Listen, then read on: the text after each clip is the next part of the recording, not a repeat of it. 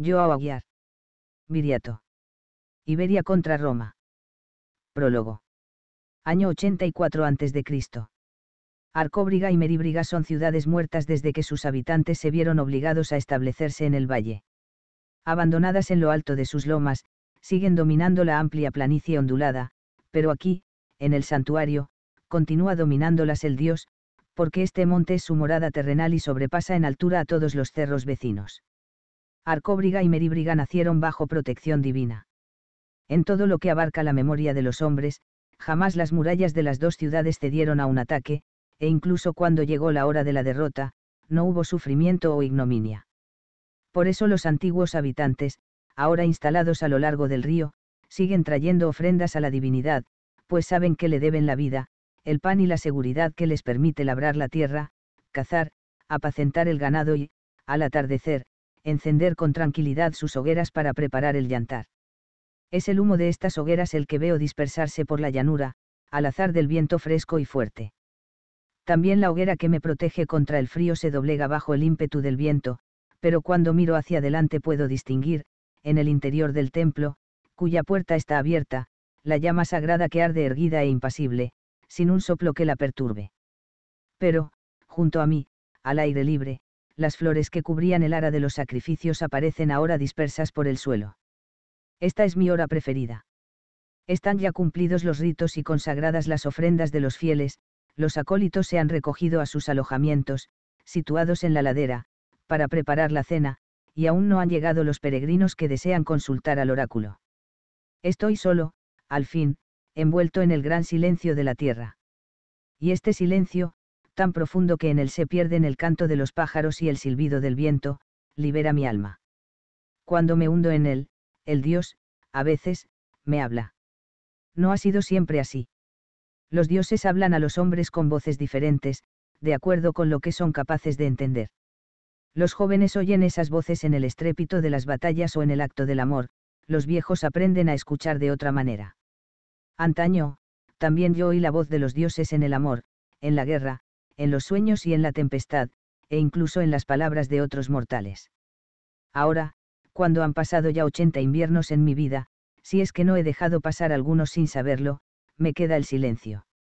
No siento amargura, solo fatiga. Con todo, la fatiga se va disolviendo como yo mismo me disuelvo lentamente en el aire puro y luminoso del santuario, cuando, en la pasada primavera, me torcí un tobillo y tuve que ser llevado hasta el templo por los acólitos, quedaron estos sorprendidos al sentir mi cuerpo tan leve y frágil. He vivido bastante más que la mayoría de los hombres. Durante mucho tiempo no comprendía cuál era la razón de que los dioses conservaran una vida que, creía yo, había cumplido su destino en plena juventud. Ahora ya sé la razón, como sé muchas otras cosas, he oído en el silencio de la noche la voz de la divinidad. Por eso estoy sentado aquí, grabando estas palabras en tablillas de cera que voy amontonando ante mí. Además, en aquel cofre errado guardo mi tesoro más precioso, algunos rollos de papiro, el mejor papiro de Egipto, en los que copiaré en forma definitiva los textos cuya primera versión escribo en cera. No temo que la muerte me sorprenda en medio del trabajo, pues obedezco al Dios y Él me preservará hasta que su voluntad se cumpla. Estoy en sus manos, y solo eso me importa. Historia de Tongio, hijo de Tongétamo, sacerdote del gran dios endobélico y guardián de su santuario. 1. El oráculo. 1. Yo nací bajo el yugo de Roma. El antiguo reino de Cineticum, famoso por sus bosques, por la suavidad de su clima y por sus grandes riquezas, ha atraído siempre la presencia de los dioses y la codicia de los humanos. En el año en que vine al mundo, ya las águilas romanas dominaban la mitad de nuestra costa, desde la hoz de Lanas, hasta Occidente, y eran suyas las grandes ciudades de Osonova, en el litoral, y Conistorgis, en el interior. Balsa, mi tierra natal, no es tan populosa, pero en tiempos de los fenicios fue un fondeadero importante, y aún hoy figura entre los puertos principales de Cineticum. Nací junto al mar, y el mar es uno de los primeros recuerdos de mi infancia. Otro recuerdo, por extraño que parezca, es el amuleto que mi madre me colgó al cuello para alejar las fiebres y los dolores cuando empezaron a asomar los primeros dientes. Ese amuleto, un diente de jabalí, perforado, colgado de un hilillo de oro fino y flexible, no me ha abandonado nunca y, gracias posiblemente a él, en mi vida, que yo recuerde, no he sufrido jamás un dolor de muelas. Por línea materna desciendo de los Conlos, cuyos reyes hicieron de Cineticum un país próspero. Esa prosperidad atrajo a comerciantes y a invasores. Unos y otros se sucedieron a lo largo de los tiempos, llegados desde el mar o de la vecina Bética, se establecieron en nuestro territorio y acabaron por estrechar vínculos profundos con la población coma. Su llegada provocó muchos cambios y mudanzas, entre ellos la desaparición de la dinastía real que nos había unificado. Pero Cineticum supo absorber y asimilar a sus dominadores, al menos hasta que aparecieron los romanos. En mi familia, como en todas las familias de nuestras ciudades, hay casi tanta sangre fenicia o turdetana como antigua sangre coma. Las guerras y las invasiones habían alterado también lo que parecía destino inmutable de los hombres de mi clan. Durante muchas generaciones, desde la época de los reyes, mi familia estuvo entre las notables de Osonova. Cuando los guerreros envejecían y dejaban las armas, tomaban asiento en el consejo de los ancianos y se ocupaban de las tierras que poseían al este del promontorio sagrado. La llegada de los extranjeros acabó por romper esa tradición al debilitarse los vínculos del clan y separarse las familias cuando se dispersaron por todo Cineticum o se fueron al norte, al otro lado de las sierras.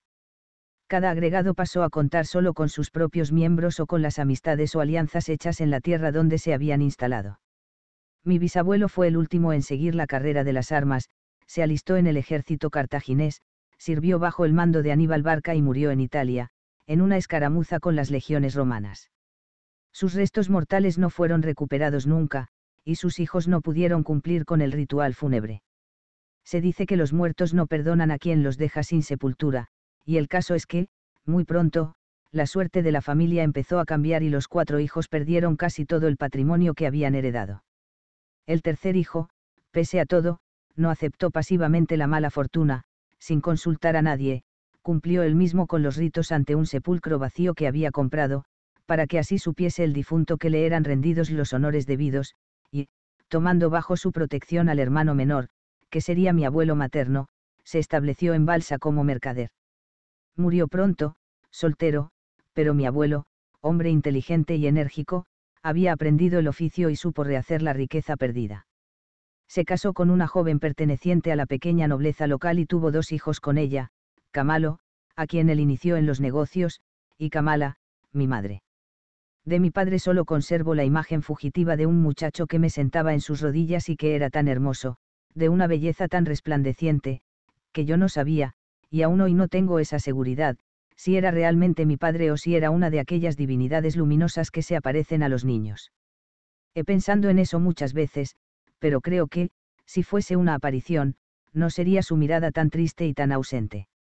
El recuerdo se me fue haciendo más vago con el paso de los años, pero no voy a olvidarlo nunca. No olvidaré al menos aquellos ojos tan claros, de un tono verde, mar, que me miraban casi sin poner atención en mí. Cuando comprendí que ya no tenía padre, intenté saber qué le había ocurrido y quién fue. De mi madre no conseguí información alguna. Casi no hablaba más de él que para rezar a su espíritu, acusándolo sin embargo de haberla abandonado, y llorar su muerte, cosa que ocurría sobre todo cuando alguien la contrariaba. Fue Camalo, mi tío, quien me contó un día, con una amargura que no podía disfrazar, la historia de aquel casamiento del que soy único fruto. Ya entonces sabía yo, por intuición infantil, que la elección de mi madre no le había gustado nunca. Camalo era un hombre austero y reservado. Tras la muerte de mi abuelo había asumido la responsabilidad de proteger a su hermana, 15 años más joven se había quedado viudo muy pronto, sin hijos, y decidió no volver a casarse hasta que la joven Kamala encontrara un marido capaz de defenderla en caso de peligro, pues se vivía entonces una época agitada y constantemente llegaban a Cineticum noticias de combates entre los gobernadores de la Hispania ulterior, como decían los ocupantes, y los pueblos de las regiones no subyugadas. En la Bética y en Beturia eran frecuentes las incursiones de los lusitanos, y los mercaderes llegados de Gadir contaban historias inquietantes de sangrientas revueltas contra Roma. Ante esta situación, Camalo quería casar a su hermana con algún sólido e influyente comerciante que fuera capaz de mantenerla al abrigo del infortunio. Pero los hombres son muñecos en manos de los dioses. Me fue contada la historia cuando yo tenía 12 años. Hacía ya algún tiempo que mi madre, cada vez que yo hacía una travesura propia de mi edad, me decía en tono grave y solemne. Tongio, no puedes comportarte como si fueses un chiquillo cualquiera. ¿Por qué? Preguntaba yo, solo por ganar tiempo. Y la respuesta, ya conocida, no se hacía esperar. Recuerda quién eres. Recuerda que eres de sangre real. Decía esto, y se negaba a darme más explicaciones. No me fue difícil entender que sus palabras tenían el poder de exasperar a mi tío. Y me di cuenta también de que él y mi madre estaban empeñados en una lucha sorda cuyo botín era yo.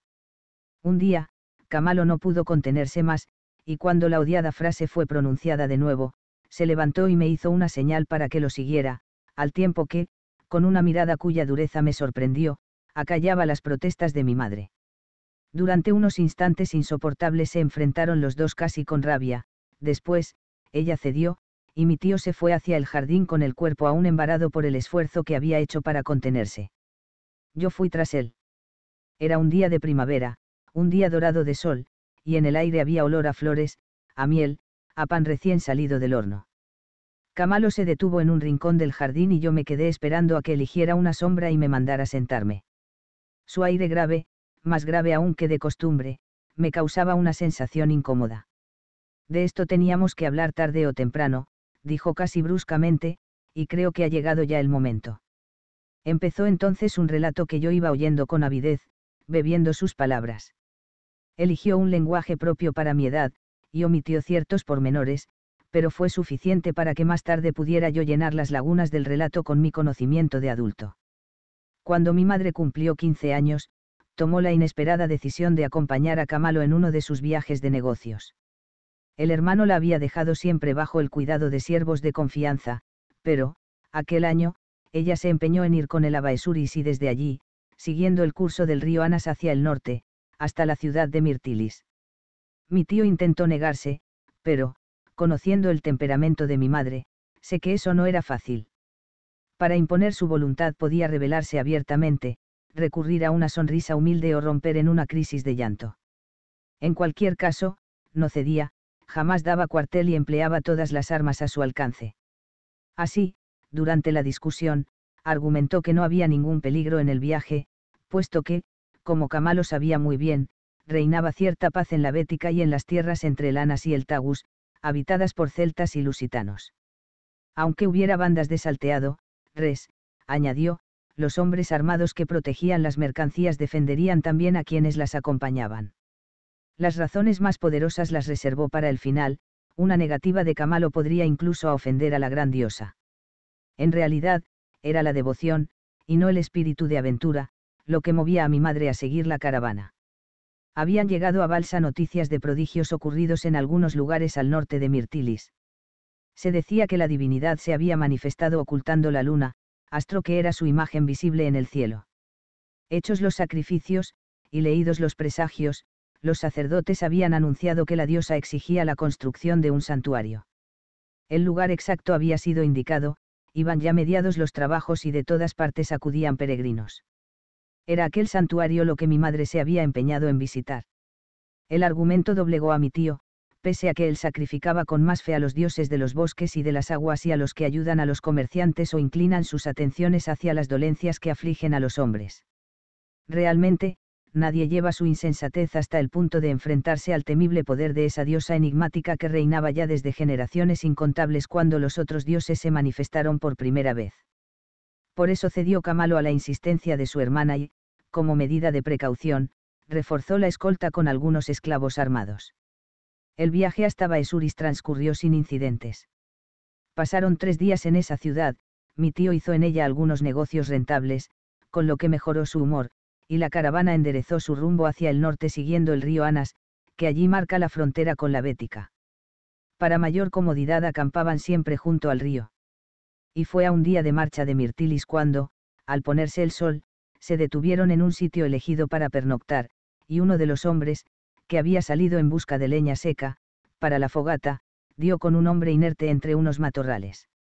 Lo llevaron junto al fuego, y mi tío, tras examinarlo con cuidado, quedó convencido de que nada se podía hacer porque aquel hombre tenía una gran herida en la espalda, infectada ya. Tomó su puñal, dispuesto a evitar mayores sufrimientos al moribundo, pero se interpuso una sombra entre él y el cuerpo del forastero. Era Kamala, con las manos alzadas en una súplica. No podemos hacer nada por él, explicó Camalo. Lo único que podemos hacer es evitarle sufrimientos cuando despierte, si llega a hacerlo. Déjame cuidarlo, respondió la hermana, déjame intentarlo. Si no da resultado, entonces. Sorprendido ante aquel interés, Camalo miró al herido con más atención y se dio cuenta de que era muy joven, casi un adolescente. Se encogió de hombros y accedió, pensando que el muchacho no iba a sobrevivir ni hasta la madrugada siguiente y que, en consecuencia, no valía la pena contrariar a la hermana. Se equivocó. Kamala lo veló toda la noche, preparando ungüentos e infusiones. Conocía las virtudes de muchas hierbas y las fórmulas mágicas que refuerzan sus poderes. Sin atender a las repetidas intimaciones para que reposara y durmiera, no abandonó al herido ni un solo instante y, cuando nació el sol, la vieron, con ojos enrojecidos y marchitos por la vigilia pero exhibiendo una sonrisa triunfal, vertiendo sobre la hoguera una libación al dios de la luz. El joven no había recuperado por completo el sentido, pero había abierto los ojos durante un instante, tomó un caldo de carne y se quedó dormido, aparentemente tranquilo. Kamala había vencido a las tinieblas. Fue entonces, demasiado tarde, como luego confesó, cuando sospechó mi tío lo que estaba aconteciendo. ¿quién puede entender los sentimientos de las mujeres? Medio muerto, flaco como un esqueleto, cubierto de suciedad, el extranjero había conquistado el amor de mi madre. Aquel día, la caravana no continuó su marcha y, tras una discusión casi violenta, fueron enviados siervos a Mirtilis para vender parte de la mercancía a comerciantes de confianza y comprar más provisiones. Entretanto, Kamala se mantenía junto al herido. Mi tío perdió la paciencia y dijo que se negaba a seguir más tiempo allí. La caravana volvió a Balsa. Durante largos días mi madre luchó para arrancar al desconocido del poder de los espíritus de la muerte. Aplicó bálsamos y compresas sobre la herida, llamó en su auxilio a todos los dioses y diosas que protegen la salud de los mortales y, para no dejar de lado ninguna oportunidad, consultó a los vecinos que ella sabía que habían sobrevivido a heridas semejantes. El enfermo volvió al fin al mundo de los vivos. El reposo, el tratamiento y la buena alimentación, cambiaron por completo su aspecto, era, realmente, un muchacho atractivo, bien proporcionado, con una larga cabellera como el cobre pulido, y ojos verdes. En cuanto a mi madre, debía de ser muy bonita, al crecer pude yo aún hallar vestigios de su belleza, la sangre fenicia había dejado su marca en los rasgos finos y puros del rostro, en el pelo, de un negro profundo, y en los ojos, también negros, enormes y con una armoniosa forma almendrada. Era imposible que no se sintieran atraídos el uno por el otro. Incluso antes de saber quién era, Kamala decidió que no habría otro hombre en su vida ni en su lecho. Ese amor se transformó en una pasión absoluta y enfermiza cuando el muchacho, al recuperar la conciencia, pudo hablar de sí mismo. Dijo que se llamaba Tongétamo y que era hijo del rey de los Brácaros, un pueblo de la Calecia, nombre que se da a la parte de Lusitania situada al norte del río Durius. Brácara, la capital del reino, es una ciudad importante comparada con la mayoría de los poblados de aquella región, aunque no pase de ser una gran aldea fortificada si la comparamos con nuestras ciudades. Aún hoy, las tribus del norte y del centro de Iberia viven en estado de efervescencia latente, en aquella época, la guerra abierta era una situación normal, y los periodos de paz eran una excepción. Los pequeños reyes y príncipes, incluso simples jefecillos de tribu, hacían de la guerra su oficio, por necesidad o por gusto, y cuando el invierno impedía las expediciones o cuando los enemigos, es decir, todos los vecinos que no tuvieran antepasados comunes, se mostraban demasiado fuertes, se recurría a la guerra civil. Eran raras las familias reinantes de Lusitania sin una interminable historia de duelos, asesinatos y ajustes de cuentas. Tongétamo, tercer hijo de Tongétamo, rey de los Brácaros, había sido uno de los pocos supervivientes de la revuelta que había destronado a su padre y aniquilado a toda su familia, incluyendo mujeres y niños, hasta los recién nacidos. El último día de lucha, el joven, al frente de un puñado de hombres fieles, había roto el cerco y pudo abandonar la ciudadela en llamas. La pequeña banda erró durante un tiempo por los alrededores de Brácara, ocultándose en las colinas, pero el invierno era durísimo y los caminos transitables estaban vigilados por el enemigo. Los compañeros de Tongétamo empezaron a sucumbir ante el hambre y el frío. Los que lograron resistir se encaminaron hacia el sur, atravesaron el Durius, y buscaron, en vano, un espacio que les proporcionara refugio y reposo. Enflaquecidos, acosados por los partidarios del usurpador, eran solo quince fantasmas hambrientos cuando llegaron a las márgenes del Tagus, y antes de atravesar el río, cinco de ellos murieron con las fiebres. Cuando Tongetamo llegó a la región de Ebora, el grupo había quedado reducido a tres. Uno de ellos tuvo un sueño que se interpretó como un presagio, y decidieron seguir su marcha hacia el sur, hasta que fueron atacados por los bandidos. Durante la lucha, Tongetamo fue herido en la espalda y no recordaba nada más, sus compañeros estaban tal vez cautivos, él había quedado abandonado en pleno campo, dado por muerto. Esta fue la historia que contó el extranjero.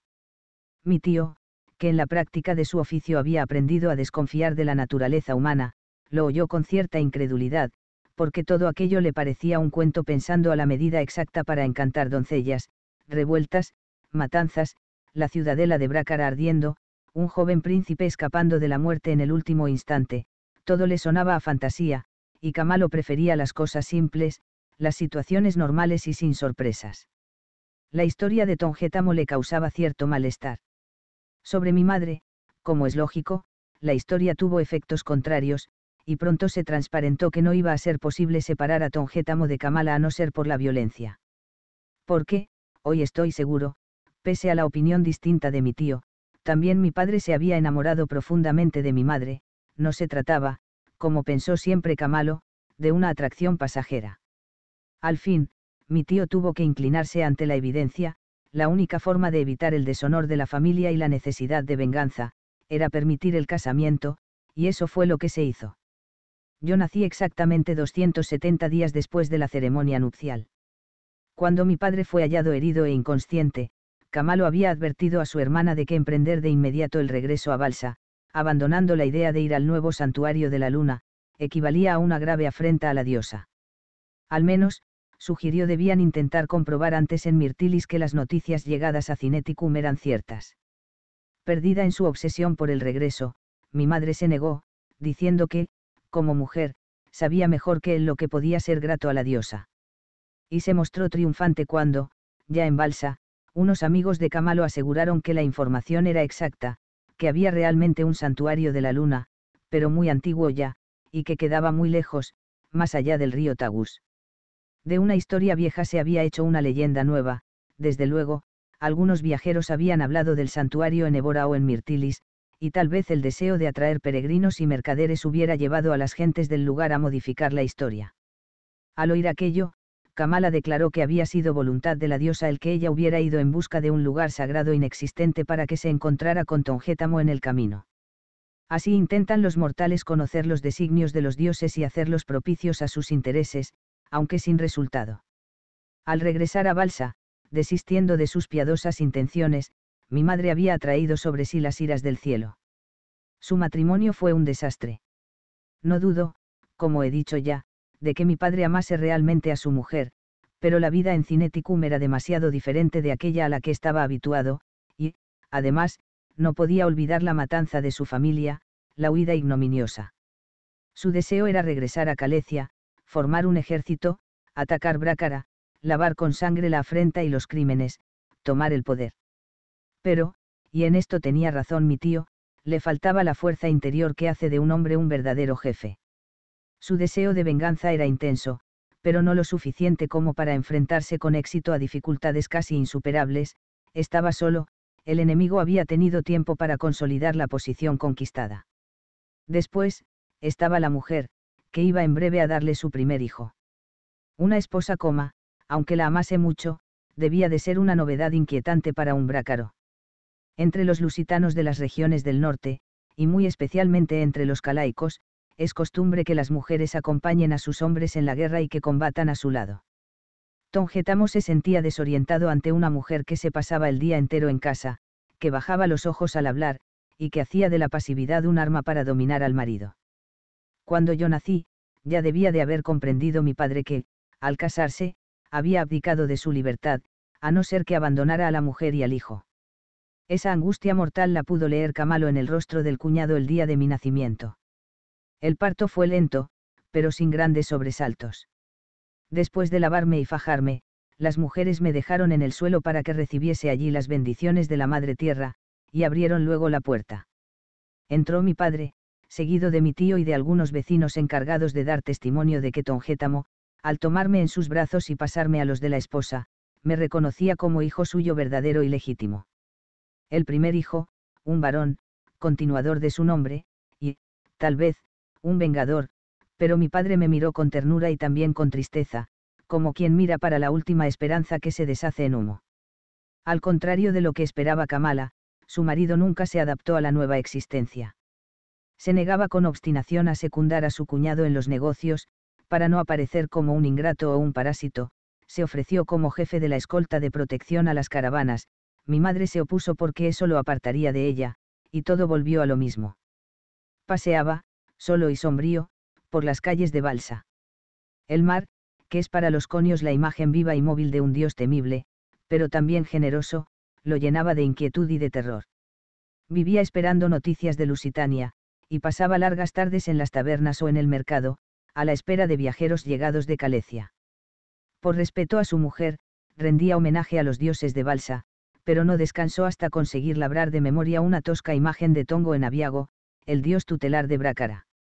La colocó en el patio, junto a la fuente, tal como el dios se encontraba en su ciudad natal, y ante ella hacía sacrificios y libaciones.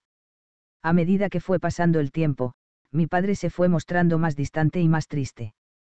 Cuando, por insistencia de mi madre, dejó de escoltar las caravanas de Camalo, guardó cuidadosamente las armas, una espada y una daga, como si en cualquier instante pudiera volver a necesitarlas. Un día, corrieron por Balsa noticias interesantes, tribus lusitanas habían invadido Carpetania y luchaban victoriosas contra el ejército romano. Mi padre escuchó estas noticias encantado. Ante la imposibilidad de vengarse de los enemigos de su familia, había dirigido su odio contra Roma y los romanos, que intentaban dominar toda Iberia, y había entrado varias veces en conflicto con mi tío, obligado, por su condición de mercader, a mantener buenas relaciones con todo el mundo y, sobre todo, a no hostilizar a las autoridades de Roma. Cuando se hicieron más insistentes los rumores de guerra, Tongétamo, una noche, fue a buscar sus armas, solo para verlas, como quien contempla a la mujer amada. Pero le esperaba una sorpresa. Mi madre juró siempre que no había sido ella, pero lo cierto es que el cuero de las vainas había sido empapado en agua y tanto la espada como la daga estaban irreconocibles, negras de herrumbre. Tongetamo pasó el resto de la noche reparando los estragos, afilando las hojas y pasándoles aceite. Desde entonces se mostraba aún más sombrío, y mi madre más posesiva, absorbente y quejumbrosa. Llegó el invierno, se cerraron las rutas marítimas y terrestres y nada más se oyó sobre la guerra hasta la llegada de la primavera, momento en el que se supo que ya no había lusitanos en la Carpetania. Poco después cumplí yo los tres años de edad. El día del cumpleaños, mi padre estuvo conmigo más tiempo de lo que era habitual en él, y ofreció por mí un sacrificio a Tongo en Aviago. Por la noche, parecía bien dispuesto, incluso alegre. Fue a buscar la espada y colocó la empuñadura en mis manos, que, de tan pequeñas, no conseguían agarrarla. Sonriendo, dijo en voz lo suficientemente alta como para ser oído por su mujer y, por el cuñado. Toma, hijo mío. Yo ya no podré usarla, pero cuando crezcas, será tuya. Mi madre se acercó, intrigada por su actitud. Él se rió, le pasó el brazo por la cintura y la llevó hacia el cuarto suavemente. A la mañana siguiente los esclavos lo encontraron muerto al pie de la estatua de Tongo en Aviago. Se había matado con la daga, la sangre, al saltar de la herida, había salpicado la imagen del dios. Tenía 20 años. 2. Camalo había finalizado su relato. Yo, con la cabeza baja, fingía estar muy atento al avance de Lina, pero notaba sus ojos clavados en mí. Necesitaba tiempo para pensar y digerirlo todo lo que había oído. Hasta entonces, estimulado por el misterio que mi padre había tejido a su alrededor, yo había imaginado a mi padre como un héroe abatido por los dioses en plena gloria, supongo que esa es la aspiración de todos los chiquillos que se quedan huérfanos siendo aún muy niños. La desilusión fue un choque violento, casi físico, y entre tanto una voz interior me decía que era preciso defender la memoria de aquel hombre de quien yo era la única simiente entre los vivos. Y pensaba que cuando creciera, tendría que tomar sobre mí el peso de un deber difícil, vengar a mi familia, porque yo, Tongio, era nieto del rey de los brácaros. Mi cabeza estallaba con ideas nuevas. Sin levantar la cabeza sabía que mi tío estaba mirándome aún. Su voz sonó muy grave y pausada. No tienes nada que decir, nada que preguntar. Se acercó a mí. Su mano, enorme y recia, bronceada por el sol, me tomó la barbilla y, con un ademán lento, pero con una fuerza que yo no podía resistir, me obligó a mirar hacia arriba. ¿Qué? Nada. Cuando un hombre se enfrenta a la muerte, los dioses a veces le conceden el privilegio de ver el destino con indiferencia, como algo inevitable. Una cosa semejante me ocurrió a mí entonces. Si he de defender la memoria de mi padre, pensé, es mejor que empiece ya, contra todo y contra todos. Por eso sostuve la mirada de Camalo y respondí. Hasta ahora, señor, solo he oído contar aquello en lo que mi padre falló. No veo a nadie que lo defienda. ¿Qué voy a decir cuando su espíritu es solo invocado para oír las censuras de su viuda y las dudas del cuñado sobre el valor de su palabra? Me callé, dispuesto a aguantar la tempestad, comparándome, con cierto placer, la juventud siempre tiene una imaginación excesiva, a los reyes y guerreros que ofrecen su vida por rescatar a su pueblo. Pero no hubo tempestad. Camalo siguió mirándome y, de repente, murmuró. Es justo que defiendas a tu padre y quieras honrar su memoria. Posó la mano en mi hombro. Pero no debes condenarme. Es verdad que el casamiento de tus padres no me gustó, y que solo lo acepté porque me vi forzado a hacerlo. También es verdad que me sentí ofendido cuando tu padre se negó a ayudarme y no pudo disfrazar la baja opinión que de los mercaderes tenía. Nuestra familia en nada cede a la sangre brácara, en nada es inferior a ella, aunque sea sangre real. Yo me enorgullezco de la herencia que me fue confiada, porque somos nosotros, los mercaderes, los que hacemos vivir a los pueblos y, a los reinos.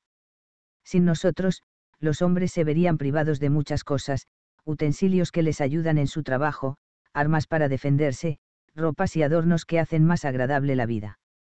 Y los pueblos no sabrían lo que acontece más allá de sus límites, nosotros les llevamos mercancías, y también noticias, es verdad que ganamos dinero, pero podemos también perderlo todo, pues vamos y venimos a merced de la voluntad de los dioses, desafiando peligros, cruzando los mares, atravesando países enteros. Camalo respiró hondo. El hombro empezaba a dolerme bajo el peso de su mano, pero no quería parecerle débil. Afortunadamente, se alejó de mí unos pasos, se sentó de nuevo y empezó a hablar. Espero que hayas comprendido. No voy a mentir, no te diré que llegué a querer a tu padre, no me gustaba. Lo respeté porque era el marido de mi hermana y también porque mostró gran valor en los pocos viajes que hizo conmigo y cuando sufrimos algunos ataques. Creo que, si viviera, no iba a ser un gran príncipe, pero sí un buen guerrero. Y también él aprendió a respetarme. Ninguno de los dos podía ir más lejos, pertenecíamos a mundos diferentes. Iba el sol alto, y el calor apretaba ya me abrigué a la sombra de una higuera y, con el ánimo sosegado, me di cuenta de que tenía hambre, pero era la primera vez que mi tío hablaba conmigo de igual a igual, y eso me llenaba de orgullo. Pregunté. ¿Por qué no creyó la palabra de mi padre? ¿Por qué no lo reconoció como príncipe? Camalo se encogió de hombros. No sé si le creí o no.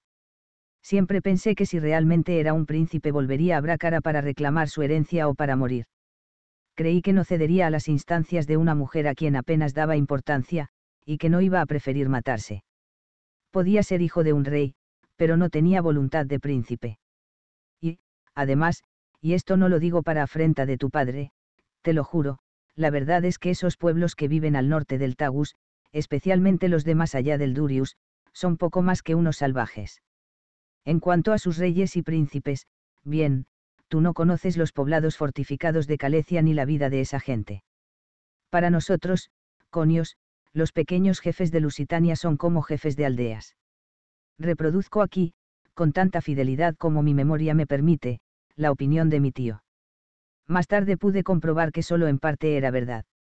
Por otra parte, una de las cosas que mi larga vida me ha enseñado es que cada pueblo tiende a considerar a los otros como bárbaros. Un siervo se acercaba para anunciar que la comida estaba servida. Camalo se levantó e hizo una señal al hombre indicando que iríamos enseguida. Luego, se volvió hacia mí. Mañana, con el alba, iremos tú y yo a sacrificar una cabra y un cerdo a Tongo en Aviago, para que el dios vele sobre el espíritu de Tongétamo. Los dioses que me privaron de un padre me dieron en cambio a mi tío Camalo. Durante mi infancia, me había parecido distante e infundía en mí más bien respeto que amor filial, pero eso fue solo mientras pensó que los cuidados de mi madre serían preferibles a los suyos. Cuando cumplí los doce años, su actitud cambió, indiferente a la furiosa resistencia de su hermana, se encargó con firmeza de mi educación y fue un verdadero padre y un verdadero amigo. Por mí, no volvió a casarse, para que no me viera perjudicado en la herencia por un hijo que pudiera darle una segunda mujer. Al hablar de la conversación en la que me fue revelada la identidad de mi padre y las circunstancias de su muerte, he omitido un pormenor importante de mi propia historia, la conversación no tuvo lugar en Balsa sino en Gadir. Un año después del suicidio de Tongétamo, Camalo decidió establecerse en la Bética, región que conocía muy bien y donde tenía amigos. Diversas razones lo llevaron a tomar esta decisión. Mi madre se marchitaba a ojos vista y pasaba la mayor parte del día junto al sepulcro de mi padre, y Camalo temía que se dejara morir. Por otro lado, la expansión de los negocios había hecho que Balsa resultara ya un lugar inadecuado para tanta actividad, necesitaba una ciudad más importante, con buenos astilleros donde se pudieran construir barcos más grandes, y con un puerto que los pudieran abrigar. Pero su prudencia le decía que las otras ciudades con las del litoral no ofrecían la seguridad deseada, los romanos, que dominaban Osonova, no tardarían en poner sus ojos golosos sobre la Cóbriga y Portus Annibalis, y aunque no sucediera tal cosa, llegaban rumores insistentes de Évora y de Mirtilis, donde eran conocidos los movimientos de las tribus célticas y lusitanas, que insistían en el riesgo de una incursión. En cualquier caso Cineticum podía convertirse de repente en un campo de batalla. Bética y, la costa turdetana parecían, al contrario, relativamente seguras, y los gobernadores romanos respetaban, o al menos eso hacían en los últimos tiempos, las garantías concedidas a la ciudad de Gadir. Esta era un enorme depósito de mercancías y una base ideal para operaciones comerciales. Mi tío preparó la operación con todo cuidado, se llenó de valor y anunció su decisión a su hermana. La batalla fue terrible, no la habría ganado de no contar con el apoyo de los inmortales. Camalo ordenó dos generosos sacrificios, uno a la diosa Luna y otro a la diosa Atégina, mi madre tenía particular devoción por ambas, y fueron leídos los presagios en las venas de las víctimas, a la manera de los lusitanos, para agradar al espíritu de Tongétamo, y también en las vísceras, según el uso romano que se había popularizado en Balsa. En los dos casos, la respuesta era clara, debíamos abandonar Cineticum. 3.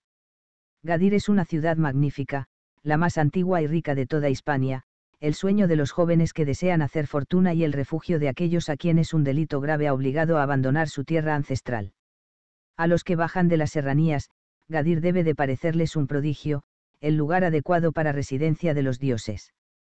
La ciudad se alza en el extremo noroeste de una isla estrechísima y alargada, en la desembocadura del río Gilbus, no lejos de la hoz del Betis. La zona poblada, incluyendo los almacenes, astilleros y talleres, se extiende a las islas vecinas, entre las que Eriteia es la más importante. Eriteia está consagrada por los romanos a su diosa Juno. También se extiende la zona urbanizada hasta el continente, que está muy próximo, pues la isla principal, Cotinousa, está separada de él por un canal de solo un estadio de anchura. En Gadir el aire vibra, se respira una atmósfera de actividad permanente y de febril prosperidad. La reputación de opulencia es merecida, desde Gadir se exportan los metales preciosos del interior, que son trabajados en la ciudad, allí se pesca y sala el atún en grandes cantidades, y se prepara el mejor garum, esa espesa y deliciosa salsa de pescado que los navíos gaditanos llevan hasta Ostia, desde donde sigue hacia los mercados de Roma, y aún más lejos, hasta Atenas y otros puertos de la helada. También es famoso el ganado, sobre todo el que se cría en la isla frontera al templo de Saturno. Con todo, el verdadero orgullo de Gadir es el gran santuario de Heracles, donde reposan los restos mortales del dios. Aquel fue también el lugar favorito de mi infancia. Siempre pedía que me dejaran ir allá.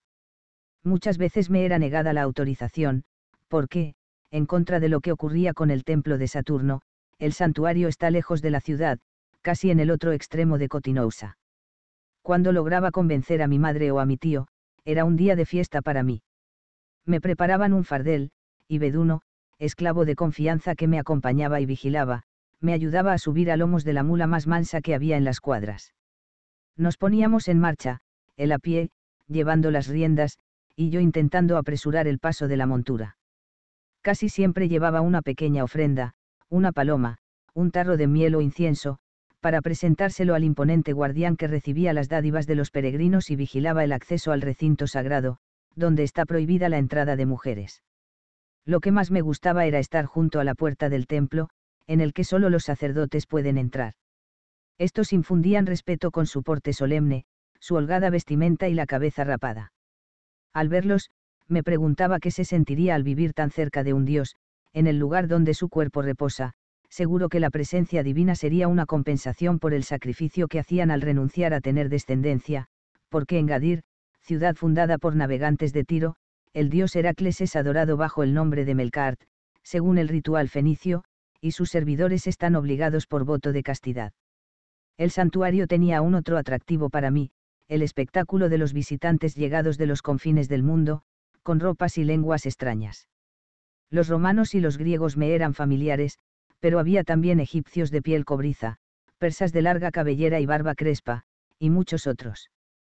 Todos venían a rendir homenaje a la divinidad o simplemente a admirar el santuario, sobre todo aquellas puertas macizas donde se ven, en bajo relieve, los trabajos impuestos a Heracles, Melkart durante su vida mortal, y también dos enormes columnas de bronce que flanquean los batientes. Los gaditanos las llaman, columnas de Hércules, y dicen que fueron puestas allí por el dios, cosa que no es verdad, pues se pueden leer las inscripciones fenicias grabadas en el bronce. Creí que serían un himno de alabanza, pero mi tío Camalo me sacó del error, los tirios, constructores del santuario, llevan el comercio en la sangre, y creen que el mejor homenaje que podían rendir al dios era grabar en las columnas la relación pormenorizada de los costes de construcción, y eso es lo que pone en el texto. En cuanto a las verdaderas columnas de Hércules se encuentran, como todo el mundo sabe, al este de Gadir, una a cada lado del estrecho, marcando la entrada a lo que hoy es Mar Romano. Por voluntad expresa de mi tío, recibí una educación tan completa como su fortuna permitía, y él era rico. Por eso hablo y escribo el latín y, el griego, aparte de conocer la vieja escritura conia y buena parte de las lenguas ibéricas. Siempre he tenido gran facilidad para el aprendizaje de idiomas, y, esto satisfacía a Camalo, que me preparaba para sustituirlo al frente de los negocios. Un mercader, decía él, tiene que saber un poco de todo, y tiene que saber hablar y escribir el mayor número de lenguas. Yo tenía varios compañeros de juegos, todos de mi edad, pero mi gran amigo, y víctima, era Beduno. Este hombre, de estatura y musculatura impresionantes, era un céltico nacido en las tierras de entre el Tagus y el Anas, región que los romanos y los griegos llaman Mesopotamia, por estar limitada por los dos ríos. Nunca he visto a nadie con una apariencia semejante de fortaleza solidez, parecía una torre de piedra y, era casi tan silencioso como la piedra. Beduno me tomó cariño desde muy pronto, hasta el punto de que yo era la única persona capaz de hacerlo sonreír, e incluso reír. Pero ni siquiera a mí me contó nada de su pasado. Lo único que admitió es que había sido un hombre libre cuando cumplí los 14 años se planteó una última discusión doméstica por mi causa. Desde hacía meses venía yo recibiendo instrucción en el manejo de las armas, antes de eso, naturalmente, había jugado a guerras y, aprendí los rudimentos del combate cuerpo a cuerpo, pues Camalo quería que yo fuese tan diestro en la lucha como en las cuentas y en la escritura, porque las armas son tan indispensables al mercader como las mercancías. Se encargó de entrenarme, secundado por Beduno, y si alguien cree que los grandes comerciantes son todos barrigudos y blandengues, tendría que conocer a mi tío. Es posible que Camalo no pudiera ya hacer vida de combatiente, pero se defendía muy bien, y era ágil con la espada. En cuanto a Beduno, hasta yo, en mi inexperiencia, adiviné cuál habría sido su ocupación antes de perder la libertad, sin duda fue un buen guerrero. Los nubarrones domésticos se adensaron cuando mi madre supo que Beduno estaba instruyéndome en el uso de la zagalla, un arma típicamente lusitana, y la atmósfera familiar pareció helarse de repente el día en que entré en casa con el arma en la mano. Kamala se volvió más sombría, su aire de sufrimiento casi permanente se vio sustituido por tina brusquedad igualmente desagradable. Por aquel entonces conocía ya lo bastante de su carácter para saber qué tenía que hacer, me arrodillaba a sus pies y le preguntaba cuál era mi falta, todo acabaría en una escena de lágrimas, abrazos, acusaciones contra mi tío. Pero nada de esto hice, por la sencilla razón de que estaba al lado de él y porque estaba en juego mi independencia y mi entrada en el mundo de los adultos. Una tarde, después del diario entrenamiento con la zagalla, la lanza y la espada, Beduno me acompañó a los baños para quitarme de la espalda el óleo de limpieza y me ayudó a ponerme una túnica limpia. Comentando los últimos lances del duelo a espada que acabábamos de sostener, entramos en la sala donde mi tío comprobaba los informes de las transacciones que le había traído el comandante de uno de sus navíos. Al vernos, Camalo sonrió levemente. ¿Qué tal? Tenemos ya ahí un guerrero. Casi, replicó Beduno con gruñido benevolente. Si logra aprender a pelear con tanta estrategia como furia, tal vez sobreviva a la primera escaramuza. Yo protesté, recordándole que lo había desarmado una vez, y Beduno se defendió diciendo que había resbalado. E incluso así, en un combate de verdad tendría tiempo sobrado para invertir la situación. Camalo se levantó, rodeó la mesa y se acercó a nosotros con cara seria. Beduno, aumenta las horas de entrenamiento. Voy a estar demasiado ocupado para comprobar sus avances. Y, volviéndose hacia mí, no tardarás en emprender tu primer viaje, tienes que prepararte. Por lo demás, creo que es hora ya de que te entregue algo que te pertenece. Se dirigió a uno de los grandes arcones de madera y hierro que estaban junto a la pared, lo abrió y retiró un objeto largo y estrecho, envuelto en paños, que trajo a la mesa. Aquí está. Puedes. En aquel momento entró mi madre. No había estado escuchando, porque no prestó atención a lo que había en la mesa, y empezó a hablar con su hermano de un asunto trivial cualquiera, pero, de repente, se quedó callada al ver aquel objeto, y su expresión cambió. Clavó los ojos en mi tío, unos ojos que echaban chispas de cólera, y gritó, con una voz ronca y restallante como un látigo. No lo permito. No lo permitiré nunca. Incluso habituado como estaba al ambiente de hostilidad que allí reinaba en los últimos tiempos, me estremecí. Camalo, curtido por largos años de experiencia, se encogió de hombros. Tongio, tengo que hablar con tu madre. Te llamaré después. Beduno retrocedió, abrió la puerta, me dejó pasar y me siguió luego. Me hubiera gustado que la puerta hubiese quedado entornada para poder oír la disputa, pero él, indiferente a mis gestos imperiosos, cerró con firmeza y se alejó hasta la ventana silbando levemente. Vamos a ver esos caballos nuevos que han llegado, propuso. Creo que tu tío va a regalarte uno, y tal vez puedas elegir el mejor. Me negué. Quiero quedarme aquí. Beduno sabes que es aquello que iba envuelto en los paños. Será un arma. No lo sé yo. Pero la discusión al otro lado de la puerta llegaba a su ápice y oímos que mi madre gritaba, claro que tengo derechos. Tengo todos los derechos. Él es mío. Fui yo quien lo hizo. E inmediatamente, la voz de mi tío, no lo hiciste sin ayuda. Y antes de ser tu hijo, él pertenece, como todos nosotros, a la madre tierra que lo engendró. Y, de nuevo, mi madre, sí, pero usó mis entrañas. ¿Qué están diciendo? Están discutiendo derechos de maternidad sobre mi persona. Ante mi aspecto desconcertado, Beduno no pudo contenerse y se rió silenciosamente. Vámonos. No debemos escuchar. Entre los potros que han llegado, hay uno. Se abrió la puerta y apareció mi tío, aún algo alterado. No había nadie más allí dentro. Mi madre había utilizado la otra salida. Obedeciendo al gesto de Camalo, volví a entrar, con Beduno detrás. Recuperado ya su autodominio, mi tío estaba desempaquetando aquel objeto. Hablaba como si nada hubiera ocurrido. Iba diciendo que es hora ya, y de sobra, de que te dé esto, que es muy tuyo. Cayeron los paños sobre la mesa y se me cortó la respiración al ver la magnífica espada que Camalo sostenía en sus manos. Por su aspecto, venía de Evión, con toda seguridad. La empuñadura tenía incrustaciones de oro. Cuando mi tío la desenvainó, la hoja, perfecta y refulgente, parecía un rayo de luz. Es la espada de mi padre. exclamé. Camalo hizo un gesto de asentimiento, y comenzó con ironía un poco ácida. Sí, es la espada de Tongétamo. No la espada noble, de príncipe, porque se la robaron los asaltantes. Esta vino de Evión, y se la regalé yo. Cogí el arma fascinado, y mis dedos, instintivamente, se aferraron a la empuñadura, ahora mi mano era ya lo suficientemente grande para agarrarla. Camalo había cumplido el último deseo de mi padre. Otras cosas importantes ocurrieron después de esto, recibí como regalo un hermoso potro, completamente negro, de pelo sedoso, que me empeñé en domar y al que di el nombre de trueno. Mi madre desistió de interferirse en mi vida y adoptó una actitud de afectada indiferencia que, gradualmente, se convirtió en indiferencia real. Yo la amaba como siempre la había amado, pero todos los puentes entre los dos estaban cortados. Ella se había encerrado en su pasado, en un mundo tortuoso y estéril en el que parecía encontrar un amargo placer. A los 14 años recibí mi espada, gané mi primer caballo y tuve la primera experiencia con una mujer. Siete años antes había sido blanco de las audacias de una compañera de juegos que tenía mi misma edad pero una experiencia mucho mayor, era hija de una sierva de la casa y había visto muchas cosas en el ala de la casa reservada al personal.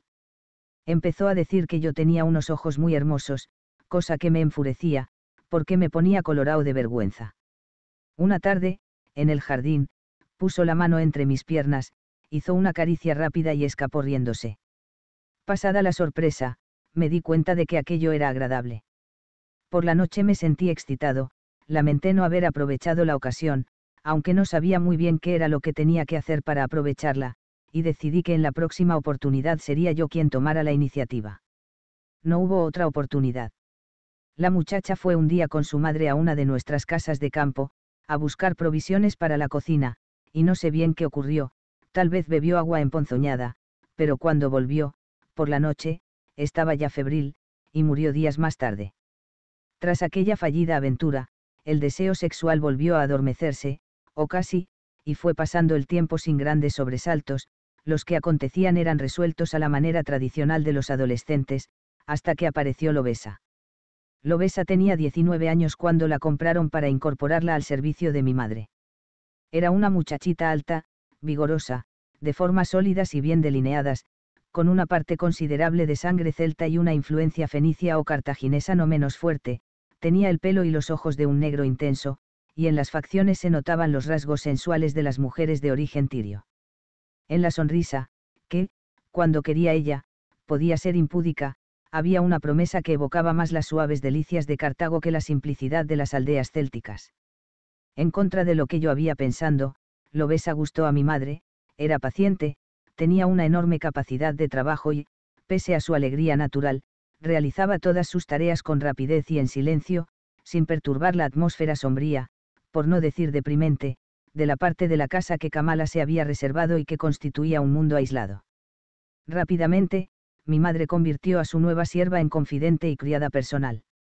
Esta le mostraba verdadera dedicación, otra actitud femenina que no comprendo, porque su temperamento no debería adaptarse con facilidad al ambiente taciturno del que mi madre se había rodeado.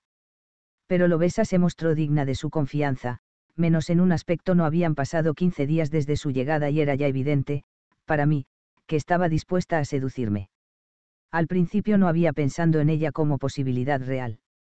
Había sentido una fuerte atracción física, pero el deseo se mantenía indefinido, y aunque en aquella época yo era aún muy ignorante en materia de mujeres, sabía que ellas tienden a interesarse por hombres más viejos. Una esclava de 19 años, y con el aspecto de obesa, no podía ser virgen, y bastaba con mirar a sus ojos para descubrir en ellos un pasado turbulento. Junto a ella me sentía como un niño, como un cachorrillo que recibe caricias. Tras hacerme esta reflexión, decidí no hacer nada que pudiera provocar una negativa que fuese ofensiva para mi orgullo. Con todo, y para desconcierto y asombro por mi parte, Lobesa no me quitaba los ojos de encima ni perdía ocasión de provocar un contacto físico. Qué ridículo debía de resultarle, tartamudeando, desviando la mirada, fingiendo no darme cuenta. Llegué a ponerme ante un espejo de cobre preguntándome si era posible que Lobesa me amara.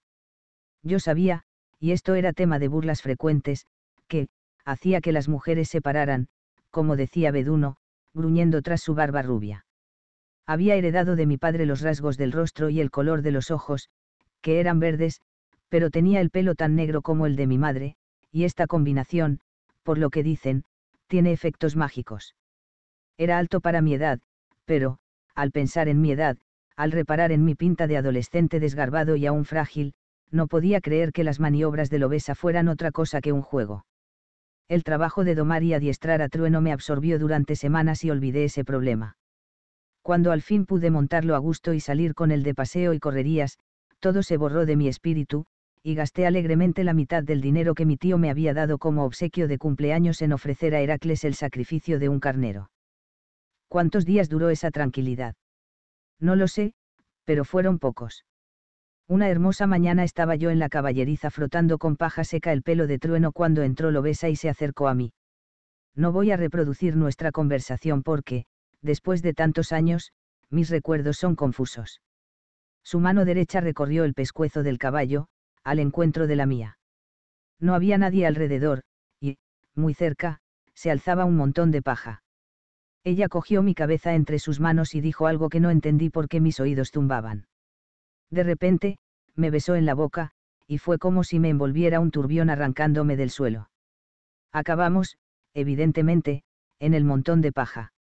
Aún hoy no he olvidado aquella primera vez, mis gestos ansiosos y desastrados enfrentados a su experiencia, la suavidad de su piel, y el calor, la tersura deliciosa de sus ancas larguísimas. Devoré, fui devorado. Me sentí por instantes poseído por la madre tierra. Al final, ella se quedó aún algunos instantes acariciándome el cabello. Luego, oímos pasos y se quebró aquella magia. Así perdí la virginidad y gané mi primera amante, porque aquello se repitió muchas, muchas veces. Y, a pesar de haber conocido a otras mujeres y amado a algunas de ellas, nunca he olvidado a Lobesa, la maestra que hizo de mí un hombre y que me enseñó que el acto del amor es santificado por los dioses cuando el deseo es recíproco. Tampoco he olvidado esta lección, y nunca, en toda mi vida, ni en las privaciones ni en la euforia de la guerra, tomé mujer por la fuerza. 4. La relación con Lobesa marcó la última fase del periodo en que yo, creyéndome ya un hombre solo porque había domado un caballo y poseído una mujer, vivía en la despreocupación de la juventud sin reparar en que en el horizonte se iban acumulando nubarrones. Ni la insistencia de mi tío para que intensificara mi entrenamiento de combate fue capaz de despertar en mí una sospecha. Realmente, todo parecía estar en orden en el universo cuando Camalo llegó un día a casa más pronto de lo habitual, fruncido el ceño, y con una noticia que no era inesperada para él pero que a mí me dejó estupefacto, el nuevo gobernador romano de la Hispania ulterior, el pretor Servio Galba, se había refugiado en Cineticum, estableciendo sus cuarteles de invierno en Conistorgis, tras haber sido estruendosamente derrotado por los lusitanos. Toda la Bética, desde Beturia al litoral turdetano, volvía a estar expuesta a incursiones. Hasta ese momento, la guerra entre romanos y lusitanos me había parecido algo lejano, que no podía afectarme, había oído hablar de ella como se oye hablar de una tormenta o de una inundación en tierras distantes. Cuando tenía nueve años, un nombre se hizo de pronto famoso y temido, Púnico. Este jefe de tribu había derrotado a dos ejércitos romanos, se había aliado con los betones y se acercó peligrosamente a Gadir para atacar a los bastulofenicios. Al año siguiente reanudó sus ataques y fue muerto en combate, pero sus hombres eligieron un nuevo jefe, Césaro, y prosiguieron la campaña. Por si eso no bastara, otra hueste llegada de Lusitania bajo el mando del rey Cauceno había invadido Cineticum y ocupó con Istorgis. Después sobrevino bruscamente un cambio de situación, cosa nada rara tratándose de lusitanos. Césaro y Cauceno debieron de cometer errores, pues ambos fueron aplastados y los romanos conquistaron nuevamente con Istorgis, con la capital, todo el territorio conio que les había sido arrebatado. Todo esto significaba que mi tío Camalo había recibido un apreciable favor de los dioses cuando estos le aconsejaron que abandonara Cineticum, porque si nos hubiéramos quedado en Balsa habríamos tenido que sufrir la violencia de los atacantes y de sus adversarios. La idea de la guerra me acompañaba siempre, pero las historias y comentarios que había oído no habían despertado mi interés, aquello eran preocupaciones de adultos que nada tenían que ver conmigo ni con la entrada de las bandas de Púnico en la Bética me di cuenta del peligro, fundamentalmente porque tanto mi madre como Camalo y Beduno procuraban evitar que yo oyera demasiado. Sin embargo, ahora mi tío me hablaba de la derrota de Galba, y comprendí que al fin me había vuelto un hombre, con más preocupaciones que placeres. A decir verdad, los hechos no eran recientes. El pretor había sido derrotado a finales de otoño, poco antes del inicio de una serie de aguaceros tempestuosos que habían interrumpido las comunicaciones.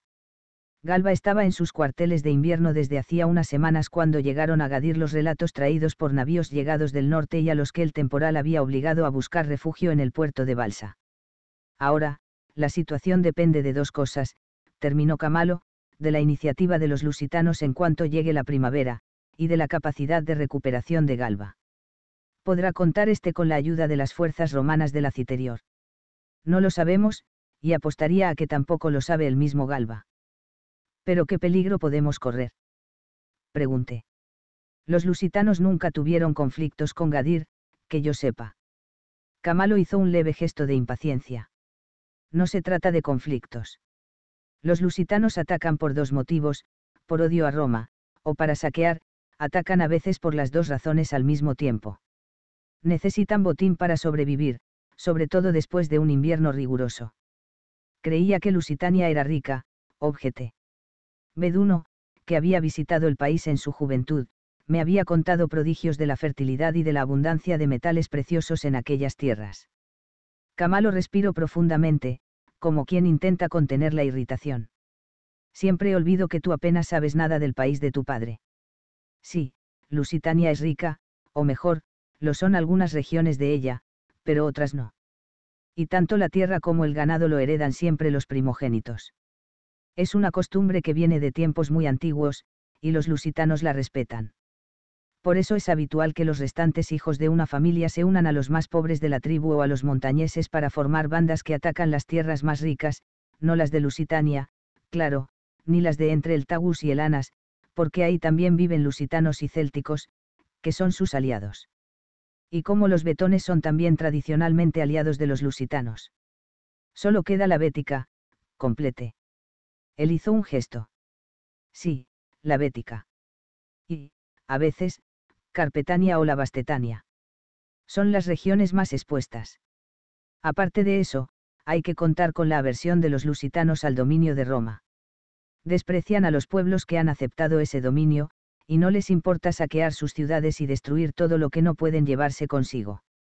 Digerí la información y evité mirar para mi tío mientras preguntaba quiere decir que tenemos que ayudar a los romanos. Camalo respondió. Quiero decir que debemos estar preparados para la defensa. Lo que nos interesa es Gadir, y no Roma. El dominio romano es una prueba que nos enviaron los dioses, aunque realmente no sé cómo viviríamos sin el orden y la paz que Roma impone. Pero fue Gadir la ciudad que nos acogió. Y como yo no respondiese, continuó. Sé que estás pensando, que eres hijo de un príncipe brácaro. Pero, Tongio, si los lusitanos entran en la ciudad no irán de puerta en puerta preguntando el origen de los moradores. Nunca pensé que un día tuvieras que usar tu espada contra los lusitanos, pero... En fin, es poco probable que haya brácaros entre las bandas que se encuentran en las fronteras de Beturia. Charlamos aún un poco sobre el tema, y luego, como se acercaba la hora de la cena, me retiré a hablar un rato con Beduno antes de sentarme a la mesa. Había oscurecido casi por completo, y andaban los esclavos encendiendo los candiles de aceite. Una silueta surgió de la penumbra y vino hacia mí. Era Lobesa, nuestra intimidad había aumentado, y ella aprovechaba todos los momentos libres para buscarme, no necesariamente para hacer el amor, pues a veces solo charlábamos y cambiábamos informaciones. ¿Qué haces aquí? Le pregunté. A aquella hora tendría que encontrarse en los aposentos de mi madre. Lobesa me habló en voz baja. Mi señora está indispuesta y se ha retirado ya. Me envía para que os diga que no va a cenar con vosotros. Dijo esto con un tono más o menos formal. Después me empujó hacia la oscuridad, se pegó a mí y susurró. Hay algo en el aire. He oído hablar de guerra. ¿Qué está pasando? De momento, nada. Galba, el gobernador romano, ha sido derrotado por los lusitanos, pero eso ha ocurrido hace ya unas semanas. Falta mucho para la cena. Lobesa hizo como si no se diera cuenta del cambio de tema. Se acercó aún más a mí y preguntó. ¿Y qué va a pasar ahora? No lo sé. Quizá nada. Quizá los lusitanos se hayan vuelto a sus tierras. No te preocupes por ellos, están muy lejos. Una breve sonrisa amarga me hizo entender que la guerra formaba parte de su pasado. Pero no era mujer de andar con lloriqueos movió la cabeza y volvió a sonreír de modo diferente, posando el brazo sobre mi hombro. Su olor, un vago perfume captado en el cuarto de mi madre y combinado con el aroma propio de su piel, empezaba a excitarme. Sí, deben de estar muy lejos, pero es increíble lo que los hombres pueden llegar a andar cuando piensan en guerra y en saqueos. Intentando sin mucha convicción liberarme de su abrazo, respondí. Es una decisión de los dioses, lo besa. ¿Y qué hay de la cena? Está ya lista. ¿Por qué? ¿Tienes hambre? Retrocedí un poco acalorado. Sí, tengo, es decir, tenía. No sé. ¿De qué te ríes? Teníamos aún un rato antes de la cena. Mucho más tarde, mediada ya la noche, desperté de repente. Notaba la garganta seca como si hubiera atravesado un desierto, mi corazón latía con fuerza y me faltaba el aire. Me quedé inmóvil, con los ojos abiertos.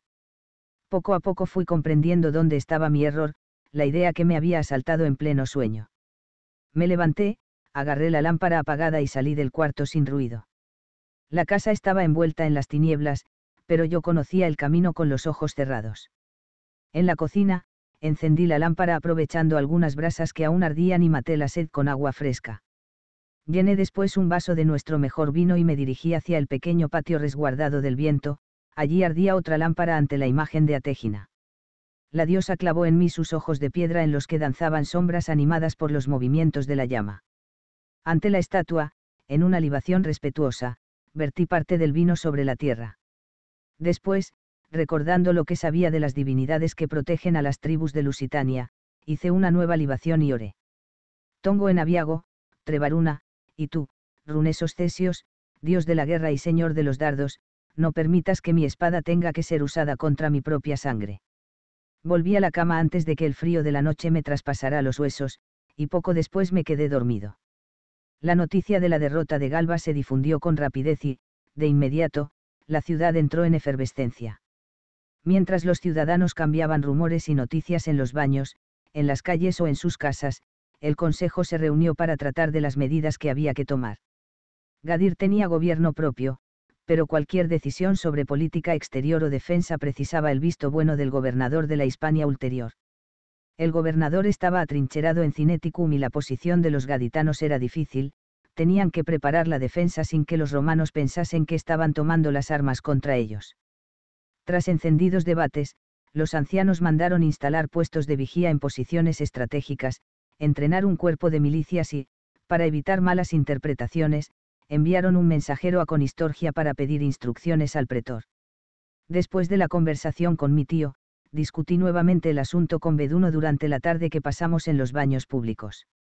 Beduno acababa de someterme a un enérgico masaje y habíamos encontrado un rincón solo para los dos donde podíamos hablar a gusto. Le hice una señal para que se sentara a mi lado, y él se negó. Era terriblemente formalista en todo lo que señalara su condición de esclavo. Obraba así por orgullo, por no querer aceptar nada a lo que no tuviese derecho. Y como se empeñara en su negativa, se lo ordené diciéndole que tenía que hablarle y que era incómodo mantener la cabeza alzada. Acabó por ceder. Se lo conté todo, la conversación con Camalo, las dudas que sentía, la oración junto a Tejina, aquí, él enarcó las cejas al pensar que yo había conseguido salir del cuarto sin que se diera cuenta, dormía en un cubículo al lado, y siempre decía con mucho orgullo que oía cualquier rumor, por dormido que estuviera. Cuando acabé, comentó. Tu tío tiene razón, claro. Si los lusitanos atacan, no van a perder tiempo preguntando quién es gaditano, romano o brácaro. Este es el drama de quien vive, como nosotros, bajo el dominio de Roma. No obstante, es muy posible que no lleguen a atacar, he oído decir que Lúculo envió mensajes a Galba y que apenas pase el invierno entrarán ambos en campaña. Lúculo, Lucio Licinio Lúculo, era el procónsul que gobernaba la Hispania citerior. Beduno estaba bien informado, tenía relación con esclavos de algunos miembros del Consejo, y, efectivamente, aquella misma noche se confirmó la noticia de que el procónsul se preparaba para la guerra. Lucio Licinio Lúculo era odiado por los pueblos de la Citerior desde que, sin motivo alguno, había atacado a los Bacceos y, no contento con eso, tras aceptar la rendición de la ciudad de Cauca mandó decapitar a todos sus habitantes. En aquel tiempo, la Hispania romana estaba entregada a dos asesinos ávidos de oro, también Galba había venido a la península con la intención de aumentar su ya considerable fortuna, y se mostraba dispuesto a conseguirlo a cualquier precio. Entretanto, las noticias sobre Lúculo no eran las únicas que llegaban. Días después, un mensajero, empapado y cubierto de barro, montado en un caballo medio muerto de cansancio, llegaba a la costa procedente del norte, y se negó a hablar con quienes le dieron albergue, diciendo que el mensaje iba dirigido al consejo. Apenas cobró Huelgos cruzó el estrecho y desembarcó en Cotinousa. Poco después ya estaban enterados todos los gaditanos de que habían cesado las lluvias en el norte y del avance de una columna de lusitanos por la Bética en dirección a la ciudad. Pese a todo, la ciudad de Gadir mantuvo una apariencia casi normal, como si sus habitantes intentaran asumir de manera forzada esa normalidad pensando que así podrían conjurar la amenaza. Solo en los ojos de las mujeres podía leerse la angustia y el miedo ante el futuro. En caso de derrota su suerte iba a ser más cruel que la de los hombres, pues estos siempre pueden morir combatiendo, y en esos momentos morir es la salida mejor. Todos los días esperábamos ver las márgenes del estuario del Cilbus cubiertas de guerreros lusitanos. Para calmar los nervios, salía yo de mañana con trueno con el pretexto de mantenerme en forma. Pero mi cuerpo exigía algo más que paseos y galopes, Lobesa decía que había encendido un fuego en el bosque y que no conseguía apagarlo por más que se esforzara. Era la única mujer en cuyos ojos no veía yo miedo a la guerra, aunque en su cubículo descubrí oculta una daga. Se negó a decirme de dónde la había sacado, pero me confesó que la guardaba para darse muerte a sí misma, no quiero volver a ser botín de guerra, murmuró besándome. Llegó la primavera, y un día vimos realmente tropas junto al río Cilbus, pero eran romanos. La legión acampó junto al estrecho que separa Cotinousa del continente, y el tribuno que la mandaba vino a la isla para ofrecer un sacrificio a Heracles y conferenciar con los miembros del consejo, es decir, para dictarles su voluntad. Nos enteramos entonces de lo que había ocurrido durante las últimas semanas, y, aunque era poco, significaba mucho, Galba había salido de Conistorgis para encontrarse con Lúculo, y los dos, juntos, habían trazado los planes de campaña. Los gaditanos suspiraron aliviados. La ciudad recibió a los legionarios con sonrisas abiertas de bienvenida, el comercio, incluyendo, claro, el de las prostitutas, estaba exultante con tan sustancial aumento de clientela, y el optimismo aumentó aún más cuando se supo que la hueste lusitana en marcha hacia Gadir había sido desbaratada por Lúculo, que había dado muerte a 1.500 guerreros y aprisionado a los restantes. El procónsul estaba ahora ocupado en saquear sistemáticamente Lusitania. La dureza de la represión no perturbó los espíritus en Gadir, muy al contrario, y era natural, la ciudad había temblado ante la aproximación de los invasores, era, además, una vieja aliada de Roma, hacía dos generaciones que había abandonado la causa de Cartago para entregarse voluntariamente a los romanos. Aún hoy afirman los gaditanos que aquella decisión había sido tomada a causa de las injusticias cometidas por los cartagineses, pero quien conoce como yo a las gentes de Gadir sabe que esas injusticias nunca hubieran sido motivo bastante si no estuvieran también en juego sus intereses comerciales. Sin embargo, ni los mismos gaditanos estaban preparados para oír con serenidad lo que los viajeros llegados del norte revelaban sobre el comportamiento monstruoso de Servio Sulpicio Galba. Las sonrisas de acogida a los legionarios se fueron volviendo más prudentes y formularlas. No era indignación, era miedo. Lobesa y Beduno me contaron lo que sabían, en los baños públicos oí una versión más completa de los hechos, y luego fui a ver a mi tío para que me confirmara la historia y la completara con pormenores. Lúculo y Galba habían actuado separadamente pero según un plan establecido. El primero había explotado la victoria conseguida y entró en Lusitania devastando las llanuras. Luego, se retiró cargado de botín. Entonces le llegó el turno al ejército de Galba. Agotadas, sin víveres, las bandas lusitanas se reunieron y enviaron mensajeros al pretor pidiendo condiciones de rendición explicando los motivos que los habían llevado a iniciar la guerra. Los enviados fueron recibidos en el campamento romano con una cortesía que no era habitual. Galba en persona los recibió y respondió con benevolencia a sus deseos. ¿Cuántas veces me contaron lo que les había dicho? Tantas que puedo repetir sus palabras una a una, es la esterilidad de vuestros campos y vuestra pobreza lo que os lleva al latrocinio. Por eso, si queréis mi amistad, os daré las tierras fértiles que necesitáis, asentándoos en las llanuras, que dividiré en tres partes. Las asambleas tribales lusitanas aceptaron con entusiasmo la generosidad del pretor, y muchos guerreros llamaron a sus familias para, con ellas, ocupar las nuevas tierras. Se formaron tres grupos de colonos, que se fueron asentando en los lotes prometidos. Tras una gran ceremonia que consagraba la paz, las bandas lusitanas ofrecieron sus armas. No se dieron cuenta de que, a su alrededor, las legiones de Galba habían ido ocupando posiciones estratégicas para atacar apenas los lusitanos depusieron las armas. En solo un día fueron asesinados miles de lusitanos. Al llegar la tarde del día siguiente, las víctimas pasaban de 9.000, y la matanza continuaba, todos los guerreros del primer grupo de colonos fueron abatidos. Los restantes, con sus familias, fueron a parar a los mercados de esclavos de la Galla, más de mil personas, incluyendo mujeres y niños. La tierra y los arroyos estaban aún manchados con la sangre de los diez mil muertos cuando Galba recibió el producto de la venta de los primeros cautivos. Lo oí todo sin hacer comentarios. Por la noche, mi lecho me pareció de piedra. No conseguía dormir, y acabé por sentarme en la cama con los brazos cruzados sobre las rodillas. ¿Qué me pasa? Me preguntaba. ¿Cuál es la razón de este sentimiento de rebeldía? Verdad es que los romanos se portaron de manera cruel y despreciable, pero no habían hecho más que lo que antes hicieron muchos invasores. Derramaron sangre lusitana, mi sangre, pero el único lusitano que yo he visto era mi padre, y apenas conseguía recordarlo. Yo soy un como, habituado a la ley de Roma, a las costumbres romanas, pero esta rabia, estas ganas de luchar. Quedó en suspenso la pregunta, y como la juventud tiene fuerza para vencer por sí misma dudas y angustias, poco después el sueño se apoderó de mí. Volví a tenderme, y me quedé dormido de inmediato para no despertar hasta la madrugada. Pero algo había pasado durante la noche, porque me desperté con una decisión tomada. Cuando un hombre es atacado por la duda, debe volverse hacia los dioses que mejor pueden entenderle y ayudarlo. Por eso, sin detenerme siquiera para quebrar el ayuno, salí discretamente de casa llevándome buena parte de mis economías y me dirigí al mercado, donde compré un cabrito blanco, el más hermoso que pude encontrar. A la salida de Gadir, junto al camino que lleva al puerto, hay un altarcito consagrado a Heracles donde suelen los marineros rezar y dejar ofrendas si no tienen tiempo para llegarse al santuario.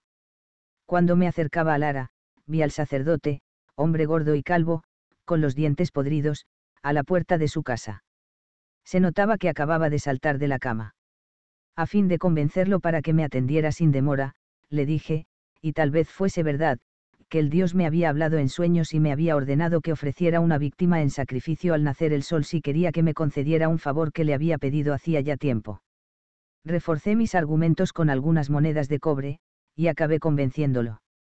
Sobre el ara, colocada ante la estatua del dios, una vieja imagen en la que Heracles está representado con vestiduras fenicias, fue inmolado el cabrito en el momento en que los rayos del sol doraban la blanca piedra. Cuando el sacerdote me entregó la taza llena de sangre del animal, alcé los ojos a la estatua y oré pidiéndole a Heracles, Melkart que recordase su vida terrenal, su existencia de guerrero, pero, sobre todo, que recordase que había sido un hombre sometido a las flaquezas y a los errores de los mortales. Después, me faltaron palabras, mi súplica era aún indecisa, tan indecisa como la voluntad que me la había dictado. No importa, pensé, el Dios sabrá leer en mi alma. E hice la libación mientras el sacerdote lanzaba al fuego la parte del cabrito reservada a Heracles y ponía al lado, con evidente placer, la porción reservada a él. El frío de la madrugada se había disuelto en la luz del nuevo día. Me eché a los hombros el manto en que me había envuelto lentamente, caminé de regreso a la ciudad. Iba tan abismado en mí que no oí el galope de un caballo sobre la tierra batida. Por eso me sobresalté cuando sonó a mi lado la voz de Camalo. El guerrero sacrifica a Heracles. Él, era típico en el adivinar lo que yo acababa de hacer. Desmontó y empezó a andar a mi lado, con el caballo sostenido de las riendas. No te ruborices, hasta hombres con más años sienten dudas en un momento como este. Hubo un silencio, y continuó. Vengo del puerto. Estuve comprobando un cargamento de ámbar que nos llegó ayer tarde. Unos hombres estaban contando lo de las matanzas de lusitanos y hablaban también de Galba, de los impuestos, de las extorsiones a que se ven sometidos incluso los aliados de la República. ¿Y qué podemos hacer, tío? ¿Qué debemos hacer? Camalo se encogió de hombros. Esperar, y no confiar demasiado en los romanos. Soy hombre de paz, todos los mercaderes somos hombres de paz, al menos en la tierra donde estamos establecidos, pero hasta un pacífico mercader conoce el honor y las leves de la guerra. Y el pretor las desconoce o las olvidó deliberadamente. Ten cuidado, Tongio, se acercan tiempos difíciles. No volvimos a decir nada hasta llegar a casa. El terror desencadenado por Galba abrió un amplio camino a sus ambiciones. Antes de terminar el mandato, el gobernador de la Hispania ulterior había llenado sus cofres. Aparte de esto, o, mejor, para conseguir esto, había ocupado las ciudades del Cineticum que aún no estaban bajo dominio romano, la Cóbriga y Portus Annibalis cayeron en sus manos como fruta madura, y del antiguo reino de los conios solo se libró del invasor el promontorio sagrado, porque hasta Galba, que era solo un carril, cero sin escrúpulos, no se atrevió a entrar con las manos teñidas en sangre de miles de lusitanos en aquel lugar sagrado. A finales de aquel mismo año, el pretor regresó a Roma. Más tarde supimos que sus crímenes habían llenado de repugnancia a sus mismos compatriotas, hasta el punto de ser juzgado ante el Senado, pero el oro que había robado en Iberia le sirvió para comprar la absolución. La República es tan corrupta como Galba, murmuró mi tío a modo de comentario. Nosotros teníamos preocupaciones más próximas, el gobierno de la Hispania ulterior se había olvidado, pura y simplemente, de retirar las tropas acampadas en Gadir, cuya presencia era ahora innecesaria. La llegada del nuevo gobernador no alteró la situación, tal vez porque aquel magistrado tenía asuntos más graves y urgentes de que ocuparse. Así, el campamento de la Legión fue convertido en cuartel de invierno, en una verdadera ciudad poblada por hombres que si algo aborrecían era la inactividad. Desgraciadamente, su comandante no tenía la inteligencia o la experiencia necesarias para comprender los peligros de tal situación. Juegos y ejercicios son un medio excelente para mantener la disciplina y la moral de cualquier tropa, pero quizá el misino tribuno que la mandaba estaba también desmoralizado.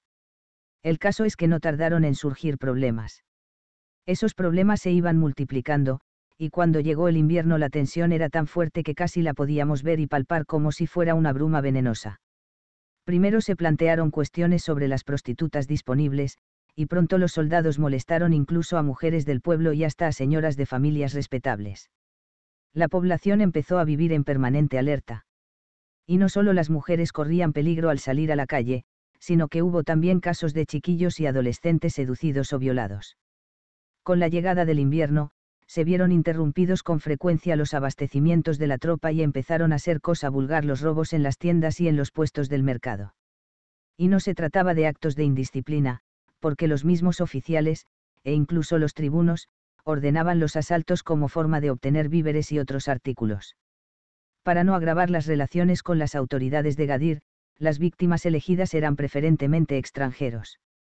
Durante semanas, los griegos y los tirios, nosotros mismos, es decir, todos los mercaderes extranjeros de la ciudad, soportaron una escalada de abusos ante el silencio embarazoso de los gaditanos. Hasta que ya no se pudo aguantar más. Entonces, los miembros influyentes de la comunidad extranjera convocaron una reunión. Camalo me ordenó que lo acompañara a la asamblea, donde me presentó como heredero y auxiliar. Nada recuerdo de las discusiones y discursos, solo la decisión final, fueron elegidos tres representantes, uno de ellos mi tío, que deberían presentar un ultimátum al Consejo anunciando que si no se aseguraba la protección de los extranjeros estos abandonarían la ciudad con todos sus bienes. Realmente, el ultimátum iba dirigido más a los tribunos romanos que a los miembros del Consejo. Los términos habían sido acordados con algunos ancianos que solo esperaban esto para enviar una embajada al Senado romano. Esta actitud, que dejaba ostensiblemente de lado al gobernador, no era nueva. Muchos años antes había sido enviada una embajada semejante a Roma para quejarse del quebrantamiento de los acuerdos firmados con Gadir y de las extorsiones practicadas en Iberia por los procónsules Blasio y Estertinio. Cuando terminó la reunión, Camalo me llamó con un ademán. Tongio, tengo que hablar con Eunois de un asunto. Vuelve a casa con Beduno. Empieza ya a oscurecer. Eunois me proporcionará una escolta de esclavos suyos. Se alejó, pero volvió de nuevo para añadir. Tengo que pedirte algo más, aunque estés cansado, espera hasta que yo vuelva. Tengo que hablar contigo. Era ya tarde cuando regresó. Fui a su encuentro y pasamos los dos a su gabinete de trabajo. Camalo ordenó que trajeran vino y dos copas. Cumplida la orden, le dijo al esclavo que podía irse a dormir, tras comprobar que todas las puertas y ventanas estuvieran bien cerradas. Cuando quedamos a solas, me preguntó. ¿Qué sabes tú de Eunois?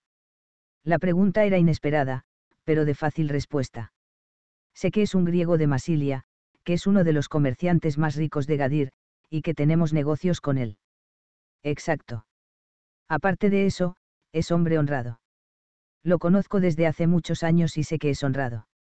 Digo esto porque, si fuera necesario, puedes confiar en él como en mí mismo. Un estremecimiento me recorrió la espalda en una advertencia de peligro. Si fuera necesario. Camalo se levantó, se dirigió a un estrado cubierto de cojines, en el que a veces descansaba, se dejó caer pesadamente. Estoy cansado, dijo en el tono de quien pide disculpas, pero no podemos esperar hasta mañana. Quiero decir que si algo me pasa puedes pedir ayuda y consejos a Eunois. En caso de, en fin, cualquier desgracia, tú asumirás la dirección de mis negocios. Y, si no te desagrada, me gustaría, siempre dentro de esa eventualidad, que te casaras con la hija de Eunois. Es una hermosa muchacha, un poco mayor que tú, pero eso es igual. ¿Qué dices? Me levanté, me acerqué a él. ¿Por qué me dices todo eso de Eunois? Porque ahora. Aún sentado, y mirándome de abajo arriba, Camalo me dominaba. ¿Por qué? No sé cómo puedes andar por ahí sin ver ni oír nada. Todos sabemos que los legionarios obedecen órdenes de los oficiales, y eso significa simplemente esto, Gadir está sometida a saqueo, pero lo que de ningún modo desean los tribunos es que llegue a Roma un eco de nuestras quejas, sobre todo después del interrogatorio a que fue sometido Galba en el Senado. Tenernos que estar preparados para un incidente, mañana, cuando vayamos al Consejo. Pero si es así, no puedes. Me callé, buscando las palabras. Comprendí entonces, creo que por primera vez, hasta qué punto quería a mi tío. Y conseguí decir no puedes correr ese riesgo. Es absurdo. En todo caso, lo mejor sería salir de la ciudad sin previo aviso. O, mejor aún, incitar a los gaditanos a la revuelta. Calla. Su tono no era violento, pero le obedecí. Camalo sonrió, casi con ternura. Estás diciendo tonterías. Incitar a los gaditanos a la revuelta, con una legión romana acantonada aquí, salir de un día para otro. Se apagó la sonrisa de Camalo, y cuando habló su voz era amarga. Tongio, espero tu autorización para ser fiel a mi honor, pese a no ser un príncipe brácaro. Me ruboricé, y bajé la cabeza. Él se levantó. Comprendo y valoro tu preocupación. Si pudiera, evitaría este riesgo. Sabes muy bien que soy un hombre prudente, pero hay cosas más importantes que la seguridad e incluso que la vida. Si Galba gobernara aún en la ulterior, no valdría la pena correr peligro, lo admito. Pero no conocemos las intenciones del nuevo gobernador, y los legionarios tampoco las conocen. Quizá eso les obligue a pensarlo dos veces antes de intentar cualquier barbaridad. Y, ahora, tengo que despedirme, es tarde y el consejo nos recibirá mañana al amanecer.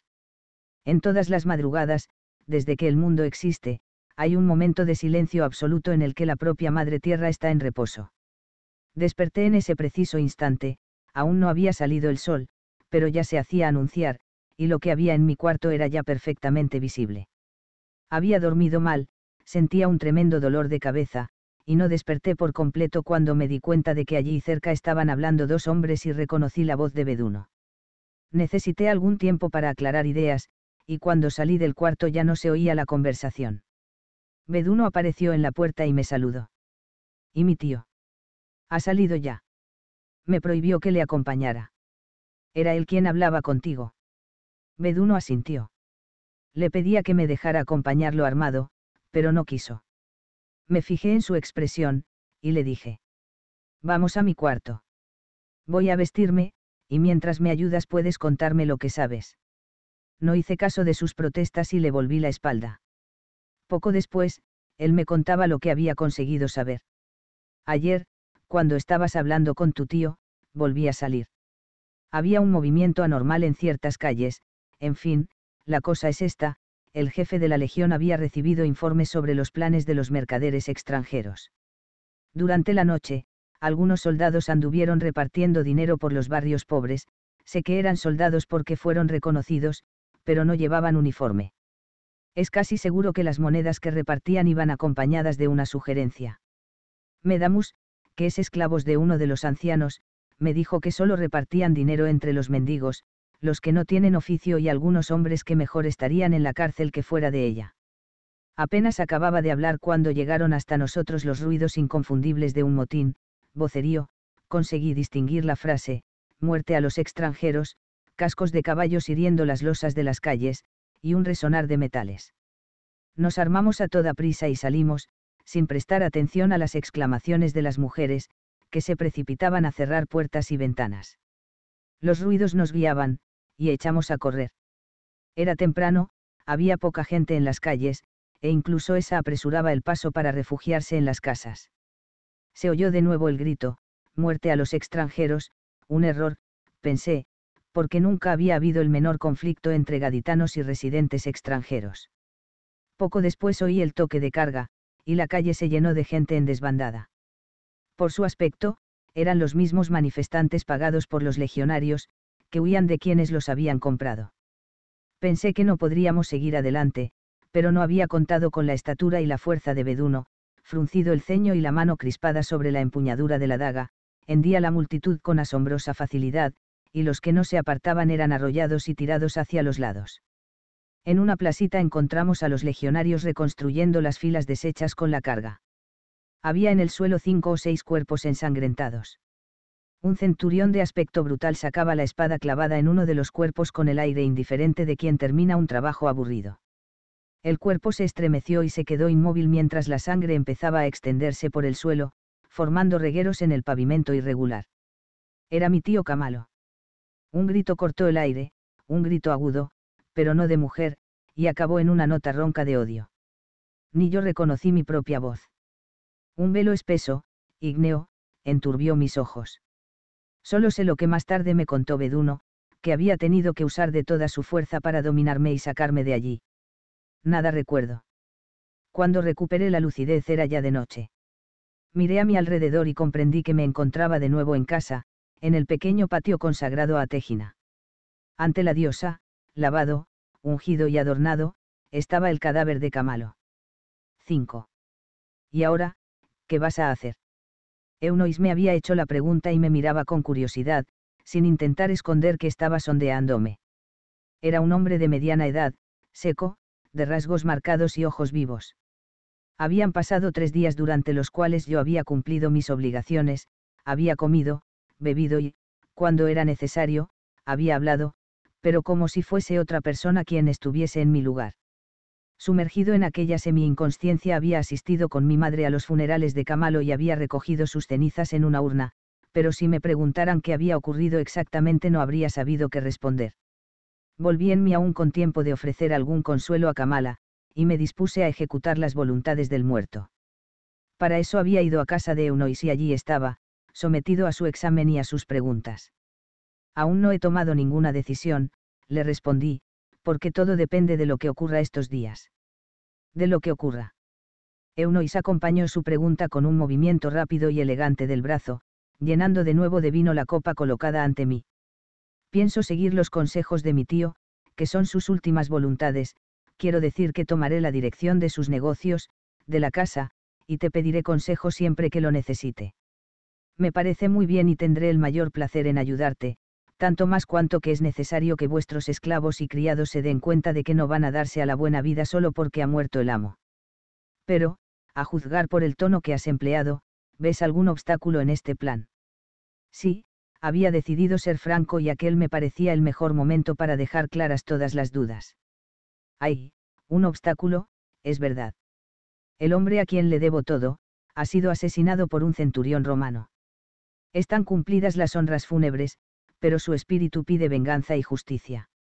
¿Y crees que esa tarea te corresponde? Es natural. Eunoi se levantó y empezó a pasear con un aire pensativo.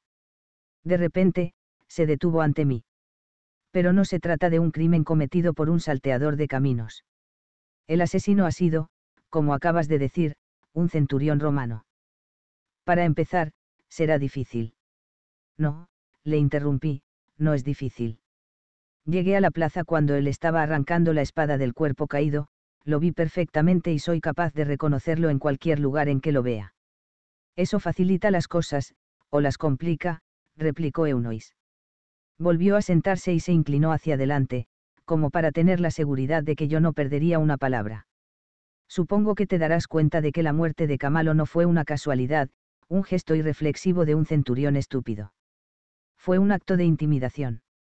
El motín estaba preparado desde la víspera, claro, y los tribunos habían decidido que sería muerto, por accidente, un mercader extranjero. Podía haber sido yo mismo, ya que entonces también yo estaba en la calle e iba al encuentro de tu tío. El destino decidió que yo me salvara a costa de la muerte de mi mejor amigo. Pero, Tongio comprendes la situación. Oficialmente, todo se reduce a un desgraciado accidente, y nadie puede aceptar otra versión o mover un dedo. Es demasiado peligroso. Esto excluye la posibilidad de recurrir a la justicia de la ciudad o a los tribunos de la legión, pero Camalo sigue exigiendo venganza. Eunois asintió. Es verdad, pero hay otras verdades que conviene considerar, y debes pensar en ellas antes de tomar cualquier decisión. Camalo sabía que, lo que ocurrió podía ocurrir. Tomo dijo lo que deseaba que hicieses. Tienes que elegir, cumplir su voluntad o vengarlo, no puedes hacer las dos cosas. Si matas al centurión, si lo consigues, tienes que salir inmediatamente de Gadir con tu madre. Había acentuado las últimas palabras. Levanté la cabeza y lo miré. Sí. ¿Qué podrías esperar? Los legionarios tendrían una ocasión excepcional de exterminar a una familia extranjera acusada de sedición contra Roma. Sería un aviso enérgico a los gaditanos. Una advertencia sin tener que atacarlos frontalmente. Dejó que sus palabras produjeran el efecto deseado y se levantó para dar por terminada la entrevista. Piénsalo bien. Sabes que, decidas lo que decidas, puedes contar conmigo. Sin duda tu tío te dijo que tengo una hija casadera. Eurídice. Una hermosa muchacha. Seila la madre. Sería conveniente que la conocieses, pero aún es pronto para que consideres ese proyecto. Quizá dentro de unos días, cuando hayas reflexionado. Le dije que nada me gustaría más, una respuesta de pura cortesía. Él comprendió y no se mostró ofendido. Con una palmadita familiar en la espalda, me preguntó. ¿Está ahí fuera Beduno, tu fiel perro guardián? No, le respondí. Beduno se había quedado en casa vigilando a los otros esclavos, era aún de día, y yo no precisaba protección.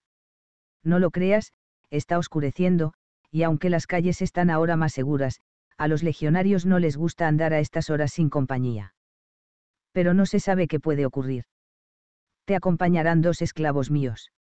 No, no insistas, he dado ya las órdenes. Me acompañó hasta la puerta y me despidió con un abrazo rápido y vigoroso. Espero verte pronto.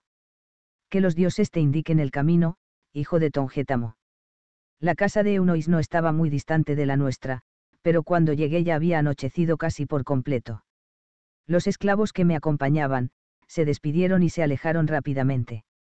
Me quedé parado ante la puerta, sin ganas de entrar.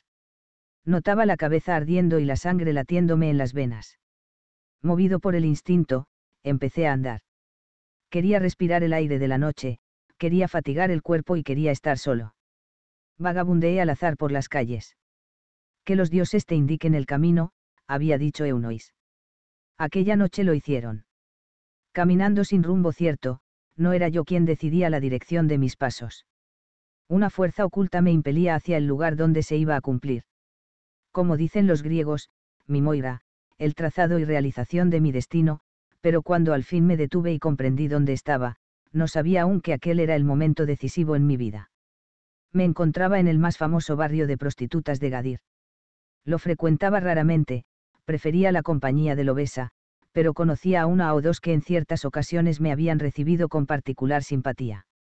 ¿Por qué no? pensé, al menos olvidaré todo esto hasta mañana. Se abrió la puerta de una casa y el ruido me llamó la atención. En el umbral apareció una silueta de mujer envuelta en un manto blanco. Sostenía un candil, alzándolo por encima de la cabeza, y hablaba con alguien a quien no se veía aún. Oí su voz, murmurando, y luego una risita impúdica y estridente. Un hombre bajó los tres escalones de piedra y la luz de la llama le dio de nuevo en la cara. Era el centurión que había matado a Camalo. Reconocí de inmediato sus rasgos brutales, la mirada insolente y estúpida, el pescuezo gordo y brillante como la cerviz de un toro. Mi mano derecha aferró la empuñadura de la espada. Me pegué a la pared para quedar oculto por las sombras. El hombre gruñó unas palabras incomprensibles y se alejó con pasos inseguros mientras la puerta se cerraba con estruendo. Dejé que se alejara un poco y empecé a seguirlo. Confieso que sentí la tentación de abatirlo en la oscuridad, no sería un asesinato, sino la matanza de una alimaña, pero me contuve, porque aquella muerte no era digna de mí ni de Camalo. Tenía que ser en combate, cara a cara. Él tenía enormes ventajas, su entrenamiento militar, su fuerza, su porte macizo, pero iba medio borracho y ablandado por el placer. Juego limpio, concluí, las fuerzas se equilibran. Tenía que buscar un lugar propicio, suficientemente iluminado y fuera de la ciudad, para que el tumulto no atrajera demasiados testigos, y empecé a temer que se dirigiera al embarcadero, de regreso al campamento, por un camino que no ofrecía demasiadas oportunidades. Realmente, el romano, al salir de la ciudad, tomó la dirección del altar de Heracles. Allí el camino se bifurca, el que sigue por la izquierda va hasta el puerto y el embarcadero pequeño, donde incluso por la noche, con tal de que haya luz de luna, hay siempre barqueros dispuestos a hacer el transporte hasta el continente. El camino de la derecha lleva a un olivar y, más lejos, entronca con la carretera que conduce hasta el santuario. El centurión se detuvo en la encrucijada y, cuarenta pasos detrás de él, temblando de fiebre y de ansiedad, me detuve yo también. El silencio era tal que podía oír la respiración pesada del hombre a quien perseguía. Momentos después, eructó, se encogió de hombros como si estuviese discutiendo con alguien y avanzó por el camino de la derecha.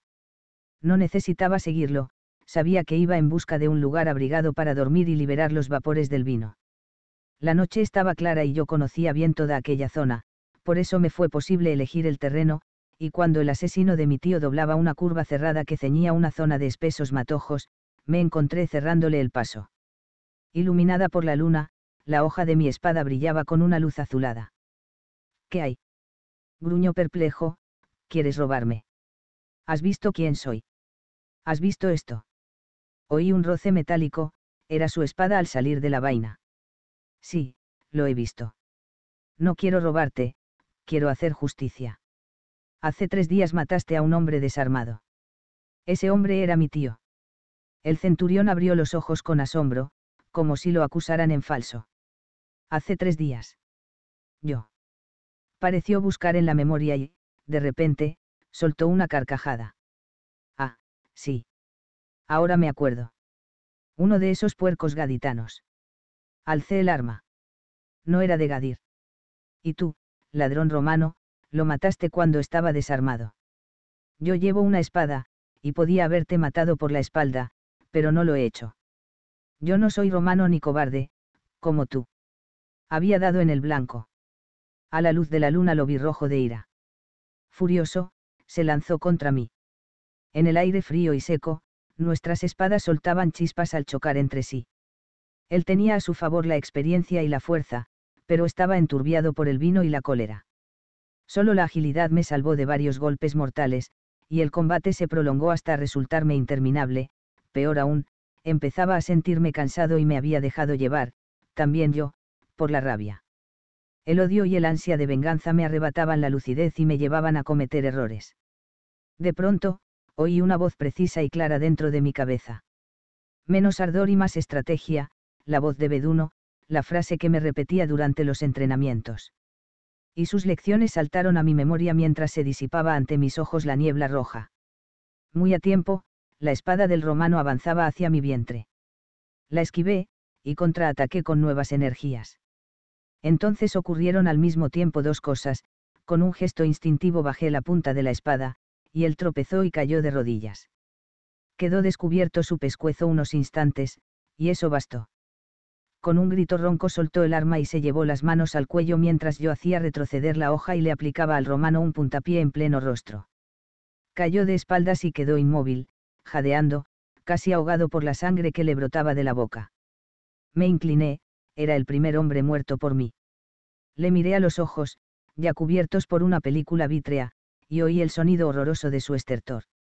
Rápidamente, para acabar aquella escena repugnante, encomendé su espíritu a las divinidades infernales e invoqué a mi tío Camalo. Agarré la espada con las dos manos y le solté el último golpe, de lleno en el cuello. Cuando acabó todo, me recosté, jadeante, en el tronco de un árbol, incapaz de sostenerme en pie. No estuvo mal, pero hay que emplear menos ardor y más estrategia. La misma voz, ahora real y no dentro de mi cabeza. Una mano grande y recia, de piel callosa, cogió la espada que yo apenas podía sostener. Beduno. Tú aquí. En vez de responder, se acercó al cuerpo del centurión y limpió la hoja en la ropa del cadáver.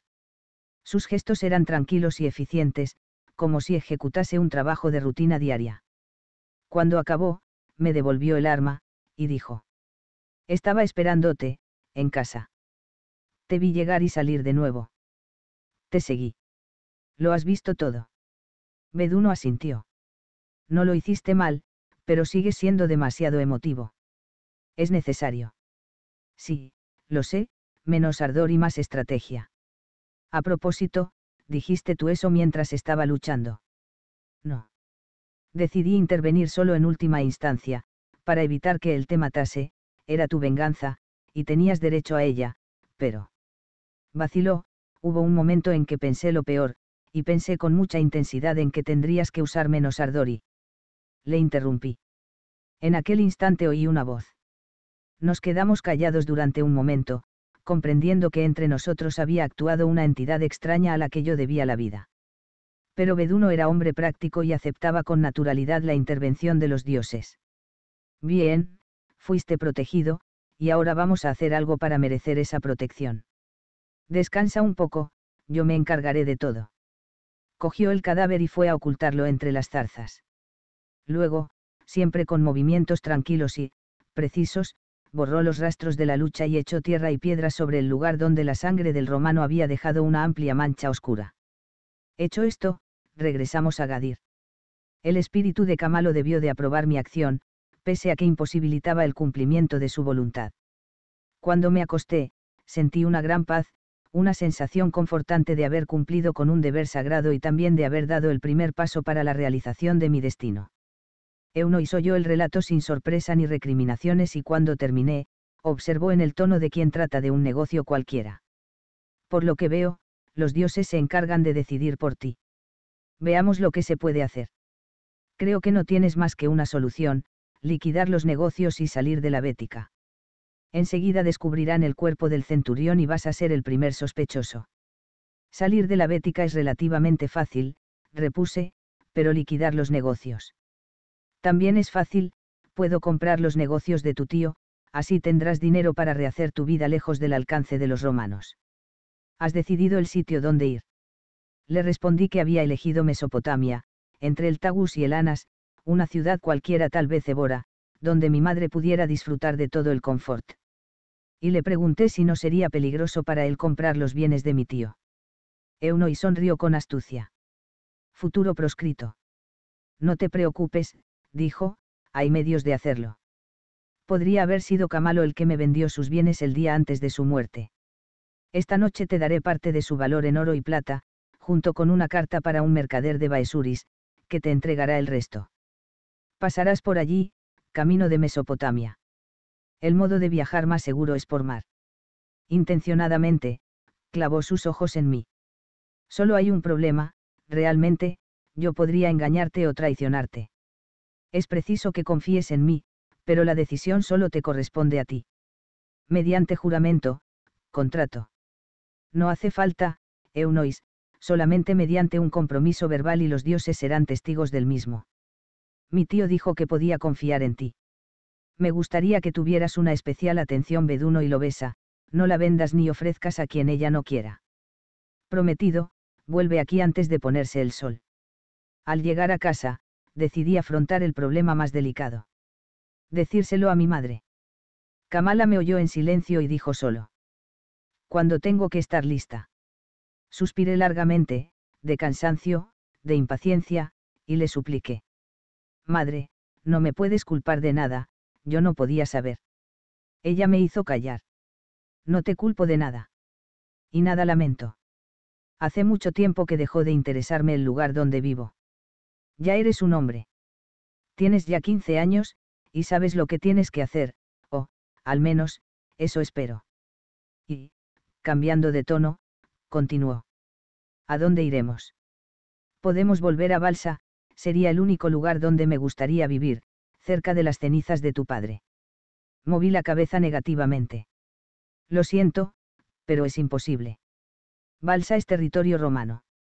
Iremos más allá de las sierras de Cineticum, quizá hacia Évora. Muy bien. ¿Has dicho esta noche? Estaré dispuesta. Sorprendido y aliviado ante su reacción, me despedí y salí pensando que es muy difícil prever el comportamiento de las mujeres. Estaba pensando aún en eso cuando sentí mi mano prendida por las manos de Lobesa. No te preocupes, Tongio. Mi señora Kamala y yo estaremos dispuestas cuando llegue la hora.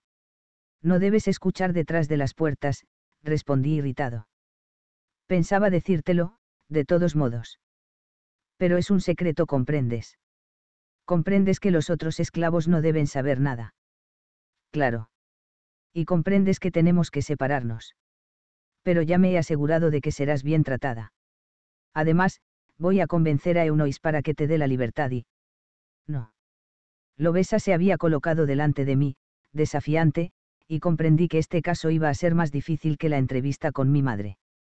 Soy tu esclava, pero no lo seré de nadie más, y no quiero ser libre en Gadir. Y no te lo pido por mí, ¿cómo crees que tu madre va a soportar el viaje? No es ya joven, y nunca ha pasado privaciones. Tienes que pensar en ella, aunque yo no te interese ya. No es eso. Yo. Me callé. Ella tenía razón. Y, además, la separación me costaba un esfuerzo. Muy bien. Todo tiene que estar listo al caer la tarde, sin que los siervos de la casa se enteren de nada. No podemos llevarles con nosotros. Me acerqué a ella y la atraje hacia mí. Y no creas que ya no me interesas, pero me preocupan otras cosas. Lobesa se desprendió y se apartó riendo. A la hora acordada volví a casa de Eunois, recibí el dinero y nos pusimos de acuerdo para preparar la partida. El griego lo había tratado todo con una rapidez que manifestaba su influencia en la ciudad. Gracias sean dadas a Poseidón, dijo, parece que va a haber luna y los presagios garantizan un viaje seguro hasta mi navío Hermes, que ha salido ya de Gadir con destino a Balsa. En realidad, está esperándote en una ensenada próxima. Mi enviado os llevará. En Balsa, el capitán del Hermes te conducirá a ver a un hombre con quien tratarás de tu viaje a Baesuris, y una vez allí tienes que buscar a un mercader que se llama Reburrus. Después, que los dioses te acompañen. Le di las gracias y me despedí, no sin informarle primero de que Lobesa iba a partir con nosotros y que continuaría sirviendo a mi madre. Euno y soltó una breve carcajada, y me dijo. Y también servirte a ti no. Creo que haces bien, un hombre necesita una mujer. Una, al menos. Es el orden natural de las cosas, siento que el destino no permita que seas mi yerno. En fin, es la vida. Le dije que también yo lo lamentaba. Nos abrazamos, y salí de la casa de Eunois por última vez. 6. Hace falta valor para que un hombre, por valiente que sea, se acerque de noche a una necrópolis, pues nunca se sabe qué espíritus o entidades errantes pueden andar por tales lugares. No obstante, decidí arriesgarme a topar con los muertos, porque los vivos, en aquel momento, podían resultarme aún más peligrosos. La playa que queda al lado de la vieja necrópolis cartaginesa de Gadir era un lugar abrigado y solitario donde sería posible esperar el embarque en seguridad. Bien abrigados contra el aire nocturno, esperábamos sentados en la fría arena. El mar está siempre sereno allí, y el ruido del oleaje era solo un rumor sordo, pero el aire estaba lleno de murmullos nos mantuvimos en silencio para no atraer la atención de los difuntos. Al fin oímos el ruido de los remos hiriendo el agua, y una pequeña embarcación se aproximó hasta encallar casi silenciosamente. Fui al encuentro de su único tripulante, que me miró con atención, como para estar seguro de que yo era un ser de carne y hueso, y dio la contraseña, Eunois. Le respondí, Tongio. Él saludó, dijo que cuando más rápidamente nos alejásemos de allí mejor sería para todos y se ofreció para cargar los equipajes con Beduno, mientras yo ayudaba a mi madre y a Lobesa a embarcar. Llegamos antes de lo que esperaba, porque tuvimos una corriente favorable. Aún así, la luna estaba ya alta y resplandecía en el cielo cuando llegamos a la ensenada y descubrimos la negra y voluminosa silueta del Hermes en contraste con la mar plateada. Empezaba nuestra verdadera huida. Balsa no me impresionó, pese a ser la ciudad donde nací, comparada con Gadir era solo una aldea grande, y ningún recuerdo me vinculaba directamente a ella. Una caravana iba a partir hacia Baesuris el mismo día en que desembarcamos y era preciso aprovechar la protección de su escolta, por lo que no pudimos siquiera ofrecer un sacrificio junto a las cenizas de mi padre. Es confuso y tenue el recuerdo que guardo de aquellos días, y ni retuve los rasgos de Reburrus, el comerciante de Baesuris a quien me había recomendado Eunois. La memoria nos hace jugarretas extrañas, por ejemplo, tengo la impresión de que todo pasó muy deprisa, llegamos, Reburrus pagó y nos preparó una nueva escolta, con la que seguimos viaje a orillas de Lanas. Claro que no debió de ser exactamente así y que el trayecto de Gadir a Baesuris no debió de ser tan fácil como hoy me parece, pero lo que sucedió a partir de entonces apagó el recuerdo de vicisitudes menores.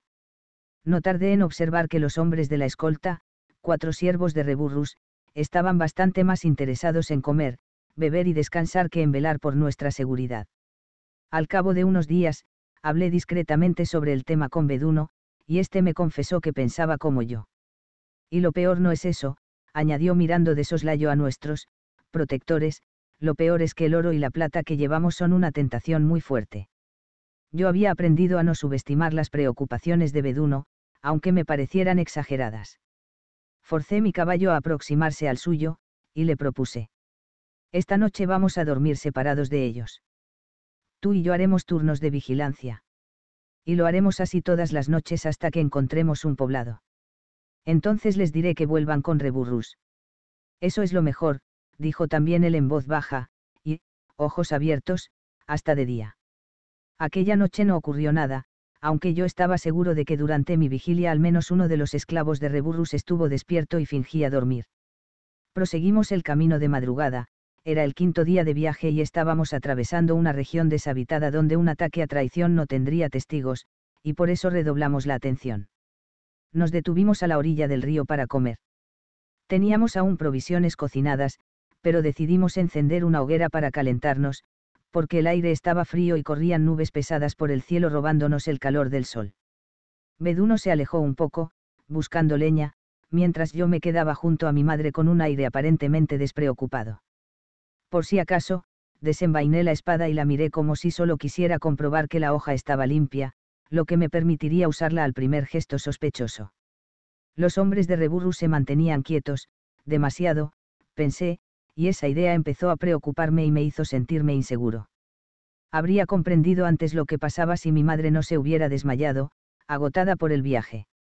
Fue preciso ayudar a Lobesa a acostarla sobre una piel de carnero, y correr a una de las alforjas para buscar vino, y fue entonces cuando un galope de caballos me devolvió a la realidad, los siervos de Reburus huían sin mirar atrás. Empuñé de nuevo la espada, que había dejado, y llamé a Beduno a gritos, acababa de ver lo que los fugitivos habían visto antes que yo, cuatro hombres armados se aproximaban lentamente. Uno de ellos venía a caballo, los restantes a pie, y todos llevaban uniformes romanos. Como por encanto, Beduno apareció a mi lado. Nuestra escolta huyó sin advertirnos siquiera, le dije, sin dejar de mirar a los recién llegados. Lo sé. Vamos a avanzar un poco para impedir que se acerquen estos a tu madre y al equipaje. Apártate un poco de mí, necesito espacio para lanzar la azagaya. Volví la cabeza y lo miré. Son cuatro, y nosotros somos dos y con la desventaja de tener que proteger a las mujeres. Tal vez no quieran atacarnos, quizás sea una patrulla. Beduno me interrumpió con una breve carcajada feroz. Patrulla. Hace ya días que hemos salido de territorio romano. ¿No ves que son desertores? Miré mejor a los romanos y comprendí. Llevaban la barba crecida, los uniformes estaban sucios, como sucios y descuidados iban ellos mismos. Además, les faltaban piezas del equipo normal de los legionarios. Era sabido que en las regiones montañosas y en las fronteras de las tierras sometidas a Roma vagaban grupos de desertores de las legiones viviendo del pillaje o uniéndose a grupos de iberos hostiles a la presencia romana. No cabía, además, ninguna duda sobre las intenciones del grupo. El que iba montado, dio una orden breve. Beduno murmuró. Van a abrirse. Hay que evitarlo, tenemos que atacar. Hizo un gesto tan inesperado que hasta me sobresalté, y la azagaya que sostenía en la mano derecha partió silbando y fue a clavarse en el flanco del caballo del romano. El animal se encabritó y cayó de lado, arrastrando al jinete. Beduno y yo atacamos en aquel preciso instante. Era una lucha sin reglas, porque estábamos en inferioridad. Afortunadamente, el jefe de la banda seguía aprisionado bajo el caballo, lo que disminuía nuestra desventaja. Dos de los desertores creyeron que yo sería una presa fácil y se lanzaron contra mí, pero pronto el que luchaba contra Beduno pidió auxilio. Mi, Romano era un hombre aún joven, quizá de 30 años, y tenla mucha fuerza muscular, pero yo era más ágil. Lo fatigué con amagos y le obligué a cambiar constantemente de posición hasta que, en su ansia por acabar el combate, empezó a descuidar la defensa. Sonó un grito detrás de mí, Beduno acababa de herir a uno de sus adversarios. El grito turbó aún más al hombre con quien yo luchaba, y poco después llegó la oportunidad esperada, la punta de mi espada penetró por una hendidura de la coraza. El romano emitió un gemido y soltó el arma mientras yo empujaba la hoja hacia adelante hundiéndola en su cuerpo. Retiré entonces la espada.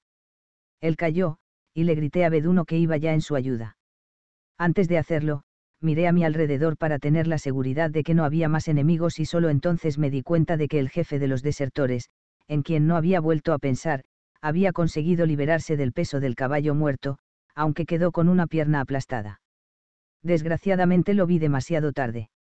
En aquel preciso instante estaba alzando una daga celta, dispuesto a lanzarla contra Beduno, que estaba de espaldas, a corta distancia. Solté un grito desesperado de advertencia y sentí náuseas cuando la hoja de la daga se clavó en la espalda de Beduno. Corrí hacia él, sin dar tiempo a que de nuevo lo hiciera el único romano aún ileso. Este, animado por la intervención de su jefe, abría los labios en una sonrisa como si saboreara ya la victoria. Pero yo tenía que matarlo, aunque muriera yo también. Salté hacia adelante, interponiéndome entre él y Beduno. Pero apenas cruzamos las espadas, vi que abrió mucho los ojos en un asombro lleno de incredulidad y que dejando de luchar, caía a mis pies.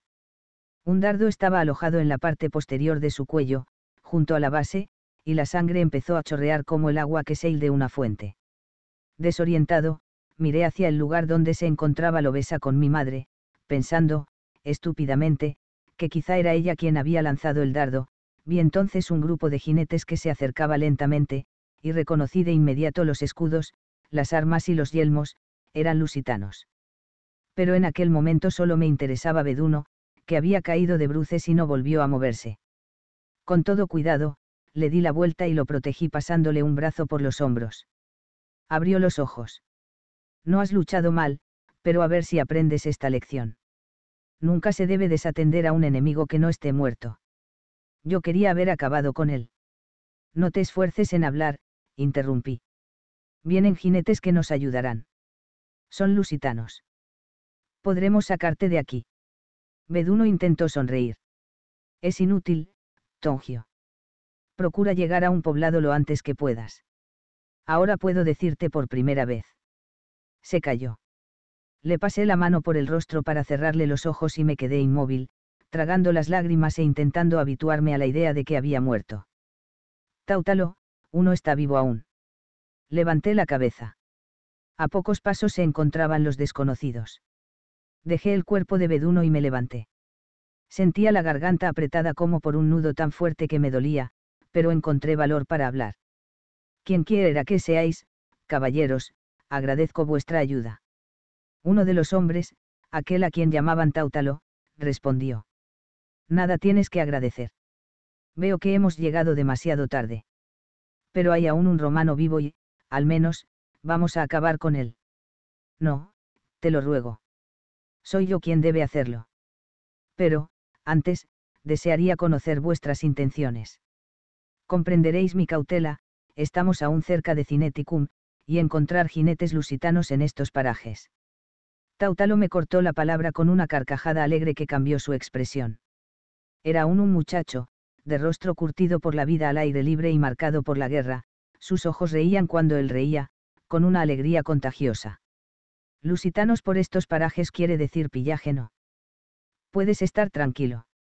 Si quisiéramos, ya nos habríamos apoderado de las mujeres y los bagajes que tú defiendes. Oh, sí. Ahí están, en esa loma, las vimos muy bien. Pero no es esa nuestra intención. Entonces. ¿Cuál es? Tautalo me miró, como intentando adivinar quién podría ser yo, y dijo con voz tranquila. Si quieres conocer nuestra intención, tendrás que preguntar a nuestro jefe.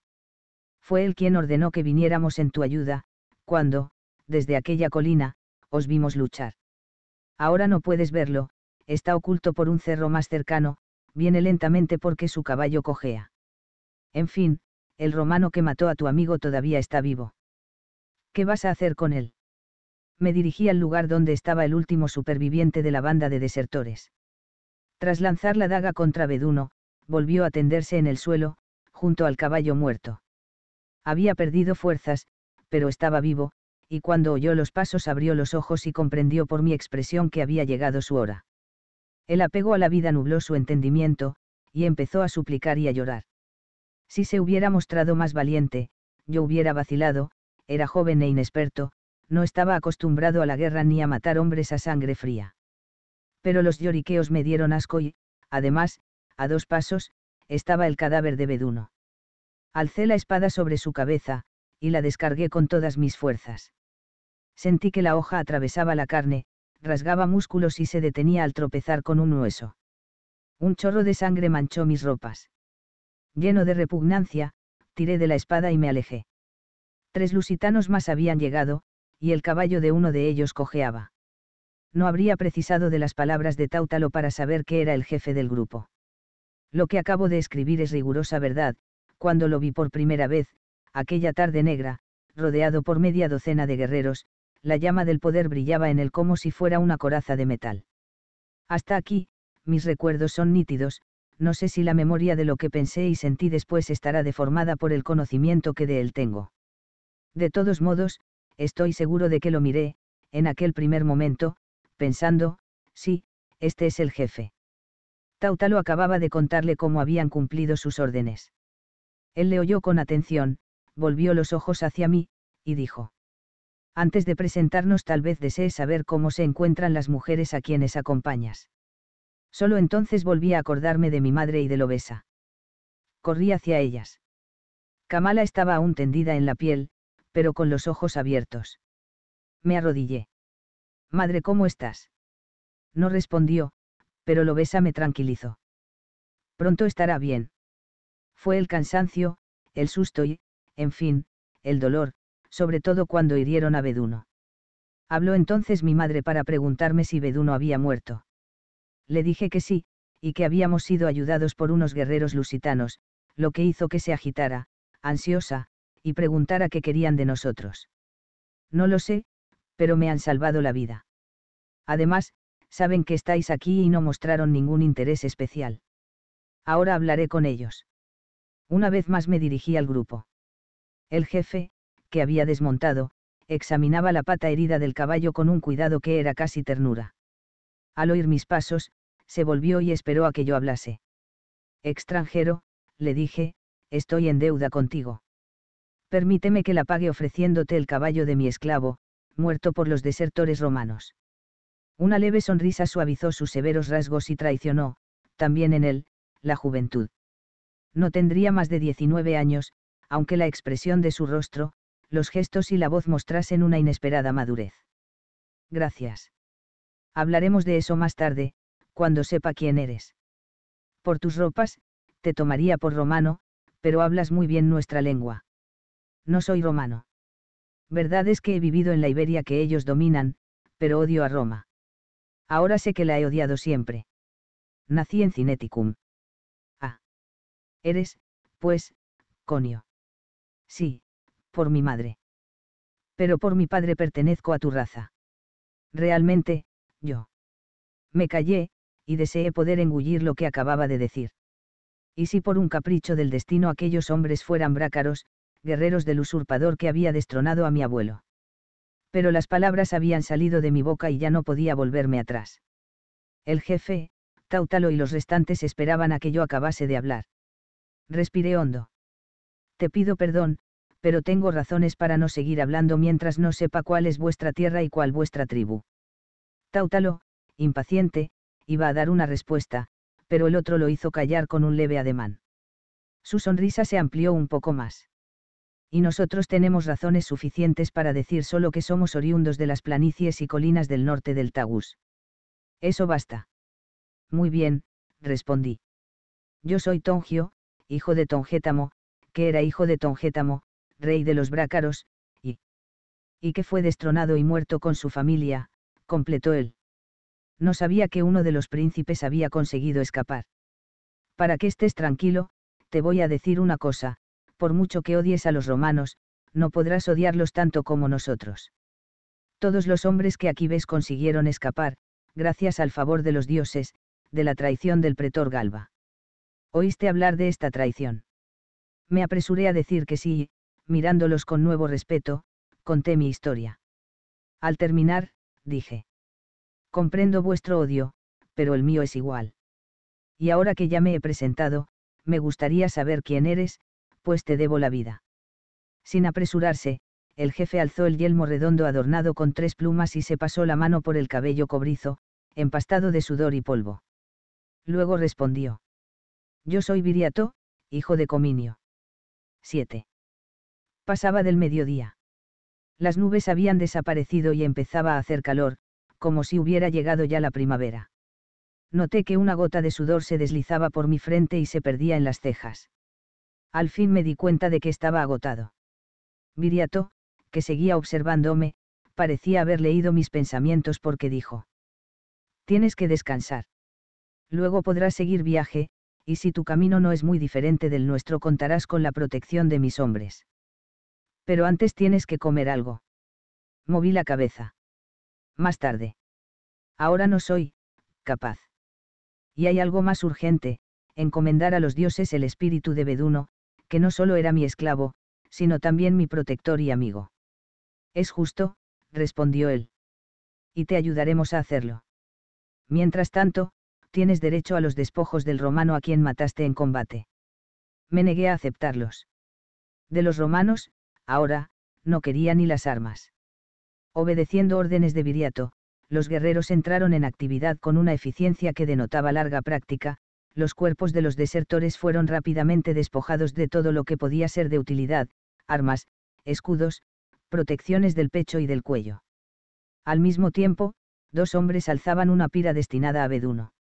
De haber prevalecido mi voluntad, los cadáveres de los romanos deberían haber sido arrojados a lanas, o abandonado a los buitres, pero Viriato observó que nos arriesgábamos a convertir aquel lugar en un espacio maldito, frecuentado por los espíritus de los muertos sin sepultura, que no dejarían de perseguir a los viajeros que por allí pasaran.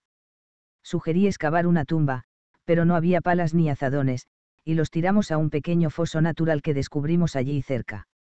Luego los cubrimos con piedras traídas de las márgenes del río. Quise ayudar en esta tarea, pero Viriato dijo que yo ya había trabajado bastante por aquel día, luchando con una banda de romanos, e insistió en que reposara. Fui a sentarme al lado de Lobesa y de mi madre. Me acribillaron a preguntas sobre los lusitanos, pero yo no sabía qué responder.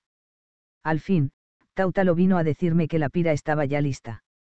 Me levanté y miré a Kamala. Madre, voy a ejecutar el rito fúnebre por Beduno.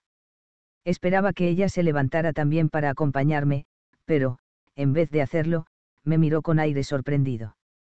Los ritos.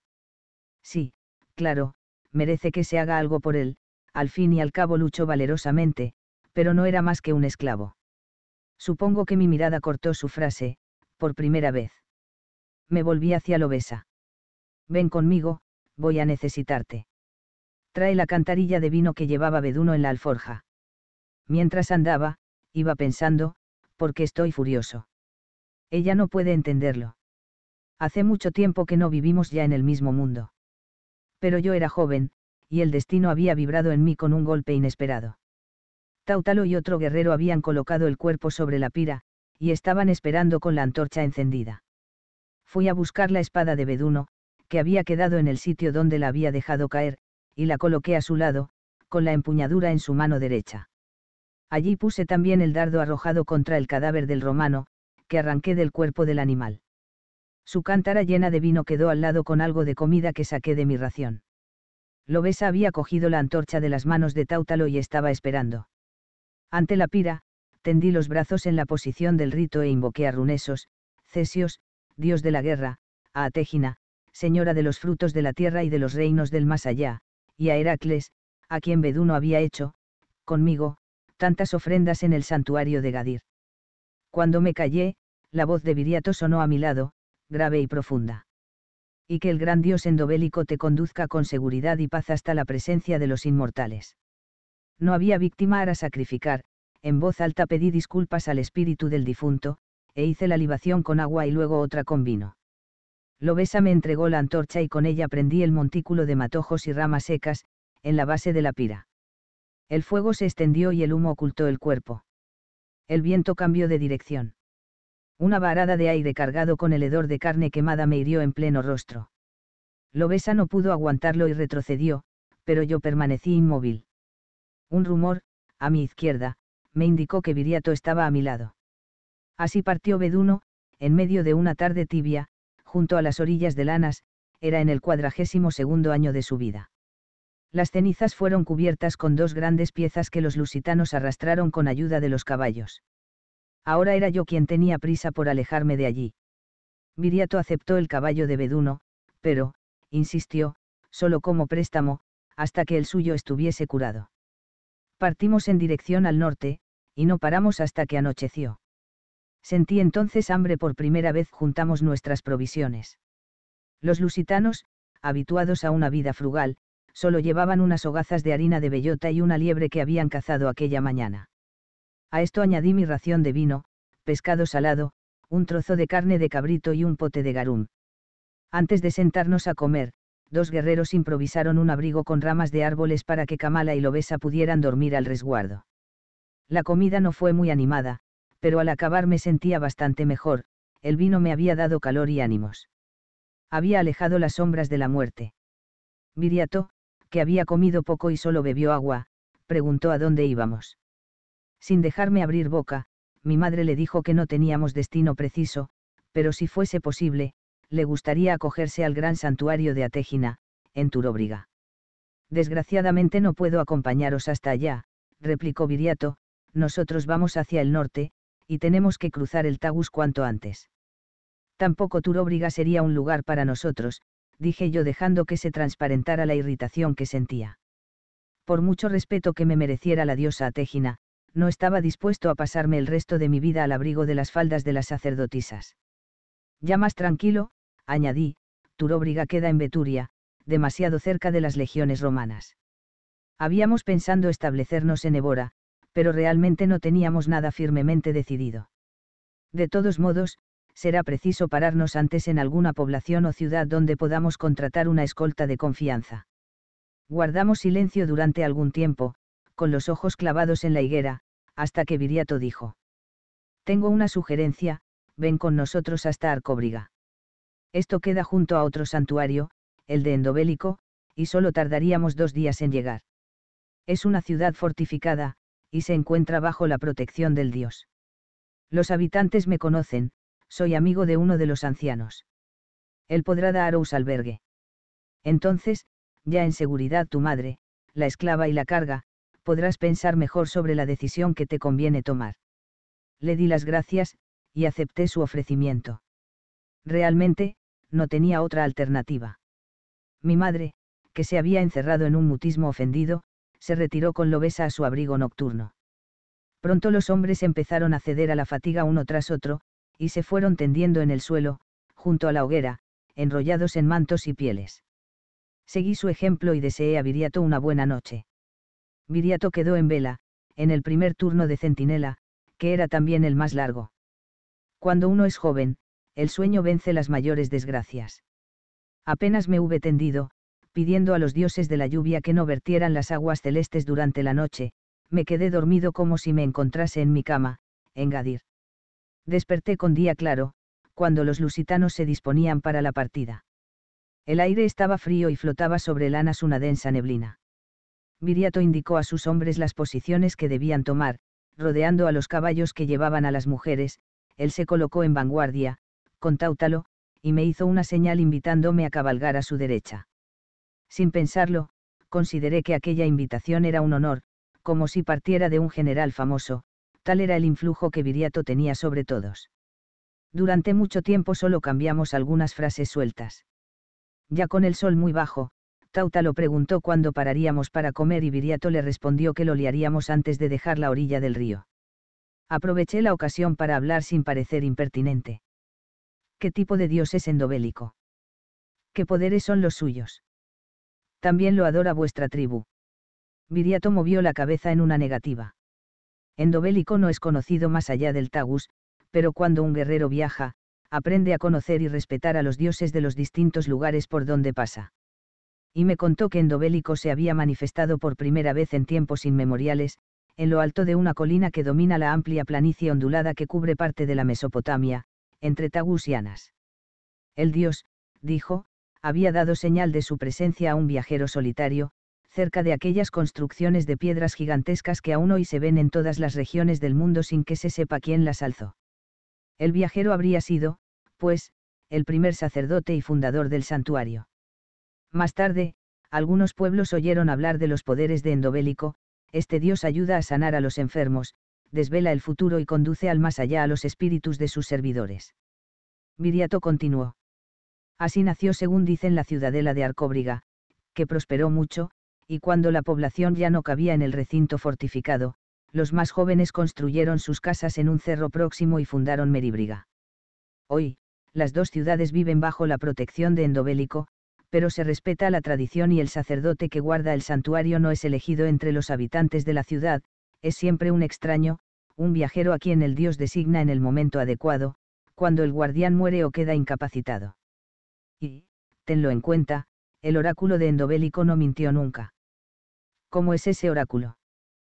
Puedo consultarlo. El dios habla durante el sueño del peregrino, pero es preciso cumplir los ritos propiciatorios y dormir en el santuario. En ese momento interrumpió Tautalo la conversación para anunciar que había llegado el momento de hacer una pausa en la marcha. Realmente, el curso del río Anas abandonaba allí la dirección norte y trazaba una curva hacia nuestra derecha. Llegamos a las proximidades de Arcóbriga dos días después del encuentro con los lusitanos. Era una ciudad muy pequeña pero bien fortificada, con un triple cerco de murallas, las dos exteriores de piedra, y la interior de tierra batida y adobes endurecidos por los años. Arcóbriga es muy antigua, y sus casas son pequeñas y toscas. Tienen, sin embargo, una dignidad sencilla que impone respeto. Junto a la falda del cerro pasa un río bordeado de árboles que sirve a los arcobrigenses y a los meribrigenses los dioses del agua y de la vegetación reciben honras en un templo arcaico, construido con enormes bloques de piedra. Sin perder tiempo, Viriato nos llevó a casa de su amigo Tongato, un anciano imponente que dispuso de inmediato alojamiento para nosotros y para los guerreros. Lleno de curiosidad, procuré vislumbrar el santuario, en el cerro vecino, pero al caer la tarde se había alzado la niebla, y solo conseguí distinguir el contorno vago de los edificios. Después de la cena, mi madre y Lobesa se retiraron a los aposentos de las mujeres. Viriato, Tautalo y Tongato empezaron a cambiar informaciones. Por la conversación entendí lo que hacían aquellos lusitanos tan lejos de su tierra, cuando, el año antes, Galba había exterminado a las huestes lusitanas, los supervivientes se habían dispersado por la Mesopotamia, y allí, e incluso en el sur, en Cineticum, intentaba Viriato reunir a los compañeros perdidos. Tongato, viendo que los otros hablaban libremente en mi presencia, no mostró reserva en decir lo que sabía. Habló de los pequeños grupos de guerrilleros hambrientos, heridos o enfermos, que habían pasado por Arcóbriga. Muchos, añadió, habían sido tratados de sus dolencias y heridas en el santuario de Endobélico, donde el sacerdote, gran conocedor de hierbas y raíces medicinales, les daba acogida. El propio Dios curó a algunos, añadió, y esos siguieron viaje otros, murieron aquí, y nosotros nos cuidamos de sus ritos funerarios. Están sepultados como conviene a guerreros. Viriato se lo agradeció en nombre de los suyos y relató entonces a Tongato la historia que yo le había contado, diciendo que mi madre y yo buscábamos un lugar seguro donde vivir lejos de los romanos. Tongato asintió y mostró su simpatía por mí. Arcóbriga, dijo, era segura, y podíamos quedarnos allí todo el tiempo que quisiéramos Le expresé mi gratitud y dije que tenía intención de consultar al oráculo de Endobélico. Excelente idea, aprobó el anciano. Y, ahora, vamos a dormir, que el sol ya se ha ocultado hace tiempo. Mañana volveremos a hablar de tus planes. Al día siguiente, en cuanto desperté, fui a ver a mi madre. La encontré muy pálida y flaca, agotada por el viaje y por tantas emociones. Lobesa me dijo que Kamala solo necesitaba reposo. No muy convencido, sugerí que la lleváramos cuanto antes al santuario, y Kamala aceptó mi propuesta. Nunca podré olvidar mis primeras impresiones al aproximarme al santuario de Endobélico. Bien es verdad que, en los lugares sagrados, el aire, la vegetación, el suelo, son diferentes. Cuando me acerqué a la loma, un estremecimiento recorrió mi cuerpo haciéndome sentir que era preciso caminar con cuidado y en silencio. Antes de iniciar el ascenso de la cuesta, entregué a un acólito mi espada y mi daga, porque el hierro, metal impuro, no puede mancillar el espacio santificado. Todos los objetos religiosos, allí, están hechos de bronce o de barro, y el cuchillo ceremonial que el sacerdote utiliza en los sacrificios más solemnes tiene la hoja de piedra, es el mismo cuchillo que sirvió al sacerdote fundador. Soy yo quien lo usa ahora. En aquel tiempo, el santuario tenía menos construcciones y era mucho más sencillo que el de hoy, pero no menos impresionante. El templo primitivo aún se alzaba aislado, pequeño y macizo, tres grandes piedras formaban las paredes, uno de los lados estaba abierto, y otra, tan voluminosa que sin duda no la habían podido mover simples hombres, servía de techo. Dentro estaba solo el ara principal y la estatua del dios, cuya antigüedad casi daba miedo, como si los ojos inmóviles de Endobélico contemplasen el tiempo pasado, cuando no había hombres y solo las divinidades habitaban el mundo. El sacerdote también era muy, muy viejo, o así me lo pareció entonces. Nunca supe su nombre, pero recuerdo sus rasgos y la larga barba, toda blanca. Nos recibió con simpatía, y se mostró muy interesado por los conocimientos medicinales de mi madre. Cuando le dije que quería consultar el oráculo, respondió que tendría que esperar por la nueva luna, que empezaba dentro de dos días. Viriato y sus compañeros se estaban preparando para reanudar el viaje. Sin querer confesármelo a mí mismo, sentía por anticipado el vacío que su marcha iba a dejar en mí, y fue esta la primera vez que experimenté verdaderamente una atracción hacia la vida aventurera de los guerreros. Antes de partir, los lusitanos sacrificaron a los dioses en las orillas del río como no todos venían de la misma localidad ni siquiera pertenecían a la misma tribu, algunos eran ingeditanos, hicieron un sacrificio múltiple a Bandiarbariaico, a Trebaruna, y a los dioses tutelares de Viriato. Por respeto, y en homenaje a mis salvadores, participé en la ceremonia y subí luego con ellos al santuario para depositar las ofrendas debidas ante el señor de la región, Endobélico. El sol iba alto cuando Viriato vino a despedirse. Le supliqué que aceptase algo de oro, no como paga sino como ayuda para su jornada. No quiso aceptar nada. No estaría bien cobrar por una ayuda que presté por libre voluntad. Además, no me gusta el oro. El oro corrompe a los guerreros. Te deseo felicidad, Tongio. Impulsivamente, le respondí. Me gustaría unirme a tus hombres y partir también. ¿Qué voy a hacer yo aquí? Viriato me miró con aire pensativo. No, dijo al fin. En este momento no es posible. Tienes que cuidar a tu madre. También a mí me gustaría tenerte conmigo. Mostraste valor contra los romanos, y nosotros necesitamos buenos guerreros. Necesitamos a todos los guerreros de Iberia. El momento no es propicio, pero... Sí. Sonrió abiertamente y fue como si hubiera dado una orden, sentí que mi sangre se desbocaba. Era como el entusiasmo que se experimenta al entrar en combate quién sabe. La traición de Galba no va a quedar impune. Puedes estar seguro. Van a ocurrir muchas cosas, y si estás destinado a combatir a nuestro lado, los dioses te conducirán. Ahora, adiós. Nos saludamos. Tautalo, ya a caballo, hizo un gesto alegre de despedida, y los otros lo imitaron. Partieron al galope, y me quedé viendo cómo se perdían en la distancia. 8. Se podría pensar que tras la marcha de los lusitanos mi primer deseo sería recibir el mensaje del oráculo, pero tenía 15 años y la cosa más importante para mí era, en ese momento, volver a acostarme con Lobesa. Desde la salida de Gadir nuestras relaciones estaban congeladas, primero por falta de oportunidades, y luego por la muerte de Beduno. Durante esos días no sentí deseo físico, o mejor, no me di cuenta de que lo sentía. Todo ocurrió como si estuviera así predestinado, mi madre fue al santuario para recibir tratamiento, y el sacerdote me dijo que tendría que permanecer dos días en el recinto sagrado, sin acompañantes. Lobesa y yo la llevamos allá y volvimos a Arcóbriga, pero pasó mucho tiempo antes de que entráramos en la ciudad. A la orilla del río encontramos un rincón abrigado, estoy seguro de que no fuimos los primeros en descubrirlo, y tendí mi manto sobre la hierba. Es posible que fuera por la larga abstención, o quizá por el cambio de ambiente, el caso es que aquel día todo tuvo el encanto y el éxtasis de la primera vez. Y, como la primera vez, nos quedamos tumbados uno al lado del otro.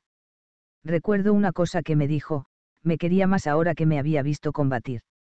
Me dijo que estaba sorprendida y orgullosa, y que ni siquiera había llegado a sentir miedo, porque desde el principio había tenido la seguridad de que yo sería capaz de protegerla, pura ilusión, parecía olvidar la providencial llegada de Viriato y los suyos. De todos modos, esas son cosas que a un muchacho siempre le gusta oír. Impulsivo, le dije que la protegería siempre, y que pensaba pedirle a mi madre su conformidad para liberarla. Lobesa me tapó la boca, sonrió con un punto de tristeza, me besó, y volvimos a empezar. Señor endobélico, acepta la ofrenda de tu siervo y dale tu bendición. La voz del sacerdote era llevada por el ventarrón que se había alzado a la caída de la tarde. De pie ante la estatua, incliné la copa llena de sangre del cerdo que acabábamos de sacrificar y, al tiempo que hacía la libación, repetí las palabras. Me sentía ligeramente aturdido, y tan leve que sería capaz de volar, porque no había comido nada desde el día anterior.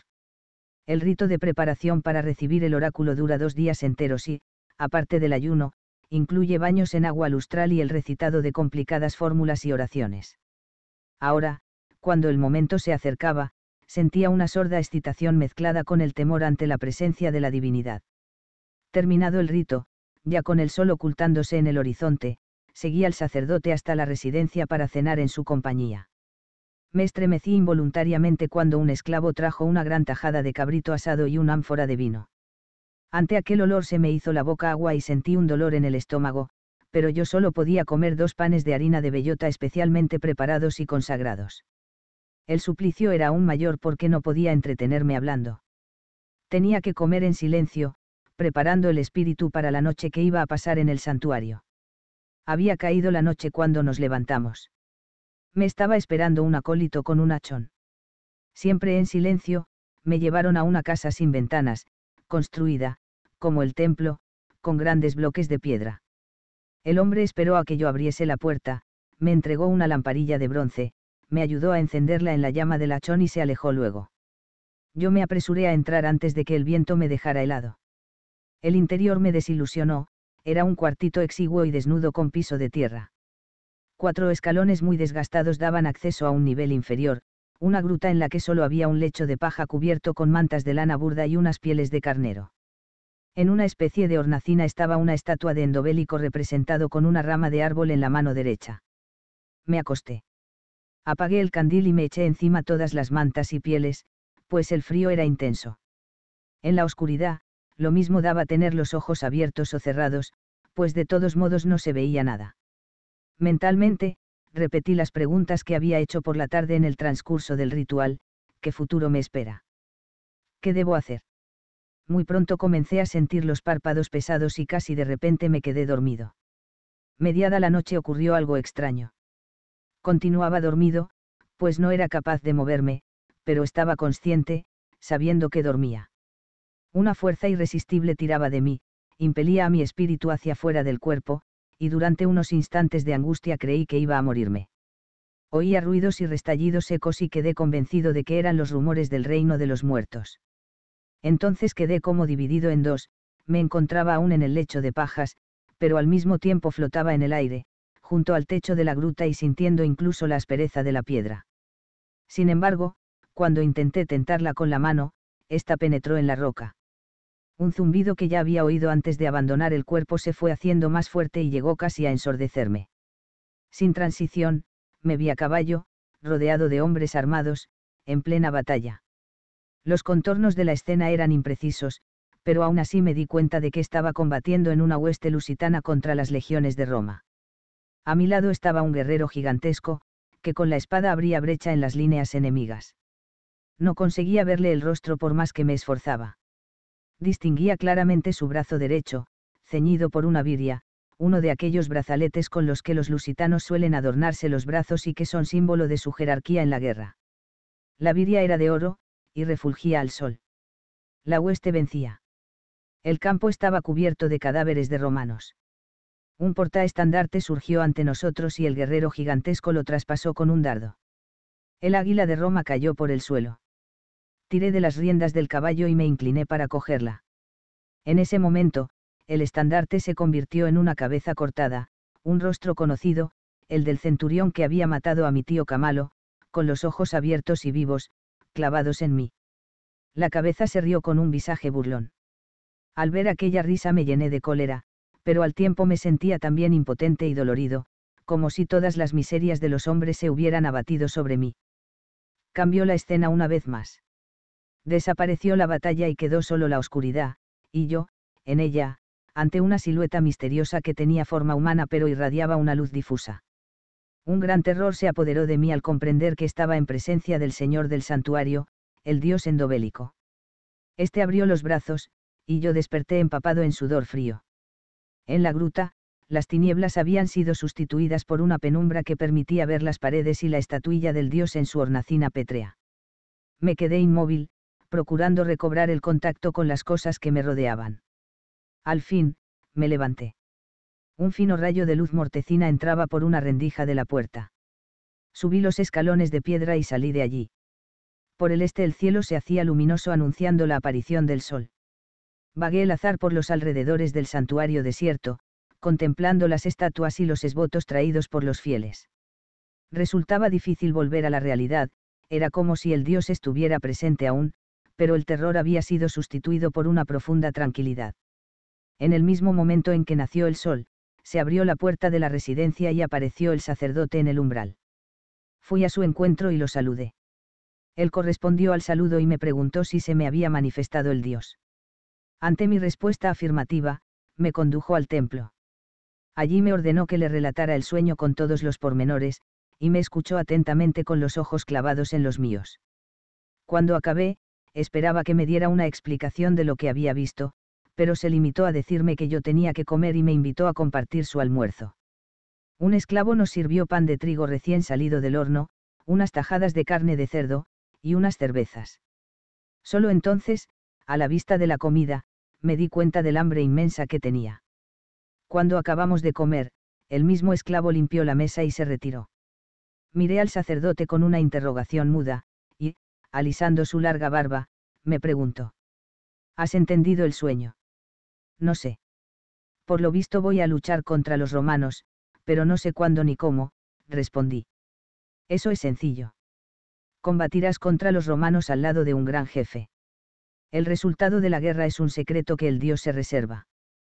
Pero, lo más extraño. Lo más extraño es que el destino final de tu vida es el propio endobélico. Lo que me has contado no deja lugar a dudas. Le pregunté qué quería decir eso, pero él se encogió de hombros y replicó que no tenía mejor explicación. De todos modos, tarde o temprano, el dios me llamaría. Pero no va a ser inmediatamente, me dijo, porque lo que está claro es que antes de que esto ocurra, tú vas a ser un guerrero. ¿Qué debo hacer, pues? Partir en busca de ese caudillo. El sacerdote desvió los ojos y respondió en voz baja. No. El Dios no te ha mostrado un camino. Tendrás, pues, que esperar. Las cosas ocurrirán en su momento preciso. No se puede forzar el destino. Restablecida ya, mi madre empezó a ayudar a curar a los enfermos que acudían al santuario. Su conocimiento de las virtudes de las plantas y de la preparación de pociones, aliado todo a su porte y a una belleza aún no desvanecida, le proporcionó un aura de prestigio gracias a la cual los habitantes de Arcóbriga y Meríbriga aceptaron de buen grado nuestra presencia. El sacerdote acabó por invitarnos a residir en una de las casas construidas junto al acceso al recinto sagrado, para que mi madre no tuviese que hacer todos los días el recorrido entre Arcóbriga y el santuario. Kamala mostró de inmediato sus deseos de aceptar la propuesta, pues se había entregado por entero a la vida religiosa. En cuanto a mí, no encontré razones para negarme, pues no quería abusar de la hospitalidad de Tongato. Mientras tanto, pensé con secreta angustia que tal vez el sacerdote se hubiera engañado en la interpretación del oráculo. Tal vez Endobélico me quisiera llamar ya a su servicio, y yo ya me veía pasándome la vida allí, cosa que no me seducía. Los días transcurrían iguales. Hice algunas amistades entre los jóvenes de la ciudad, e iba a caza con ellos o les ayudaba en sus trabajos. Otras veces asistía a las curas de los peregrinos enfermos, y aprendí a usar ciertas hierbas, cortezas de árboles y hojas para aliviar dolores y sanar heridas. Pero dentro de mí crecía la ansiedad, y no conseguía encontrar reposo para el espíritu. Las relaciones con Lobesa proseguían. Con un irritante sentimiento de culpa, comprendí que mi deseo por ella había desaparecido casi por completo, y me sorprendí siguiendo con los ojos a algunas muchachas de Arcóbriga. Muchas de ellas no escondieron su interés, cosa que me perturbaba aún más, sabía que todas o casi todas eran novias de muchachos de la comarca, y de ninguna manera quería meterme en líos, pero me preguntaba cuánto tiempo conseguiría resistir. Un día, cuando andaba buscando plantas que me había pedido mi madre para tratar a un hombre que padecía de los ojos, me salió al camino una joven de Meríbriga. Era evidente que estaba a mi espera, y yo no podía, ni quería, escapar. Al fin, cuando el deseo quedó saciado y empecé a sentir cierta preocupación por lo que había hecho, ella, con la mayor desenvoltura, disipó mis recelos. Me contó que desde que me había visto por primera vez se había sentido subyugada por mí, pero que había esperado hasta casarse, realmente, había habido poco antes un casamiento en Meríbriga, para poderle demostrar al novio que era virgen. Y ahora, terminó con la más cándida de las sonrisas, aunque quede embarazada no habrá escándalo. Pese a su descaro, respiré profundamente, aliviado, y le prometí que nos encontraríamos más veces. Aquella misma noche, cuando me acosté, lo pensé mejor. Estaba deshonrando a un hombre a quien ni siquiera conocía y que no me había hecho ningún mal. Además, tarde o temprano nos descubrirían.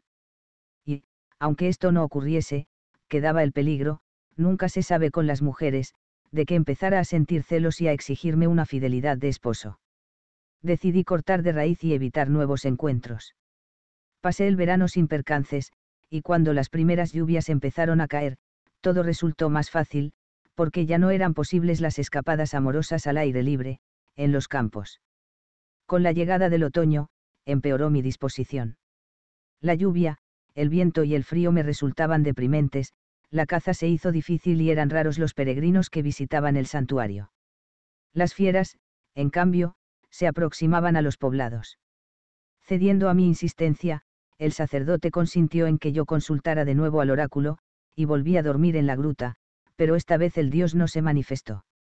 9. El invierno fue largo, pero terminó súbitamente. Un día me despertó el olor de la primavera que invadía mi cuarto. Y, con el cambio, los tiempos de pesimismo parecían ya lejanos. Participé con alegría en los festivales y en los ritos con los que Arcóbriga y Meríbriga saludaron la renovación del mundo y el regreso de las divinidades de la vegetación. Mi incómoda amante meribrigense no volvió a asediarme, había quedado embarazada, y cuando nació la criatura, fue una niña, resultó obvio que no era obra mía. La madre, dividida entre los cuidados de la niña y el trabajo en los campos, ya no tenía tiempo libre para aventuras extraconyugales. Todo parecía ir de la mejor manera cuando una hueste guerrera apareció a la vista de Arcóbriga. En lo alto de la muralla, los centinelas aguzaron la vista intentando identificar las insignias y saber si eran amigos o enemigos. En breve se retiró la alerta. Son los príncipes, oí decir a uno de los vigías, con aire de alivio. Pregunté quiénes eran aquellos jefes. Curio y Apuleyo, respondió él. Eran príncipes bastetanos huidos de su patria. La Bastetania es una de las regiones de la Hispania ulterior donde llevan más tiempo establecidos los romanos, pero, como ocurre en otras regiones, de tiempo en tiempo hay allí revueltas esporádicas. Tras una de esas revueltas, Curio y Apuleyo, que eran primos, y cuyos padres habían firmado alianzas con Roma, habían marchado con un puñado de hombres de su tribu para unirse a los lusitanos. Participaron en la expedición de Púnico y César y, más tarde, en la guerra que acabó con la matanza ordenada por Galba. Ahora, veteranos de la lucha contra Roma, combatían por cuenta propia al frente de una hueste formada por gentes de entre el Tagus y el Anas. Mi informador añadió, que varios jóvenes de Arcóbriga luchaban bajo la insignia de los dos príncipes y había incluso una alianza formal entre estos y la ciudad. La hueste acampó en el valle, y los comandantes vinieron a cumplimentar a los ancianos. Se ofrecieron sacrificios a los dioses, se celebraron juegos de destreza, y la casualidad quiso que trabara amistad con uno de los guerreros, un hombre enorme llamado Indíbil, que vino al santuario para tratar unas fiebres persistentes. Su nombre sonó como un presagio favorable, muchos años antes, en el país de los Ilergetas, un rey llamado Indíbil había levantado a su pueblo contra Roma. El presagio se cumplió. Cuando mi nuevo amigo se libró de la fiebre que lo atormentaba, no tardó en sugerirme que me uniera a la hueste. Estás perdiendo el tiempo aquí, me dijo, y eres demasiado joven para pasarte toda la vida en un santuario, dicho sea con el respeto debido a nuestro Señor endobélico. Y comprendí que aquella era la oportunidad que esperaba desde hacía tiempo. Aquel mismo día Indíbil me llevó a ver a Curio, un guerrero de aspecto formidable, con una barba cerrada donde solo unos hilillos blancos acusaban el paso de las estaciones. Tenía quizá unos 40 años. El príncipe me miró de pies a cabeza, lentamente. Me preguntó si tenía armas propias y si mi salud era buena. Luego mandó llamar a Apuleyo, que era un poco más joven y no tan imponente, pero que, como pude observar más tarde, era un combatiente de primer orden. Hablaron los dos a media voz. Al fin, Curio me anunció que estaba admitido. Partiríamos al cabo de tres días.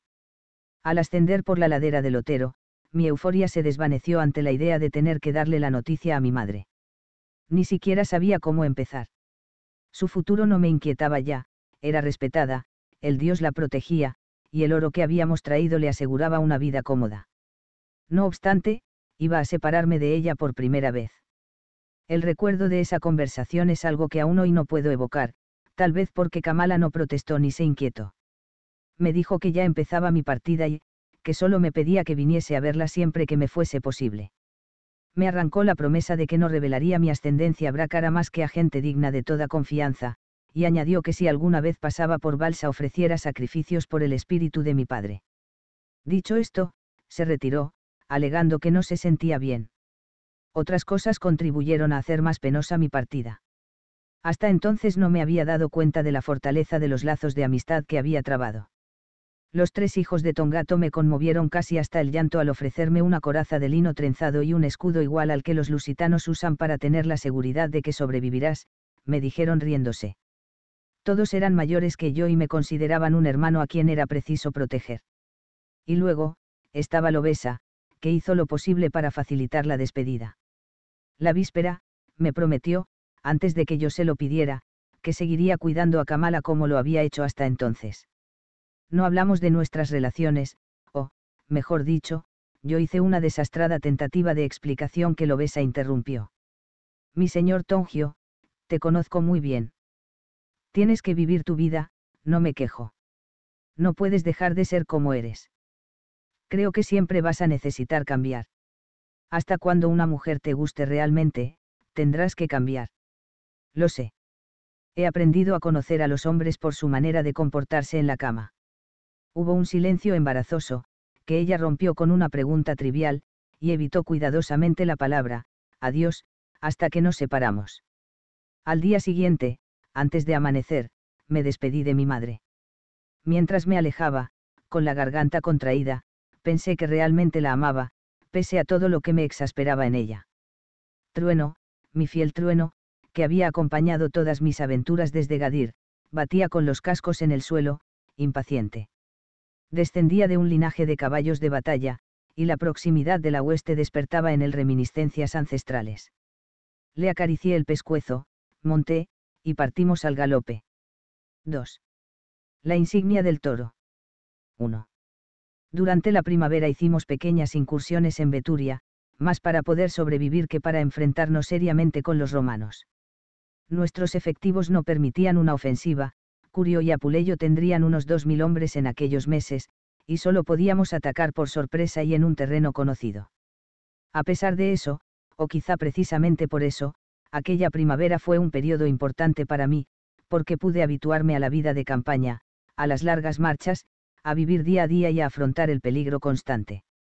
Me habitué también al lado menos brillante de la guerra, al espectáculo de las aldeas saqueadas y de las mujeres violadas, cosa que nunca me gustó ver, pero algunos de los nuestros eran especialistas en eso, y los príncipes toleraban su práctica, aunque no participaran en ella. Realmente, lo que menos me gustó fue el comprobar que éramos más una banda de salteadores que un ejército. No había más objetivo que vivir a costa del saqueo y matar romanos. Otro aspecto penoso, pero inevitable, de la guerra, es ver la muerte de camaradas con quienes la víspera se compartió la comida en torno a la hoguera del campamento. Así perdí a mi amigo Indíbil, que murió durante un asalto, atravesado por una lanza. Lo vengué matando al legionario que lo alcanzó con su arma. Antes de morir, Indíbil me ofreció su yelmo de bronce, y me pidió que, a cambio, enterrase su cuerpo. Cumplí su voluntad, había sido un valeroso guerrero y un buen amigo, siempre presto a instruirme en el oficio de la guerra. Cuando llegó el calor anunciando la llegada del verano, se nos unieron unos jinetes del otro lado del Tagus con mensajes para Curio y Apuleyo. Los príncipes oyeron en privado a los recién llegados, e inmediatamente convocaron una asamblea de tropas. Los mensajeros, instados a repetir en público lo que habían dicho en privado a los comandantes, anunciaron que se estaba preparando un ataque a gran escala de los lusitanos y sus vecinos contra la Hispania ulterior, a fin de vengar la traición del pretor Galba. En aquel momento, añadieron, se estaba formando una coalición de reyes, príncipes y jefes tribales. Entre los pueblos que enviarían contingentes para la gran oeste se contaban los igeditanos, los taporos, los túrdulos de Aeminium y Conímbriga, y también los betones, fieles a sus alianzas con los lusitanos. Había muchos más pueblos, en total cerca de 10.000 guerreros. Algunos de los jefes más ilustres habían manifestado su deseo de invitar a Curio y a Apuleyo a incorporarse a la expedición, y allí estaban los mensajeros, si la propuesta era bien recibida, tendríamos que comparecer en la gran asamblea que se iba a realizar junto a los montes Herminios. El debate fue corto porque, al final, los comandantes habían decidido ya aceptar la invitación.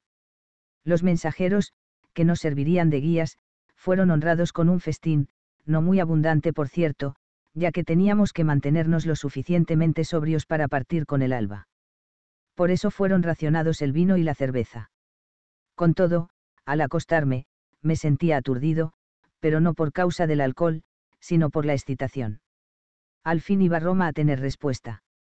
Camalo y Beduno podrían reposar contentos en el reino de los espíritus. Cruzamos el Tagus no lejos de la ciudad de Aritium Betus. El río, uno de los más grandes que yo había visto hasta entonces, estaba desbordado a causa de las recientes lluvias, pero nuestros guías conocían un vado ideal, y el cruce se realizó sin accidentes. Pese a las palabras de amistad y de alianza, avanzábamos con cautela y en orden de combate. En Iberia, las relaciones entre los pueblos no eran buenas ni cuando se trataba de tribus emparentadas, y eso ocurre aún hoy. Eran muy frecuentes las guerras tribales, sobre todo en la Lusitania, donde los pueblos montañeses atacaban a los de la llanura o guerreaban entre ellos por cuestiones de pastos, de mujeres o por ofensas hereditarias. Cuando los últimos hombres de la hueste llegaron a salvo a la orilla norte, ofrecimos libaciones a las divinidades del Tagus, en muestra de gratitud por habernos permitido atravesar sus dominios, y reanudamos la marcha. Yo iba alegre como unas castañuelas, me había habituado a mi nueva vida, y no echaba de menos las comodidades de Gadir pero aún así me quedé varias veces sorprendido, aunque nada dijera, a medida que íbamos avanzando hacia el norte y tomando contacto con las tribus montañesas, cuyas costumbres son aún las de sus antepasados. Tanto los pueblos de la Bética, sobre todo los turdetanos, como los conios, son civilizados y educados. Uno de los antiguos reyes de Cineticum, Gargoris, se hizo incluso famoso por haber descubierto las virtudes de la miel, cuyo uso introdujo en la alimentación y en los ritos. Ahora, yo había dejado este mundo y estaba entrando en otro, más antiguo y brutal. Descubrí que era verdad lo que había oído en Balsa sobre los sacrificios humanos con los que honraban a numerosas divinidades de las tierras altas.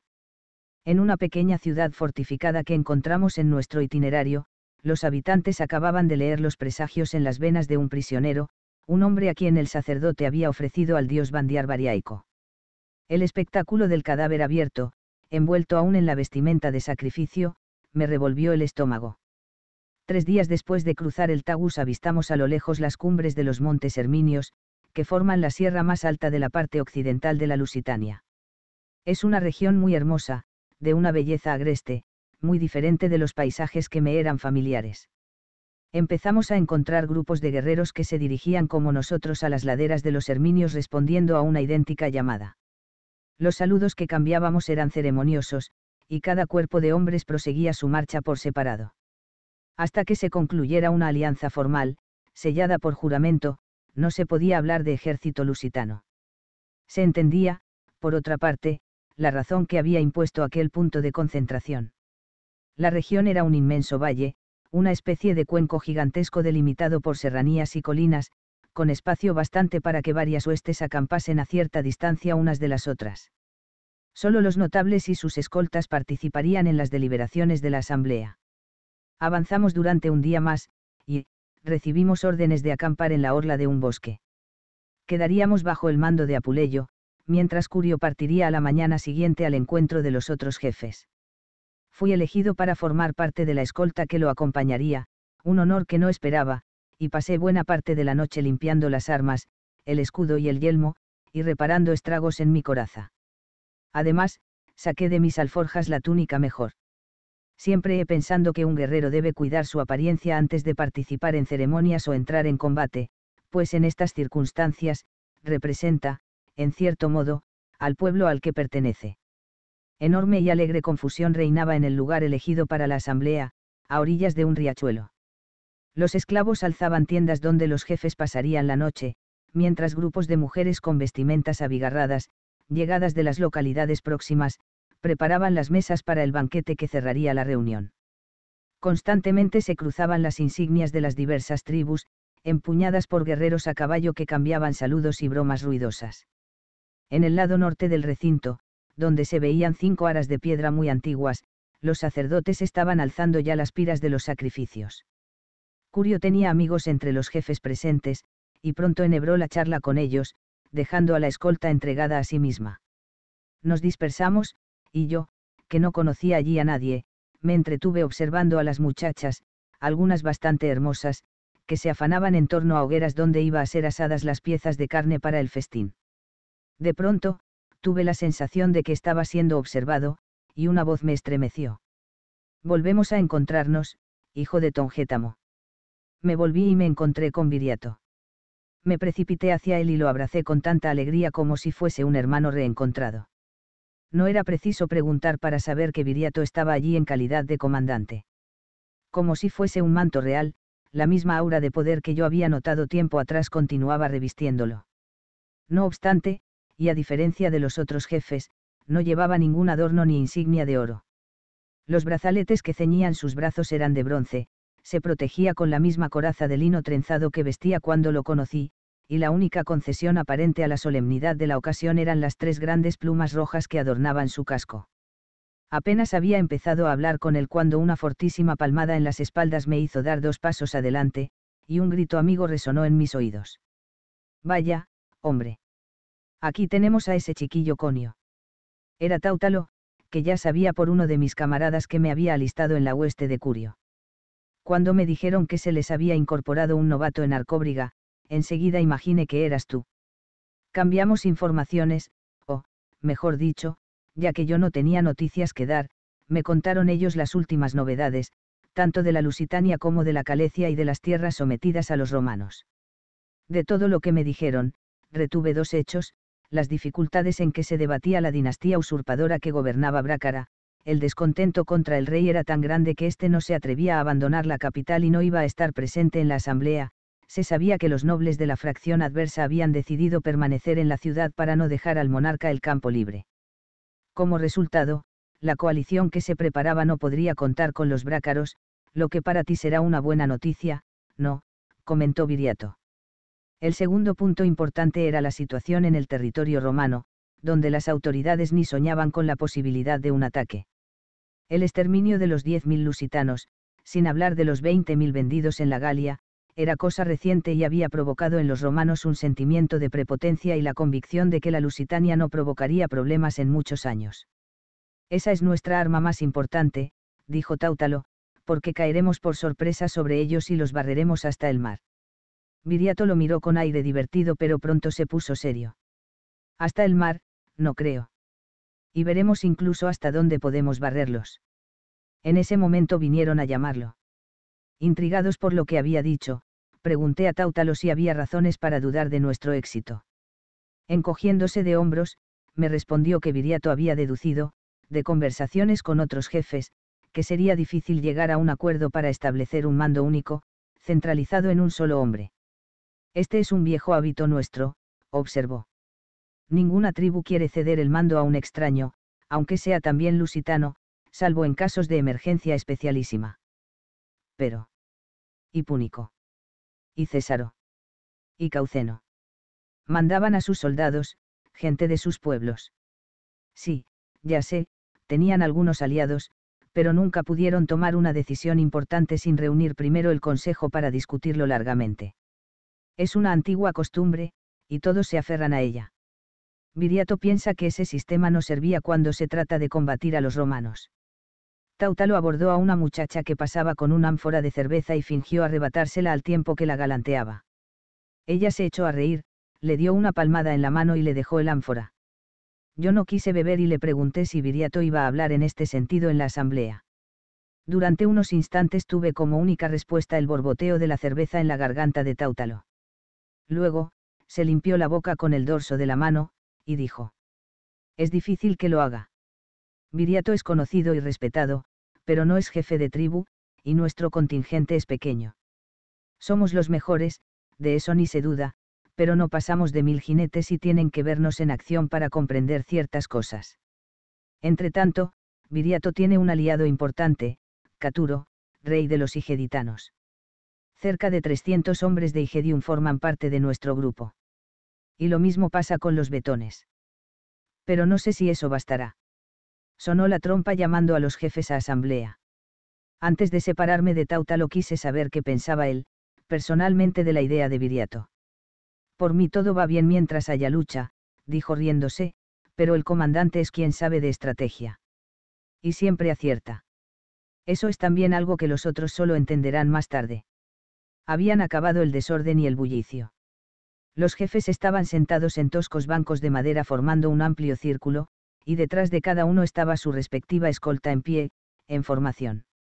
Era un espectáculo curioso, al lado de hombres de la llanura, como los de Aeminium, cuyos guerreros vestían sus mejores ropas en las que destelleaban el oro y las joyas, se veían feroces guerreros de las montañas, con los cuerpos relucientes de aceite y los largos cabellos prendidos detrás con una correa, como si fuesen a entrar de inmediato en combate. Los discursos eran interminables, repetitivos, aunque todos tenían un tono inflamado.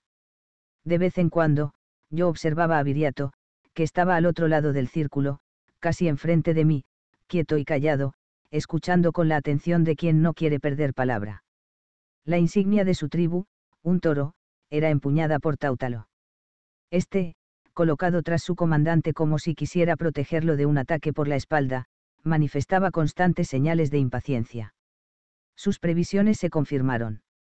Viriato no habló, pero Caturo abogó insistentemente por el nombramiento de un mando unificado. Con todo, el rey no participaría en la expedición, tenía problemas en sus fronteras, y eso quitaba fuerzas a sus argumentos. Al fin, fueron elegidos cinco jefes, cuyos nombres no recuerdo ya, atendiendo a los múltiples parentescos y alianzas que unían y dividían a los diversos pueblos.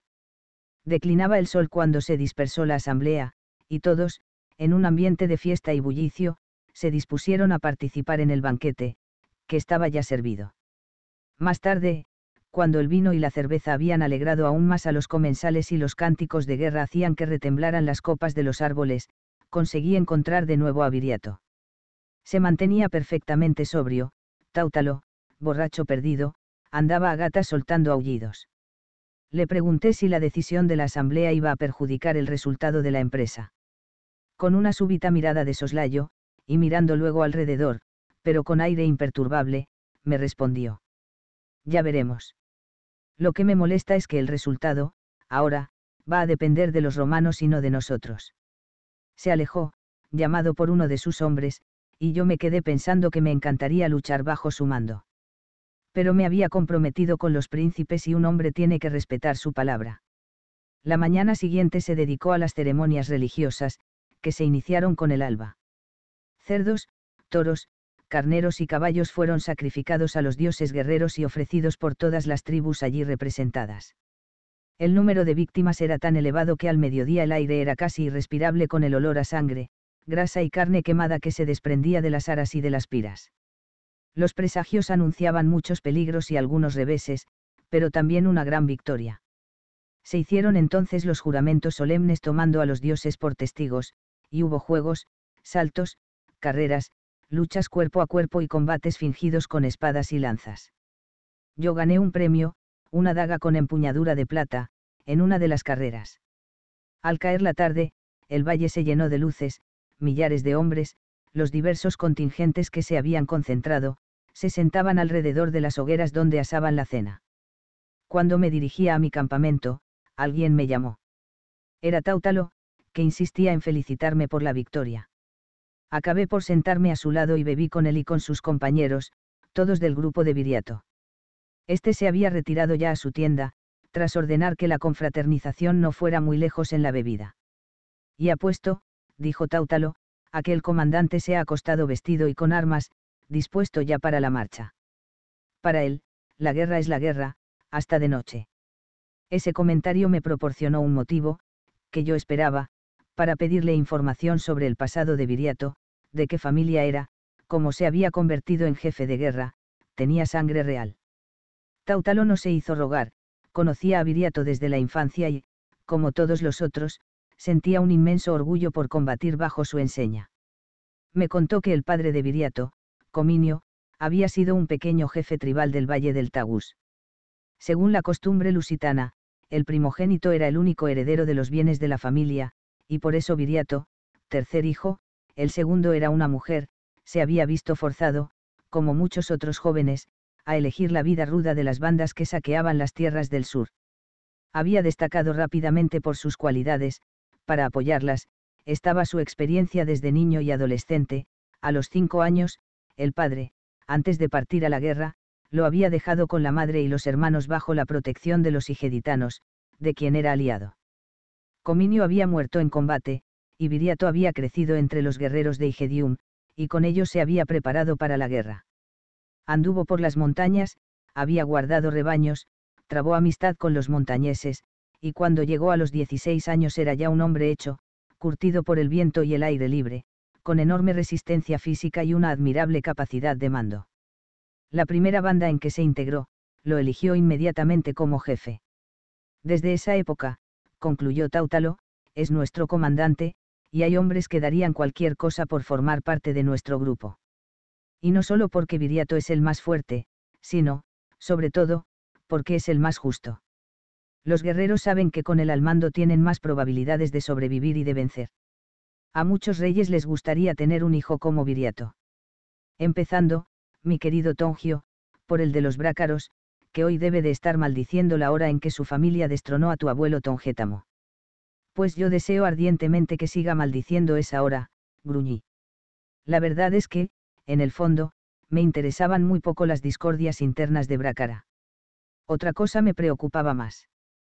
No repitas eso, le dije a Tautalo. Yo mismo me muero de ganas de luchar bajo la enseña del toro, pero he prestado juramento a Curio, y sería un deshonor abandonarlo. Tautalo me miró. ¿Quién sabe? Los azares de la guerra alteran nuestras vidas. 2.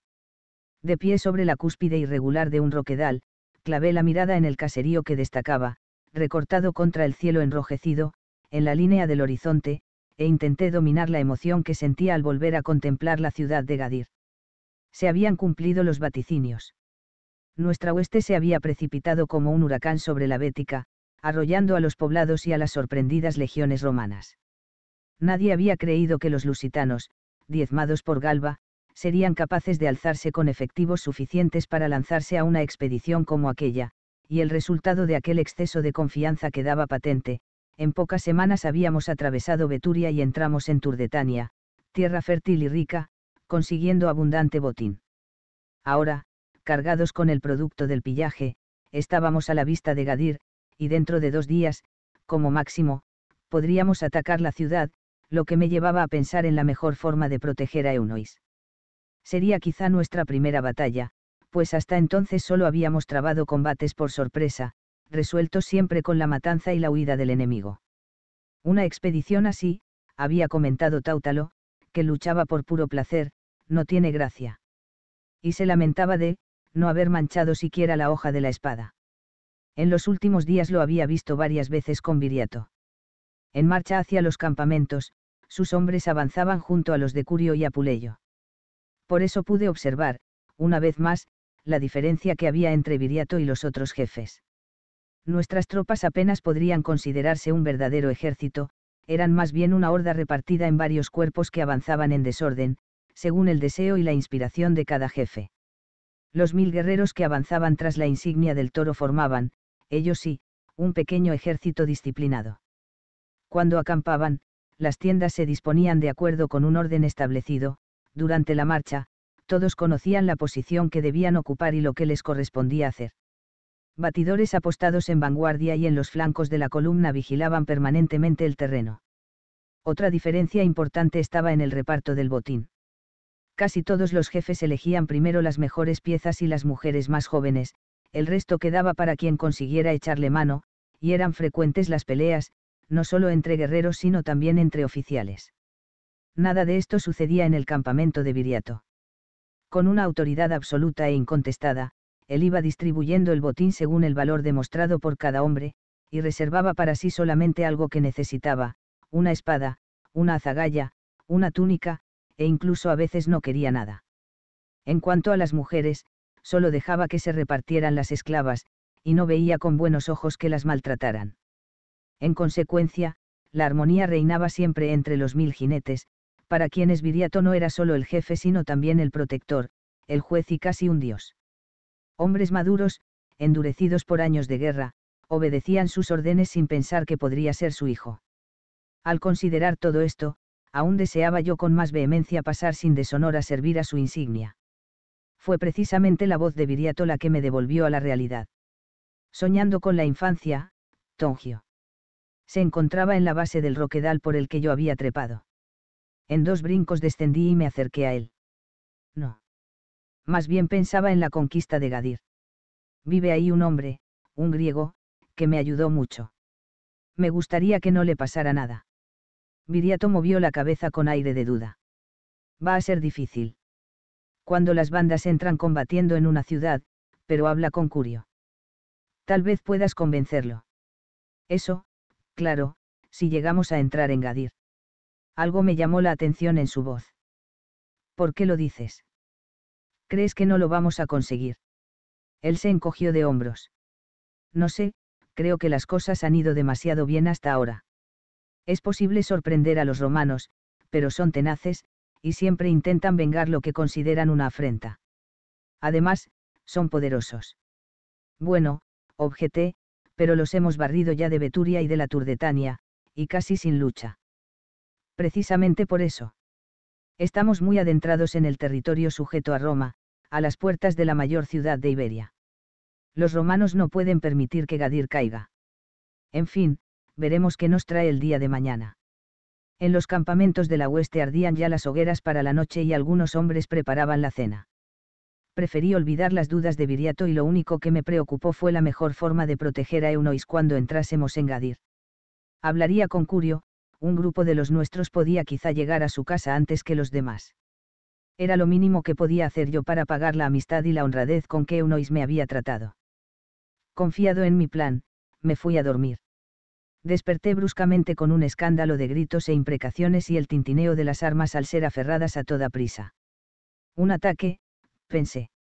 Pero al salir de la tienda, clareaba la noche, y las hogueras estaban casi apagadas, solo vi hombres corriendo de un lado a otro en un grupo vía Táutalo, Viriato y Apuleyo.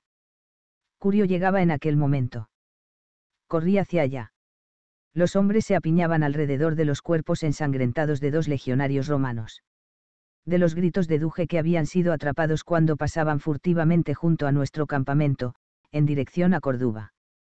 Viriato, irritado, censuraba a Apuleyo porque los captars, que eran guerreros bajo el mando del príncipe, se habían apresurado a matar a los legionarios en vez de traerlos vivos al campamento. Nunca se debe matar a los emisarios, decía Viriato intentando contenerse, al menos hasta que nos digan qué mensajes llevan. Necesitamos esa información. Bueno, gruñó Curio hundiendo los dedos en la barba, ahora ya es tarde para interrogarlos. De todos modos, el mensaje no llegará a su destino, y eso ya es bueno, vosotros, y se volvió a los hombres que habían interceptado a los romanos, quedaos con sus cosas. Fascinado, y sin saber por qué, me quedé mirando cómo los desnudaban. Uno de los legionarios llevaba unas monedas de plata y de cobre que fueron inmediatamente repartidas. De pronto, vi que uno de los guerreros tenía en sus manos algo que me era familiar. Lo miró, comprobó que no estaba hecho de metal precioso y lo tiró al suelo. Involuntariamente, di un grito y me precipité a recogerlo. El hombre que lo había tirado me miró con asombro. ¿Eh? Oye. Si eso tiene algún valor, me pertenece. Lentamente, levanté hasta la altura de sus ojos la tablilla doble cuya parte interior estaba cubierta de cera escrita. Esto es lo más valioso del botín, pero no para ti. Para ti no tiene ningún valor. Es el mensaje que esos llevaban. Apuleyo empezó a hablar con el tono de un chiquillo enrabiscado. ¿Y quién va a entender lo que va escrito? Dejé de prestarle atención porque alguien más próximo a mí me llamó tranquilamente. Tongio. Me volví hacia Viriato, cuyos ojos centelleaban. Tú sabes leer, ¿no? Y hablas la lengua de los romanos. Claro que sí. Perdí bastante tiempo de juegos y diversiones para aprender latín y griego, y otras cosas. Rompí el sello. La luz era ya suficiente para descifrar el mensaje, y lo fui leyendo en voz alta ante el asombro de los guerreros que me rodeaban, hombres para quienes la escritura era un misterio cercano a la magia. La carta estaba firmada por un tribuno militar, probablemente el comandante de la guarnición de Gadir, e iba destinada al pretor Cayo Betilio, en Córdoba. El tribuno decía que los bárbaros, nosotros, estaban a la vista de las murallas gaditanas, la ciudad estaba en peligro, y le pedía que avanzara urgentemente hacia el sur con tropas de refuerzo. ¿Quién es ese Cayo Betilio? Nunca he oído hablar de él. Rezongó Apuleyo. Curio dijo lo mismo, y se quedaron ambos mirando a Viriato, como si esperaran alguna respuesta de él. Viriato movió la cabeza negativamente, y dijo en un tono sarcástico. Tampoco me lo han presentado nunca, pero no es difícil entender que se trata de un pretor llegado recientemente de Roma, y como es pretor, estoy casi seguro de que es el nuevo gobernador romano de la Hispania ulterior. Está en Córdoba, con tropas de refresco, y eso es suficiente para alterar los planes. Curio. La voz de Viriato sonó ahora tensa y velada, hay que reunir un consejo inmediatamente. Ya no podemos atacar Gadir. Apuleyo protestó, pero Curio, tras reflexionar un momento, gritó una orden, y sonaron inmediatamente las trompas convocando a los jefes. En medio de la agitación, Viriato se acercó a mí. Tautalo me ha dicho que te gustaría unirte a nosotros, dijo. ¿Realmente te gustaría? Respondí que sí y que solo el compromiso asumido para Concurio me impedía solicitar la admisión en su banda. Viriato me dio una palmadita en el hombro. Aprecio tus escrúpulos. Hay tal vez una forma de satisfacer ese deseo sin quebrantar tu palabra, espera unos días, a ver qué puedo hacer yo. Quise agradecérselo, pero él me interrumpió no lo haría si no pensara que vas a servirme de mucho. Sí, y no me mires así. Sabes luchar, aunque no tengas mucha experiencia. Sin duda hay guerreros mejores que tú, pero ninguno de ellos sabe leer, y pocos son los que conocen otra lengua que no sea la que aprendieron con su madre. Algo me dice, Tongio, hijo de Tongétamo, que vas a serme muy útil. Los jefes empezaban a llegar, intrigados o irritados, según sus temperamentos, con la llamada a consejo. Sobre todo, los cinco jefes supremos parecían considerar ultrajante que alguien se permitiera el lujo de convocarlos. Pero las noticias, cuando fueron conocidas, los llevaron a olvidar la ofensa. No asistí al consejo, pero me contaron cómo transcurrió todo. Hasta los más obstinados entendieron que no era posible atacar Gadir. Nos arriesgábamos a ser atacados por la retaguardia durante el cerco, y si entrábamos en la ciudad, bastaría que las tropas del nuevo pretor vinieran desde Córdoba, para que nos viéramos cercados en Cotinousa, con el mar como única salida. Muchos de los nuestros nunca habían entrado en un barco, y, además, los romanos y, los gaditanos utilizarían todas las embarcaciones disponibles para huir antes de nuestra entrada en la ciudad. Descartada la idea del ataque, quedaba por decidir qué se iba a hacer. Viriato propuso que nos dispersáramos en grupos y que intentáramos obtener más informaciones sobre los refuerzos del enemigo. Otros querían avanzar en dirección a Córdoba para obtener más datos sobre las tropas de Cayo Betilio, confiando en la reputación de invencibles que nos habíamos ganado al entrar en Beturia. Prevaleció esta última opinión. Para compensar a los hombres por la pérdida del botín de Gadir, se decidió que saquearíamos la ciudad de Urso, que quedaba de camino hacia Córdoba. Encontramos a las tropas de Betilio antes de lo que esperábamos. Un día después de haber interceptado a los mensajeros de Gadir, nuestras vanguardias trabaron un breve combate con unos jinetes romanos que surgieron inesperadamente de un bosque. Esta vez, el enemigo no se dejó dominar por el pánico, y no huyó. Tras los primeros momentos de combate se vio claro que luchábamos con tropas muy diferentes de aquellas con las que habíamos combatido hasta entonces. Tuvimos bastantes bajas, y el propio Curio se vio en peligro.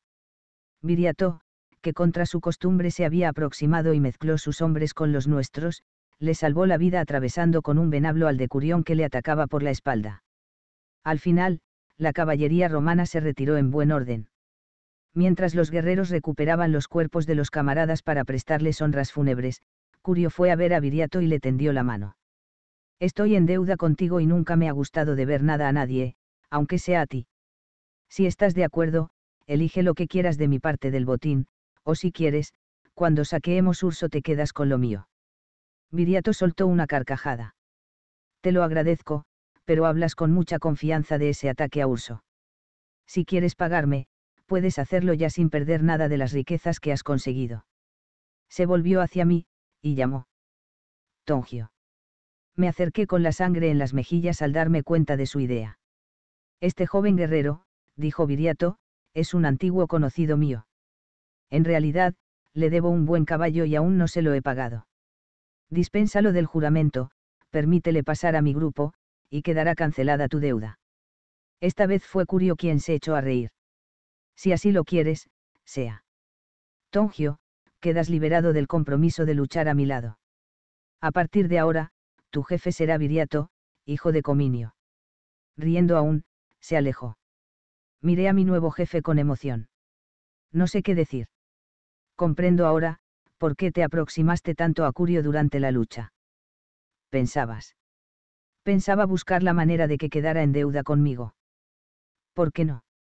Ya te dije que no es tan difícil encontrar un buen guerrero, pero sí lo es conseguir un intérprete, y además letrado. Bien, pero aún así, espero que me permitas combatir. La sonrisa desapareció de su rostro. De eso, puedes estar seguro. Todos tendremos que combatir. Vienen días difíciles, Tongio, y sigo pensando que es un error seguir avanzando hacia Urso. Mi alistamiento fue saludado alegremente por los guerreros, a quienes ya conocía. Pronto me sentí muy a gusto entre ellos, incluso más que con los hombres de Curio y Apuleyo, que se mantenían aferrados a sus prejuicios de tribu. Las tropas de Viriato, formadas por una mezcla de lusitanos de la llanura y lusitanos de la sierra, y geditanos y betones, eran más fieles al espíritu de cuerpo que a la solidaridad tribal. Aquella misma noche, durante una reunión con varios jefes, Viriato volvió a defender, en vano, la idea de que debíamos evitar el ataque a Urso. Yo estaba cerca, y oí la discusión. Los jinetes romanos que habíamos encontrado, argumentó Viriato, eran una vanguardia de exploradores de Cayo Betilio, y habían dado muestras de experiencia y disciplina superiores a las de nuestros hombres, y si el ejército del pretor estaba formado por tropas como aquellas, no estábamos en condiciones de arriesgar una batalla campal. Pero el ansia de pillaje era más fuerte que la voz del buen sentido. Al día siguiente adoptamos ya, en marcha, el orden de batalla, con la caballería delante para forzar las líneas enemigas. En esta formación, el grupo de Viriato ocupaba el ala derecha. Avanzábamos por una región poblada en tiempo de paz, pero cuyos habitantes habían huido por los bosques y cerros fortificados, presintiendo la proximidad de la guerra. Solo algunos animales, bueyes escuálidos, y cabras flacas y enfermas que no valía la pena conservar, vagaban desamparadas por los campos. Urso debía de estar abarrotada de refugiados con sus enseres y animales. El sol caía a plomo y muchos de los nuestros se quitaron los cascos para soportar el calor. Viriato, fiel a su costumbre, había enviado batidores para reconocer nuestro frente de avance.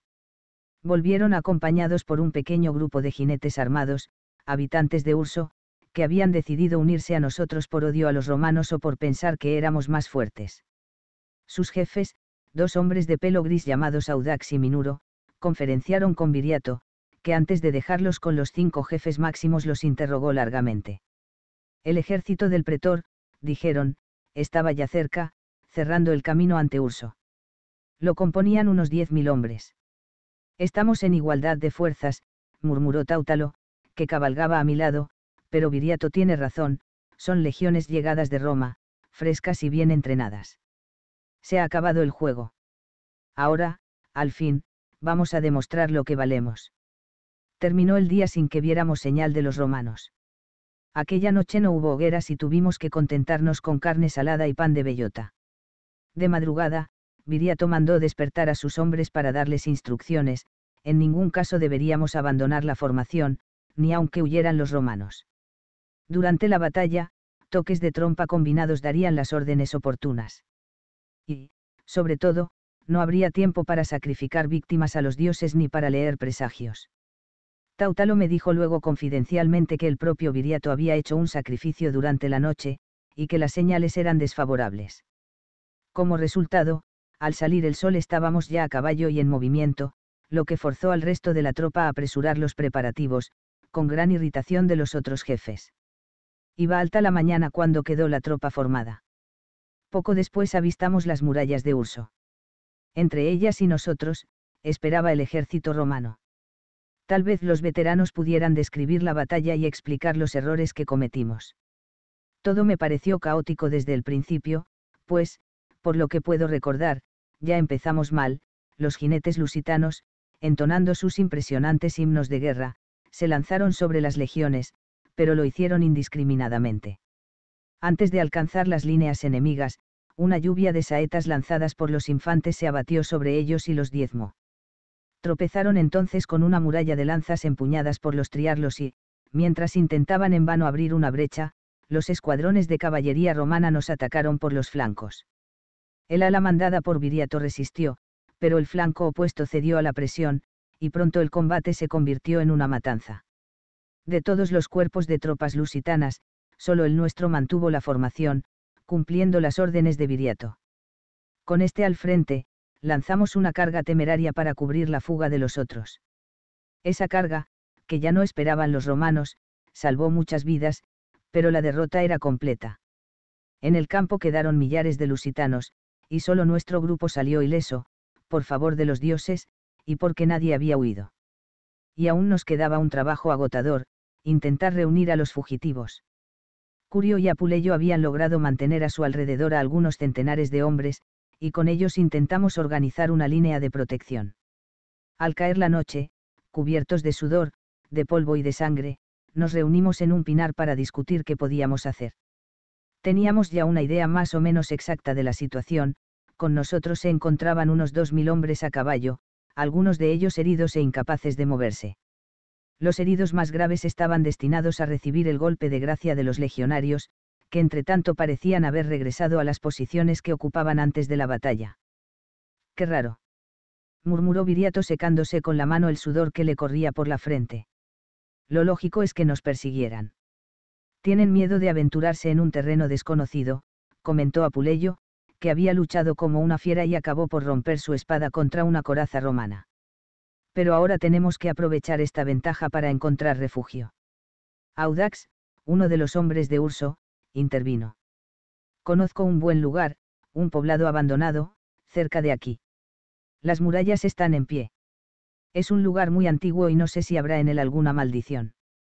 No puede haber peor maldición que la que hoy nos ha caído encima, gruñó Curio. Si agarro a los sacerdotes que nos leyeron los presagios en los Herminios, van a oír algo que no van a olvidar tan pronto. Viriato, pensativo, acariciaba el pescuezo de su caballo.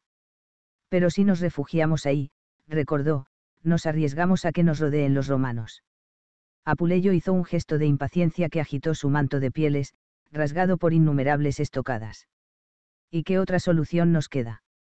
Necesitamos un sitio donde pasar la noche, para reunir a nuestros hombres y para cuidar a los heridos. Además, está oscureciendo ya. Se decidió que Audax guiaría a la mayor parte de los hombres hasta la población desierta, mientras Viriato, con un centenar de guerreros, intentaría encontrar más fugitivos. Con nosotros vendría Minuto, el amigo de Audax. Acompañé a Viriato. Durante gran parte de la noche, iluminados solo por la luz de la luna, batimos la región. El campo de batalla nos estaba vedado, pues estaba guardado por patrullas romanas, cuando nos acercamos, oímos los gritos de nuestros compañeros caídos, que los legionarios degollaban.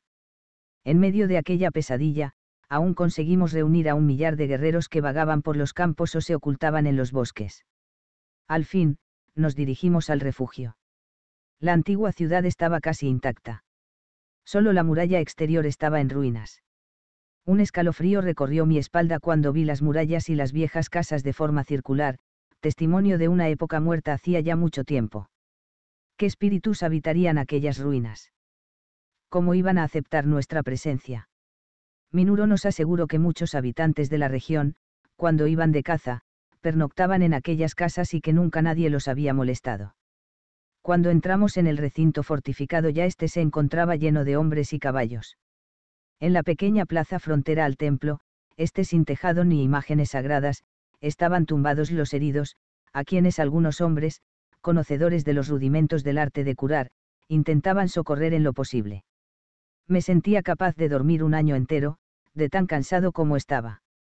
Con todo, el espectáculo de Viriato y Táutalo, ambos tan fatigados como yo, organizando los turnos de vigilancia e intentando poner allí un mínimo de orden, me llevó a querer demostrar que también yo estaba a la altura de la emergencia. Conocía a uno de los hombres que cuidaban a los heridos, un joven betón llamado Arduno, que pertenecía a nuestro grupo. Fui a verle y le ofrecí mi ayuda. Arduno alzó hacia mí sus ojos sorprendidos. Cada día me das una sorpresa, Tongio. O sea que, además de saber leer, encima eres curandero. No exactamente, pero cuando vivía en el santuario de Endobélico ayudaba a mi madre a cuidar a los peregrinos. Muy bien. Respondió él. Entonces, manos a la obra. Y me dio unas hierbas, que había ido a buscar no sé dónde, para que preparara con ellas un ungüento. Nos afanamos en lavar heridas, improvisar vendajes y distribuir la poca agua que había entre los hombres que ardían en fiebre. Al fin, cuando había hecho ya todo lo que era posible hacer, me recosté en un muro, tan cansado que hasta tenía miedo de caerme. Una cantarilla de barro apareció bajo mi nariz. Bebe, dijo Tautalo. Lo necesitas. Era cerveza, muy mala, pero me supo como si fuese néctar. Le di las gracias al tiempo que le devolvía la cántara, y pregunté. Habéis contado ya los supervivientes. Hizo un gesto afirmativo. Hemos perdido más de la mitad de los nuestros. Se ha acabado la expedición, Tongio, y suerte tendremos si logramos salir de aquí. Pero los romanos no nos persiguen. No, y precisamente eso es una mala señal. En fin, es una preocupación para mañana. Ahora, vete a dormir. Así lo hice. Dormí profundamente, pero por poco tiempo. Desperté con el alba, y me di cuenta inmediatamente de que algo pasaba, porque tanto las murallas como los roquedales, los había dentro del recinto de la ciudadela, estaban llenos de hombres en silencio y mirando hacia el exterior. Me levanté y subí a la muralla. La luz de la mañana dejaba ver los campos de alrededor.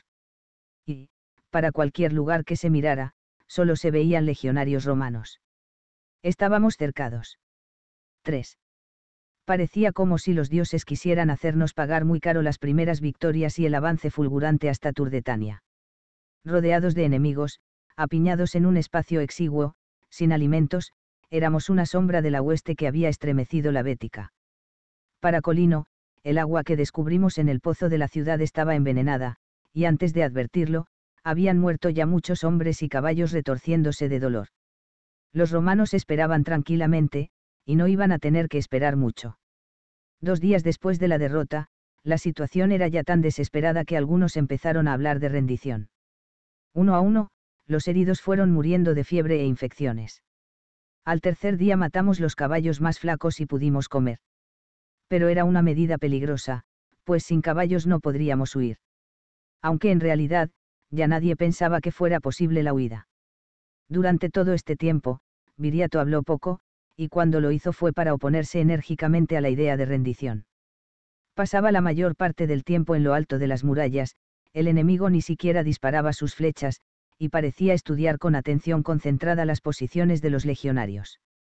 Pese a su expresión sombría, yo no veía en él la menor señal de temor, ni siquiera de verdadera preocupación. Se diría que, simplemente, estaba esperando. En la noche del tercer al cuarto día desaparecieron algunos hombres y, por cierta agitación que notamos en el campamento romano al amanecer, dedujimos que habían ido a entregarse. Durante aquel día murieron de enfermedad dos caballos, y fue imposible evitar que los comieran, los guerreros que con ellos llenaron el estómago, murieron también. Aquello era demasiado para los lusitanos, que son muy valerosos en combate pero soportan mal la adversidad.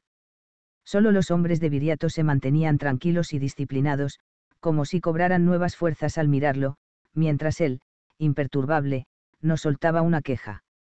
No se podía decir lo mismo de los jefes restantes, cuya moral no era superior a la de sus subordinados. Al fin, los tres jefes supremos que habían sobrevivido a la batalla anunciaron su decisión de enviar emisarios a Cayo Betilio proponiendo una rendición condicionada. Las protestas fueron débiles, y Viriato, para sorpresa mía, se abstuvo de manifestar su desacuerdo con la propuesta. Sin saber bien por qué, yo estaba cada vez más convencido de que tenía un plan y solo esperaba el momento propicio para ponerlo en práctica.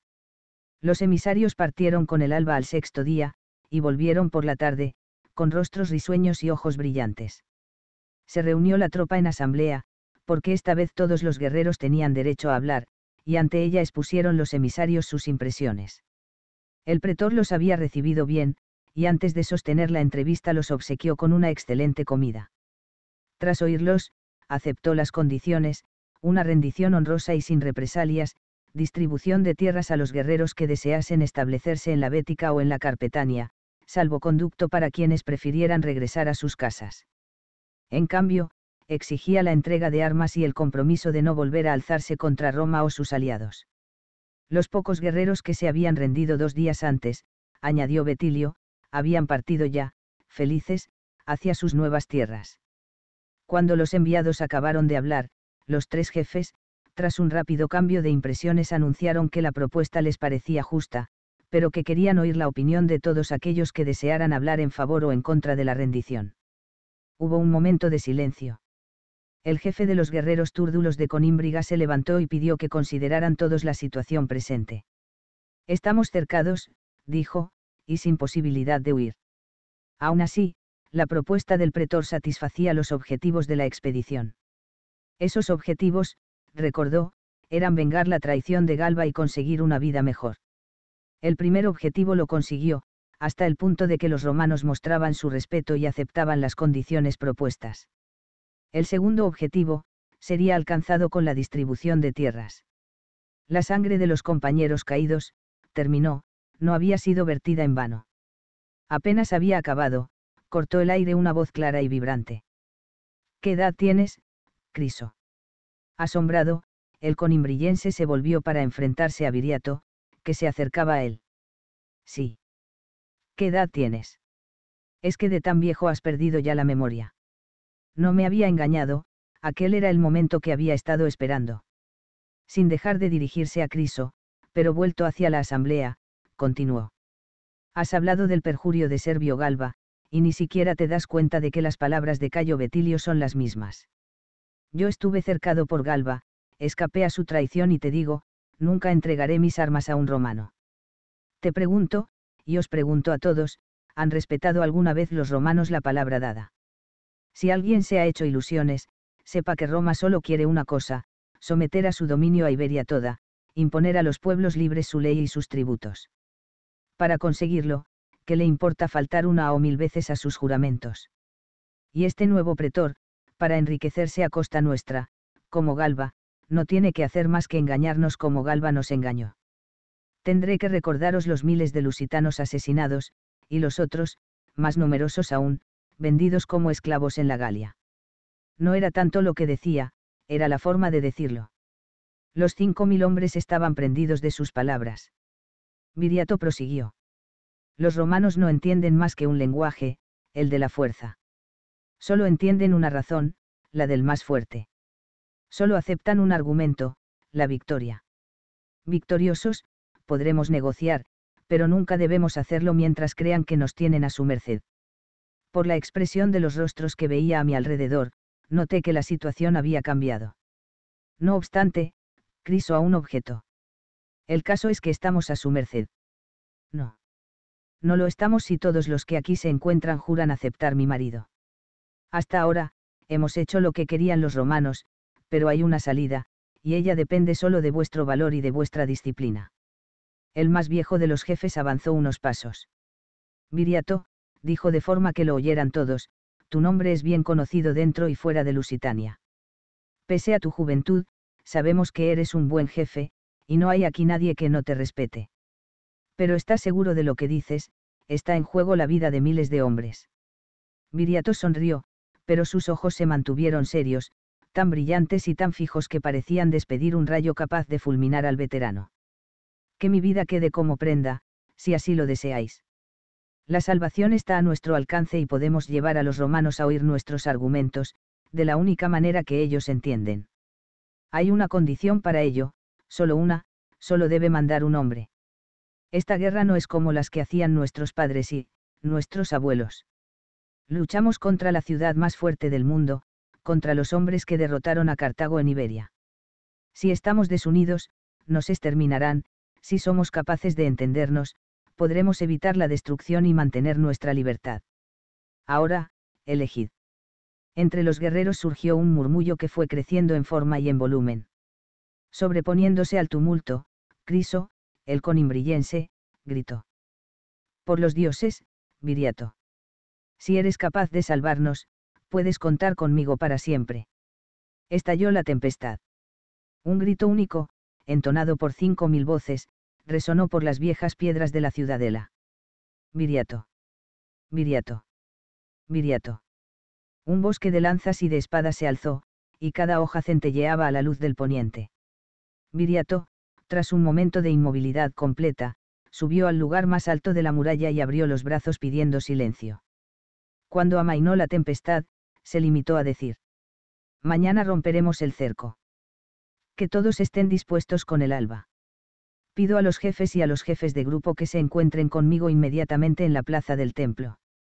Bajó de la muralla. Se dirigió al lugar donde nosotros, sus hombres, estábamos concentrados, y llamó. Tautalo, Arduno, Tongio, Audax, acompañadme. A nuestro alrededor, en vez de la apatía desalentada de los últimos días, reinaba una actividad febril.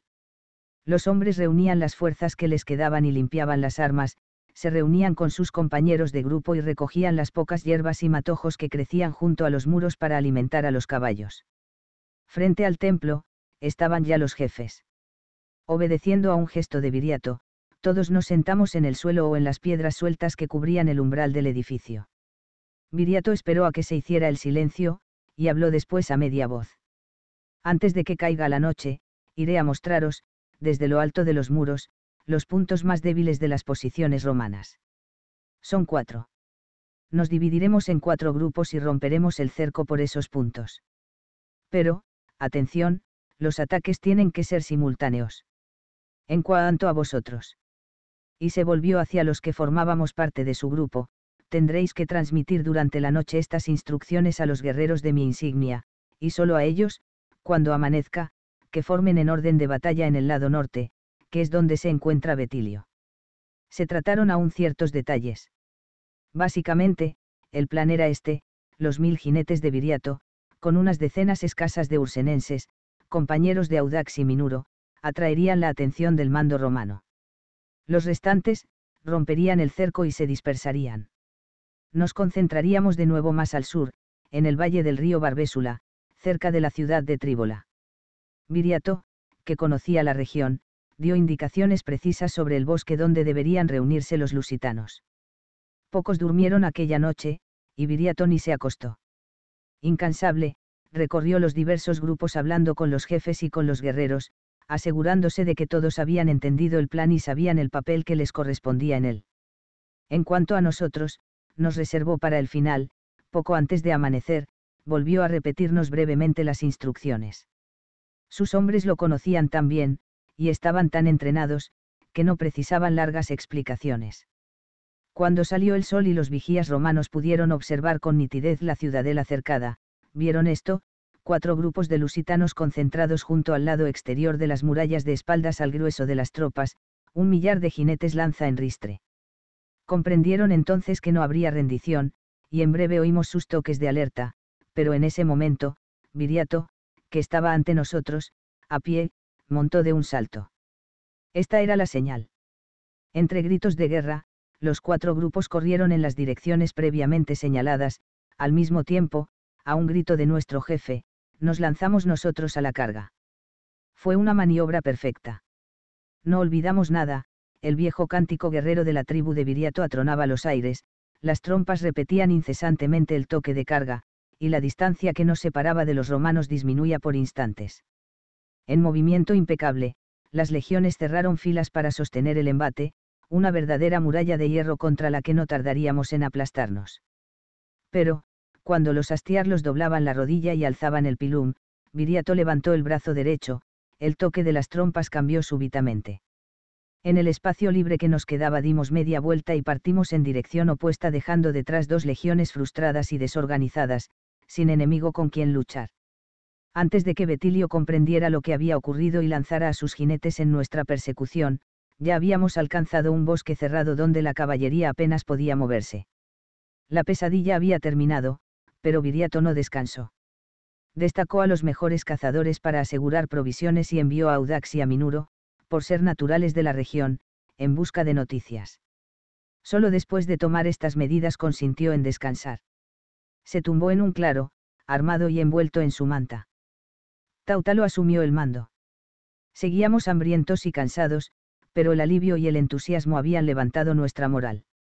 Frutas silvestres fueron nuestra primera comida, pero a lo largo del día fueron llegando los cazadores con ciervos y jabalíes, que abundaban en el bosque. Al fin pudimos matar el hambre, y para beber había agua fresca, límpida y deliciosa, llegada de fuentes y arroyuelos. Al caer la noche, Audax y Minuro regresaron trayendo con ellos un amigo, Ditalco.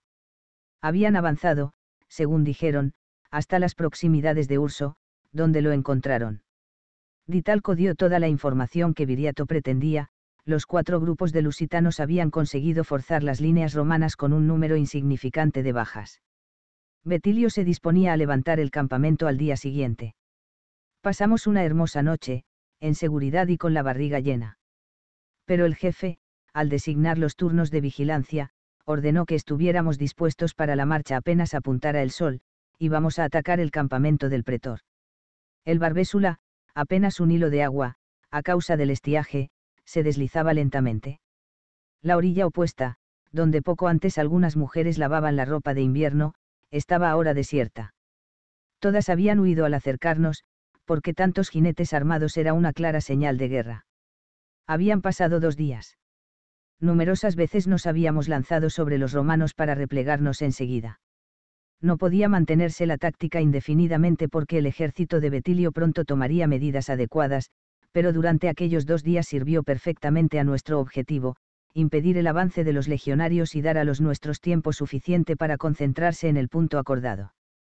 Y, ahora, también nosotros íbamos hacia el sur, rumbo a Tríbola cumpliendo órdenes expresas de Viriato, dejábamos un rastro lo suficientemente nítido como para que Betilio pudiera seguirnos sin dificultad. Por informaciones obtenidas en los poblados, sabíamos que el romano estaba loco de rabia por haber sido burlado por los bárbaros, y juraba vengarse, aunque tuviera que convertir la Lusitania en un desierto. Sabíamos también que los pocos lusitanos que habían abandonado la ciudadela para entregarse, aquellos de quienes decían que ya estaban, felices en sus tierras, habían sido decapitados. Manteníamos un día de marcha entre nosotros y las legiones, pero ahora había que cumplir la segunda parte del plan. Viriato, dejando a sus hombres a orillas del Barbésula bajo el mando de Táutalo, partió al galope acompañado solo por Arduno y Minuro, camino del bosque donde los lusitanos deberían encontrarse. Pasamos la noche sin ver señal de los romanos, y el jefe regresó a la mañana siguiente con el caballo cubierto de espuma. Poco después, nuestros vigías anunciaban con señales de humo la proximidad de las legiones. Viriato mandó que nos aprontáramos a montar en cuanto diera la orden. En ese compás de espera, pude hablar con él, estaba siempre dispuesto a oír a sus hombres, fuese cual fuese el tema. No quiero ser indiscreto, comencé, pero me gustaría que me explicaras una cosa, porque dejaste pasar tantos días antes de decir a la asamblea que tenías un plan para romper el cerco. Yo te observé con atención, y estaba seguro de que lo tenías todo muy pensando antes de decirlo. Clavó los ojos en mí, primero con sorpresa, luego su expresión se modificó. Olvidaba que no conoces aún bien a los lusitanos. Mira, Tongio, nuestras tribus y clanes son fanáticos de su independencia no sería posible unirlos si no sintieran la necesidad extrema de hacerlo. Si hubiera hablado antes, cada uno de los jefes pensaría que él tenía una idea mejor, y no nos entenderíamos. Pero todo cambió cuando comprendieron que había que unirse para sobrevivir. Por otra parte, las cosas no pueden seguir así, los jefes y las tribus tienen que entender que han cambiado los tiempos. Por la presencia de los romanos. Sí, replicó Viriato acentuando las palabras, por los romanos. Los cartagineses también codiciaban Iberia, y cometían injusticias y robos, pero no les interesaba más que enriquecerse. Roma tiene hambre de tierras. No desistirá hasta que nos domine. Si queremos ser libres y vivir según nuestras leyes, tenemos que luchar unidos. Es difícil, pero esto ha sido el principio y no podemos detenernos ya. En aquel momento, se acercó Tautalo para advertir a Viriato de que el ejército de Betilio estaba ya a la vista. Muy bien, dijo Viriato. Todos a caballo. Continuaremos la retirada, y que todos los hombres recuerden las órdenes que se les dieron. Poco después nos alejábamos de las orillas del Barbésula. Está aún muy viva la memoria de la batalla trabada en las proximidades de Tríbola. Muchos hombres con quienes he hablado me miran con un respeto casi religioso al saber que yo fui uno de los combatientes, sin enterarme, pasé a formar parte de la leyenda heroica. Al inicio de la tarde las legiones estaban tan próximas a nosotros que mirando atrás podíamos distinguir sus insignias. La caballería, distribuida a los flancos, se adelantaba en la persecución, como si quisiera envolvernos y cortarnos la huida. En cualquier momento esperábamos la orden de formar para el combate, pero un suceso inesperado cambió los planes, el cielo, que en los últimos días se había mantenido claro, se encapotó, y de pronto cayó sobre los campos una tremenda tempestad de verano gritando para hacerse oír por encima de los truenos, Viriato y Tautalo consiguieron dominar el terror que amenazaba con dispersar a nuestros hombres, a quienes les explicaron que la tormenta y la lluvia eran un favor de los dioses, pues venían a facilitarnos la victoria. Avanzando lentamente bajo la tormenta, nos distanciamos de los romanos e improvisamos un campamento. Llovió durante toda la noche, pero al día siguiente el sol se alzó en un cielo magnífico, sin una nube. Las legiones habían acampado, pero estaban dispuestas ya para avanzar. Formamos en orden de batalla y Viriato no permitió que los romanos tomaran la iniciativa. Lanzó el grito de guerra y nos lanzamos al galope. Después, como habíamos hecho junto a la ciudadela, cuando estábamos a pocos estadios de la vanguardia romana dimos media vuelta y nos batimos en retirada. Me volví, y vi que esta vez el dispositivo de las legiones estaba preparado para contrarrestar nuestra táctica, los escuadrones iniciaron inmediatamente la persecución y lo siguieron los bélites y los astarios.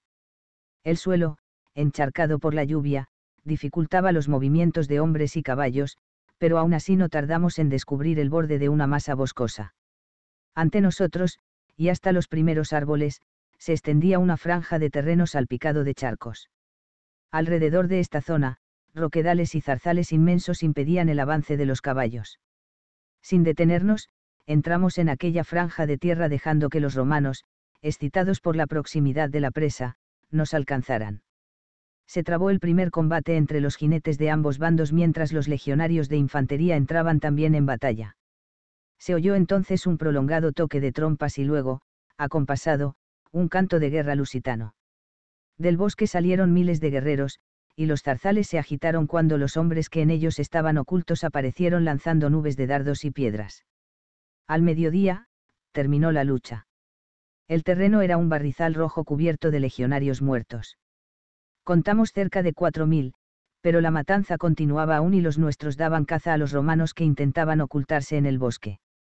Rodeado por Táutalo, Arduno, yo mismo y algunos jefes menores, Viriato inspeccionó el campo de batalla respondiendo con una vaga sonrisa a las aclamaciones de los guerreros.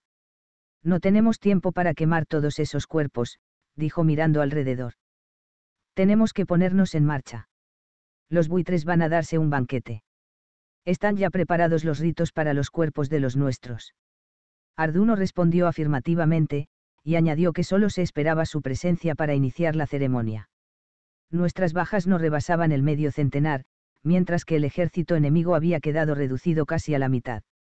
Desmontamos y nos dirigimos al lugar donde estaban preparadas las piras. Después del chaparrón había sido difícil encontrar madera seca. De pronto, un grito inacabable nos dejó clavados. Tautalo exclamó. ¿Qué pasa? Hay por ahí romanos escondidos. Lo mejor hubiera sido organizar patrullas. Sin responder, Viriato avanzó rápido hacia el lugar de donde había partido el grito. Fuimos tras él y, tras un peñasco, vimos a un guerrero ocupado en desnudar sosegadamente a un cuerpo decapitado.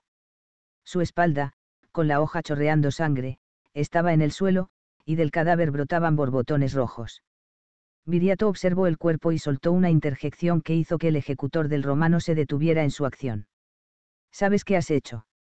Le preguntó al guerrero. Este le miró con aire beligerante, y respondió.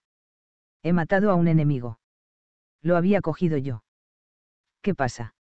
Estoy en mi derecho, y no tengo por qué darte explicaciones. Soy de Conímbriga, y mi jefe es Criso, hijo de. Pero Criso, que estaba precisamente detrás de mí, se adelantó y, sin aparente esfuerzo, le dio un puñetazo que lo tiró al suelo. Muérdete la lengua, miserable ordenó el viejo túrdulo. Es así como miras por mi honor y mi palabra, no he aceptado yo libremente la jefatura de Viriato, hijo de Cominio. No juré que si nos daba la victoria lo tendría siempre por jefe. Viriato esperó a que el hombre se levantara, y volvió a hablar. Tienes la disculpa de no saber que en mi hueste no se mata a los prisioneros que se rinden. Y ese hombre se rindió, pues está desarmado. Pero tú ya tienes tu testigo, y es mayor de lo que piensas mira bien a ese romano. Obedeció, y todos lo miramos. Con una náusea, contemplé aquel cuerpo obeso al que la muerte había convertido en un montón de carnes flácidas, y fui el primero en comprender. Una rabia asesina se apoderó de mí, pero esperé a que hablara Viriato. Lo has mirado bien. Amedrentado y avergonzado, el conimbrillense hizo un gesto y gruñó. Bueno. Es un legionario gordo y... No no era un legionario gordo, era un pretor gordo. Tienes que aprender a reconocer los distintivos militares del enemigo. Acabas de matar al pretor Cayo Betilio. Calculas el rescate que los romanos estarían dispuestos a pagar por su comandante, por el gobernador de la Hispania ulterior. Y buena parte de ese rescate sería para ti, pues tú lo capturaste. Pero veo que te contentas con una coraza, una túnica manchada de sangre y una espada. Le volvió la espalda y se alejó. Criso, que había escuchado con la boca abierta, soltó una carcajada sombría y volvió a hablar con su guerrero, cuyo rostro, ahora, era un espectáculo digno de verse. Si no fuera que la cosa tiene gracia, acababa ahora mismo contigo. La calma de Viriato era forzada, se había dominado porque no podía hacer nada y tenía horror a las expresiones de cólera inútil. Pero, cuando se encontró a solas con nosotros, los guerreros que luchábamos bajo su insignia, soltó un suspiro prolongado. Por Bandio y Lenaico. Por los dioses todos. Teníamos en nuestro poder a Cayo Betilio. Podíamos obligarlo a negociar, dictarle nuestras condiciones, exigir un rescate que nos garantizara un invierno con alimentos. Tautalo opinó. Por mí, mandaba ejecutar a ese idiota. Criso no se iba a oponer. No hay por ahí ningún precipicio para tirarlo, pero eso no es obstáculo podríamos. No, cortó Viriato. Ese hombre no tiene la culpa. Es un ignorante, ha seguido sus costumbres y no fue entrenado. Todos sus antepasados hicieron la guerra así. Esto es lo que hay que cambiar. Y, ahora, los dioses nos exigen libaciones y nuestros compañeros muertos quieren los ritos fúnebres. Vamos. 4. Con la derrota y muerte de Betilio, los habitantes del Valle de Barbésula sintieron una súbita y entusiasta voluntad de auxiliar a los vencedores y no nos regatearon albergue, vituallas ni información. Nos enteramos así de que los últimos restos de las legiones del pretor, unos seis mil hombres más o menos, se habían retirado a marchas forzadas hacia la costa del sur para atrincherarse en Cartella. Desde esta ciudad, donde, según nos dijeron, reinaba el pánico, el Kiwaste había enviado mensajeros a la Celtiberia pidiendo refuerzos con urgencia. Viriato rechazó las propuestas de los otros jefes, que querían atacar Cartella, y llevó su hueste hacia el norte, rumbo a la Carpetania. A quienes le preguntaban sobre sus planes, respondía, hay que enseñar a nuestros hombres a guerrear contra Roma. Y, de hecho, la disciplina y los ejercicios que había impuesto a sus jinetes se extendían ahora a todos los demás cuerpos de guerreros.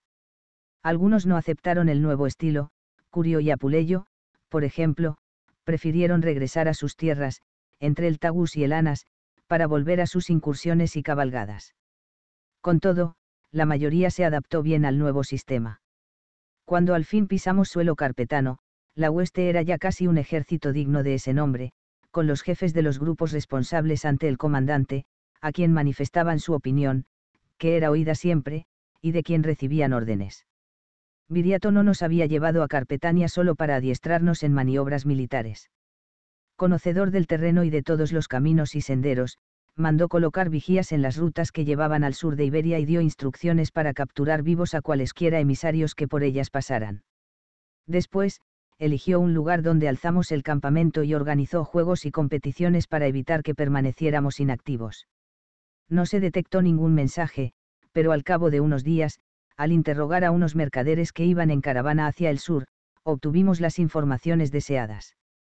Duramente castigados por los impuestos con los que el gobernador de la Hispania Citerior acababa de grabarlos, los mercaderes nos contaron todo lo que sabían y lo que habían oído en las ciudades por donde pasaron. La derrota de los romanos en Tríbola era ya conocida, pero las legiones de la Citerior continuaban en sus acuartelamientos, sin duda porque el gobernador temía revueltas locales. En contrapartida, había una gran concentración de guerreros de las tribus Titas y Beilous en las márgenes del río Iberus. Estos pueblos celtibéricos eran aliados de Roma, y todo llevaba a pensar que se disponían a auxiliar a Cartella. Viriato convocó a todos los jefes y les dijo que tendrían que redoblar la vigilancia en la región a partir de aquel momento. Estoy seguro de que los Titas y los Beilous van hacia el sur, camino de Cartella, y nosotros vamos a atacarlos aquí, en Carpetania, lejos de sus tierras, para que no haya pueblos amigos dispuestos a socorrerlos o a informarles de nuestra presencia. Y se endureció su expresión al terminar, no habrá prisioneros. Son pueblos ibéricos, como nosotros, pero se han aliado con el invasor romano. Hay que darles una lección que no puedan olvidaría jamás.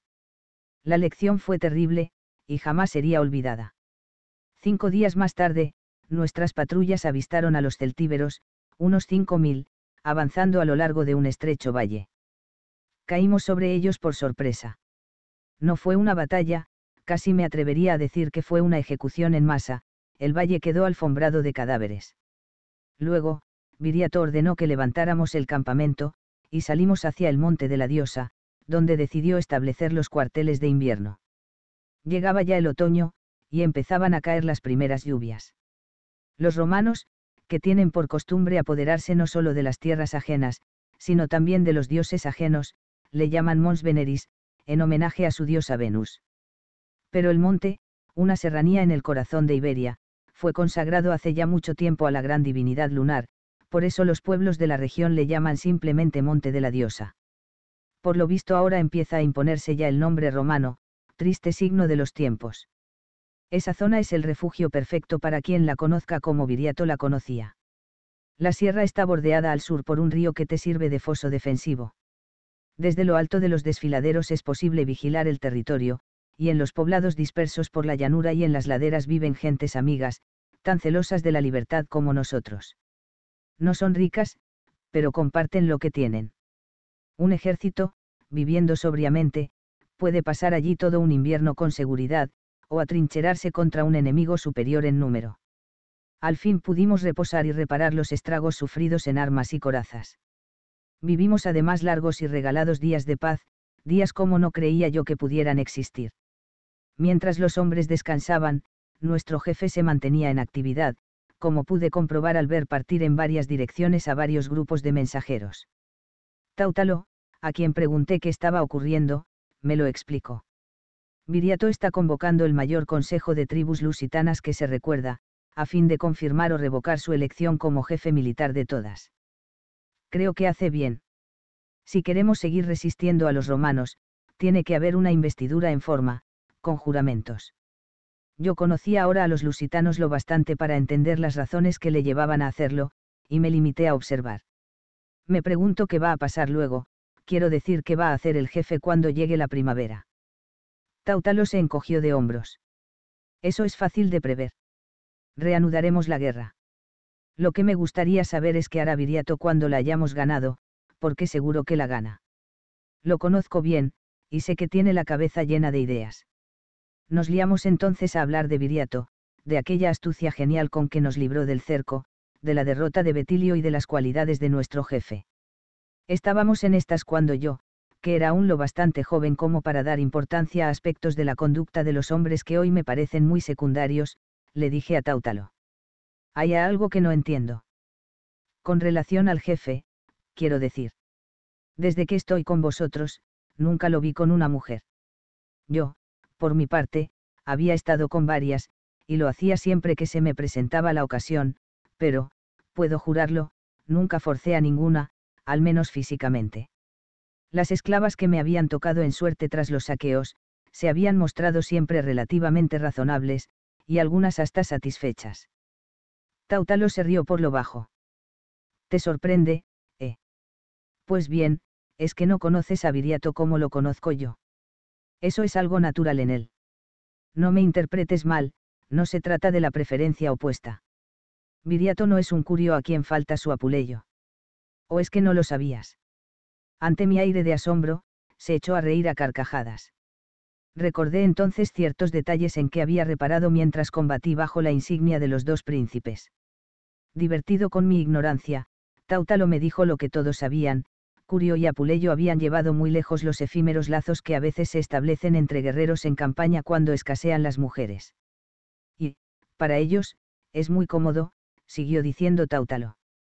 Y continuó, pero, volviendo a Viriato, el caso es diferente.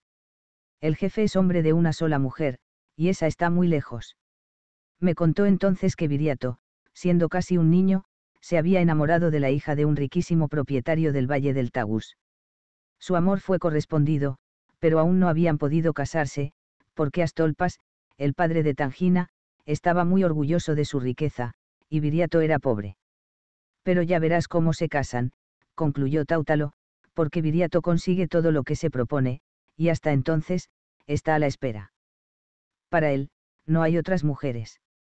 No es un hombre como nosotros, tienes que entenderlo. La guerra y las responsabilidades del mando, igual cuando éramos diez que ahora, cuando somos miles, lo absorben de tal modo que exigen toda su energía disponible. Cuando llegue la hora, Tangina va a ser una mujer feliz. Al menos, no tendrá que preocuparse con las infidelidades del marido. Y no podrá decir lo mismo tu esposa, que eres un golfante, muchacho. A Tautalo le divertía enormemente mi éxito con las mujeres. También él tenía grandes apetitos, gastronómicos y sexuales, y los satisfacía de manera sencilla, sin preocupaciones sentimentales. Por regla general, caía simpático a las mujeres, y por eso no se sentía celoso ante los éxitos de los demás. Hablábamos a la entrada del campamento, junto a una fuente, pero era ya la hora en que Tautalo tenía que hacer su ronda de centinelas. La hacían día y noche, sin interrupción, los comandantes de la tropa. Tautalo se despidió. Para pasar el rato, decidí dar un paseo explorando las inmediaciones. El día era hermoso. El aire, frío y estimulante, cargaba el aroma de la tierra húmeda. Trepé por los roquedales, atravesé riachuelos, y, casi sin darme cuenta, llegué a uno de los poblados, que era solo un conjunto de chozas hechas con piedras apiladas en seco. Pastaba un rebaño por allí, y podía oír los ladridos del perro. Fui en busca del pastor, para charlar con él un rato, pero vi que el rebaño estaba custodiado por una muchacha rubia, aún una niña, que clavó los ojos en el suelo cuando me vio. El perro vino a la carrera, dispuesto a atacarme, y no se detuvo hasta que se lo ordenó la muchacha, que se quedó mirando para mí, desconfiada y vigilante. Buenos días, dije. No tengas miedo. No voy a hacerte nada. La chica levantó la cabeza y sonrió. Era tan bonita que sentí que me quedaba sin respiración, pese a que era solo una niña, tendría quizá doce años, y apenas pude oír su respuesta, dicha en voz muy leve. Ah. Tú eres de la hueste de Viriato. ¿Por qué me miras así? Me estremecí, moví la cabeza y busqué una razón aceptable. Quedé sorprendido al ver que conocías a mi jefe. No lo he visto nunca, pero todo el mundo lo conoce. Es un hombre muy valiente y muy bueno, ¿verdad? Y ganó muchas batallas. Sí, es verdad. Ganó muchas batallas, es un gran guerrero, pero también un hombre justo.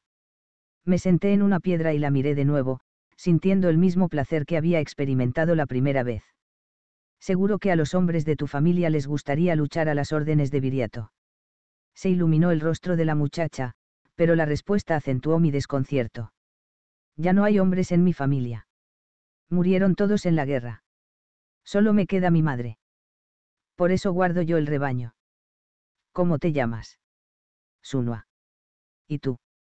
Le dije mi nombre y permanecí en silencio, sin saber qué más decir. Sunua se encargó de seguir hablando y me contó toda su vida, pequeños episodios de la existencia sencilla de una chiquilla que nunca había salido de su aldea natal. Yo no me aburría, me parecían graciosos sus movimientos, su voz, su manera de agitar la larga cabellera dorada. Acabé por olvidarme del tiempo, allí sentado, oyendo su parloteo. El sol se había desplazado ampliamente en el cielo, tanto que me di cuenta del cambio de las sombras.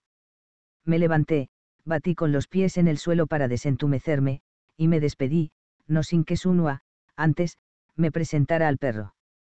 Se llama Ceniciento, por su color, explicó. Y Ceniciento, convencido ya de mis buenas intenciones, se dejó acariciar. Me alejaba en dirección al campamento cuando oí la pregunta de Sunua. ¿Vendrás mañana? Me sorprendí respondiendo que sí, y lo hice sin saber por qué y a la mañana siguiente, allí estaba, tras haber soñado con la muchacha toda la noche. Así empezó una extraña amistad entre Sunua y yo, extraña porque nada había, aparentemente, que pudiera vincular a un chico de 17 años, que orgullosamente se consideraba hombre hecho y derecho, con una chiquilla de 12. Pero lo que más me preocupaba era mi certeza de que no podría hablar de ella con ninguno de mis camaradas, ni siquiera con Tautalo o Arduno, a quien me unía una gran amistad. Era aquella una relación secreta, sin que hubiera ninguna razón para que lo fuera, a no ser el temor a que se burlaran de mí sabiendo que pasaba mi tiempo libre en compañía de una pastorcilla. Con todo, los primeros días, logré engañarme a mí mismo diciéndome que Suno había despertado en mí solo una ternura oculta, la ternura por la hermana menor que nunca había tenido. Uno a uno regresaron los mensajeros trayendo respuestas. No todos los pueblos habían aceptado el llamamiento, pero un gran número de jefes y notables estaba dispuesto a comparecer en el consejo convocado por Viriato. Por suerte, el tiempo era seco y no se creía que pudiera haber grandes atrasos, y así fue posible pensar en una fecha precisa. Mientras llegaba el día, Viriato nos obligó a hacer ejercicios y maniobras en las que gastábamos las energías acumuladas y se perfeccionaba nuestro entrenamiento. Empezaron a llegar los jefes con sus escoltas, en torno del campamento surgió una nueva ciudad de tiendas de campaña. Todos los días, cuando terminaban los ejercicios, me daba un baño rápido en el agua helada que llenaba la pila de piedra, junto a la fuente, y salía en busca de Sunua. Nos encontrábamos a escondidas, como dos chiquillos que planean una travesura, y pasábamos el tiempo hablando de cosas sin importancia o guardando grandes silencios. Pero cuando volvía al campamento, iba yo feliz como un rey. Un día, apareció Sunua vestida de blanco y con una brazada inmensa de hojas cogidas en las márgenes de algún riachuelo, pues venían aún goteando. Parecía una diosecilla pisando levemente la hierba que cubría el suelo. Para que no sintiera frío, tendí mi manto en la roca, y se sentó en él. Como en esta época del año no hay flores bonitas, traje plantas. ¿Para qué? Fingió un aire de misterio. Ya verás. Y continuó, aún más seria quiero pedirte algo. Todo lo que quieras, si está en mi mano dártelo. Suno apuntó a mi barbilla. No te dejes crecer más la barba. Desde que me uní a la hueste de Curio y Apuleyo, me había dejado crecer las melenas, y llevaba barba para no parecer un romano. ¿Por qué? ¿No te gusta? No me gusta verte así, con un aspecto terrible, lleno de pelo, como los otros. En mi padre, o en mi hermano, no me importaba, pero contigo es diferente. No puedo ver tu cara si está llena de pelos, ¿entiendes? ¿Me lo prometes? Le dije que sí, y me puse colorado, cosa que me irritó. Para alejar ideas importunas, volví a preguntarle. ¿Y qué vas a hacer con esas plantas para parecer una diosa? ¿No lo ves? Con rapidez y habilidad iba trenzando los tallos para formar una corona de verdor. La terminó de hacer, se acercó a mí y me la puso en la cabeza. La ajustó cuidadosamente, y retrocedió para comprobar el efecto. Te queda tan bien. No la quites. Yo había arrancado la guirnalda e, imitando sus gestos, se la coloqué sobre la dorada cabellera. Te queda mejor a ti, dije, aunque no necesitas coronas para parecer una diosa. Inesperadamente, Sunua me echó los brazos al cuello. ¿Eso crees? Ah, Tongio, es que tú, tú, eres tan guapo.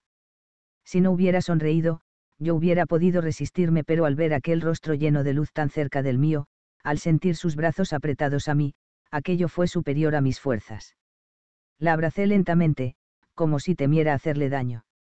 En un último vislumbre de lucidez, intenté imprimir a mi abrazo una intención fraterna, y le di un rápido beso en la punta de la nariz, pero Sunua no se soltó, sino que se acercó más a mí, y me besó en la boca, torpemente, con avidez. Creo, sí, lo creo aún hoy, que los dioses arrebataron nuestros espíritus y los llevaron fuera de este mundo, hacia un lugar reservado a los amantes. Cuando, con una conmovedora ternura, dejó ella deslizar la mano que sostenía mi nuca y alejó sus labios de los míos, me pareció haber vivido miles de años, sé muy bien que todos los enamorados deben de sentir algo semejante, pero yo lo sentía de una forma tan intensa que me atemorizaba. Así se transformó nuestra amistad en algo distinto, en una relación de la que yo no sabía huir, una dulce fiebre que se había infiltrado en mi sangre. Fueron días de éxtasis y, de sufrimiento, días de tortura y de encanto, llenos de actos de amor no consumados y poblados de sueños de ternura. Hoy, ya no siento ni culpa ni remordimientos. Los dioses quisieron que yo viviese aquello, y se cumplió su voluntad. Pero, por ser todo tan intenso, tenía también que ser muy corto. 5. Llegó el día de la asamblea. Hablando ante los jefes, príncipes y reyes de Lusitania, recordó Viriato los crímenes del invasor romano, los abusos de los pretores, la avidez de los magistrados, la doblez de los generales. Relató, aunque ya todos la conocían, la historia de nuestra expedición, y advirtió que si realmente los lusitanos querían la libertad, deberían pensar que la guerra solo había empezado. Roma debería enfrentarse con un solo ejército y un solo general, no con un conglomerado de grupos desordenados. Los otros pueblos ibéricos, al ver nuestro éxito, no tardarían en unirse a nosotros en una confederación militar. Había llegado el momento de elegir un jefe único, y él, Viriato, se ofrecía, con sus hombres, para luchar bajo las órdenes de quien fuera elegido. Un clamor interrumpió sus palabras. Ya no se trataba de un simple jefe de tribu que hablaba, como cualquier otro, en una asamblea. Ahora, él era el salvador de la expedición lusitana, el vencedor de Betilio. No hubo debate, solo una aclamación espontánea.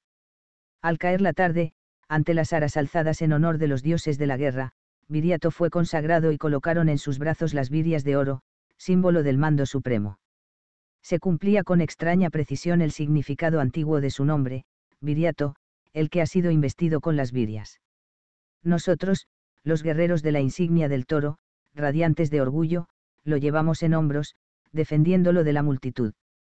Al fin los lusitanos tenían un jefe capaz de luchar contra el opresor y superar la gloria efímera de Púnico, Cesareo y Cauceno. Un día después de la investidura de Viriato, empezó a llover, y las fuentes del cielo chorrearon casi ininterrumpidamente durante una quincena.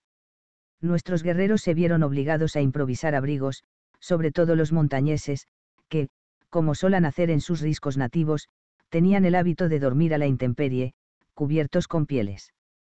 Viriato no desperdició este periodo de forzada inmovilidad. Del mismo modo que había entrenado a sus tropas en el combate a campo abierto, entrenaba ahora a sus jefes y se esforzaba en organizar un verdadero Estado Mayor formado por hombres que lo conocieran bien y que se conocieran entre sí.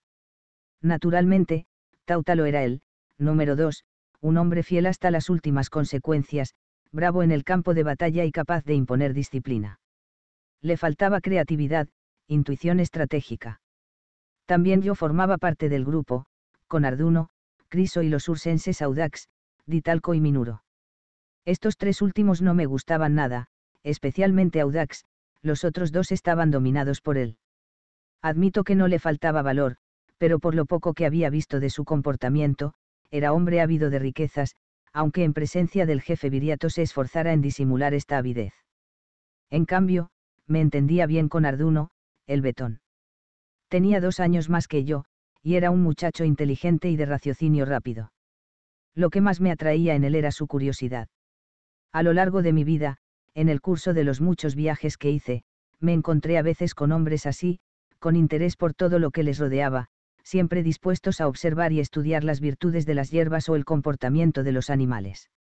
Si Arduno supiera leer y escribir, si viviera en algunas de las ciudades que yo visité, sin duda sería rico y famoso pero se sentía feliz tal como era y compensaba su ignorancia con una memoria prodigiosa. Yo me había ofrecido para registrar por escrito algunas de sus ideas, pero me resultó imposible, pues solo tenía una tablilla que les había cogido a los romanos cerca de Gadir, y la cera estaba ya casi inutilizable por lo mucho que me había ejercitado con ella para no perder la práctica. Todos los días, al anochecer, nos reuníamos con Viriato para discutir nuevos planes de guerra. Él oía siempre las sugerencias que le hacíamos, pero, en definitiva, su proyecto acababa siempre por recibir la aprobación unánime, pues era el mejor. Cuando cambiara el tiempo, saldríamos hacia el norte, e intentaríamos conseguir la adhesión de los betones y de los bácceos a nuestra causa, porque, como decía el jefe, es preciso alzar a Iberia toda, tanto a los pueblos libres como a aliados de Roma. Le pregunté si creía posible convencer a todos esos pueblos para que aceptaran un jefe lusitano. Él replicó. Va a ser muy difícil. Primero tenemos que hacer que se alcen contra los romanos. Luego, ya veremos. La única esperanza es que acaben por entender que no hay otro modo de combatir a los romanos.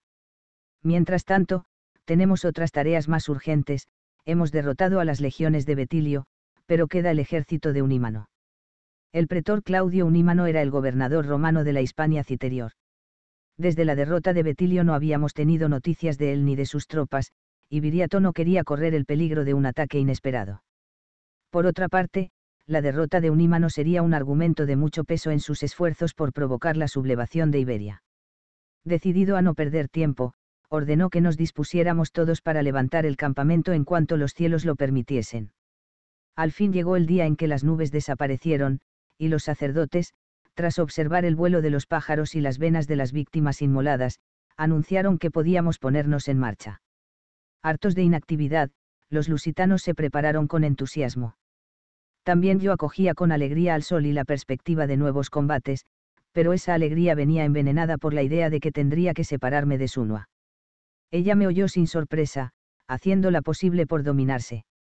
Pese a su juventud, conocía la partida de los hombres de la tribu hacia la guerra, y sabía portarse como si fuera la esposa de un guerrero. Me sentí sumergido en una oleada de ternura al verla haciendo esfuerzos desesperados para mantener esa actitud, con los ojos llenos de lágrimas y la barbilla estremecida. En el momento en que me disponía a dejarla, saqué del dedo mi pesado anillo de plata, regalo de mi madre, y se lo tendí, pidiéndole que lo guardase. Sunua se negó. Ese anillo me lo darás cuando vuelvas, porque cuando vuelvas nos casaremos. Tongio, también tú lo deseas, ¿verdad? Si me dijeras que no, me moriría, estoy segura. Sí, deseaba casarme con ella, le respondí, y era sincero, pero no sabía cuándo iba a regresar. El anillo sería un recuerdo, y prenda de nuestro noviazgo. Pero Sunua volvió a negarse. Y, después de besarme largamente, dijo con tono solemne no necesito un anillo para acordarme de ti. Y ya tengo una prenda de noviazgo, porque estoy encinta, espero un hijo tuyo. Di un salto y empecé a decirle que eso era imposible, pero no me dejó terminar. No me digas nada. Yo quería ese hijo, Por ser tuyo. No podía dejarte marchar así. Va a ser un niño. Sé que será un niño, y tú volverás, por mí y por él. La abracé con desesperación. Hubiera querido llorar y reír al mismo tiempo, besarla y colocarla sobre un altar para llevarle ofrendas como si fuese una divinidad. Me faltó valor para decirle que no habíamos consumado el único acto de amor que transforma a una virgen en mujer, no me había atrevido, por miedo a entristecerla, por escrúpulos y, extrañamente, las caricias de ternura habían bastado, por primera vez.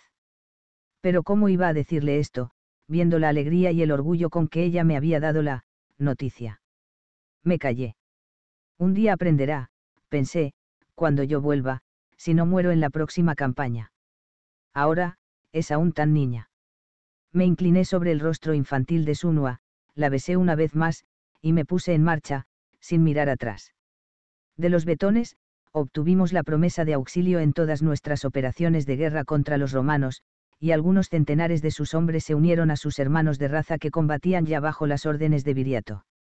Arduno, que como Betón fue elegido para iniciar las conversaciones, apenas tuvo trabajo, su pueblo era un aliado tradicional de los lusitanos y había ya una larga historia de expediciones conjuntas. Viriato era admirado ni respetado por ellos. Después de muchos banquetes, juegos y ceremonias, fuimos al encuentro de los Bacceos.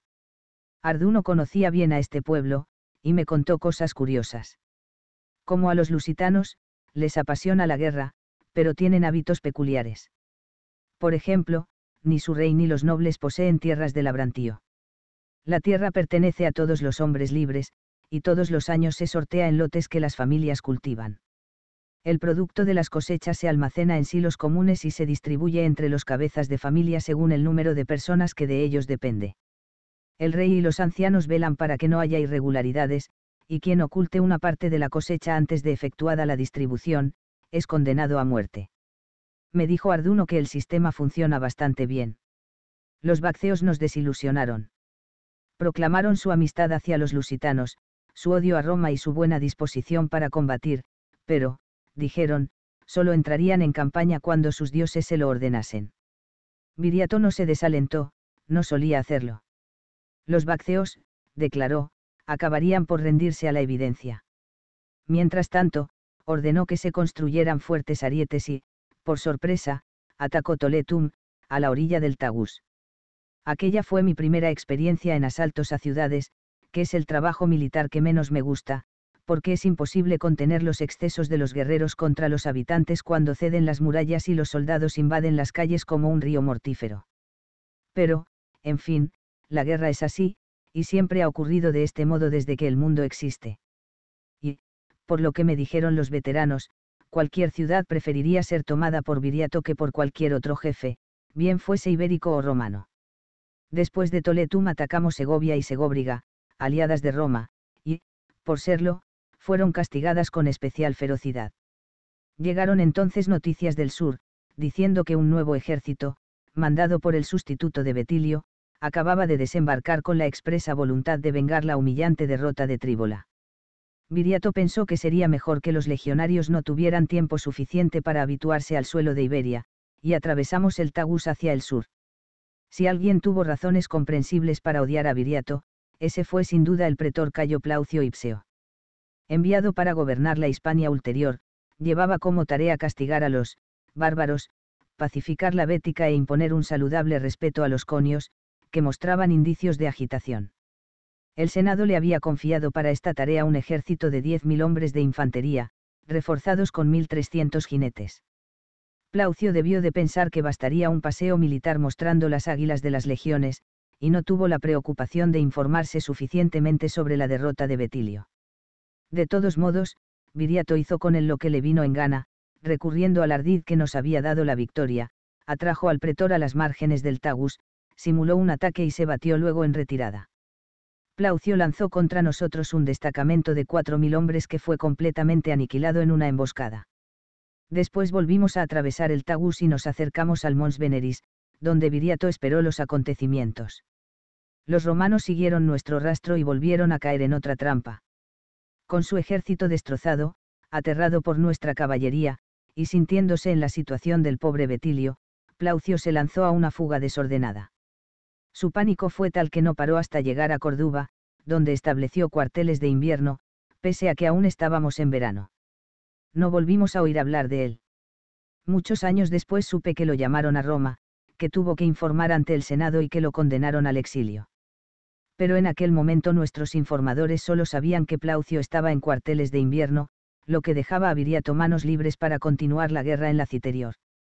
También trajeron otras noticias los emisarios. El jefe, tras oír los informes, los despidió agradecido, colmándolos de regalos, y luego me llamó. Acudieron también Tautalo, Criso y Arduno. Lo encontramos en un claro del bosque, solo, con aire preocupado. Ha caído Cartago, nos dijo bruscamente. Hubo un silencio incrédulo, luego, Tautalo balbuceó. ¿Cómo es posible? Cartago. La ciudad, incluso la ciudad, ha sido tomada y arrasada por los romanos, precisó Viriato. Cartago es ahora un montón de ruinas. Cartago se acabó. Nadie creería posible una cosa así. La presencia cartaginesa en Iberia había terminado hacía mucho tiempo, y sin dejar demasiado buen recuerdo, realmente, pero la ciudad, poderosa aún, seguía sosteniendo la guerra con Roma. Su caída era impresionante, pensé yo, e iba a alterar completamente el equilibrio del mundo. Sin duda, Viriato había pensando lo mismo, pues dijo ha caído, y tarde o temprano vamos a sufrir las consecuencias. Los cartagineses eran la arena en la sandalia de Roma, ahora, sin ella, tendrán más tropas disponibles para lanzarlas contra nosotros. Y añadió luego, aunque con voz diferente. Es una razón más para intentar no perder tiempo. Mañana empezaremos la campaña contra las legiones de la. La guerra contra el pretor Claudio Unímano se resolvió en dos batallas, aplastamos a sus tropas, cuyos efectivos quedaron reducidos a la mitad, y capturamos sus estandartes, vergüenza suprema para los legionarios. Cargados de despojos, emprendimos el regreso al Mons Veneris, mostrando, a nuestro paso por la Carpetania, las águilas arrebatadas a los romanos. Estaba ansioso por ver de nuevo a Sunua, y en cuanto me lo permitieron mis deberes de guerrero, tomé un baño en la fuente, como había hecho siempre antes, me puse mis mejores ropas y fui a verla no la encontré en los lugares por donde solía andar con las cabras, y decidí entonces acercarme al poblado, lo que me obligaba a hacer un camino mayor. Estaba el cielo cargado de nubes oscuras y amenazadoras, pero no tuve ánimo para volver al campamento sin ver primero a la muchacha. Iba sonriendo para mí al recordar su decisión, nos casaríamos cuando yo volviese. ¿Por qué no? El tiempo había pasado deprisa, pero había pasado. Es increíble la rapidez con que una muchacha se convierte en mujer. Sunua debía de haber cumplido ya los 13 años, y yo tenía ya 18. La diferencia de edades no era muy grande, y acabaría por equilibrarse. Nos casaríamos, y yo podría darle el hijo que ella había creído esperar, que inmensa debió de ser su desilusión. Pero todo se desvanecería cuando nos encontráramos. Pese a todo, al ver a lo lejos las chozas del poblado me sentía incómodo ante la perspectiva de hallarme ante la madre de Sunua y tener que decirle, ¿dónde está tu hija? Quiero casarme con ella. Me detuve al pie de un árbol para ordenar mis ideas. Pasó una vieja y masculló un saludo, ya conocían el regreso de la hueste todos los de la sierra. Y entonces se me ocurrió que quizá ella supiera dónde estaba Sunua. La vieja me midió con los ojos, y empezó a decir. ¡Qué disparate! Sunua. Y se quedó callada, mirándome. Espera, espera, tú serás sin duda Tongio, el guerrero de Viriato. Pues mira, ahora lo entiendo todo. Sí, sí, lo entiendo. Sunua, pobrecita, hablaba mucho de ti. Te llamaba siempre, muchas veces, antes de morir. Me quedé inmóvil, helado. Dejé de oír durante un rato la cantilena de la vieja. Solo retuve las palabras, enfermedad, y, delirio, nada más, hasta que se dio cuenta de que yo no la oía, y se calló. Sus ojos me devoraban, hambrientos de curiosidad. Hubiera querido estar muy lejos. La mujer, con su apetito agudizado ante la historia del guerrero de la hueste lusitana enamorado de Sunua muerta, quería llevarme a la aldea, pero aquello era excesivo para mí. Providencialmente, resonó un trueno inmenso anunciando la tempestad la vieja se desgañitó en una afligida letanía a los dioses de las tormentas. Corté su discurso poniéndole bajo la nariz dos monedas de plata.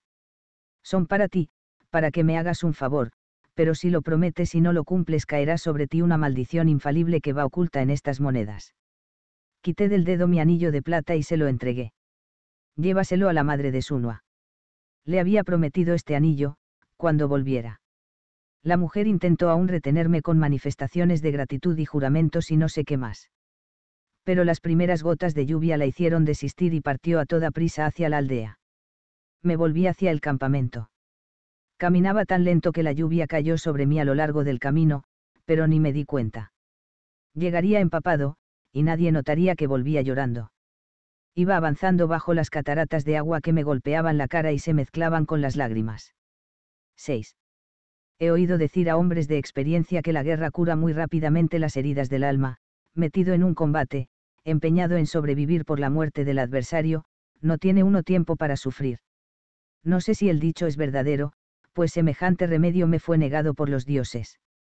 Aquel año, la campaña contra Unímano nos trajo una victoria tan rápida que apenas había empezado el otoño cuando estábamos ya de vuelta en el monte de la diosa. Las expediciones militares quedaban en suspenso hasta la primavera. Empezó entonces una lenta tortura, no había rincón de la sierra que no me hablara de Sunua.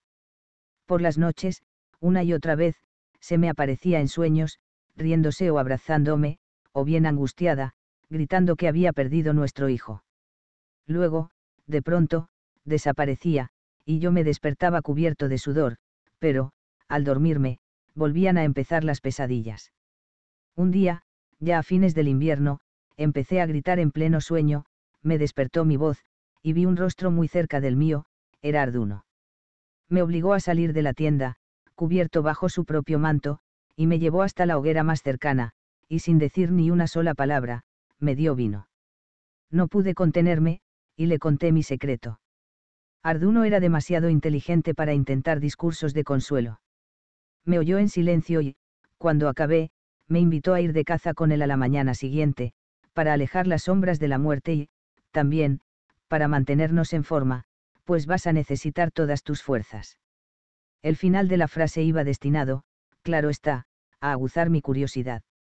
Le pedí que se explicara, y así lo hizo. Si no hubieras pasado el día entero tan solo como un oso en invierno, sabrías que han llegado noticias de la Bética.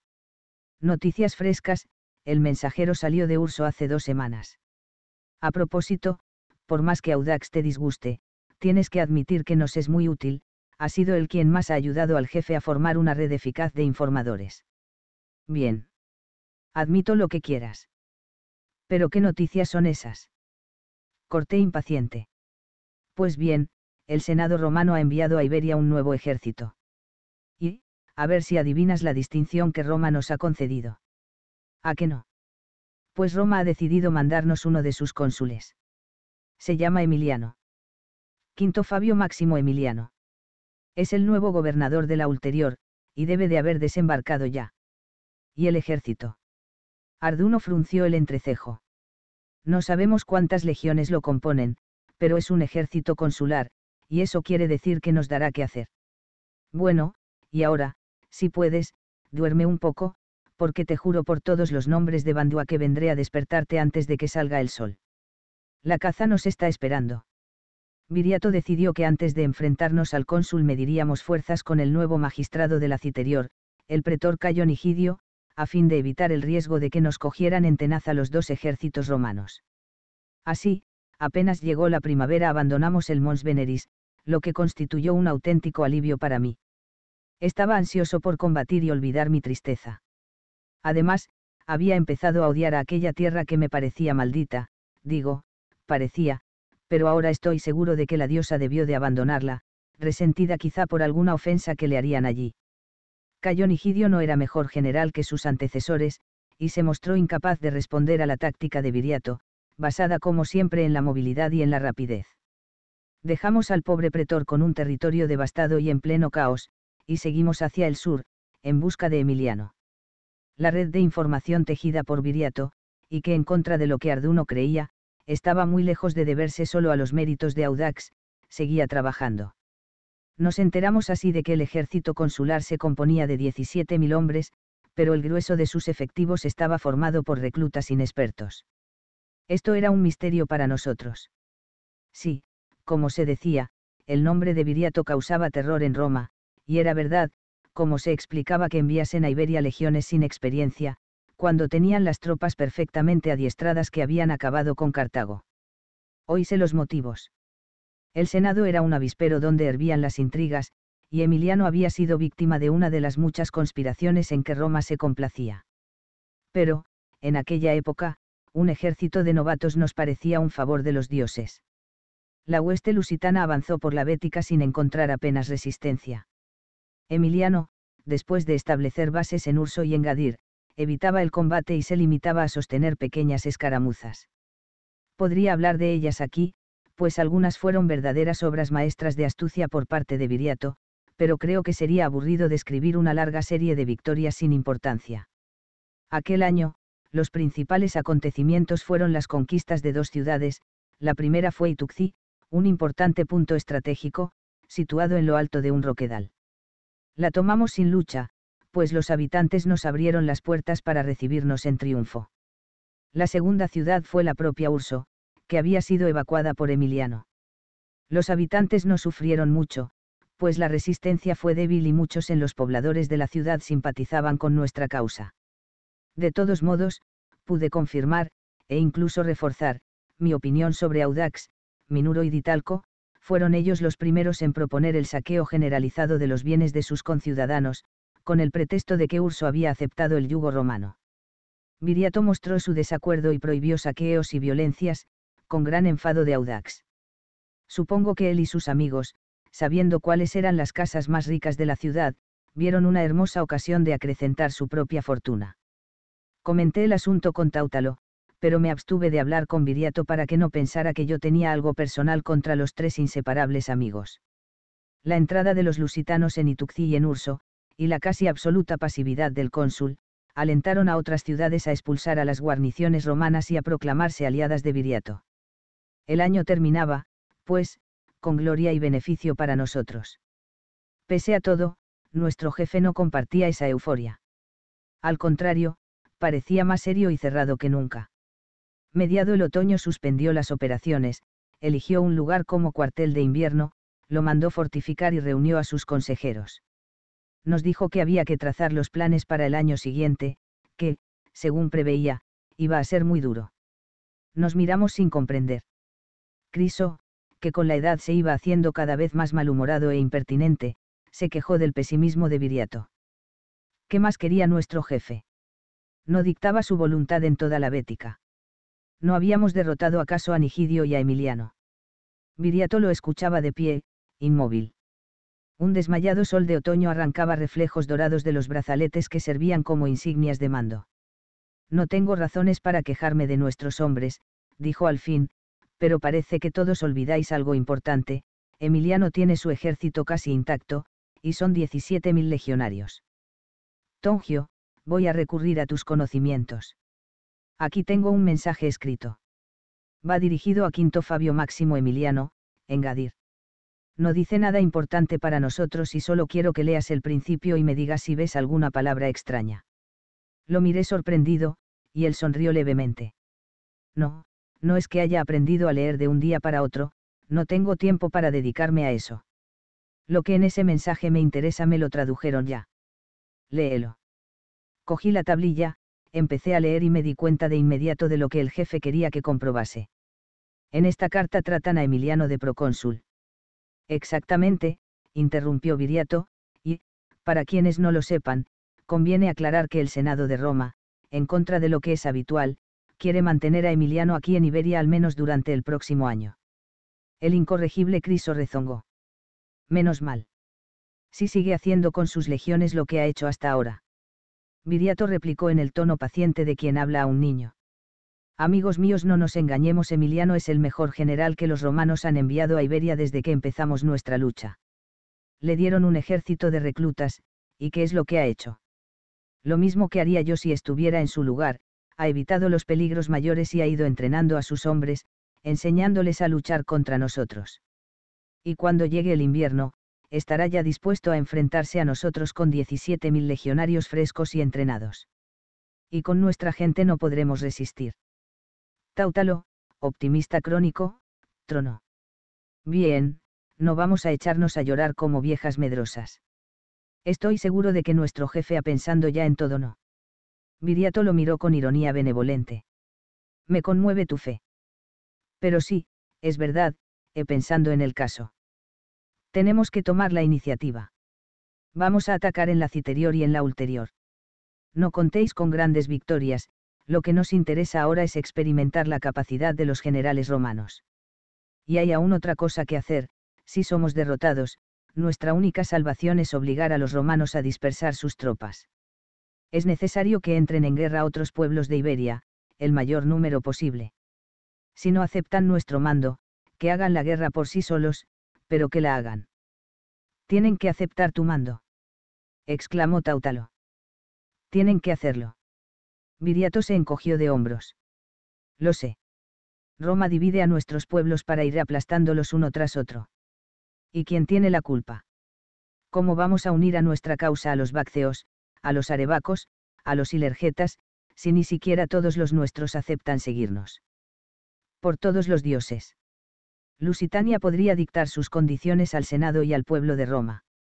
Súbitamente, cambió de tono. Pero todo esto son sueños, y no hay tiempo para soñar. Tongio, tú y Arduno seréis mis emisarios. Tenéis que salir para Cineticum, y, desde allí, subiréis hacia las tierras que están entre el Tagus y el Anas, y aún más al norte. Hablaréis con los pueblos, intentaréis conocer su modo de pensar. Lanzaréis nuestra simiente. Yo mismo, en cuanto me sea posible, iré al norte, por otro camino, para hablar con los pueblos betones, con los bacceos, con los calaicos, con todos los que estén dispuestos a escucharme. Quedamos citados para el comienzo del otoño en Igedium. Mandaré aviso a algunas ciudades de vuestro itinerario. Un hermoso viaje, comenzó Arduno, pero voy a sentir la falta de combates. Lo que vais a hacer es tan importante como combatir. Tongio conoce el Cineticum y algo de las tierras de más al norte, pero cuando llegue al Callipus, estará perdido. Entonces, tú serás el guía, y él el intérprete, si es necesario. Dio por finalizada la reunión. Arduno se me acercó y me dio una sonora palmada en la espalda. Después de la guerra, el mejor remedio para el aburrimiento es un buen viaje. Atravesamos el Anas por la zona de Baesuris, y pernoctamos en la ciudad. Yo sentía cierta preocupación, durante el viaje vimos numerosos contingentes romanos. También había romanos en las proximidades de Baesuris. Además, Reburrus, el comerciante con quien había hablado cuatro años atrás, podría reconocerme. Arduno intentó disipar mis temores, había pasado mucho tiempo desde entonces, y yo había cambiado mucho, estaba más alto y musculado, y llevaba barba. Además, pasaríamos solo una noche allí. Lo que sí me inquieta, añadió, es la abundancia de legionarios. Esperemos que nuestros disfraces sirvan de algo para viajar por la parte del Cineticum sometida a Roma decidimos decir que éramos curanderos ambulantes. La idea se le ocurrió a Arduno, y estaba muy orgulloso de ella, y aún más orgulloso quedó cuando comprobamos que la idea había sido realmente inspirada, pues por todos los caminos había patrullas al mando de oficiales muy inquisitivos. No tardamos en comprender la razón. Las noticias de las victorias lusitanas habían despertado en el espíritu de los conios un ánimo de revuelta que iba fermentando en el país. La tensión era perceptible, se respiraba en el aire, Balsa parecía más un cuartel que una ciudad, Osonova presentaba idéntico aspecto y, como era de esperar, pululaban espías pagados por los romanos para descubrir eventuales agitadores. En las tabernas y hospederías nos miraban con desconfianza y siempre había alguien con los oídos atentos. Hartos de aquel ambiente, Arduno y yo decidimos discutir nuestros planes lejos de curiosos. La mejor solución era salir de la ciudad. En una de las muchas playas próximas a Osonova buscamos un lugar aislado y hablamos sobre el ambiente perceptible en Cineticum. La situación, dije, parecía muy favorable, pero al mismo tiempo resultaba difícil establecer contactos sin levantar sospechas en las guarniciones romanas. Yo estaba seguro de que, al menos por dos veces, nos habían seguido. Arduno se sentó en la arena, al borde mismo de la espuma, y se entretenía viendo llegar las olas que morían a un palmo de sus pies. Creo que lo mejor que podíamos hacer, dijo, es marcharnos de Cineticum. Conocemos ya el estado de espíritu de esta gente, y si intentamos algo con los conios, corremos el peligro de provocar la rebelión demasiado pronto. Además, noto peligro en el aire, peligro para nosotros, quiero decir. Yo había aprendido a tomar en serio sus presentimientos, y, en consecuencia, solo puse una condición, la de dejar, antes de partir, una ofrenda en la necrópolis de Osonova, en las tumbas de mis antepasados. En Balsa, por razones de seguridad, no me había atrevido a ir al sepulcro de mi padre, pero allí nadie iba a establecer relación alguna entre un oscuro curandero y una fa, milla aparentemente extinguida. Arduno se dejó convencer, y dijo que me acompañaría. La verdadera razón de hacerlo era, sin embargo, el temor a que me ocurriera algún percance, pero como detestaba mostrarse solícito, prefirió decir que sentía curiosidad por ver cómo iba a descubrir yo aquellas tumbas, si nunca antes había visitado la ciudad. Es muy sencillo, le dije mientras lo llevaba a la parte de la necrópolis reservada a las familias de los ancianos. Mira. Todas las tumbas estaban adornadas con inscripciones en caracteres conios. Arduno me lanzó una mirada furiosa, y protestó no me dirás que también consigues leer esos garabatos. Esos garabatos, repliqué, son la primera escritura que aprendí, antes incluso de aprender las letras romanas. No olvides que soy como. Rezongó. Bueno, está bien, está bien. La pena es no poder unir tus conocimientos a los míos. Sería invencible si lo consiguiera. Pero. Hizo una pausa y volvió a hablar, ahora en voz baja, veo que continúan siguiéndonos, y esto no me gusta nada. Lo lamento mucho, Tongio, pero tus antepasados tendrán que quedarse sin ofrendas. Esta no es ocasión para ceremonias piadosas. Realmente, dos hombres a quienes habíamos visto ya en el mercado de Osonova se paseaban por la necrópolis afectando un aire demasiado ocioso para ser verdadero. Podemos tenderles una emboscada, atraparlos y torturarlos hasta que confiesen que andan haciendo. Arduno replicó que entonces tendríamos que matarlos también, para que no fueran a contar historias sobre nosotros, pero toda esta operación podría llamar aún más la atención sobre nosotros. Entonces, vamos a intentar largarnos de la ciudad con aire inocente, y cuanto antes. Así lo hicimos. No salimos por el camino grande sino por las playas, y tirando hacia el norte cuando nos fue posible. Fuimos todo el día a galope, solo con las paradas necesarias para dar reposo a los caballos, y continuamos la misma marcha hasta alcanzar las sierras que son frontera natural entre Cineticum y Mesopotamia.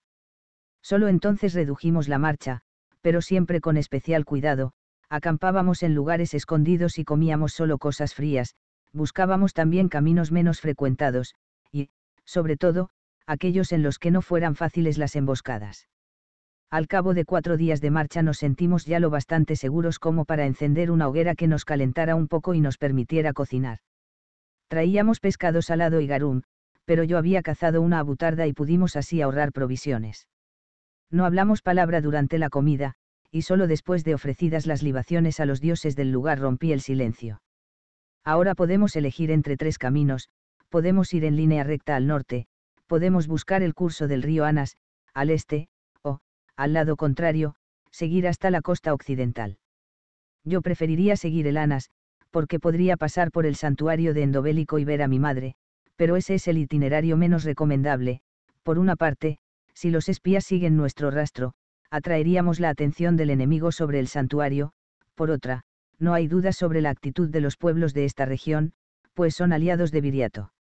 Arduno se mostró de acuerdo, pero como era la segunda vez que las circunstancias parecían contrariar mis deseos, en Osonova no había podido rendir homenaje a mis antepasados, y ahora tenía que privarme de visitar a mi madre, dijo que iba a comprobar si el riesgo era real, buscaría una indicación en el fuego. Ahora eres tú quien me sorprende. Le dije. No sabía que eras capaz de leer presagios en las llamas. No subestimes nunca a un betón. Apártate un poco, y no hables nada. Arduno echó más leña al fuego, hizo una libación y empezó a recitar una larga oración a media voz luego vertió vino en las llamas y se arrodilló rápidamente, observando el fuego. Al cabo de un rato, cuando yo sentía ya en la piel el frío de la noche y deseaba poder acercarme a la hoguera, Arduno se estremeció, asumió su aire natural y dijo en voz alta. Vispasca. ¿Qué? Vispasca. Por ahí debemos ir, directamente hacia el norte, hasta Vispasca. A partir de ahí, no sé bien, pero como es conveniente evitar el este, sería aconsejable ir por la costa. Podríamos cruzar al Callipus por Evión. La propuesta era lógica. Vipasca y Evión tenían importancia para nosotros, en la primera de las dos ciudades había minas de las que los habitantes de la comarca extraían metales para armas y herramientas, en cuanto a Evión, era ciudad famosa por sus armeros.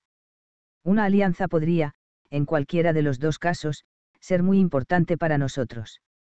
Ahora que hemos tomado ya una decisión, dije, estoy dispuesto a dormir o prefieres que haga yo el primer turno de vela. Arduno se encogió de hombros. Me es igual. Duerme si quieres. Aquí no corremos peligro, he invocado todos los nombres del dios Bandua. Era la segunda vez que decía tal cosa y, como en la primera, no comprendí, Arduno, leyendo la pregunta en mis ojos, volvió a encogerse de hombros, y, explicó. Es una idea mía. Cada pueblo tiene sus dioses, y todas las montañas, ríos y bosques tienen también sus dioses. Pero hay Sindhi, y da unos dioses más poderosos que los otros, son dioses que protegen a varias tribus y usan nombres diferentes. En mis viajes, conocí a un dios Bandua. Luego conocí también a Banderaico, a Bandiarbariaico, a Bandioilenaico. ¿No crees que son todos un mismo dios? Yo no lo sabía, y aquello me sonaba a blasfemia. Se lo dije, y él movió la cabeza riendo. Los dioses conocen nuestros pensamientos. Bandua no me ha fulminado por pensar de esta forma. Lo que importa es honrar a todos los dioses, y eso es lo que yo hago. Muy bien, concluí, entonces voy a dormir, y espero hacerlo bajo la protección de todos los dioses. Los pueblos que vivían entre el Tagus y el Anas no se mostraban tan inclinados hacia la guerra como los conios. En ninguno de los lugares por donde pasamos obtuvimos una adhesión clara, aunque muchas tribus se declararon dispuestas a hacer eventuales incursiones en la Bética, en el momento en que sus jefes lo decidieran y los presagios fuesen favorables. En Vispasca oímos rumores sobre la guerra, nada en concreto, pero todo parecía indicar que Emiliano había conseguido mejorar la calidad combativa de sus legionarios y estaba ya en condiciones ventajosas de atacar. Se decía también que el nuevo gobernador de la Citerior, Lelio, había iniciado una campaña para secundar la acción del procónsul. Al salir de la ciudad, proseguimos en dirección norte. Si íbamos directamente a Evión, como habíamos decidido, acabaríamos por atravesar la zona entre el Tagus y el Anas, es decir, la Mesopotamia, sin hablar con la mayor parte de las tribus. En consecuencia, tomamos camino de Évora. Los viajes en la Mesopotamia se ven facilitados por el terreno, casi todo llano cuando más, ondulado en pequeños cerros y colinas, como en la zona del santuario de Endobélico. Con todo, durante el día el calor nos impedía avanzar con la deseada rapidez. La travesía de las sierras del Cineticum nos había hecho perder mucho tiempo, y teníamos ya el verano encima. Esta estación es muy calurosa en Mesopotamia, donde solo los bosques sirven de refugio contra los ardores del sol. Pero los habitantes de la región, a lo largo de generaciones incontables, fueron cortando los árboles para aumentar la tierra cultivable. Évora, ciudad que visitaba por primera vez en esta época del año, era un caserío sin gran belleza y aún pequeño. Lo más notable en ella eran los vestigios del pasado, las famosas piedras gigantes. No lejos de la ciudad, según nos dijeron, había un campo sagrado donde abundaban estas piedras. Arduno y yo fuimos a presentar nuestros respetos a los dioses locales y, como guerreros, no dejamos de ofrecer un sacrificio en el templo de Runesos, Cesios, dios de la guerra y señor del dardo. Luego, fuimos a visitar a los ancianos. Uno de estos, amigo de Viriato, había recibido un enviado con mensajes destinados a nosotros en los que se confirmaban los rumores pesimistas que habíamos oído en Vipasca. Viriato había sido derrotado por Emiliano en la Bética, y había tenido que abandonar Urso e Ituxi. Otra ciudad, Arunda, había caído también en poder de los romanos. En la Citerior, Cayo Lelio había vencido a una fuerza lusitana mandada por un lugarteniente, no pudimos saber quién era, pero pensé que podría ser Tautalo. En este sombrío panorama había un solo punto brillante, la ciudad de Baikor se había puesto a nuestro lado, y Viriato se había retirado a ella con todas sus fuerzas. Baikor tiene mucha importancia estratégica, pues está cerca de un desfiladero que domina la entrada del Valle del Betis. Estas informaciones nos sirvieron para argumentar, ante los notables de Évora, en favor de un apoyo militar a Viriato. Por mi parte, expliqué que las tierras de entre el Tagus y el Anas no estaban a cubierto de una invasión romana, muy al contrario, en la Bética se jugaba la suerte de toda la Iberia libre. Si perdía Viriato, nada se opondría a las legiones de Emiliano y de Lelio, que podrían ocupar aquel mismo verano la Mesopotamia y lanzarse luego contra Lusitania y Calecia en la primavera siguiente. A esto añadió Arduno que resultaba urgentísimo tomar una decisión. Viriato había perdido tres ciudades, y era dudoso que pudiera resistir un ataque simultáneo lanzado por las legiones de la Citerior y de la Ulterior. Aunque no obtuvimos respuesta inmediata, pude comprobar que nuestros argumentos causaban impresión. Nos despedimos, pues, dejando atrás una simiente que, o al menos eso era lo que esperábamos, podría dar frutos muy en breve. Nuestra próxima escala fue Evión, donde gozamos de la ventaja de ser portadores de noticias aún no conocidas. En todo caso, yo tenía ahora prisa de llegar a las tierras de los túrdulos, donde esperaba mejor acogida, y por esa razón quise hacer el resto del viaje en barca, siguiendo por el Callipus hasta la hoz. Pero tropecé entonces con la negativa obstinada de Arduno, que estaba convencido de que iba a hacer todo el viaje marcado, no me veo sobre el agua, decía. El resultado fue que tardamos unos días más en alcanzar la costa y, para colmo, nos perdimos. Quien sigue por tierra el curso del Callipus en dirección al mar, tiene dos caminos, por la orilla del norte acabará llegando a Cetóbriga. Y por la orilla del sur dará en una península muy llana y larga llamada Acale, que separa el estuario. Seguimos por esta orilla, cuando nuestro destino inmediato era Cetóbriga. La región es bonita, con abundancia de pinos y árboles frutales. En el extremo de la amplia lengua de arena y tierra, junto a la boca del estuario, hay un poblado de pescadores también llamado Acale. Sus habitantes viven de la salazón y venta de pescado en las aldeas vecinas. Es gente pacífica y laboriosa, sin grandes ambiciones. Fuimos recibidos con hospitalidad, pero resultaba evidente que allí no teníamos nada que hacer y que había que ir a Cetóbriga. Desde la ensenada de Acale podíamos ver la ciudadela y el caserío apiñado en lo alto del promontorio, pero entre nosotros y Cetóbriga estaba el ancho estuario del Callipus.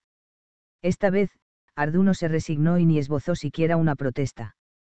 Volver atrás equivalía a perder más tiempo. Contratamos a dos pescadores para que llevaran los caballos en una balsa. En cuanto a Arduno, apretó los dientes y entró detrás de mí en uno de los odiados barcos de cuero. Vomitó durante toda la travesía.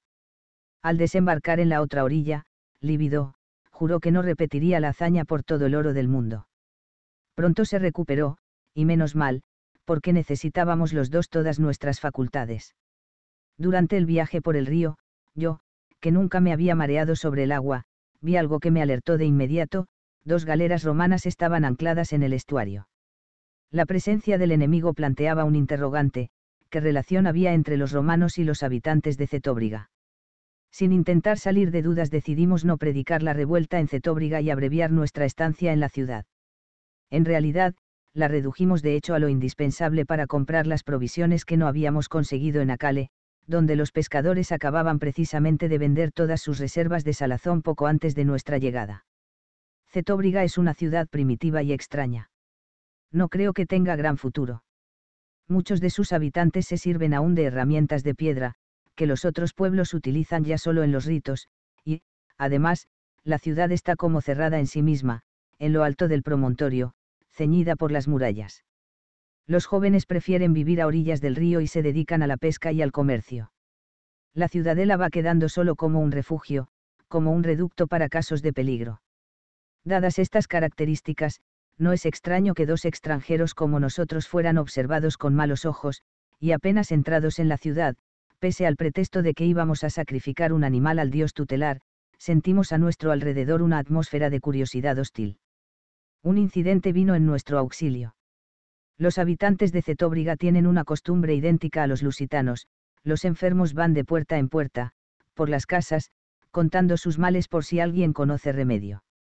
Pues bien, apenas habíamos dado unos pasos por una de las callejuelas cuando fuimos abordados por un anciano que se quejaba de fuertes y persistentes dolores de estómago. Arduno, como ya he dicho, era experto en medicinas. Se sentó al lado del viejo y empezó a hacerle preguntas, que comía y cosas así, preguntas cuyo interés yo no podía comprender.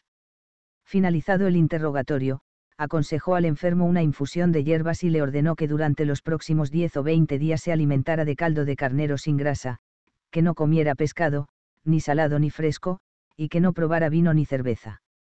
Lo que quieres es matar de hambre a ese pobre viejo, le dije al oído mientras nos alejábamos, y como la familia se empeñe en tomar venganza, sospecho que vamos a tener que largarnos de aquí aún más deprisa de lo que pensábamos. Arduno se mostró seguro de sí. Va a curarse. Ya lo verás. Su enfermedad es que come y bebe demasiado. Mañana ya estará mejor, estoy seguro. Bien, insistí, pero será mejor que no estemos aquí mañana para comprobarlo. No me apetece morir arrojado desde las murallas. Pero, por lo visto, estaba dispuesto que permaneciéramos allí al día siguiente. Cuando íbamos a entrar en el templo, encontramos la puerta cerrada y a la población de la ciudad concentrada en silencio en el tramo de muralla que daba al estuario y el océano. Empecé a sentirme inquieto, pues no sabía si aquel era un día en el que nuestra presencia allí fuera tenida por sacrilegio. Por suerte, Arduno, que había viajado ya por la costa occidental, recordó a tiempo. El sol. Es por el sol. Empieza el crepúsculo. Para muchos pueblos de la costa, me dijo, es sagrado el ocaso, y lo ven con temor, contemplan cómo el dios se hunde en las aguas del océano y temen que su fuego se apague para siempre. Entonces, hay que guardar silencio y rezar impetrando el regreso del dios. Nos unimos a los habitantes de Cetóbriga y participamos en la oración. Luego, cuando el gran disco rojo desapareció en las aguas lejanas del horizonte, íbamos a alejarnos cuando toda aquella gente se apiñó a nuestro alrededor, finalizado ya el silencio de la oración, y empezaron a hablar todos al mismo tiempo. Con la rapidez de un incendio se había corrido por la ciudad la voz de que habían llegado unos extranjeros sabios en dolencias y tratamientos. Llovían las consultas, y respondíamos como podíamos, pero lo peor estaba aún por venir. Llevábamos así un buen rato cuando una mujer joven empujó a los que tenía delante y se abrió paso hasta Arduno con tanta vehemencia y desesperación que tuvimos dificultad para entenderla, un hijo suyo, de 14 años, estaba poseído por un mal espíritu que se había alojado en su cabeza. Me estremecí y hablé en voz baja con Arduno. Esto es más grave. Dolores de estómagos, verrugas, encías que sangran, heridas, todo eso, pase, pero, malos espíritus. Es demasiado peligroso. Él me miró, serio. Lo sé, Tongio, y sé también lo que hay que hacer en estos casos. Claro que es peligroso, pero te das cuenta. Un chico de 14 años. Al menos hay que intentar algo. No me tranquilizó la respuesta, pero no tuve más remedio que acompañarlo. Menos mal que lo hice, pues así pude ser testigo de algo asombroso, una de esas cosas que yo solo conocía por viejas historias oídas en la infancia. Hoy, son muy raros los hombres capaces de esa proeza, abrir la cabeza a un poseso y expulsar los malos espíritus que se habían refugiado en el interior. Ni siquiera en sueños hubiera creído que Arduno era uno de esos hombres. Arduno me permitió asistir a todo, bajo promesa del más absoluto secreto, pues la operación contiene actos de magia demasiado poderosa y llena de peligro para poder revelarlos.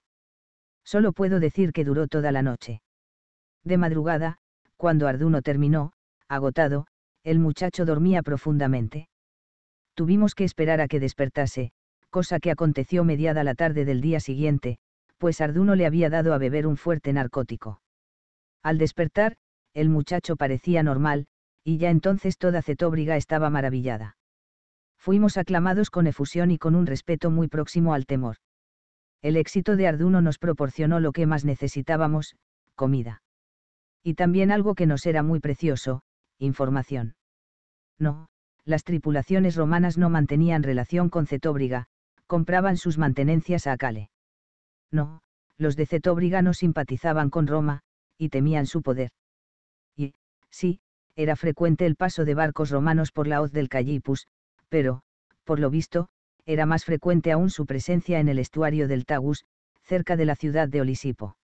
Esto nos dio que pensar. Habíamos decidido pasar unos días en Olisipo, pero no teníamos muchas ganas de arriesgarnos a tener contactos con la población local teniendo a los romanos a la vista. Aún así, recordó Arduno, habrá que pasar por las inmediaciones. Podríamos dormir en las antiguas canteras, que están abandonadas. Asentí. En el viaje por la Mesopotamia se nos había ocurrido la idea de darle una agradable sorpresa a Viriato y compensarlo así, en cierto modo, por las derrotas sufridas, para eso tendríamos que pasar algunos días en las proximidades de Olisipo.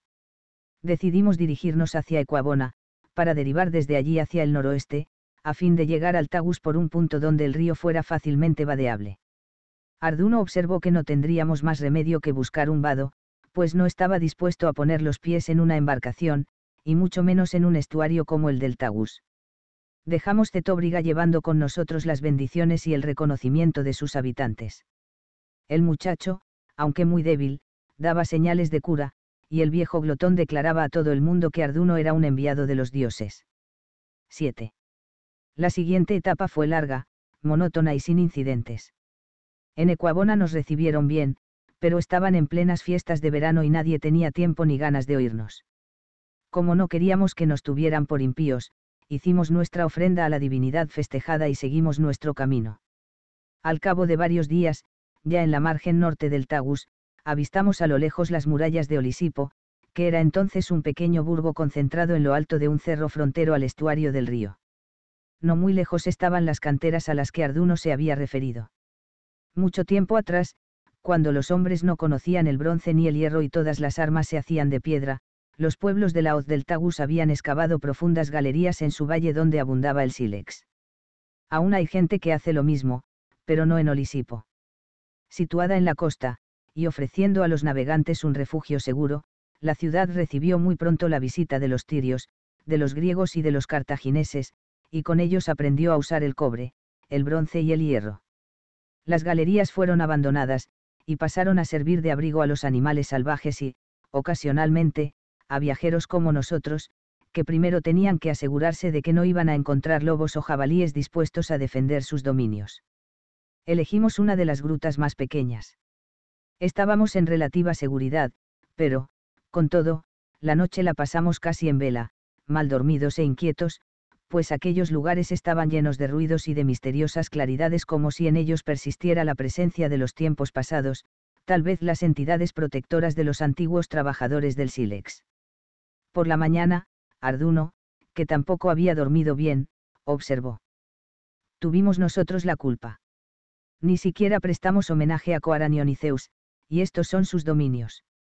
Y, para colmo, vamos a pedirle un favor. Coaranion el dios protector de Olisipo, reside en una de las colinas próximas a la ciudad. Es un dios generoso, que ofrece a los hombres de la región oro y otros metales pero el favor que íbamos a solicitarle era muy distinto, se trataba de la sorpresa que preparábamos para Viriato. Al pie de la colina de Coaranioniceus, la llamada Monte Santo por los habitantes de Olisipo, se crían con los mayores cuidados las yeguas sagradas del dios, una manada que solo a él pertenece. No hay en toda Iberia animales tan hermosos y de galope tan veloz. Los potros son criados aparte, y unos son ofrecidos a la divinidad, en las fiestas, y otros se venden. Solo uno, el más fuerte, el más puro, es designado para sustituir al garañón envejecido, que es sacrificado a Coaranión y Zeus. Así, la manada sagrada tiene solo un señor, al que, desde tiempo inmemorial, se le da el nombre de viento, siempre el mismo. Este nombre, y la belleza y la rapidez de las yeguas del Monte Santo, hicieron que los pueblos más lejanos pensaran que las yeguas eran fecundadas por el viento. La manada del dios es intocable, pero los potros que son separados de ella se aparean con otras yeguas, y así fue surgiendo una raza mezclada pero que conserva muchas de las características de la línea pura. Lo que nosotros pretendíamos era convencer a los servidores del dios para que nos vendieran potros de esta raza semidivina, y con estos potros, en pocos años, Viriato podría tener un magnífico cuerpo de caballería. Para presentarnos a los sacerdotes con la mejor apariencia posible, nos bañarnos en el río que corre junto a las canteras, y yo me arreglé la barba, seguía llevándola corta, en memoria de Sunua, pero durante el viaje no había tenido tiempo ni ganas de cuidar mi aspecto. Comimos algo ligero, pescado salado, regalo que nos hablan ofrecido los cetobrigenses, agradecidos, y nos dirigimos hacia el Monte Santo. No era largo el camino. Toda aquella región es verde y fértil, una tierra creada para los dioses como lugar de reposo y belleza. Era una mañana brumosa, y nada rompía el silencio, pero el sol rozaba las nubes y las transformaba en luz. Después de una noche tan agitada, aquel día era una bendición. Sin hablar, para no romper el encanto, pusimos los caballos al paso. Hacía mucho tiempo que yo no me sentía tan feliz y tan tranquilo, como si la mano del Dios estuviera abierta sobre mi cabeza. En las hojas de los árboles y en los arbustos centelleaban gotas de rocío transparentes y puras. Hubiera deseado cogerlas para guardarlas. Pero, pronto, al doblar una revuelta del camino, lo olvidé todo para quedar en éxtasis. Ante nosotros, en un prado cubierto de hierba lujuriante y atravesado por dos o tres arroyos, estaba la manada de yeguas salvajes. Quien no haya visto semejante espectáculo difícilmente podrá imaginarlo. Eran cerca de cincuenta yeguas, todas inmaculadamente blancas, todas perfectas, sin un fallo en sus proporciones. Sus movimientos tenían una gracia y una armonía que yo hubiera creído imposibles en seres mortales. No dudé de que al galope serían invencibles, rápidas como el mismo viento de quien la leyenda decía que eran esposas e hijas. Saciados los ojos, buscamos a los sacerdotes y empezamos a cumplir nuestro deber con el Dios ofreciéndole un cabrito y un lechón en el ara del santuario. Más tarde, durante la audiencia con el sumo sacerdote, las negociaciones quedaron a mi cargo, y no salí mal parado. Coaranioniceus no necesita oro, ese metal abunda en sus dominios, pero quienes le sirven tienen otras necesidades en vestuario y utensilios acordamos el precio justo por la entrega de los mejores potros, que serían enviados a Viriato en cuanto llegaran a la edad conveniente. Los sacerdotes se mostraron interesados en colaborar con nosotros, temían la influencia de los romanos y los resultados que de ella podrían derivarse para su propia posición e importancia como servidores de la divinidad de Olisipo. Llegadas las negociaciones a buen fin, lo celebramos con una comida sustanciosa y bien cocinada, cosa que celebramos especialmente, pues ni Arduno ni yo estábamos dotados para la cocina, y pedimos información sobre el camino más seguro cómodo para la Sierra de la Luna. Es una tierra extraña esta región que se extiende entre el estuario del Tagus y la Sierra de la Luna, en los cabezos y en lo alto de las colinas viven hombres que sienten aún muy próxima la presencia de la diosa y conservan, como en Cetóbriga, sus antiguos ritos, igual que los cetobrigenses, los que viven a la vista de mar sienten la misma devoción aprensiva por el momento sagrado en que el sol desaparece en las aguas, y los vicios asegura incluso que se oye a veces algo así como un silbido. Chirriante cuando el fuego y el agua se ponen en contacto. Allí, la reina indiscutible es la diosa, Luna, cuyo esposo he homenajeado también cuando la poderosa consorte está ausente de los cielos. Nosotros llegamos a la región en tiempo de luna nueva, y Arduno y yo asistimos a las fiestas en honor del dios lunar, en los poblados por donde pasamos, las noches se animaba con danzas y cantos en los que participaban todos los habitantes, yendo de casa en casa y recorriendo las calles varias veces hasta caer rendidos por el cansancio. Las músicas y los ritmos son tan antiguos y salvajes que hasta dan miedo, como si despertaran fuerzas adormecidas desde hace muchísimo tiempo. No me desagradó, aunque teníamos mucha prisa, la lentitud de nuestra jornada, y cuando llegamos a la Sierra de la Luna estaba a punto de olvidar nuestro proyecto de seguir hacia el norte. La sierra no es muy alta, al menos comparada con los Herminios, y no pasa de una sucesión de colinas escarpada, pero lo que le falta en altura le sobra en belleza y majestad. Allí el tiempo está congelado para siempre por la presencia de la diosa. El aire, las piedras y las aguas murmuran eternamente en el denso bosque, roto por grandes roquedades. Si los hombres entendieran estos murmullos, alcanzarían la divinidad. En cuanto al santuario, está prohibido a los fieles, y solo los sacerdotes conocen su localización exacta. Se dice que el santuario es tan antiguo que ya existía cuando se formó la Sierra de la Luna. Para los rituales abiertos a los devotos, hay un templo, también muy antiguo, situado no lejos del promontorio al que llaman simplemente promontorio de la Sierra de la Luna. Allí se ofrecen sacrificios y se pronuncian oráculos, y hacia allí nos dirigimos cumpliendo un deseo de Viriato, que quería saber cuál sería nuestra suerte en la guerra contra Roma. Las respuestas dictadas por la diosa surgen de una mujer que se muestra al público con el rostro velado. Los ritos preparatorios son más simples que los del santuario de Endobélico, pero bastante más sangrientos. Allí usan también un cuchillo de piedra, cuya lámina está ennegrecida por la sangre de incontables víctimas. Observando a los sacerdotes, Arduno me cuchicheó. No me cuesta nada creer eso que dicen de que, en algunos momentos del año, las víctimas no son solo animales. Le recomendé silencio en un gesto. También a mí me había asaltado la idea y sentí un frío en el estómago.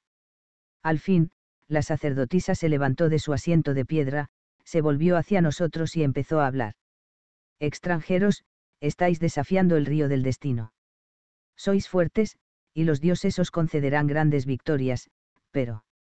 Se calló. Intenté distinguir las facciones de la mujer tras el manto blanco que le cubría la cabeza. Solo se le veían los ojos, centelleantes y clavados en nosotros. Se hizo un silencio denso, que nadie se atrevería a romper mientras durase el trance. Tongio. exclamó ella de pronto, y me recorrió un estremecimiento todo el cuerpo, de arriba abajo. Tongio, semilla de reyes caída en tierra extraña, la diosa te hablará cuando estés a la sombra del conejo. He dicho. Nos dio la espalda, entró en el templo y desapareció de nuestra vista. Miré a Arduno, cuyo rostro estaba contraído en una interrogación cómica. Si no fuera por la santidad del lugar, no hubiera podido contener la risa. Pero recordé que la sacerdotisa, en su trance, me había llamado, Cernilla de Reyes caída en tierra extraña, alusión muy clara a mi origen, que yo no había revelado a nadie. El propio Arduno la desconocía, pues yo le había pedido a Viriato que guardara secreto y que no contara a nadie mi historia. Uno de los sacerdotes se adelantó y nos saludó con inesperado respeto. Gran honor os ha sido concedido, extranjeros. La diosa no ofrece tal privilegio a peregrinos vulgares. Venerable sacerdote, respondí, tendrás que perdonarnos. Somos realmente extraños a estas tierras, y es la primera vez que rendimos reverencia a la diosa en su morada y también la primera vez que consultamos su oráculo, por eso no hemos entendido lo que acabamos de oír. Es natural. Aquí estoy yo para explicaros el mensaje. La diosa os hablará junto a una de sus imágenes, hecha por sus propias manos. Esas imágenes están en la Sierra de la Luna. Muchas de ellas representan al conejo sagrado. A la sombra de una de estas representaciones la diosa os hará oír su voz. Pero, atención, no podréis dejar la sierra hasta oírla. Incliné la cabeza en actitud de obediencia. Lo cumpliremos. Indícanos el camino hacia esas estatuas. El viejo sonrió. No, hijo mío, será la diosa quien os conduzca. Yo, lo único que puedo hacer es mostraros el camino más corto hacia la sierra. Estad atentos, podéis pasar ante las imágenes y no verlas, podéis mirar para ellas y ver solo un montón de rocas o un canchal. Las figuras solo se pueden ver desde un lugar preciso. Y, un consejo, no será bueno que os detengáis ante las figuras que no representen el conejo sagrado. Algunas irradian una fuerza benéfica, pero otras, en fin, lo mejor es que las evitéis. Terminó la entrevista. Cuando partimos, tuve aún que enfrentarme a la curiosidad indignada de Arduno, que quería saber qué era aquello de la semilla de reyes. No tuve más remedio que contarle la historia de mi padre. Dos días más tarde, vagabundeábamos por la sierra casi sin provisiones y sin haber dado con una sola figura sagrada. La diosa se está burlando de nosotros, observaba Arduno preocupado, no será que quiere retenernos aquí para siempre. Yo no compartía su pesimismo. Sin razón aparente, me sentía confiado y, bien dispuesto. Avanzábamos al azar, y conforme nos apetecía nos parábamos para descansar o reanudábamos la marcha, siempre atentos a los grandes bloques de piedra. Al segundo día, sin hacer caso de las protestas de mi compañero, decidí evitar los puntos más altos, que siempre nos traían problemas por culpa de los caballos, y explorar las pequeñas elevaciones de terreno. Después de comer, me había quedado sentado a la sombra de unos pinos. Arduno se puso furioso. Tenemos que seguir. Aquí no hay roquedales, no lo ves. ¿Qué mosca te ha picado? Ahora vas a resultar un gandul. Me desperecé complacido, y seguí sentado. No soy un gandul, pero estoy también aquí. ¿No sientes una paz, una? No. Al contrario, lo único que siento es hambre. Hemos racionado ya las provisiones y no sé si te has dado cuenta de que no hemos visto en todo el camino ni un solo animal, ni una sola pieza de caza. Era verdad, y yo debería sentirme tan inquieto como él, pero no me sentía inquieto en absoluto. Me limité a comentar. Pasa lo que tiene que pasar, y de nada sirve tomárselo así. En otras circunstancias, Arduno me habría insultado, pero la diosa estaba presente, y eso lo contuvo. Adoptó un aire ofendido y acabó por sentarse en una piedra mirando al suelo. Instantes después, para disipar un vago sentimiento de culpa, volví a hablar. Estoy casi seguro de que vamos a encontrar muy pronto al conejo sagrado. Además, solo. Me callé, estupefacto. Había dicho que Arduno estaba sentado en una piedra. Tras él había otras, un conjunto de bloques de granito irregulares y en nada semejantes a los imponentes roquedales dispersos por la sierra, el conjunto, cuando uno lo observaba con un poco de atención, evocaba irresistiblemente la figura de un conejo alebrado y solo, con las orejas tendidas hacia atrás. Me levanté de un salto. Arduno. Ven. Deprisa. Cuando obedeció, le obligué a dar la vuelta. Mira bien. Estaba sentado en el lomo de uno de los conejos sagrados. Arduno volvió los ojos sedientos hacia el pedregal, y durante unos instantes intentó reconocer las formas del animal. De repente, respiró hondo y soltó el aire con un silbido largo. Por todos los dioses del cielo y de la tierra. No había duda, era la configuración de un conejo. Cuando más lo mirábamos, más claro y visible aparecía ante nosotros. Di algunos pasos hacia la derecha, y la figura desapareció, convertida en un montón informe de rocas. Arduno pasó ante mí y siguió contorneando la piedra hasta que se detuvo y exclamó. Es increíble. Estábamos ciegos, Tongio. Mira. A corta distancia del conejo, en el lado opuesto a aquel desde el que el animal era visible, se hallaba un bloque de piedra enorme, cuadrado, un ara muy antigua, sin inscripciones ni adornos, pero aún en uso, como podíamos comprobar por las manchas de sangre infiltrada en la superficie rugosa y que el agua no había conseguido lavar por completo. Me llevé la mano a la frente con un gesto de homenaje. La diosa nos había conducido con tanta seguridad como si nos hubiera llevado de la mano, lentamente, rodeé una vez más las rocas hasta ver el conejo. Ahora comprendía por qué había experimentado aquella sensación de bienestar, aquellas ganas de quedarme allí, la intuición de que la búsqueda había terminado había sido una señal de la diosa o quizá fuera el propio conejo quien me manifestaba su presencia. Y pensé, esta es verdaderamente una obra moldeada por la divinidad. Sí, míralo bien, no todos los mortales pueden verlo. Restallaron las palabras en el aire seco. Me estremecí. No conocía aquella voz. Me volví, con un movimiento brusco, y clavé mis ojos en Arduno. ¿Has dicho algo? No respondió. Estaba yerto, pálido como la nieve, con los ojos muy abiertos y vidriosos. ¿Qué pasa? ¿Qué ocurre? ¿Lo has oído también? Miré a mi alrededor y en ese instante oí una especie de silbido, como si fuese una serpiente, y luego, de nuevo la voz, y salía de la boca de Arduno, pero no era él quien hablaba, ni era su voz, parecía la de una mujer, aunque el sonido era grave y la articulación dura y enérgica. Tongio, hijo de Tongétamo el Brácaro. ¿Por qué haces preguntas sobre el destino si los dioses ya te han dicho lo que podías oír? Ante vosotros, el camino es largo. Hay victorias y derrotas, alegría y sangre, traición y gloria.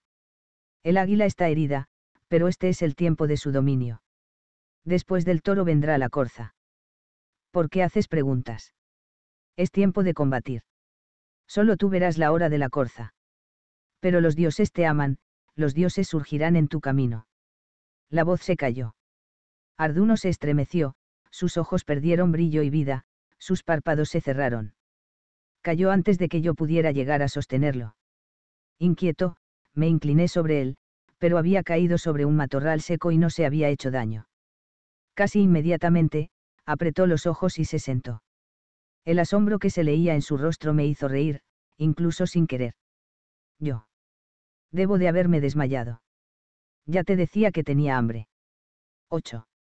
Fue difícil convencer a Arduno de que la diosa había hablado por su boca.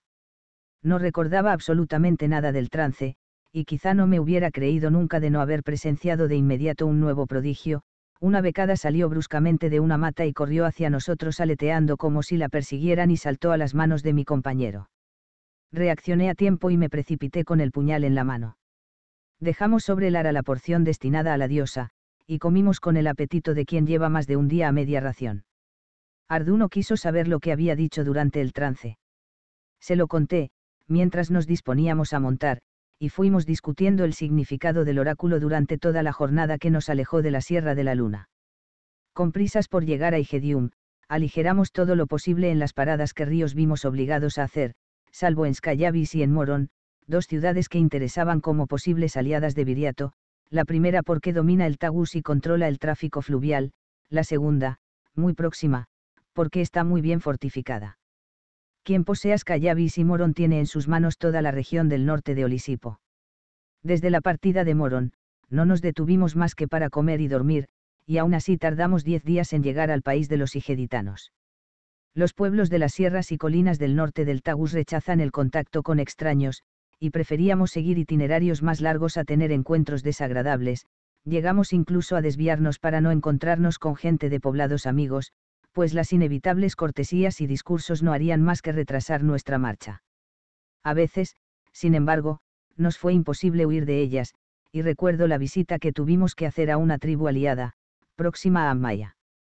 Era gente montañesa, ruda, aferrada a sus costumbres y tradiciones. Cuando entramos en la aldea, los hombres acababan de regresar de una expedición a Beturia. Aquella pequeña guerra había resultado muy rentable, los guerreros volvían con oro, armas, ganado, mujeres y prisioneros romanos.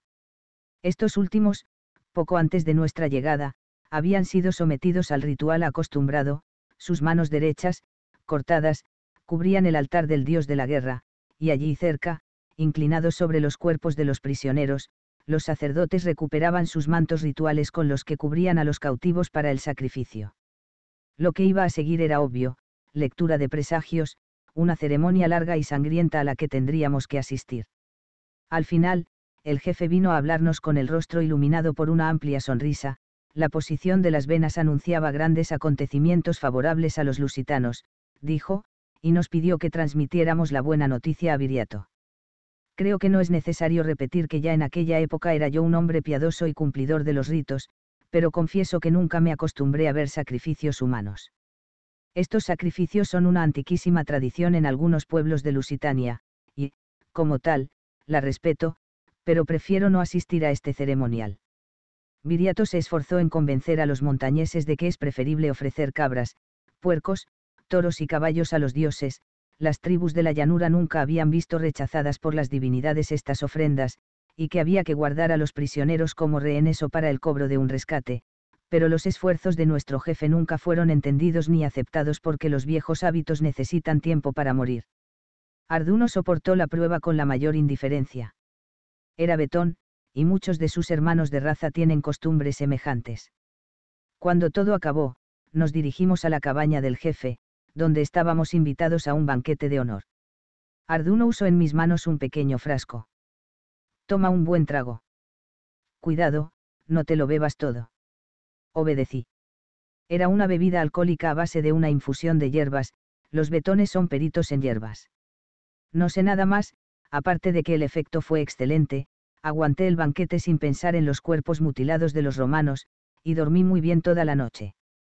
Llegamos a Igedium cuando el otoño doraba las hojas de los árboles y daba a la brisa un frescor que nos consolaba del tórrido verano de entre Tagus y Anas. A las puertas de la ciudad vimos un pequeño campamento en el que la insignia de Viriato aparecía arbolada. En total, no pasarían de 50 los hombres de nuestra tropa acampados allí. Tautalo y Criso vinieron a nuestro encuentro con grandes demostraciones de complacencia, y nos dieron la bienvenida. Viriato, dijeron, estaba conferenciando con el rey Caturo, pero Tautalo ordenó a uno de los guerreros más jóvenes que lo fuese a avisar. Mientras llegaba el jefe, cambiamos noticias con nuestros compañeros. Arduno y yo contamos nuestros viajes y Tautalo describió la campaña de verano. Viriato, enfrentado a tropas muy superiores en número, y entrenadas ya para la guerra en Iberia, había sido derrotado por Emiliano y tuvo que retroceder hasta Baicor. La razón principal de este revés había sido la acción conjunta y coordinada de las legiones de la ulterior y la citerior. Sí, también perdimos con Lelio, observé. Eras tú quien mandaba nuestro ejército. Tautalo me lanzó una mirada furiosa. ¿Qué? Yo. Bueno, la verdad es que hasta Viriato tuvo que retirarse ante Emiliano, pero en la citerior las cosas fueron de otro modo. Viriato se equivocó. Sí. Sí. La exclamación iba dirigida a Criso, que parecía dispuesto a hablar. Cometió un error, le dio el mando a Audax. ¿Y por qué lo hizo? Criso consiguió intervenir. Porque era el único disponible. En la batalla contra Emiliano, Viriato mandaba la caballería, y Tautalo la infantería, solo él sería capaz de mantener el orden durante la retirada. Yo protegía la retaguardia. A primera vista, no parecía un error. Audax es un buen guerrero. Es un pésimo jefe, remató Tautalo con energía. Alternadamente, cosa que no contribuía precisamente a la claridad de la exposición, fueron contando los dos lo sucedido. Audax había cometido dos errores, había lanzado el ataque sin conocer bien el terreno, y había hostilizado a los habitantes de la región, que le negaron el apoyo necesario. Viriato se lo reprochó, dijo Tautalo, pero lo mantuvo entre sus oficiales. Atribuyó a ignorancia el trato de Audax a los carpetanos. Ignorancia, falta de sentido común, qué sé yo. Para mí, la cosa es más sencilla, a Audax lo único que le interesaba era el saqueo. Estábamos aún discutiendo el asunto cuando apareció Viriato. Las preocupaciones, y la incertidumbre de la malograda campaña, habían dejado en él su huella, estaba más flaco, con los ojos hundidos, y una profunda arruga surcaba su frente. Sin embargo, mantenía la misma energía tranquila, la misma seguridad. No era un vencido, era un estratega que había ordenado la retirada para planear un nuevo ataque. Iba enfriándose la tarde, y en vez de hablar al aire libre pasamos a la tienda de Viriato, donde nos sentamos en el suelo muy juntos todos, pues el espacio era mínimo. Hice un informe completo del viaje, incluyendo el oráculo recibido en la Sierra de la Luna, y que yo había escrito en tablillas de cera para no olvidar ningún detalle importante. Cuando terminé, Viriato dijo. No hay nada que impida la continuación de nuestros planes, especialmente ahora, cuando podemos contar con varios contingentes de Calecia. Los jefes calaicos están dispuestos a aceptar mi mando, y tenemos también a los lusitanos de Entre Durius y Tagus todos? Pregunté. Buena parte de ellos. Cuando vuelva a Baikor espero hacer aún algunas visitas, al oír esto, Tautalo me guiñó el ojo, pero aún así no tendremos gente suficiente. Será preciso esperar por los resultados de nuestros viajes, es decir, hay que ver si todos esos pueblos atacan a los romanos. Sin plan, sin estrategia, y, probablemente, sin victorias, pero al menos disminuirá la presión sobre nosotros, y ganaremos tiempo.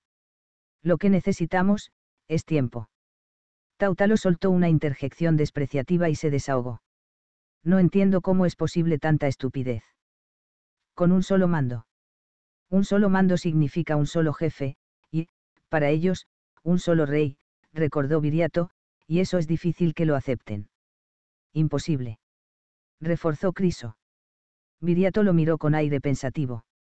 Con todo, eso sería la salvación, un rey, no un jefecillo de tribu, un rey que estuviera por encima de los otros reyes y príncipes, no para derribarlos, sino para darles la misma justicia a todos y la misma protección. Para ser quien responda ante los dioses. Criso preguntó, incrédulo. Un rey para toda la Lusitania. En vez de responder, Viriato continuó en el mismo tono. Los romanos son el pueblo más poderoso del mundo, pero han sido derrotados por nosotros, y volverán a serlo. Sus ancianos, esos senadores como ellos los llaman, no piensan más que en enriquecerse, y, cuando un general es derrotado, queda en peligro, pero si es vencedor también queda en peligro, porque todos temen alguna ambición del vecino. ¿Entendéis, amigos? El poder, en Roma, no es sagrado, y quien lo tiene lo usa en su propio beneficio. Por eso los romanos son impíos, y también por eso, no lo dudéis, Quinto Fabio Máximo Emiliano será llamado a Roma antes de resultar peligroso. Y esa va a ser nuestra próxima oportunidad. Pero. ¿Os dais cuenta? Si tuviéramos un solo jefe, un jefe único. Si tuviéramos un único jefe, yo de buena gana, le cedería el mando. Criso y Tautalo se removieron a disgusto. Viriato soltó una carcajada, y añadió. ¿Para qué soñar? volveremos a Baikor. La partida será mañana, con el alba. Cuando salíamos de la tienda, oí que Criso decía en voz baja. Un rey. ¿Qué idea? El único rey que yo aceptaría por encima de mi tribu sería Viriato. Por primera vez tuve la breve pero deslumbrante visión de un futuro nuevo, una nueva fuerza en Lusitania, un gran rey que arrastrase tras de sí a los otros príncipes. Pero es sacrilegio querer desgarrar el velo que los dioses tienden sobre el futuro de los hombres. El tiempo, que se había mantenido seco y agradablemente fresco, cambió durante la noche. De madrugada, cuando montamos a caballo, flotaba a unos palmos del suelo una neblina fría, y los jinetes parecían fantasmas desplazándose entre andrajos de bruma. Empecé a añorar el fuerte calor estival de la Mesopotamia, pues me sentía aterido, y me estremecía bajo mi cobertor de piel. Táutalo, insensible al frío, pasó junto a mí y mitigó el trote de su caballo para decirme con un sarcasmo irritante. Si no me engaño, ese montón de pellejos estongio, el cómo. Le habría contestado adecuadamente, pero tenía los dientes apretados para que no castañetearan. Solo cuando el sol fue ganando altura me sentí capaz de hablar y acerqué mi caballo a la montura de Táutalo. Ayer, cuando el jefe hablaba de la marcha, guiñaste el ojo. Supongo que no era una alusión a la temperatura del aire. Se echó a reír, y se inclinó un poco para poder hablarme a media voz. En cierto modo, era cuestión de temperatura, pero no del aire. En este viaje a Baikor vamos a hacer un desvío y pasar por Aritium Vetus, y allá está Astolpas, el padre de Tangina. Viriato ha decidido hablar con el viejo, y no solo de guerra, sino también de casamiento. ¿Entiendes? Claro que entendía. Viriato seguía tan pobre como antes, pero era el jefe supremo de los lusitanos, y su influencia y poder se habían extendido más allá de los vínculos de sangre.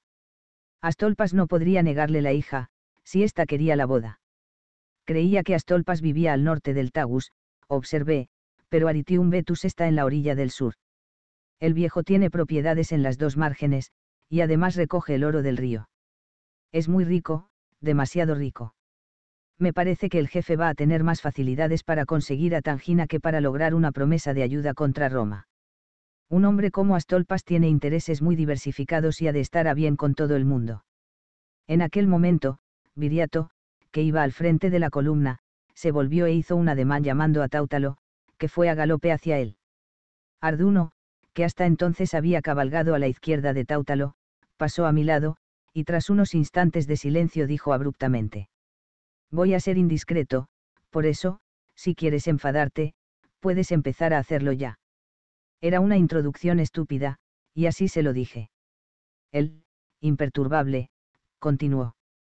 Quería decirte esto, desde el inicio de nuestro viaje, y me refiero al viaje de Cineticum, no vi que te acostaras con mujer ni una sola vez, al menos que yo sepa, claro. Me equivoco. Admití que no se equivocaba. No podría decir yo lo mismo respecto de él, porque aprovechaba todas las ocasiones. Entonces, y visto que no me engañé, quiero decirte que esto no es normal ni saludable. Ni habitual. En consecuencia, quiero saber las razones. Incómodo, le corté. Claro que lo sabes. Eres la única persona que lo sabe. Arduno murmuró en tono de disculpa. Bueno. Cambiemos de tema. Solo quería decirte que eso no es bueno para la salud. Realmente, hacía meses que no tocaba a una mujer. El recuerdo de Sunua estaba aún vivo, ella misma me acompañaba, manteniendo mi cuerpo y mi alma en aquel éxtasis desesperado que me había arrebatado el ansia de consumar el acto sexual.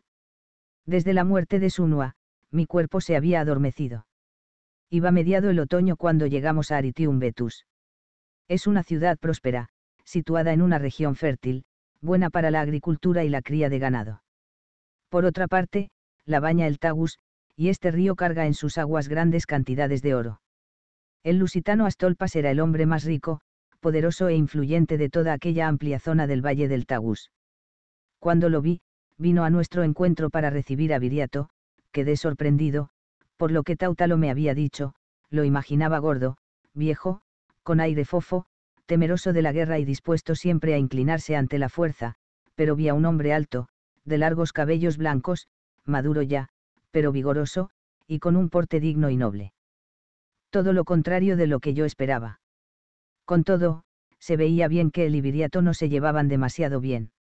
Los saludos fueron ceremoniosos y fríos, pero la necesidad puede mucho, y estaban ambos dispuestos a negociar, Viriato quería a Tangina y auxilios en hombres y provisiones, Astolpas precisaba garantía de que la gran hueste lusitana evitaría incursiones no autorizadas en sus tierras y las protegería contra vecinos ávidos o, nunca se sabe qué vueltas da el destino, contra las legiones romanas, pese a la conocida cordialidad de relaciones que mantenía con los magistrados de la Veturia. Las conversaciones se desarrollaron sin testigos. Nadie supo qué fue lo que Viriato dijo, pero, como de costumbre, obtuvo lo que pretendía, Astolpas proporcionaría provisiones para el invierno y permitiría que la hueste reclutara voluntarios entre sus súbditos. Además, se declaró honrado con el interés que el caudillo lusitano manifestaba por su hija Tangina, para la que realmente, no podría desear mejor marido. Habría que consultar a la joven, las mujeres lusitanas tienen derecho a elegir esposo, pero la respuesta era conocida de antemano, según me aseguraron. Tangina solo comentó que Viriato había tardado mucho tiempo en decidirse. Hecha esta observación, declaró que lo aceptaba. Pude verla antes de nuestra partida, cuando vino a despedirse del novio. Era muy hermosa, con pelo y ojos negros y la piel blanca y lozana. Miraba y se movía con modestia propia de una doncella, pero tras esa modestia se adivinaba una actitud, una altivez y una firmeza no inferiores a las de su futuro esposo.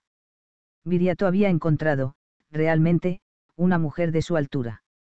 Para festejar los acuerdos, logístico, militar, matrimonial, Astolpas ofreció un banquete suntuoso en la víspera de nuestra partida.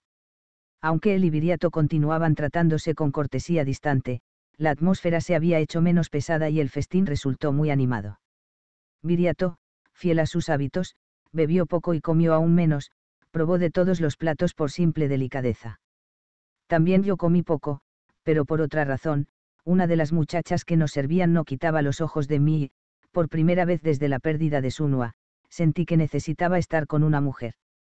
Me apresuro a aclarar que en esta disposición no había la menor influencia de las palabras de Arduno. Qué ridícula es la vanidad humana. Aquí estoy yo, con 80 años cumplidos, dando pruebas de un cómico orgullo juvenil. Claro es que hubo influencia. Arduno me había despertado hacia una realidad que yo, por apatía, había preferido ignorar. Primero fue el golpe y la herida abierta por la muerte de Sunua, y, luego, los días sombríos de desesperación. Al fin había llegado la costumbre y el miedo de sufrir más pérdidas como aquella.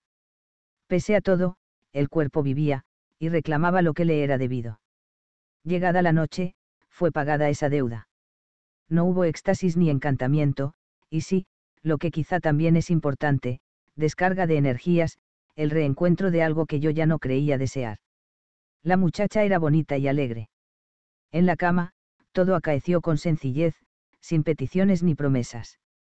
Al amanecer, éramos buenos amigos, y como tales nos separamos. Llegamos a Baikor iniciado el invierno. El tiempo era aún seco y, según informaciones que nos esperaban, las legiones romanas se mantenían activas, noticia que nos puso en estado de alerta. Viriato difícilmente podría contener un fuerte ataque, y abandonar Baikor supondría para él perder lo que le quedaba de la Bética. Vivimos días de amistad. Leídos los presagios, y nada nos revelaron, solo que no debíamos atacar ni retirarnos, que teníamos que esperar los acontecimientos. Entonces, empezaron a llegar buenas noticias, aprovechando el periodo de sequía, y buscando una oportunidad para robar los alimentos que quedaban en los poblados y sustituir con ellos el producto de las cosechas perdidas, varios pueblos con los que habíamos establecido contactos iniciaron hostilidades contra Roma, túrdulos, betones, bácceos, e incluso los turdetanos. En pocos días se extendió la rebelión por Iberia como el fuego en un pajar.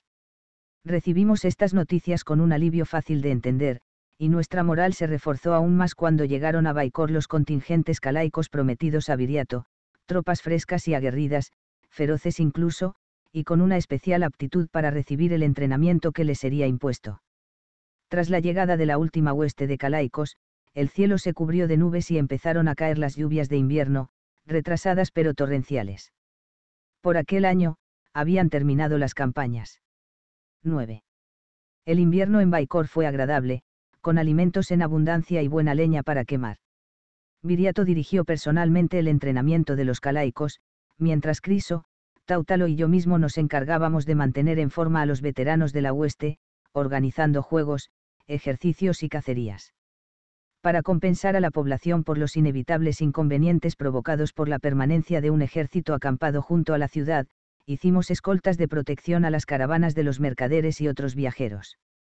No hubo conflictos graves, la presencia del jefe viriato bastaba para mantener la disciplina, y las eternas cuestiones de mujeres fueron resueltas en paz y con justicia. A veces, Viriato me llamaba para que asistiera a los entrenamientos de los calaicos, y era un placer ver el entusiasmo que estos mostraban, pero no me gustaría nada enfrentarme a ellos en el campo de batalla. Eran gentes nacidas para la guerra. Cuando luchan en la Calecia, las mujeres luchan a su lado, y son tan feroces y aguerridas como sus maridos. Mientras tanto, yo buscaba una ocasión, no forzada, para hablar con Viriato. Esta oportunidad se me presentó una noche en la que, después de una larga charla alrededor de la hoguera, Táutalo, Arduno, Criso y algunos otros se despidieron para dormir. Viriato y yo nos quedamos a solas. Lo pensé durante unos instantes, y decidí al fin no andarme con rodeos. ¿Recuerdas la última noche que pasamos en Igedium? Él se estremeció, como si despertase, y volvió el rostro hacia mí. La claridad incierta de las llamas avivaba sus rasgos, haciéndolos más duros. Hablaste de la necesidad de dar un rey a los lusitanos. Sí, respondió en tono reservado, pero aquello fue un desahogo. Hay muchos reyes y jefes en Lusitania. Intentaba esquivar el tema, pero yo lo había iniciado, y estaba dispuesto a llevarlo hasta el fin. Lo sé. Hablaste de un rey que los mandara en la guerra y que respondiera por todos ante los dioses. Cuando te fuiste, Criso refunfuñó, Criso, como sabes, refunfuña siempre, y dijo que solo aceptaría esa idea si fueras tú el rey, lo que quiere decir lo siguiente, estoy seguro de que muchos otros piensan igual que Criso. Viriato clavó de nuevo los ojos en la hoguera. Quizá, pero no es esa mi ambición, Tongio. Lo que quiero es unir a los lusitanos y a los otros pueblos contra Roma. Una cosa depende de la otra nuestra hueste no vacilaría un instante en proclamarte rey. Viriato se levantó, y yo lo imité. Muy serio, se acercó a mí y puso con fuerza sus manos en mis hombros. No, es un ejército quien hace a un rey. El rey tiene que ser designado y consagrado por los dioses. Yo hago lo que tengo que hacer. Si los dioses quieren que yo sea rey, darán señal de su voluntad. Pero querer la realeza sin el compromiso, sin la consagración, querer la realeza así, es un acto de impiedad. Pero. No. Y óyeme bien. Apenas comience la primavera intentaré difundir la revuelta por toda Iberia. ¿Quién sabe lo que ocurrirá luego? Esperaremos. La gran diosa, en el santuario de la luna, no dijo que el hombre del toro sería coronado. Y, ahora, buenas noches. Sonrió, solo para mostrar que no estaba enfadado, y se fue yo le dije, cuando ya estaba de espaldas. Pero la gran diosa tampoco dijo lo contrario. Él continuó andando, y yo me quedé solo, sin ganas de irme a dormir. Cuando al fin me acosté, dormí mal, tuve sueños confusos, llenos de voces y de imágenes que no conseguía retener. A la mañana siguiente desperté fatigado y mal dispuesto. Por suerte, aquel día no habría ejercicios de combate ni juegos. Era fiesta en Baikor, un día dedicado a las celebraciones de los dioses de la ciudad. La ceremonia religiosa fue larga, y estuvo acompañada de cantos entonados por muchachos y muchachas en los inicios de la pubertad. A medida que avanzaban los ritos parecía crearse una expectativa especial, como si lo más importante estuviera aún por acontecer. No pude contener la curiosidad, me alejé unos pasos, hasta entonces había estado integrado en el pequeño grupo que rodeaba a Viriato, a quien habían reservado un lugar de honor, y detuve a uno de los muchachos del coro cuando pasaba junto a mí, apresurado, como si le hubieran encomendado una tarea urgente, y le pregunté qué iba a ocurrir. De un momento a otro será el instante del oráculo, va a aparecer la señora del altar. ¿Quién es? Me replicó impaciente. Crovia, que pronuncia los oráculos para el nuevo año. Se desprendió y siguió su camino, mientras yo volvía a mi lugar, a la izquierda de Viriato. No sabía que en Baikor hubiera una profetisa, solo conocía la de la Sierra de la Luna, y había oído hablar de otra, que leía el futuro en un templo de Clunia. No hay muchas mujeres en Iberia con don de profecía. Sonó una trompa. Los sacerdotes se volvieron hacia la puerta del templo, que se abrió inmediatamente, y del interior salieron, en dos hileras, diez bellas muchachitas vestidas de lino blanco. Se oyó de nuevo la trompa, y en el umbral del templo apareció imponente Crovia, la profetisa. El complicado y riquísimo tocado, la pintura de los ojos y la boca disfrazaban casi por completo sus facciones. Por lo que podía ver, era joven, pero ya no una adolescente. Avanzó Crovia lentamente, con el cuerpo rígido, haciendo solo gestos rituales. Pasó ante Lara, vuelta hacia la concurrencia, y vino a su encuentro un sacerdote con la víctima en brazos, un cabritillo. El animal se mostraba tan manso que supuse que le habían dado a comer alguna hierba especial. Cuando lo posaron en el ara, el cabritillo se quedó muy quieto, como si estuviera junto a su madre. Entonces, lentamente, la profetisa paseó su mirada por la multitud. Yo, que desconocía el rito, me preguntaba si aquella mujer iba a tener fuerza suficiente para abatir a su víctima, pero de pronto vi que todas las miradas estaban clavadas en mí. Y Crovia me señalaba. Por la expresión de los muchachos de Baikor, deduje que me había sido conferido un gran honor, aunque no sabía cuál. Tautalo cortó mis vacilaciones dándome un empujón y susurrando. Venga, tonto. Adelántate. Obedecí y avancé hasta el ara. El sacerdote más viejo me entregó un hacha enorme cuya hoja, muy afilada, brillaba al sol. Entonces comprendí, la profetisa me había elegido como sacrificador. Empuñé el hacha y me volví hacia Crovia, viéndola desde tan cerca me di cuenta de que era extremadamente hermosa. A distancia, la pintura ocultaba las líneas sensuales de su rostro y el brillo húmedo de los ojos. Me miró, y sus párpados se estremecieron, pero pronto recuperó la expresión rígida, y con voz expresiva dijo. Los dioses esperan el sacrificio, extranjero. Sostuve el mango del hacha con ambas manos, la levanté por encima de la cabeza. Tumbado sobre el ara, el cabrito exponía el pescuezo al golpe. La hoja descendió cortando el aire con un silbido, y un chorro de sangre caliente inundó mis manos. El animal continuó estremeciéndose incluso después de que la pequeña cabeza cayera al suelo. Crovia se mantuvo impasible mientras las muchachas, entrenadas ya, se acercaban a mí y una de ellas, la más bonita, me lavaba con agua lustral. La profetisa empezó a hablar con voz sonora y vibrante. Habló durante mucho tiempo y no le entendí nada, por otra parte, solo los sacerdotes podían interpretar el oráculo. Empezaba a sentirme cansado y un poco aburrido cuando la ceremonia llegó a su fin, o, al menos creí que era el fin, pero cuando iba a alejarme, un gesto de Crovia me detuvo siempre en actitud hierática se dio la vuelta y se encaminó hacia el templo. Alarmado, comprendí por la actitud de los acompañantes que yo tenía que seguirla.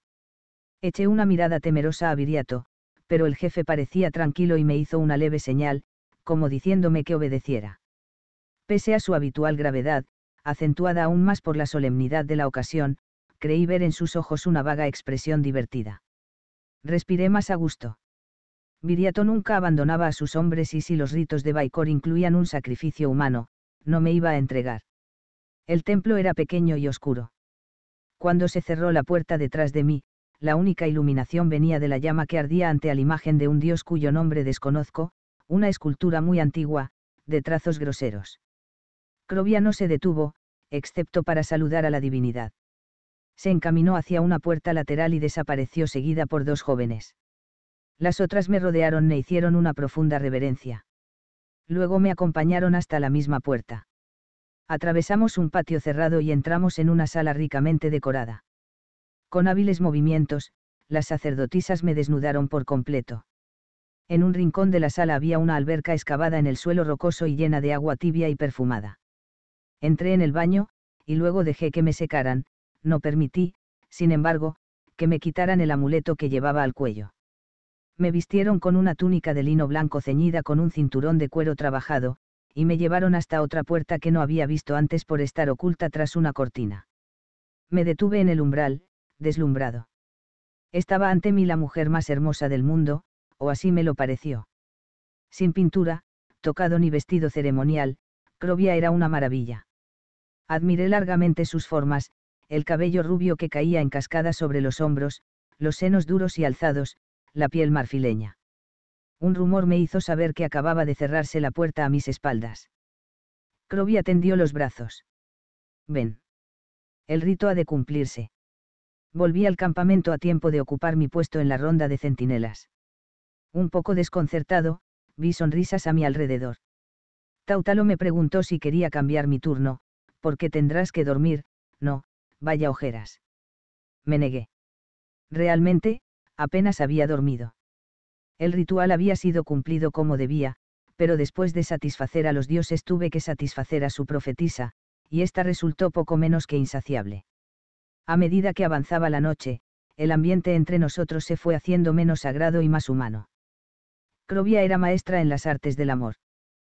Pocas veces, ¿qué digo yo? Nunca, he encontrado una mujer así.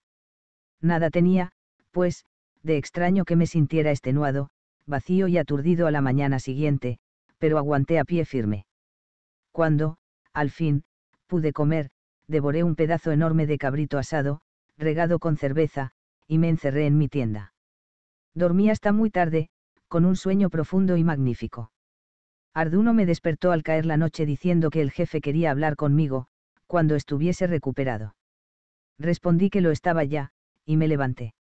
Mientras me vestía, Arduno me dio una noticia, no había sido yo el único en pasar una noche agradable, exactamente, agradable, fue su expresión, pues también Viriato se había llevado una moza a la tienda.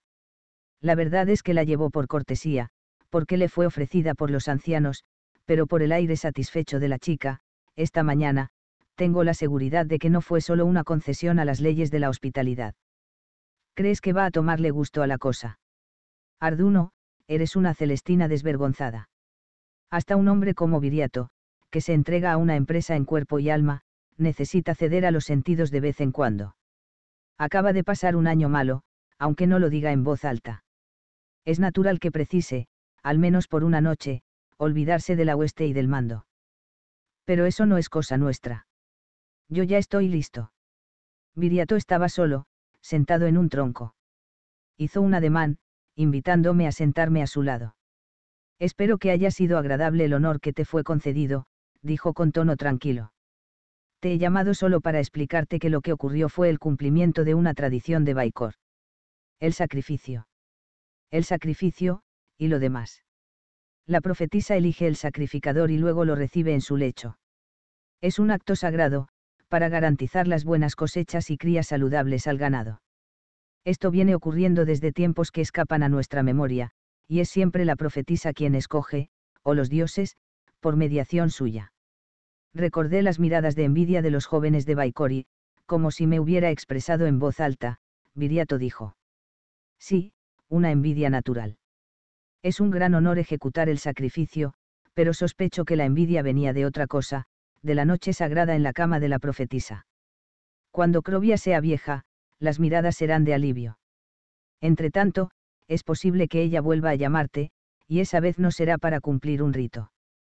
Haz lo que quieras, eres libre.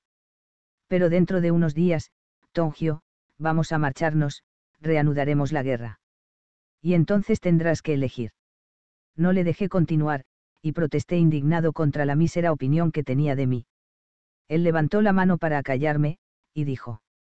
Siempre he confiado en ti, pero conozco a Crovia y sus artimañas cuando quiere conservar consigo a un hombre que le gusta.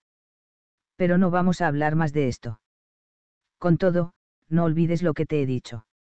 Aquella noche, cuando iba a cenar, surgieron ante mí dos jóvenes sacerdotisas que se alumbraban con antorchas. No dijeron nada, pero comprendí y seguí tras ellas. Crovia me estaba esperando en su cuarto, donde el aire era tibio y estaba cargado de aromas. Estaba servida la cena, mucho mejor sin duda que la que me esperaba en el campamento.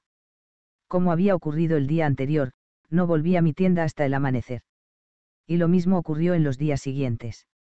Ahora, pasados tantos años, puedo decir que no me enamoré de Crovia, pero entonces era incapaz de distinguir entre el amor y la pasión física, violenta y obsesiva que despertó en mí. No voy a describir las largas y tumultuosas noches, los actos de locura, el placer casi doloroso del que gocé hasta la extenuación. Las palabras son insuficientes, y, además, ¿qué importa ahora todo esto? La característica especial de la pasión es arder hasta las cenizas y extinguirse luego por completo. Entonces, las cenizas son aventadas, y todo se acabó. Las lluvias y el frío habían disminuido en intensidad y un día llegaron a Baikor los caballos prometidos por los sacerdotes de Coaranion y Zeus. No sé qué caminos ignorados habían elegido para viajar, o si usaron la magia, pero el caso es que nuestros espías no se habían apercibido de su aproximación. Viriato nos llamó a Arduno y a mí para agradecer y elogiar públicamente nuestra idea.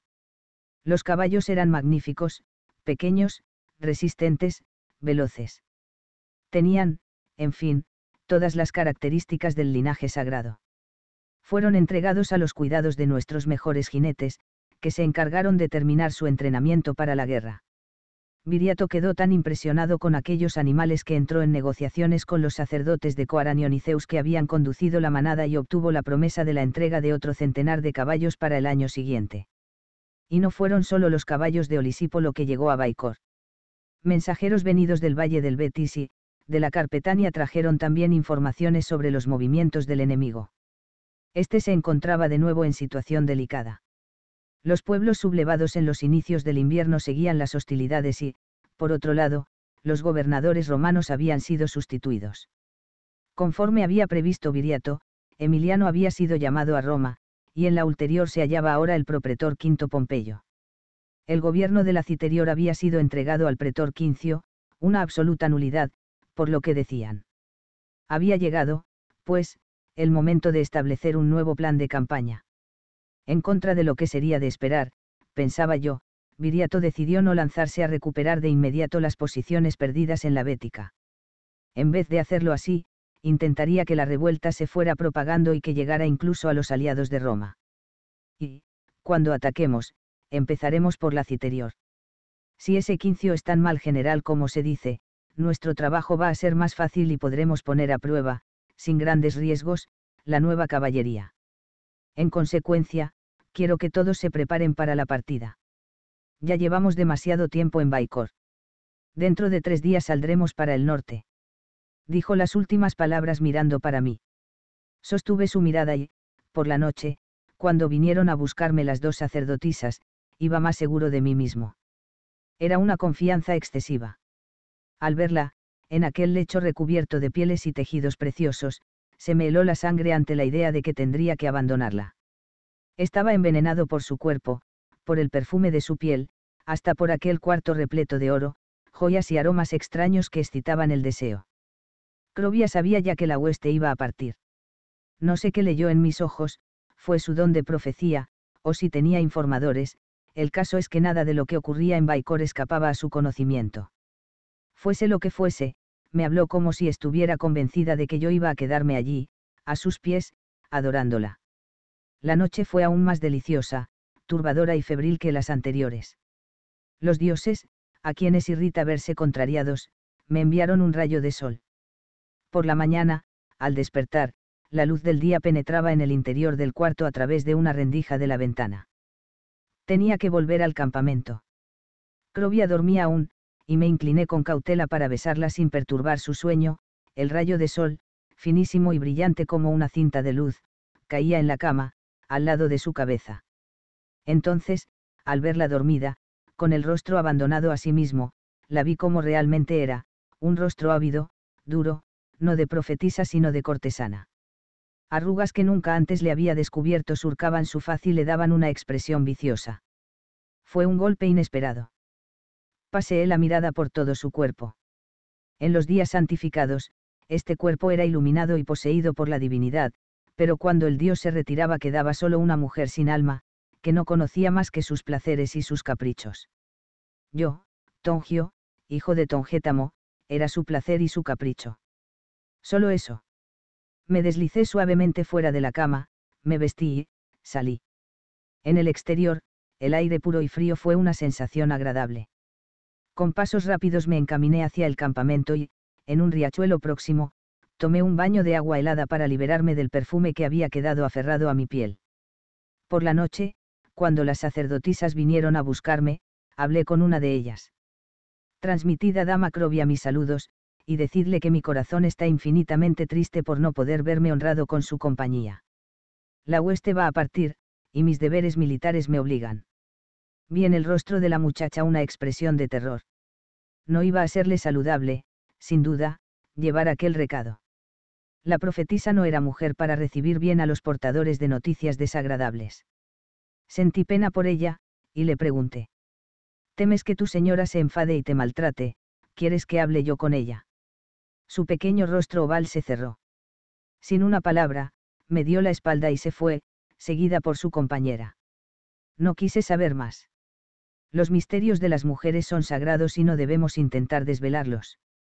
La víspera de la marcha, la hueste ofreció sacrificios a los dioses de la guerra en diez aras diferentes, tantas como dioses eran venerados por las tribus que habían aportado contingentes a aquel ejército lusitano.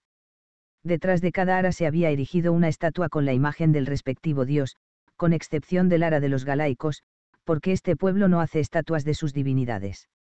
Ofrecimos diez caballos de batalla elegidos entre los de la manada llegada de Olisipo. Todos los presagios se mostraron favorables. Muchas cosas, verdaderas y falsas, se dijeron luego sobre Viriato. Como ocurre con todos los grandes hombres, se transformó en una leyenda, y las leyendas, por regla general, son injustas incluso para con aquellos a quienes pretenden glorificar. Por ejemplo, oí no pocos disparates y exageraciones sobre la fuerza y la bravura de nuestro caudillo, él era un héroe, no un dios, en contrapartida, quedaron olvidados, por menos espectaculares, verdaderos prodigios de estrategia, diplomacia y elocuencia. El año al que ahora me refiero fue sin duda un año lleno de prodigios. ¿Qué otro nombre se podría dar a la sublevación de la Celtiberia, iniciada solo por la palabra de Viriato? Era ya primavera cuando penetramos en la Hispania citerior. En vez de atacar a las legiones de Quincio, Viriato nos llevó a una región que todos hubiéramos creído que sería la menos adecuada para encontrar en ella una acogida cordial, eran las tierras de Titas y Beilous, pueblos que llevaban ya mucho tiempo sometidos a Roma, y que habrían sufrido algunas humillantes derrotas enfrentados a nosotros, cuando, en el primer año de su mando, Viriato aniquiló una columna de refuerzos enviada en petición de ayuda ya entonces derrotado y refugiado en Carteia. Ni siquiera Tautalo se sintió feliz por esta decisión, pero, contra todas las previsiones, la hueste avanzó sin provocar movilización general. Verdad es que no llegábamos en son de guerra, muy al contrario, Viriato anunció que cualquier violencia sería castigada con la muerte, y envió emisarios a los reyes y jefes de la región. Supongo que nuestra llegada causó el pánico y que, probablemente, hubo un alivio proporcional cuando los embajadores fueron recibidos en los poblados, y esa fue la primera parte del prodigio. El efecto fue completado por la presencia y la palabra de Viriato en la asamblea de jefes reunida a continuación. No recuerdo sus palabras exactas, recuerdo solo que conquistó a los asistentes con la fuerza de sus argumentos y la magia de su voz, cuando quería, le daba una vibración especial que la hacía irresistible. Se abstuvo de sugerir que Titas y Beilou se integraran en la hueste lusitana, ante el temor de que la derrota sufrida cuatro años antes despertara algún amargo recuerdo. Se limitó a alentarlos a la revuelta y solicitó que coordinasen sus ataques, él iniciaría la ofensiva contra Quincio y, aseguró, lo derrotaría. Entonces sería el momento de intervenir los celtíberos, la propuesta fue aceptada sin vacilaciones. Nunca aprecié tanto un banquete como el que cerró aquella asamblea. El gusto de la victoria daba un sabor especial a los manjares y a los vinos, una victoria conseguida por Viriato solo tan brillante como las que habíamos obtenido en combate. Pensé de nuevo que sería magnífico verlo aclamado por rey de los pueblos lusitanos. Ningún otro hombre había conseguido lo que él, y ninguno como él merecía la realeza. La euforia era general. Ya al final del festín, el grupo de los amigos íntimos pudo reunirse alrededor de Viriato y todos queríamos saber cuándo atacaríamos a Quincio. Todavía no, más tarde lo haremos. Aún no hemos acabado lo que veníamos a hacer aquí, dijo Viriato. Los Beilous y los Titas son importantes, pero para levantar a la Celtiberia es preciso conquistar antes su alma, Numancia, los arévacos. Tautalo soltó un silbido. Si se nos unen los de Numancia, Quincio puede preparar el equipaje y volverse a Roma, y una vez allí, que se esconda bajo la cama. Viriato asintió. Los arévacos son los más numerosos, los más aguerridos. Su capital es una fortaleza inexpugnable. Para ganar esta guerra necesitamos el apoyo de Numancia, que se alce contra Roma, porque los arévacos, y sobre todo los numantinos cuando comienzan una empresa, la llevan hasta el fin precedida por dos jinetes que ostentaban los símbolos de la paz, la hueste se aproximó a la ciudad, hizo alto, y esperó a que un destacamento de la guarnición viniera a su encuentro. Luego, retrocedió unos cinco estadios y ocupó el terreno indicado por los numantinos como espacio de acampada. Llegaron emisarios con una invitación formal. El Estado Mayor montó a caballo y siguió a Viriato, que para esta ocasión solemne se había adornado con su yelmo de plumas rojas. Numancia me impresionó. No era, como Gadir, una ciudad opulenta. Gadir se impone por su riqueza, Numancia impresionaba por su fuerza. Las murallas formaban una compacta masa de piedra, tan espesa y formidable que yo creí que se remontaba a los tiempos de, las piedras gigantescas alzadas por los dioses. La gran ciudad de los arebacos no tenía los lujos de las ciudades del sur, pero era noble en su dureza agreste.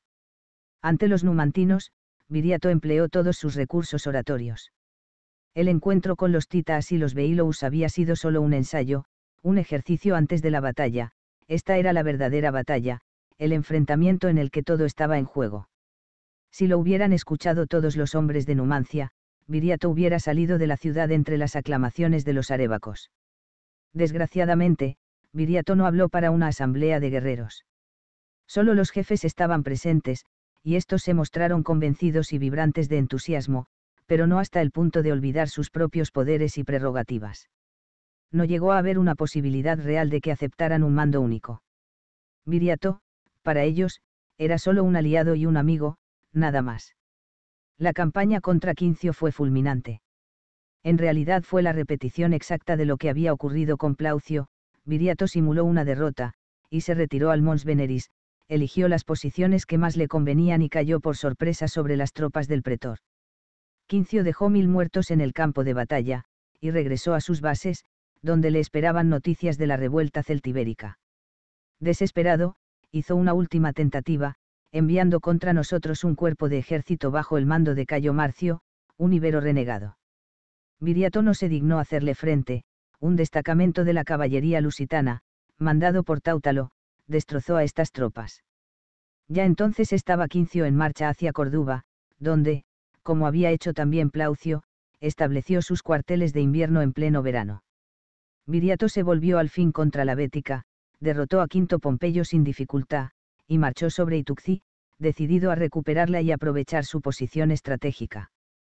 Tampoco fue difícil esta tarea. Los itucenses, al ver nuestro ejército, abrieron las puertas de la ciudad y se proclamaron aliados del caudillo lusitano. Tendrían que conocerlo mejor. Viriato recibió la bienvenida del Consejo de los Ancianos, y luego, con semblante muy amistoso, anunció que iba a contar una historia. Desconcertados, los nobles viejos de Ituxi dijeron que nada podría resultar, les más agradable. Entonces, el jefe les contó la historia de un hombre que cometió la imprudencia de tener dos esposas. Como eran diferentes los gustos de las dos, el pobre marido intentó mantener la paz doméstica como fuese, y acabó en la miseria. El silencio atemorizado que siguió a la narración demostró que los ancianos habían entendido. Ituxi había abierto las puertas a Viriato durante la primera ocupación de la ciudad, luego, había permitido que los romanos la recuperaran fácilmente, y ahora volvía a declararse a nuestro favor. Tras esta advertencia, Viriato se apresuró a aprovechar las ventajas de una rendición tan fácil, y asumió virtualmente todo el poder en la ciudad, aunque tuvo la prudencia de dejar decidir a los ancianos en todos los asuntos que no eran del ámbito militar. Ninguna ley fue abolida o violada, ningún dignatario fue sustituido, pero Ituxi se convirtió en una plaza fuerte lusitana. Para la cotidianeidad de los habitantes, la única diferencia fue que desde entonces contarían con la protección de la hueste.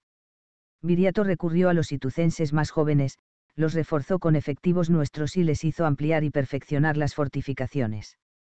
Pero los trabajos terminaron, reunió a las tropas y anunció la nueva campaña. Hasta la llegada del invierno multiplicamos las incursiones en la Bastetania, que se nos ofrecía indefensa. Nunca el poder romano había pasado por tantas humillaciones en Iberia el producto de los saqueos realizados en Bastetania fue suficiente para mantenernos durante el invierno sin exigir demasiados sacrificios a la población de Ituxi. El periodo de lluvias fue sosegado y confortante, teníamos comida, alojamientos, e información, pues la influencia de Viriato se había dilatado tanto que los mensajeros afluían casi ininterrumpidamente en cuanto el tiempo lo permitía.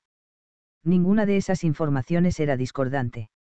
Con las victorias lusitanas y el alzamiento de los celtíberos, el pánico se había apoderado de Roma, donde se temía ya que los ilergetas, invocando la memoria de su rey Indíbil, se pusieran también en armas y llevaran el incendio de la revuelta hasta más allá de los montes que separan Iberia de las Galas. El Senado había votado el nombramiento del cónsul Lucio Cecilio Metelo, recién elegido, para el gobierno de la Hispania Citerior, y le había dado orden de incorporarse a su destino lo antes posible.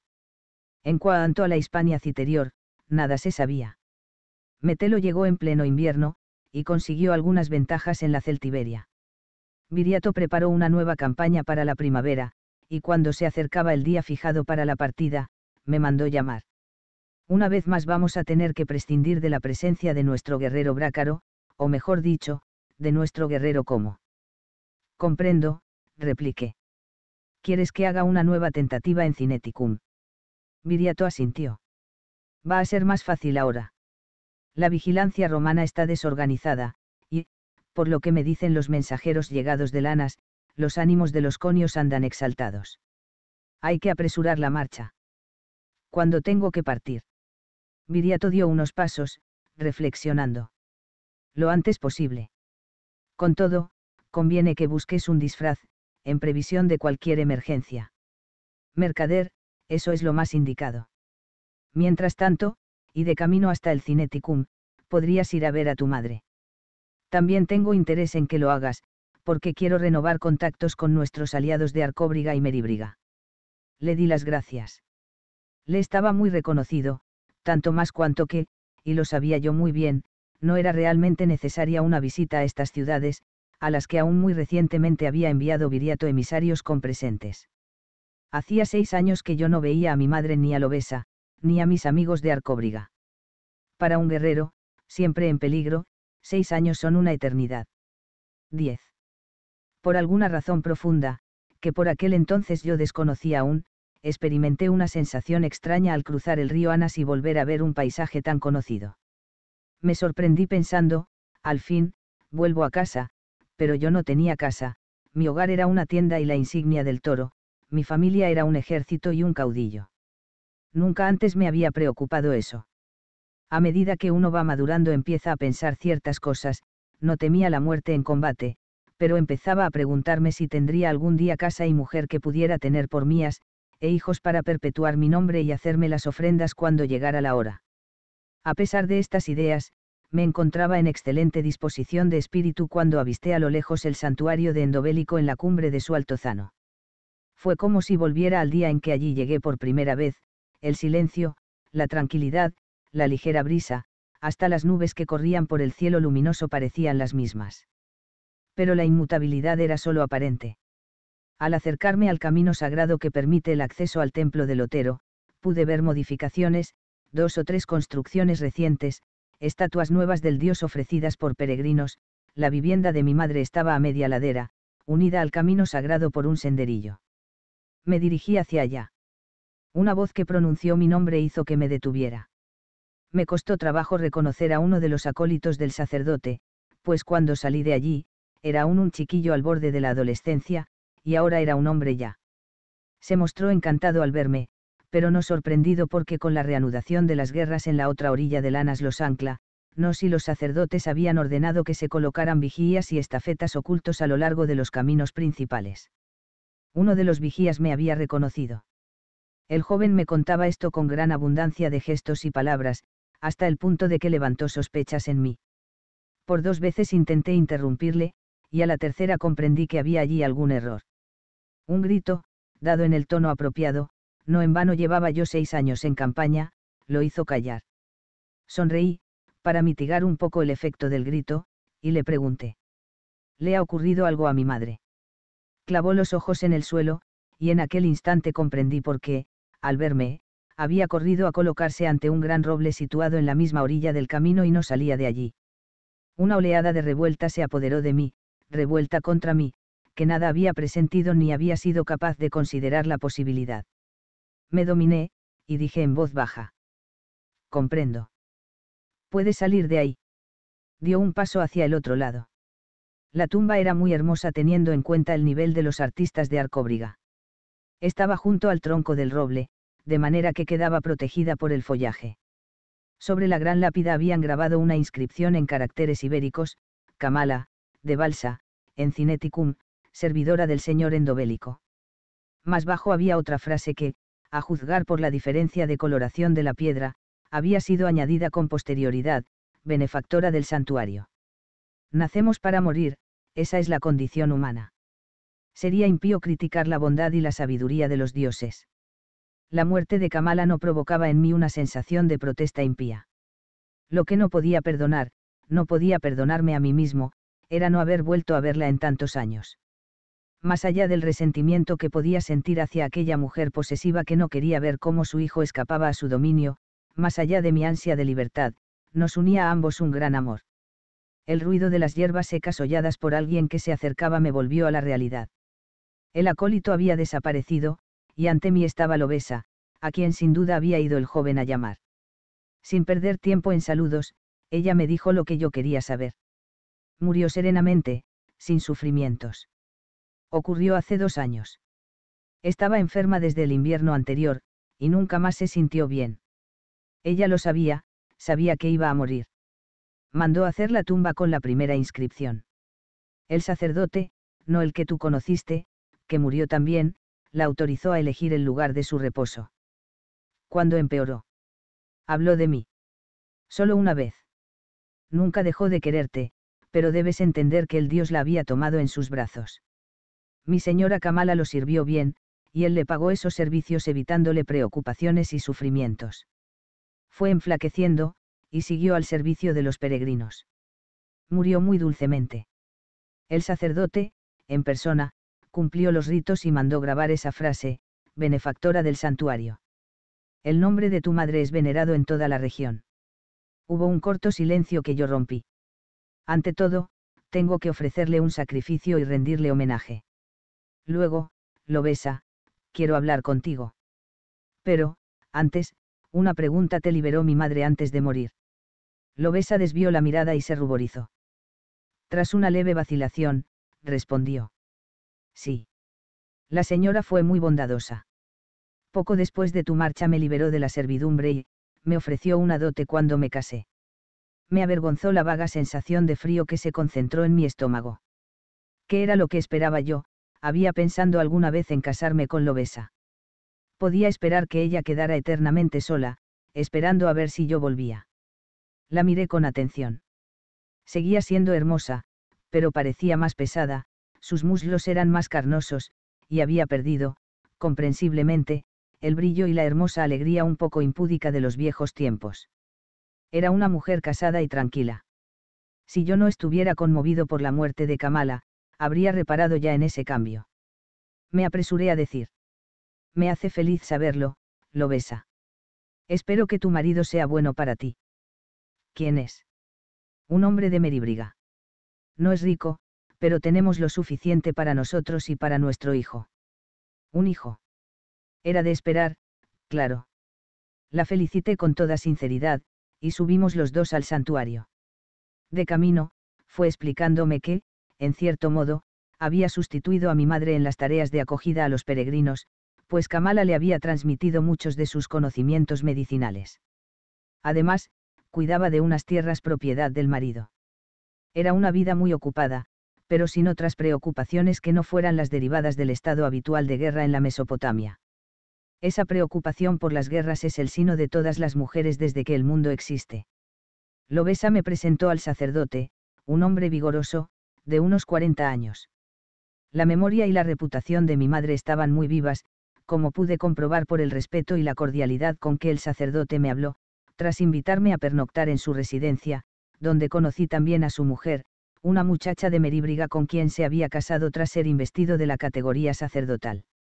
Las ofrendas a Kamala, la visita de cortesía a los ancianos de Arcóbriga y Meríbriga y los saludos a los amigos que tenía en las dos ciudades me ocuparon durante dos días enteros, durante los cuales apenas pude ver a Lobesa. No volví a hablar con ella hasta la mañana del tercer día, poco antes de mi partida para Cineticum. Le había dicho que me gustaría conocer a su marido y al hijo, pero invocó un impedimento cualquiera, que estaba ausente el marido, con el ganado, en los patos, que el hijo estaba enfermo. Era natural, pensé, que intentara mantener bien separados los dos periodos de su vida, el de esclava de mi madre y amante mía, y el de mujer libre, casada y madre. Pero a la mañana del tercer día vino a verme al santuario, cuando yo estaba vigilando a los esclavos que cargaban la mula con el equipaje y algunos tejidos que debían completar mi fingida condición de mercader. Hablamos un rato sobre los tiempos pasados, y luego me dijo que tenía que entregarme algo, la herencia de mi madre, es decir, joyas y el dinero que Kamala no había llegado a gastar, pues llevó una vida sencilla y el santuario le ofrecía cuanto precisaba. Iba a responderle, pero fui interrumpido por una voz de niño que llamaba, Madre. Un chiquillo espigado y esbelto, de hermoso pelo negro encaracolado, corría hacia nosotros. Me volví hacia Lobesa y la sorprendí haciendo un gesto evidente, una orden al hijo, para que se alejara. Mi mirada la paralizó, y el niño, que debía de haber adivinado su intención pero que también estaba dominado por la curiosidad, aprovechó para aproximarse. Lobesa, recuperándose, le ordenó que me saludara y me presentó como, Tongio, hijo de la señora Kamala y guerrero de Viriato. El muchacho alzó el rostro y sonrió sin timidez. Correspondí a su sonrisa y dije. Enhorabuena, lo besa. Tu hijo es un hermoso muchacho. Y la voz se me quedó prendida en la garganta. Realmente, era un hermoso muchacho. Los rasgos de su rostro eran delicados sin exceso. Tenía una sonrisa alegre y contagiosa, y los ojos verdes, de un verde muy claro y transparente. Doblé una rodilla, para que mi cabeza quedara a la altura de la suya, y pregunté. ¿Cuántos años tienes? Seis años, señor. Cerré los ojos, intentando resistir el vértigo. Hasta con los ojos cerrados sentía el miedo de obesa. Volví a hablar con el niño. ¿Cómo te llamas? Antes de que pudiera responder, se oyó la voz de la madre con una especie de desafío que era al mismo tiempo una advertencia. Se llama Aminio. Es el nombre de su padre y acentuó con desesperación la palabra, padre. Pensé. Pensé mucho y muy deprisa. La presencia del Dios, estábamos en suelo sagrado, me ayudó, estoy seguro. Cuando me enderecé, sabía ya lo que tenía que hacer, aunque mi propia decisión me llenara de cólera y de amargura. Aminio, le dije en el tono de quien habla con un adulto sobre asuntos en los que las mujeres no deben meterse. Aminio, me ha gustado mucho conocerte, y siento no haber conocido a tu padre. Salúdalo en mi nombre. Mis deberes de guerrero exigen que me vaya. El niño abrió los ojos con una expresión de tristeza. Pero. Yo creía que me ibas a contar las batallas contra los romanos. Y quería saber cosas de Viriato. Lo sé. Te prometo que volveré en cuanto pueda, y entonces te contaré todo lo que quieras saber. Otra vez aquella sonrisa, yo sabía ahora dónde había visto una sonrisa idéntica, había sido en un espejo de bronce pulido, y la voz temblorosa de esperanza. ¿Me lo prometes? Mentalmente me impuse una penitencia ante Endobélico por mentir en su recinto. Te lo prometo. Y esta es la prenda de mi promesa. Indiferente a las protestas de Lobesa me quité del dedo uno de los anillos. No era un anillo cualquiera. En memoria de su yo había enviado a su madre mi anillo de plata, pero el que le daba al niño era el sello de mi familia, que había pasado de mi padre, Tongétamo, a mí. El oro viejo lucía con un brillo mate, mostrando el emblema de la vieja dinastía real de Brácara. Aminio tenía su orgullo. Muy serio, y sordo también él a las protestas de la madre, dijo en un tono cortés. No puedo aceptar un regalo como este, señor. No es un regalo.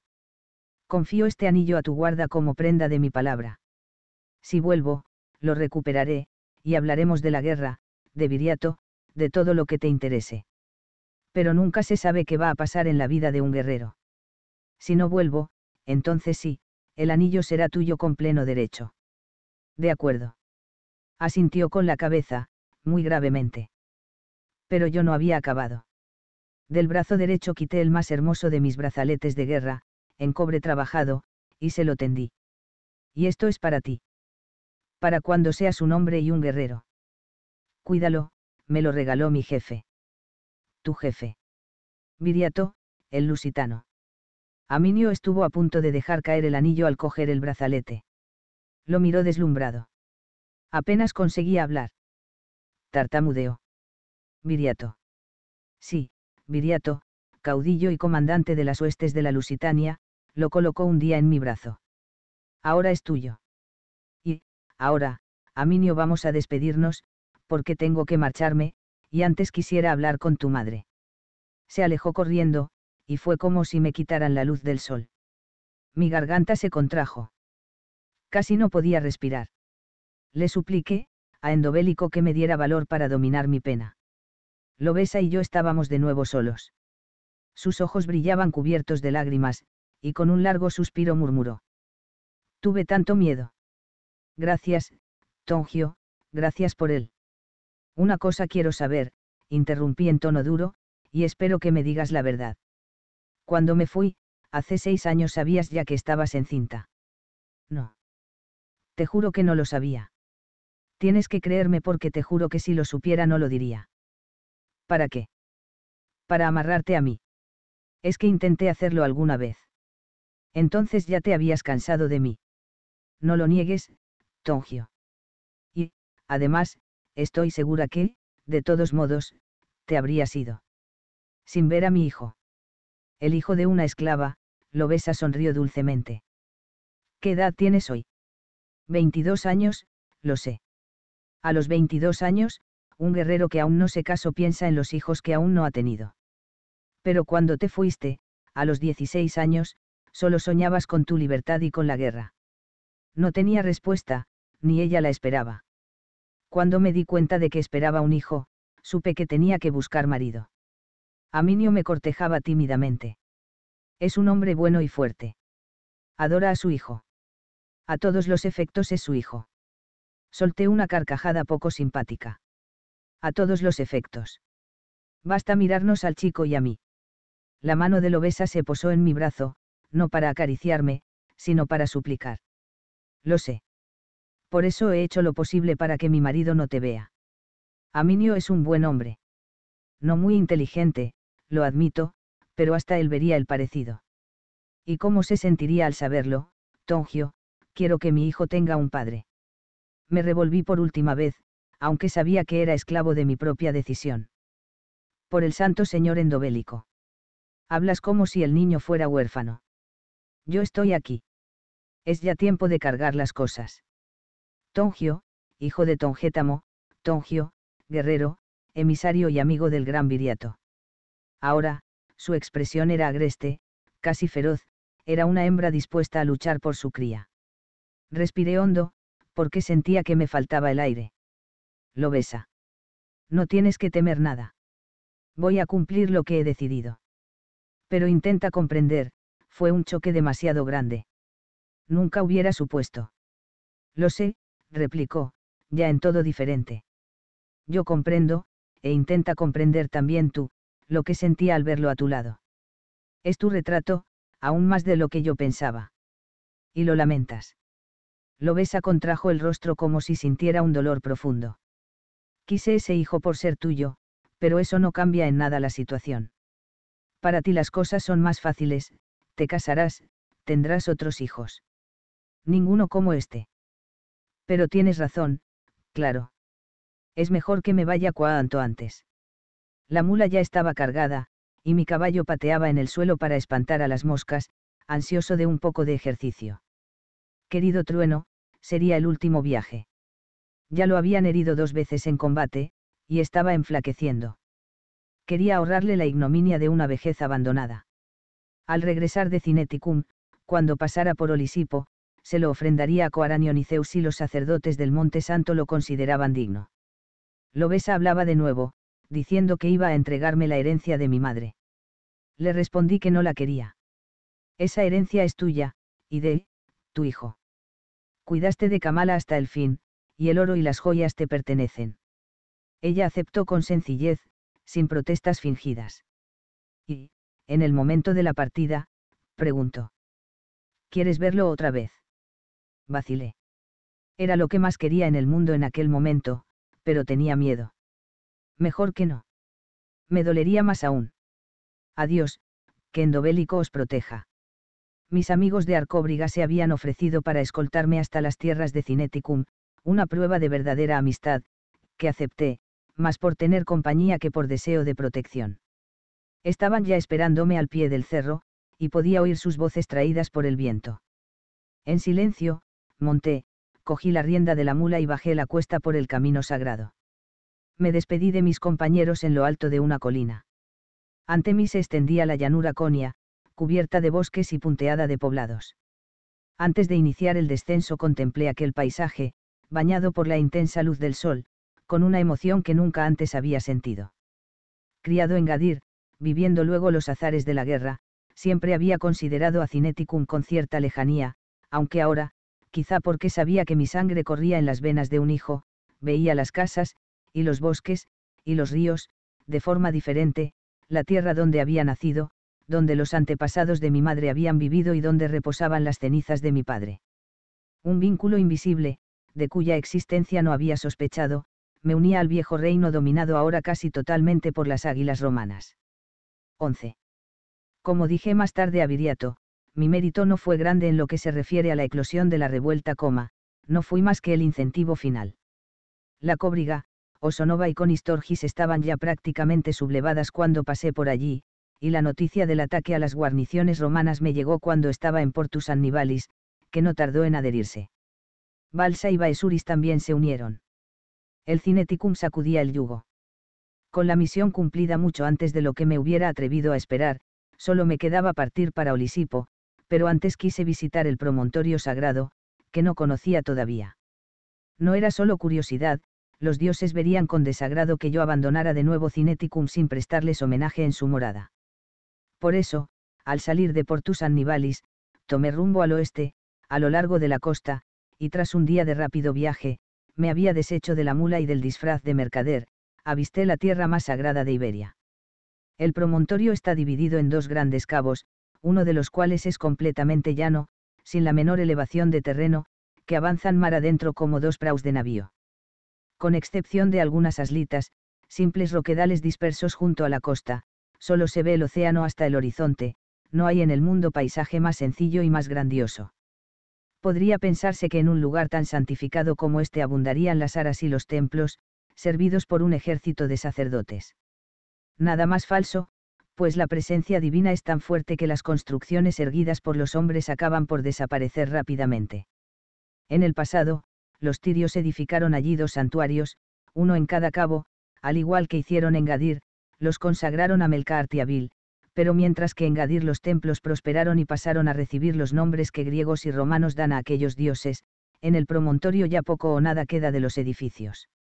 La tierra está desnuda, sembrada de matojos dispersos, y tan poderosa es la fuerza divina, que los mortales solo pueden levantar allí montículos de piedras.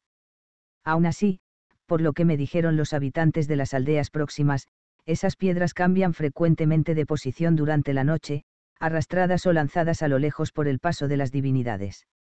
Porque es de noche cuando son más fuertes las presencias, y lo son tanto que ningún hombre, ni siquiera el sumo sacerdote, puede permanecer allí después de ponerse el sol. A todos los pueblos les gusta fabricar leyendas, pero puedo asegurar que esto es verdad y que los habitantes de la región no han inventado nada. Yo mismo, cuando pisé aquella tierra sagrada, por la mañana, muy temprano, sentí tenso mi cuerpo, los músculos contraídos hasta el dolor, y el corazón oprimido. Mis manos temblaban al hacer la libación con el agua traída de la aldea donde había pernoctado, allí no hay pozos, ni arroyos, ni fuentes. Y no me sorprendí cuando me dijeron los sacerdotes que no iba a poder ofrecer ningún sacrificio, porque estaba prohibido derramar sangre sobre la tierra del promontorio. Terminada la visita, pensé en la mejor manera de llegar a Olisipo. Si me hubiera acompañado Arduno, me habría visto obligado a hacer el viaje por tierra, pero como solo dependía de mí, intenté encontrar el modo de viajar por mar. La suerte me favoreció muy cerca del promontorio hay una pequeña ensenada donde los barcos hacen escala para que los tripulantes puedan orar a sus dioses pidiendo buen tiempo y vientos favorables. Allí encontré un navío gaditano que se dirigía al norte y cuyo capitán accedió a llevarme por un precio razonable. Me habló también de la guerra, y así me enteré de que el cónsul Lucio Cecilio Metelo había obtenido algunas victorias en la Celtiberia, donde se había apoderado de tres ciudades, aunque luego había sido derrotado por los lusitanos. Ahora, el cónsul intentaba evitar encuentros armados y, por lo que se sabía engadir, procuraba retirarse a Córdoba, que era el refugio tradicional de los generales romanos derrotados por Viriato. Si bien es verdad que nunca me mareé a bordo de un navío, tampoco soy lo que se pudiera llamar un marinero, y por eso me sentí muy satisfecho al pisar tierra firme. Más contento aún se quedó mi caballo trueno, que, él sí, se marcó terriblemente. Tuve que ocuparme de él, y pasaron tres días hasta que el pobre animal se recuperó y ganó fuerzas. Durante todo ese tiempo, analicé la situación en Olisipo y descubrí que las relaciones con Roma estaban considerablemente deterioradas. Los abusos cometidos por las tripulaciones de las galeras romanas, y la hostilidad de los sacerdotes de Coaranion y me parecieron los motivos principales de este enfrentamiento. No tuve dificultad en ser oído por los notables y en obtener de ellos la promesa de una ruptura formal. Cinco días después de la llegada me dirigí al fin al Monte Santo, donde me esperaba una sorpresa agradable, la primera persona que vi, montado en un espléndido caballo, fue Arduno. Saltamos los dos al suelo y nos abrazamos con alegría. He venido solo para hablarte, me explicó mientras nos encaminábamos a la residencia de los sacerdotes, porque traigo un mensaje del jefe, o, mejor dicho, una invitación. Invitación. Sí. No lo adivinas. Invitación a la boda. Pero, antes, las noticias y las instrucciones. Espera, vamos a sentarnos allí, en aquella piedra. Luego hablaremos con los sacerdotes. Me senté a su lado. Estaba más flaco, tenía una cicatriz reciente en la mejilla izquierda, pero parecía fuerte y sano, y conservaba su vivacidad habitual. ¿Y la campaña contra Metelo? Pregunté. Fue dura, pero rápida. Y decisiva. No volverá a molestarnos, cosa que nos conviene mucho, porque tenemos que rehacernos. La hueste lleva ya cinco años de guerra, e incluso con los nuevos contingentes calaicos, necesitamos más gente, y descanso. En fin, por ahora hay tregua, no oficial, pero sí efectiva. Arduno prosiguió contándome que había llegado al Monte Santo hacía diez días, y que había negociado ya la compra de 50 caballos, los únicos disponibles, que serían entre A, 2, al final del otoño, en Aritium Vetus. Porque el jefe va hacia allá, remató, y la boda se realizará precisamente a finales de otoño o a principios del invierno. Por nuestra parte, lo que tenemos que hacer es llevar los caballos a Aritium Vetus. A propósito, si me permites una sugerencia, creo que tendrías que elegir uno para ti. Eso está ya decidido. Voy a enviar a mi trueno a Coaranion para agradecerle la protección que nos ha dispensado. Y que los sacerdotes nos cobran a buen precio, rezongó Arduno en voz baja. Le aconsejé que guardara para sí semejantes comentarios, para no ofender al dios ni a sus servidores, de quienes íbamos a precisar. No siento vergüenza al confesar que se me llenaron los ojos de lágrimas al despedirme de Trueno. El sumo sacerdote aceptó ejecutar él mismo el sacrificio, cuando le hablé de la nobleza y la bravura del animal. Creo también que aceptó por deferencia hacia un enviado de Viriato. Cuando llegó el momento, me acerqué a Trueno, que, como era costumbre en él, vino a apoyar su cabeza en mi hombro. Ha llegado el momento de separarnos, le dije en voz baja, y nunca te dejaría si no supiera que vas a pasar a las manos de un dios.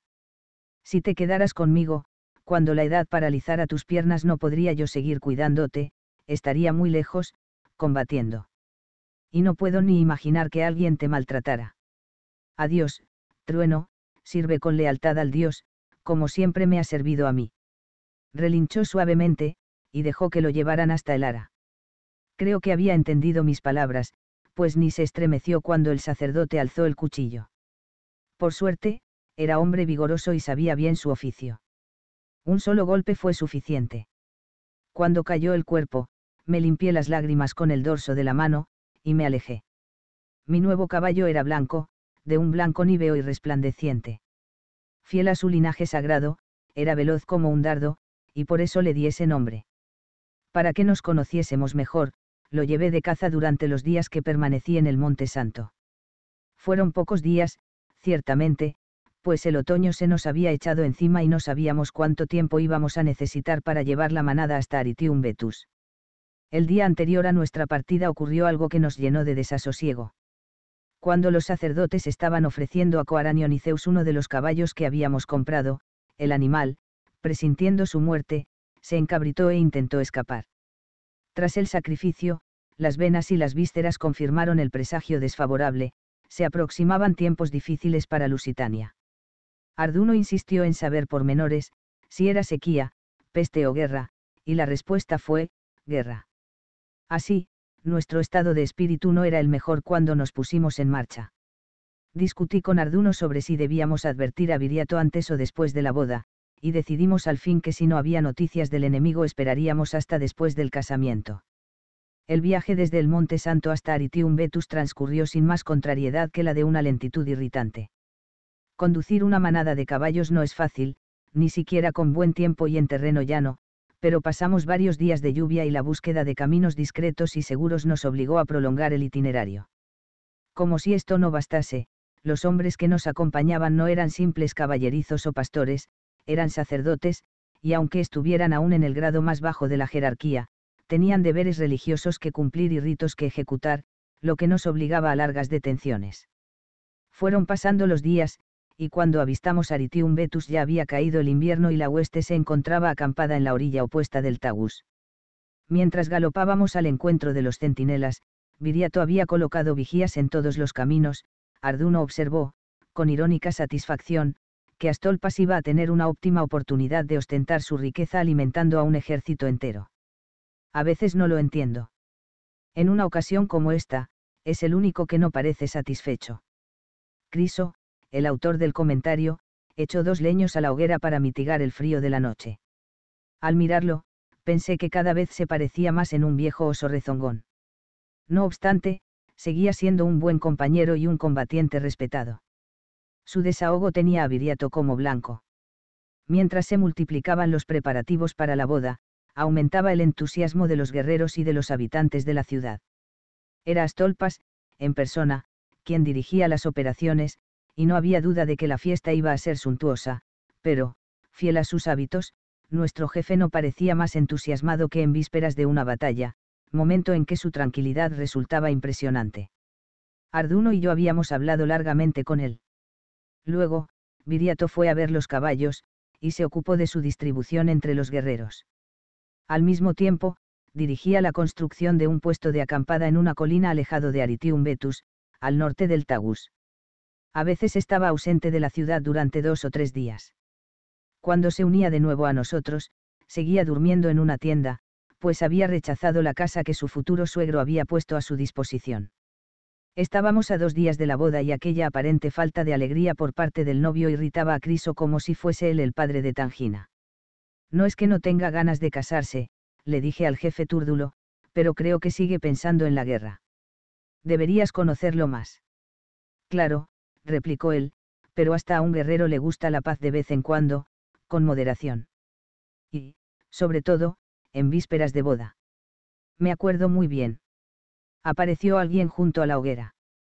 Era Audax, envuelto en su manto hasta la barbilla.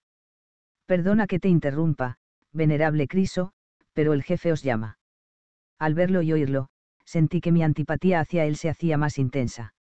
Aunque hubiera rechazado la comodidad de un edificio, Viriato se había visto obligado a aceptar, al menos, el ofrecimiento de Astolpas de una tienda lujosa y amplia. Una tienda que poco serviría en campaña, y que Viriato dejaría en Aritium Vetus, pero que era allí muy conveniente. Viriato no había delegado el mando, y constantemente tenía que resolver problemas, recibir mensajeros que debían ser interrogados lejos de oídos indiscretos, pues su confianza en el padre de la novia no había aumentado. Precisamente uno de esos mensajeros se hallaba en la tienda con Viriato, Minuro y Tautalo. Amigos, empezó Viriato, este es Magón, turdetano, guerrero de Connovas, príncipe turdetano aliado nuestro. Magón ha viajado durante 20 días para traernos noticias. ¿Y para traer esto?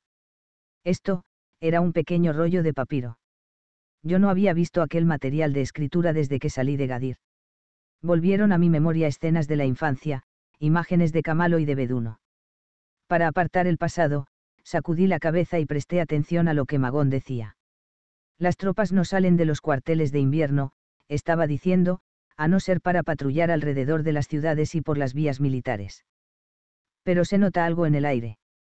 Han llegado mensajeros de Roma, y uno de ellos traía sin duda la orden de cese para Metelo, porque éste mandó preparar sus equipajes y entregó al Kiwaste los asuntos de gobierno.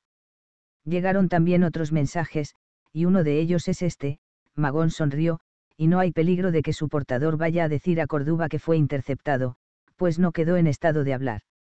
Ni de respirar, siquiera. A un gesto de viriato, el turdetano me entregó el papiro. Lo leí rápidamente para poder resumir su contenido en voz alta, estaba firmado por un cónsul recién elegido, él mismo lo decía, llamado Quinto Fabio Máximo Serviliano, a quien habían nombrado gobernador de la Hispania ulterior. La carta contenía instrucciones destinadas al Quiuaste de Metelo, en Córdoba. Lo que más nos interesaba eran órdenes de aprovisionamiento y acuartelamiento del nuevo ejército consular cuya llegada a Hispania estaba prevista para la primavera. Y el cónsul enumeraba los efectivos, dos legiones con un total de 18.000 hombres de infantería y 1.600 de caballería. Al llegar a este punto de la carta alcé los ojos hacia Viriato, pero su rostro se mantenía impenetrable. Se limitó a preguntar. Eso es todo. No. Hay algo más, aquí está, el rey Micipsa, de Nomidia, ha prometido 300 jinetes y 10 elefantes con sus respectivos conductores. Si esos refuerzos llegan antes de mi presencia en Hispania, deberá alojarlos y alimentarlos también. Y, ahora sí, nada más. Elefantes. Rezongó Criso. ¿Y qué es eso? Animales monstruosos, respondí, con dos lanzas de hueso en la cabeza, y el hocico es una especie de brazo poderoso. Los usan en la guerra. Engadir había visto una pintura que representaba un animal de esos. Pero Criso me miró con aire escéptico, y dijo. No creo nada. Intervino Viriato. Pues es mejor que lo creas, porque esos animales existen. Nunca los he visto, pero mi bisabuelo combatió en los ejércitos de los Barca, y vio muchos los cartagineses los usaron contra los romanos. Y prosiguió volviéndose hacia Magón. Te agradezco los trabajos que pasaste para traernos esa carta. Espero que honres con tu presencia mi fiesta de casamiento. Luego, te irás cuando quieras, y le llevarás al príncipe con novas un saludo mío. Su amistad es para nosotros más preciosa hoy que nunca, y a propósito, el nombre de ese nuevo cónsul me resulta familiar. Quinto Fabio Máximo Serviliano será pariente de aquel otro quinto Fabio Máximo Emiliano. Magón respondió que no sabía nada. Realmente, lo supimos más tarde, Serviliano y Emiliano eran hermanos adoptivos. Se retiró Magón y el jefe le dijo a Minuro que lo acompañara y ordenase que le sirvieran comida y vino. Cuando salieron, nos quedamos callados, hasta que Viriato advirtió. Esos informes hay que mantenerlos secretos. No quiero que nuestros hombres los conozcan de momento. Cuando acaben las ceremonias de la boda, el ejército partirá para el campamento que hemos estado construyendo. Entonces duplicaremos el entrenamiento y, antes de que acabe el invierno, volveremos a Ituxi. Si el nuevo cónsul es experto, su primera meta será Ituxi, para quitarnos la base de operaciones contra la Bastetania. De todos modos, presiento que vamos a tener un año difícil. Bueno. Observó Tautalo. Ya hemos tenido otros años así. Y, en cuanto a los elefantes, apuesto a que no pueden trepar cuesta arriba por los montes. Aníbal los usó, muy bien, pero ni con esas evitó la destrucción de Cartago. Viriato objeto. Hay otras cosas que tendremos que tener en cuenta. Nuestra hueste lleva ya cinco años de guerra y somos cerca de seis mil hombres, contando con los calaicos. Si ese serviliano es un buen estratega, irá aplastando pueblo por pueblo a todos los de Iberia. Pues que lo haga gritó Criso. Cuando nos toque a nosotros, estará debilitado, y acabaremos con él. Viriato movió la cabeza como si rechazara esta conclusión. Yo había aprendido a conocer sus gestos y expresiones, y comprendí que solo se sentía cansado y amargado. ¿Cómo no? pensé, mirando su rostro, donde nuevas arrugas habían excavado su piel. En sus manos estaba la libertad de la Lusitania, y posiblemente incluso la de toda Iberia, y, además, la vida de seis mil hombres, y pese a todo eso estaba terriblemente solo. Incluso entre sus amigos más próximos, quien era capaz de acompañar sus pensamientos. Tautalo, quizá, en parte. Yo mismo, quizá, pero detrás de mí no había una hueste ni influencia política. Los otros eran, en el mejor de los casos, gente como Criso, que hacía la guerra por el placer de combatir y por el saqueo. Si Criso no hubiera empeñado su lealtad, y luego su amistad, seguiría guerreando igual, y quizá no a los romanos, sino a los taporos, a los nemetanos o a los célticos de entre el Tagus y el Anas, o quizá a los mismos lusitanos. Criso, y muchos como él, hacía la guerra por la guerra, y nunca podría entender a Viriato ni su manera de pensar. En toda Iberia, los pueblos, desde los numantinos a los conios, solo por especial deferencia para con Viriato aceptaban a veces coordinar sus ataques con la acción de la hueste lusitana. Quien, es estas circunstancias, no se sentiría por un momento desalentado, incluso en vísperas de su boda. Pero ahora el jefe, ya con un semblante diferente, respondía a Criso. Sea lo que sea, los aceptamos, aceptamos su alianza, y tenemos que cumplir nuestra parte de los acuerdos. Además, cuanto más tiempo dejemos a Serviliano maniobrando a su gusto, más se enriquecerá con esclavos, tributos y despojos. Cueste lo que cueste, no podemos darle descanso. Audax, Minuro, Ditalco, después de la boda saldréis para Beturia, y desde allí iréis recorriendo las ciudades que son aliadas nuestras para decirles que se preparen todas para la próxima campaña. Tienen que contar, todas, repito, con la eventualidad de un asedio. ¿Y en la citerior? Preguntó Audax. Ese es problema de los numantinos y de sus vasallos y aliados. No creo que los romanos de la citerior puedan atacarnos mientras esté Numancia en pie de guerra. Con un ademán, Viriato dio a entender que la reunión había acabado. Fueron saliendo todos. Solo yo me quedé. Cuando estuvimos a solas, el jefe me preguntó. ¿Qué hay, Tongio? Estaba dudando si decírtelo o no, pero vistas las noticias que ha traído Magón creo que es mejor que te lo diga. Le hablé de los presagios desfavorables del Monte Santo. Me escuchó con atención y me tranquilizó. No se anunciaba una derrota definitiva, pero sí grandes dificultades, y esas estaban en marcha con Serviliano y sus legiones. Pero, al menos, sabíamos lo que nos esperaba. Y, ahora, terminó en tono ligero, vamos a intentar olvidar por unos días todas esas preocupaciones, que resultan poco adecuadas en días de boda. Descansa y diviértete, Tongio, que te lo has ganado. No podía ayudarle a llevar una carga que solo él era capaz de soportar. Acepté complacido sus órdenes, tanto más cuanto que al otro lado del río, en Aritium Vetus, había comodidades, vino, mujeres en calidad y cantidad suficientes como para cumplir sus órdenes al pie de la letra. 12. El día de los desposorios amaneció frío y con el cielo límpido. Desde el romper del alba hervía la multitud con los últimos preparativos y se respiraba una atmósfera de alegre expectación. Por la mañana, Viriato fue a cazar con sus amigos. Cuando regresamos, pasado el mediodía, todo estaba dispuesto, y nunca, ni siquiera en Gadir, había visto yo un lujo tan deslumbrante, aunque no siempre era de buen gusto. Astolpas había decidido que el matrimonio de su única hija legítima fuera tema de comentarios en toda Lusitania de generación en generación, y yo estaba convencido de que iba a ser así. Su residencia en la ciudad, pese a ser muy espaciosa, no podría albergar a todos los invitados de honor, y hubo que montar un amplio toldo al aire libre, en el lugar donde se alzaba el altar familiar. Este altar era el centro del recinto ceremonial, y a su alrededor se dispusieron las mesas reservadas a los huéspedes más ilustres, los invitados de parte del novio eran muy pocos, solo los jefes de la hueste y su estado mayor, pero los del padre de la novia debían de rebasar el centenar.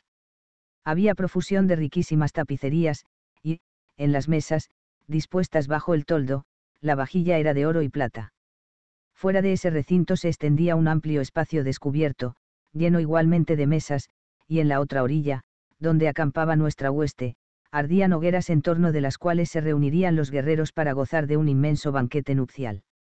Bueyes, cerdos y cabritos enteros estaban en los asadores, pirámides de patos y capones ya cocinados se erguían hasta la altura de un hombre, y no faltaban, en calidad y número, los pescados del tagus. Filas apretadas de ánforas desbordantes de vino y cerveza esperaban por la sed de los invitados. Me divertía observando todo aquello. Luego me dirigí a la tienda de Viriato, que debía de estar preparándose para la gran ocasión. Al entrar en el campamento sonaron las trompas en Aritium Vetus anunciando el inicio de la fiesta. Dentro de la tienda se apretaban los amigos, los jefes de las unidades militares y algún que otro vasallo de Astolpas. El jefe estaba dispuesto ya. No había aceptado las vestimentas suntuosas ofrecidas por su suegro, y prefirió la sencillez de una túnica de lino ceñida al cuerpo por un cinturón, y el único oro que llevaba era el de los brazaletes de guerrero, las virisas de su nombre. Nosotros, los amigos, fieles a la tradición, intercambiábamos chistes e insinuaciones, como es habitual en estos casos, y él nos oía sonriendo. Al fin, se había desvelado su rostro, se había dado tregua a sí mismo, iba a recibir a su tangina tras tantos años de espera. Al verlo alegre redobló nuestra alegría. Entre risas, retazos de canciones y consejos bien humorados, ofrecidos por quienes ya conocían la vida de casado, atravesamos el río en pequeñas embarcaciones, y nos dirigimos al recinto de la fiesta, donde ya nos esperaban los invitados de Astolpas. Y fue a medio camino donde Viriato se detuvo de súbito. Los que iban a su lado siguieron su ejemplo, los que le precedían tardaron algún tiempo en darse cuenta de lo que pasaba, y acabaron por volverse atrás. ¿Qué pasa? ¿Qué ha ocurrido? Preguntas y comentarios se cruzaban, y todos se volvieron hacia Viriato. Este, con los ojos semicerrados por la claridad del sol, observaba el recinto de honor. A aquella distancia podíamos ver a Astolpas. Destacando por su porte majestuoso, vuelto hacia la derecha, conversaba con tres hombres cuyas vests, de pelo y adornos no permitían la menor duda sobre su origen. A mi lado, Tautalo murmuró, incrédulo. Romanos. Ha invitado este hombre a los romanos a la fiesta. Y Ditalco, también en voz baja. Ayer oí decir que habían llegado invitados de Beturia, pero nunca pensé. No llegó a acabar la frase, porque Viriato dio la vuelta bruscamente, se dirigió a uno de los barcos de cuero. Llegado a la otra orilla, regresó a la tienda. Todos lo seguimos, claro, pero no nos atrevimos a entrar, y durante algunos instantes nos quedamos desconcertados a la puerta, hasta que Tautalo dijo que iba a ordenar una alerta general, pero en aquel mismo momento reapareció Viriato. Sobre la túnica llevaba una coraza de lino trenzado. Colgaban del cinturón la espada y la daga, y empuñaba la azagaya en la mano derecha. Nos miró, y habló en un tono que conocíamos muy bien, el que empleaba para dar instrucciones para el combate. Quiero veros a todos armados y con los caballos dispuestos.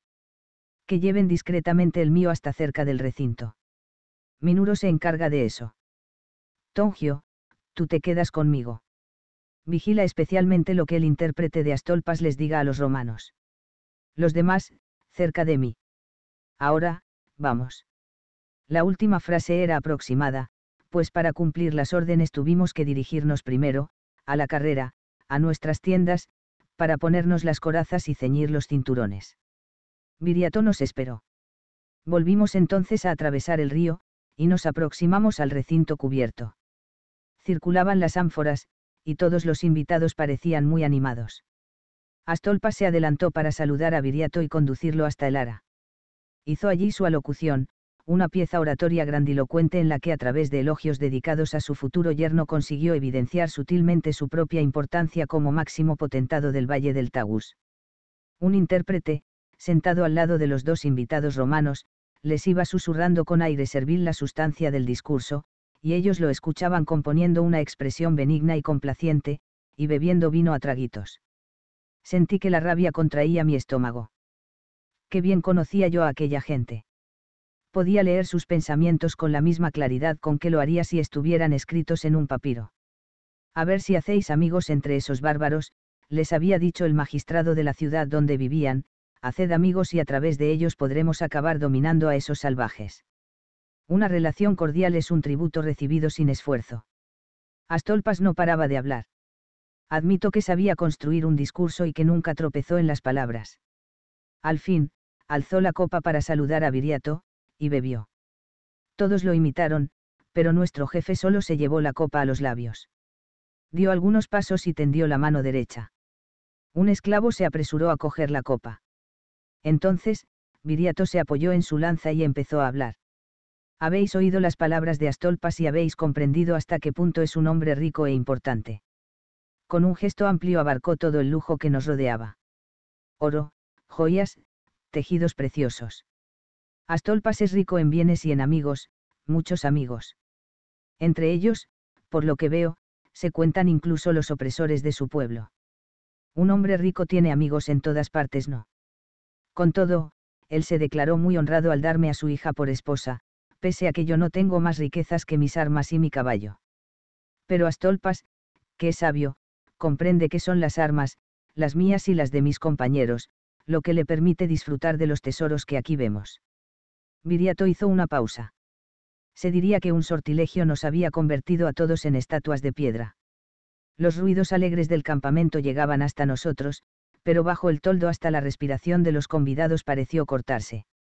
Astolpa se quedó pálido, del color de la ceniza. Con movimiento deliberado, Viriato señaló a los romanos.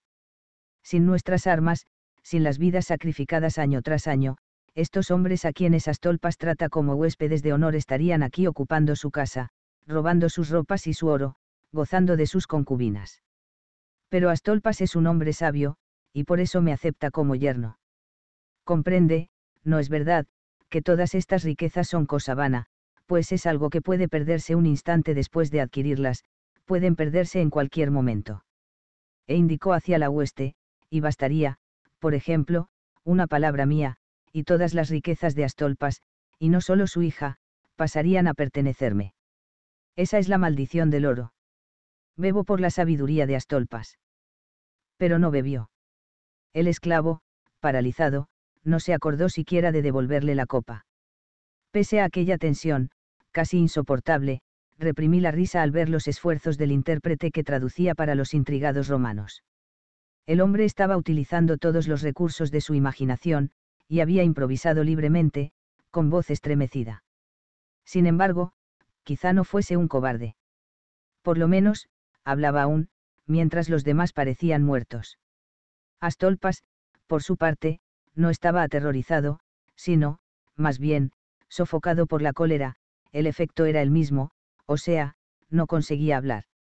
El jefe de sus esclavos, un hombre cuya voz y cuyos gestos podrían pasar por los de un maestro de ceremonias gaditano, decidió salvar la situación. Se acercó a Viriato y le anunció que estaba ya dispuesto el baño de la hospitalidad. La respuesta, dada sin mirar para él, fue. Ya me he bañado esta mañana, en el río. Sin desconcertarse, el otro dijo que el lugar de honor esperaba, pues, al ilustre huésped. El ilustre huésped no dio señales de oír, y se volvió hacia nosotros. Comed algo, porque vamos a marcharnos. En aquellas circunstancias, el apetito no era mucho. Y como Viriato no se sentaba, también nosotros nos quedamos de pie. Astolpas, recompuesto, hizo una señal dando por iniciado el banquete, y con eso nos sentimos mucho más a gusto. Tautalo cogió un capón asado, lo partió y me pasó la mitad. Los otros siguieron nuestro ejemplo mientras el jefe de la hueste comía rápidamente medio pan y una tajada de cerdo sin posar siquiera la lanza. Cuando acabó, se volvió hacia el jefe de los esclavos, cualquiera habría creído que Astolpas no existía y pidió que trajeran a Tangina.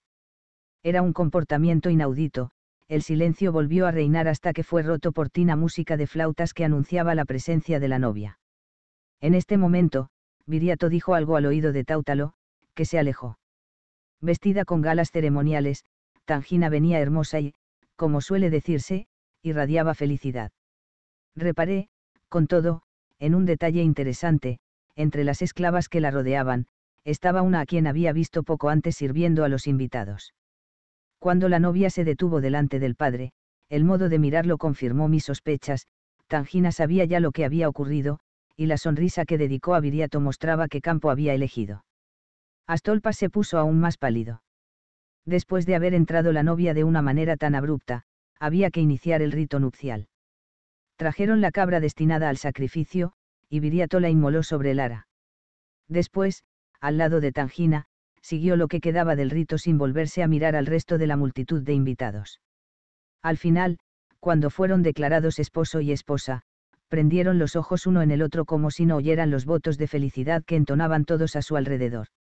Se oyó el resuello de un caballo, era el de Viriato, que Tautalo había ido a buscar y que traía de las riendas, impasible ante el aire escandalizado de los asistentes.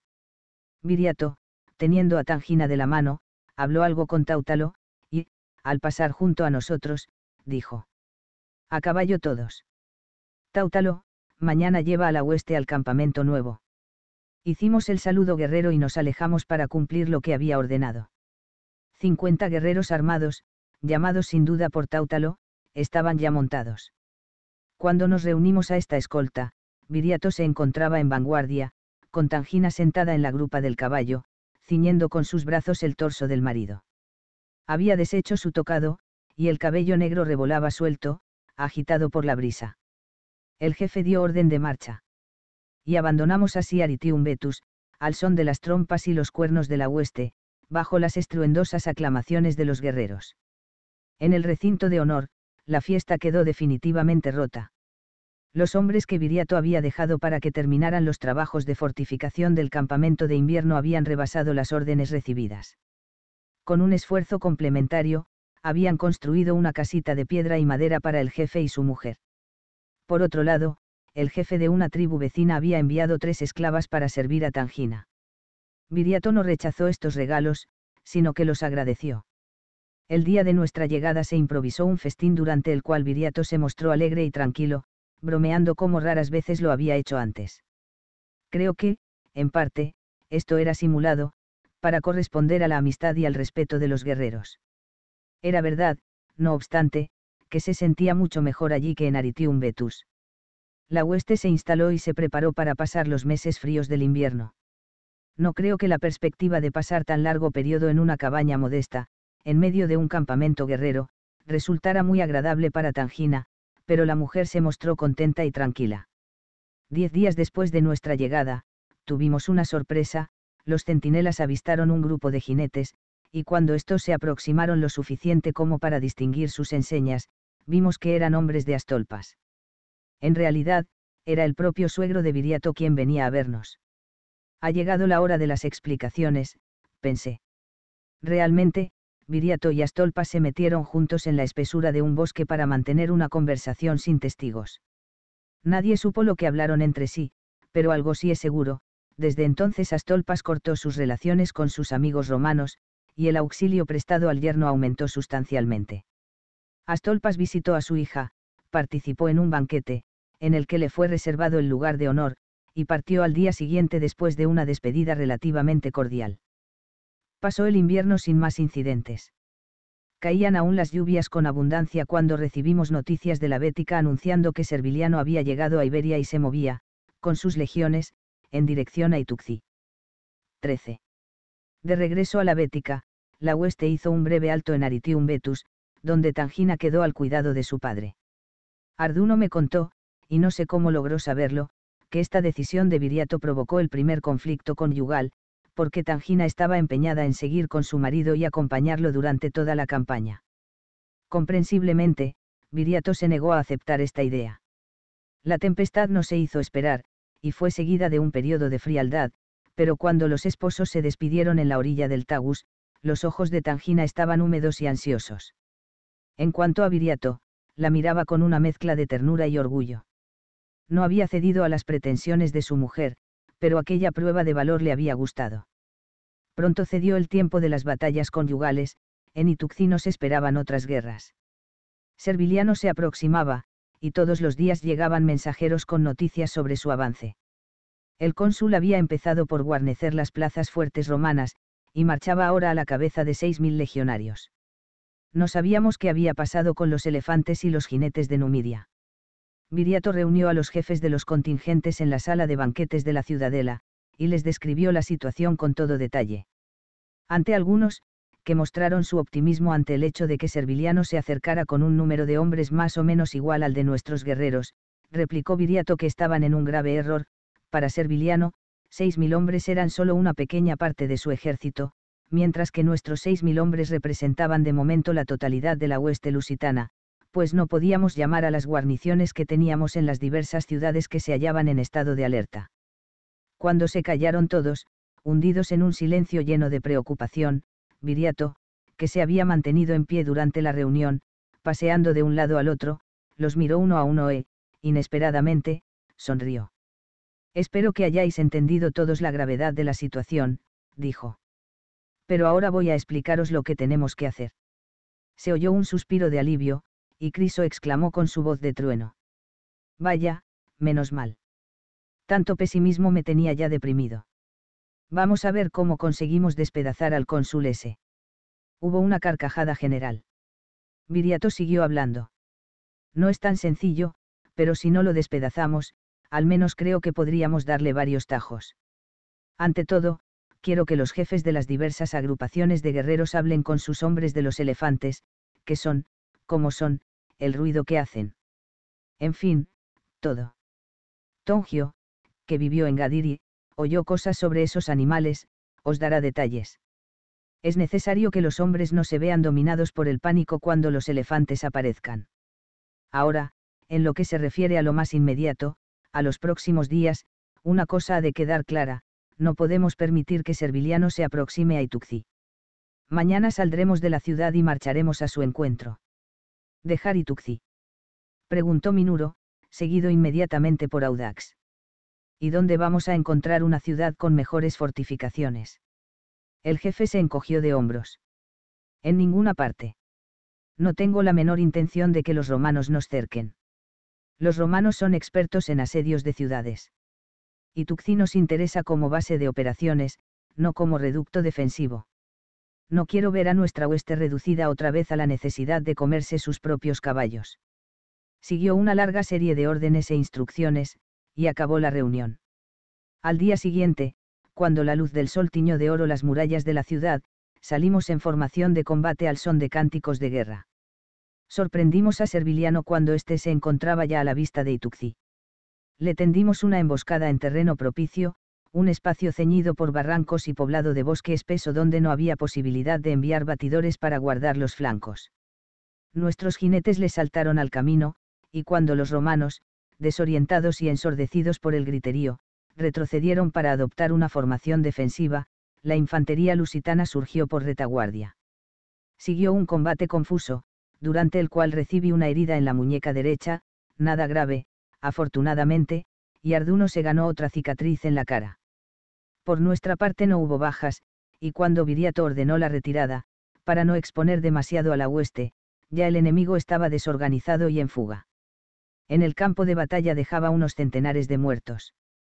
El cónsul, a quien vi de lejos en la batalla, montado en un caballo blanco, se dio cuenta de que no podía seguir avanzando ni permanecer allí, y retrocedió hasta hallarse de nuevo en campo abierto.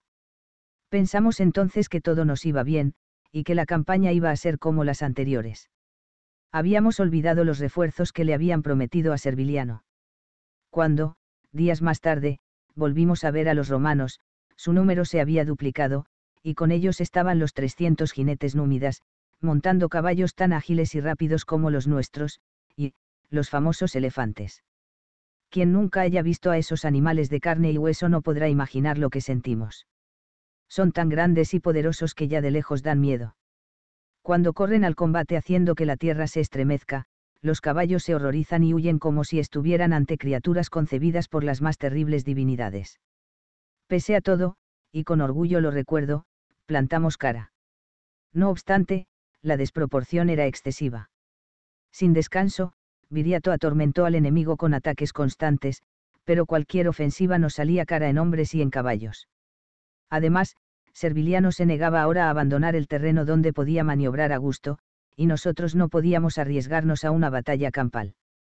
Impotentes, asistimos, pues, a su avance y vimos cómo extendía un poderoso dispositivo, abría trincheras, alzaba empalizadas y construía, en fin, un magnífico campamento fortificado a partir del cual podría prolongar su área de acción. El camino hacia Ituxi quedaba abierto, y nada podíamos hacer para impedir la caída de la ciudad.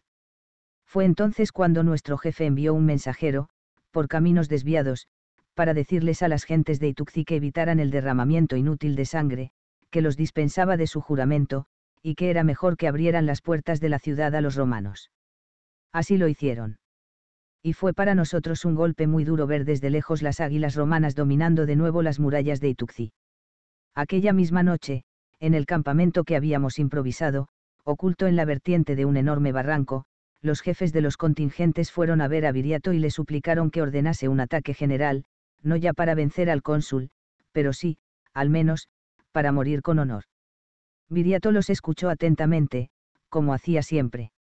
Nunca ha habido, y creo que ya lo he dicho antes, un general tan próximo a sus hombres. Cualquier guerrero podía dirigirle la palabra, y sus amigos, los oficiales, también podían acudir en cualquier momento a su tienda, incluso por la noche, despertarlo y hablar con él. Viriato escuchó, y cuando ya todos habían dicho lo que querían decir, replicó. Habláis de morir con honor. Yo creo que podemos aún vivir con ese mismo honor que exigís. Tenemos que vivir para defender la libertad de nuestros hijos. Pero, ¿cómo? interrumpió uno de los oficiales. Ese romano, con sus legiones, con los elefantes, con los númidas. Ese romano es invencible. También Cayo Betilio parecía invencible y lo vencimos. Cierto es que la situación era distinta. No podemos recuperar Ituxi por ahora, pero podemos hacer otra cosa. Vamos a dar una batalla campal. Se levantó un murmullo, y fue Criso, por una vez, quien entendió el pensamiento de Viriato. Eso es. Una batalla igual que aquella contra Betilio. Gritó. Viriato se acercó a él y posó las manos en sus hombros. Al fin, mi querido amigo, mi turdulo cerril, ¿entiendes algo? Y, volviéndose hacia los demás, empezó a dar órdenes. Pasaron tres días, y las tropas de Serviliano se encontraban casi en el lugar exacto donde queríamos que estuvieran. Por medio de pequeñas maniobras de ataque y fuga, Viriato había conseguido alejar al cónsul de su campamento atrincherado y atraerlo poco a poco, de manera imperceptible, hasta tenerlo a su alcance. Otra maniobra más, y lo tendríamos en terreno ideal. La víspera de esta acción, Viriato sacrificó tres caballos a los dioses de la guerra, implorando su auxilio y protección para la hueste lusitana. Incapaz de dormir, pasó la noche conversando con Arduno y Táutalo, que estaban de servicio. De madrugada, el jefe salió de la tienda dispuesto ya para montar, en campaña dormía completamente vestido y con coraza, para poder enfrentarse a cualquier emergencia, y lo saludó con una calma contagiosa. Quiero ver alegría en todas las caras, dijo. Esta vez los presagios no son favorables, y no hay motivo para tener malos pensamientos. Era verdad, pero yo sentía aún una ansiedad como si una voz dentro de mí me exigiera en silencio mantenerme alerta.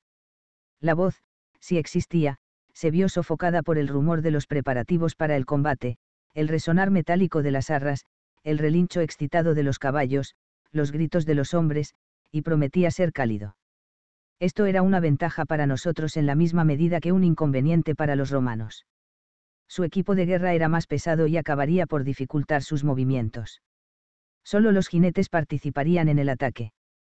Los restantes hombres deberían permanecer en el campo, bajo el mando de Criso.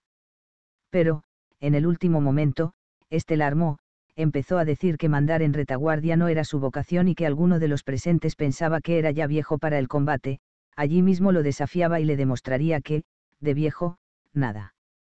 Incluso se negó a escuchar los pacientes argumentos de Viriato, dijo que si no tomaba parte en el ataque de la caballería, iría igualmente a nuestra zaga, llevando la infantería tras él. No había tiempo para discutir y Viriato, contrariado, lo sustituyó por Audax. Quedó este al mando de las reservas, y dio Viriato la orden de marcha. Atacamos a la columna romana al inicio de la tarde. De acuerdo con lo establecido, no intentamos defender nuestro terreno. Una vez ejecutada la carga, nos batimos en retirada, todos menos Criso y un puñado de sus túrdulos, que se había empeñado en un combate cuerpo a cuerpo. Mirando hacia atrás, rabioso, vio Túrdulo lo que pasaba, rechinó los dientes rabioso, y maldijo. Tongio. Arduno. Traedme a esos cabezotas inmediatamente. Van a echar a perder nuestros planes. Galopamos hacia el grupo mientras las trompas repetían y otra vez el toque de retirada. Criso. Grité desde lejos aún. Son órdenes de Viriato. Retirada. Criso combatía con ferocidad, abriéndose paso entre la chusma de Balaits. Me oyó, sin embargo, y tiró de las riendas obligando al caballo a dar media vuelta. Lo siguieron sus hombres mientras una nube de flechas caía sobre nosotros, una de ellas, silbó rozando mi yelmo de cuero, y algunos túrdulos cayeron. Llegó Criso a galope, con rostro sombrío, cerrado. Pasó a mi lado como un relámpago mientras Arduno lo cubría de epítetos más o menos insultantes. Había desaparecido la caballería lusitana, pero conocíamos bien el camino que llevaba al lugar de concentración. Penetramos en el bosque y tropezamos con Táutalo, echando aún espumarajos de rabia por la indisciplina de Criso. Sorprendente, mente, este no abrió la boca ni se detuvo. Continuamos, pues, en silencio. A la entrada del campamento esperaba Viriato, aún montado, con el entrecejo fruncido y una sombra en la mirada, mucho más temible que la ira de Táutalo. Desmontamos todos, excepto Criso. Su caballo clavó las espuelas ante el de Viriato, y durante unos instantes quedaron los dos hombres mirándose de hito en hito, como en un desafío. Entonces se oyó la voz del jefe pero no tal como yo esperaba. Arduno, Tongio, rápido. Antes de que diéramos el primer paso, el cuerpo inmenso e imponente de Criso se curvó, se hundieron sus hombros y resbaló hacia la derecha hasta caer al suelo. En pleno vientre, a través de un desgarrón de la coraza, tenía clavada una saeta cuya hasta se había quebrado. Durante la retirada, Criso la había ocultado con el escudo, era un milagro que hubiese podido aguantar el galope. Pero el milagro había acabado. La sangre se extendía por su túnica y empapaba la coraza. De la boca del viejo guerrero salía un gemido ronco. Arduno se arrodilló. Viriato y yo seguimos su ejemplo. Nuestras miradas se cruzaron en una pregunta muda. Arduno hizo un signo negativo. El jefe se inclinó y murmuró. Criso, vamos a decirte adiós y a entregarte a los dioses. Pero, si eso te es permitido, tu espíritu asistirá a la venganza. Voy a ofrecer en tu honor una hecatombe de legionarios. Criso no podía responder, toda su energía se concentraba en un último esfuerzo por dominar su dolor. Viriato hizo un gesto imperioso. Obedeciéndome, me levanté y desenvainé la espada mientras Arduno agarraba con firmeza el pedazo del asta de la flecha. ¿Estás dispuesto? Me preguntó, e hice una señal afirmativa. Con un movimiento brusco y hábil, Arduno tiró de la punta de la flecha. Criso emitió un breve grito, se estremeció violentamente y quedó inmóvil. No necesité usar la espada.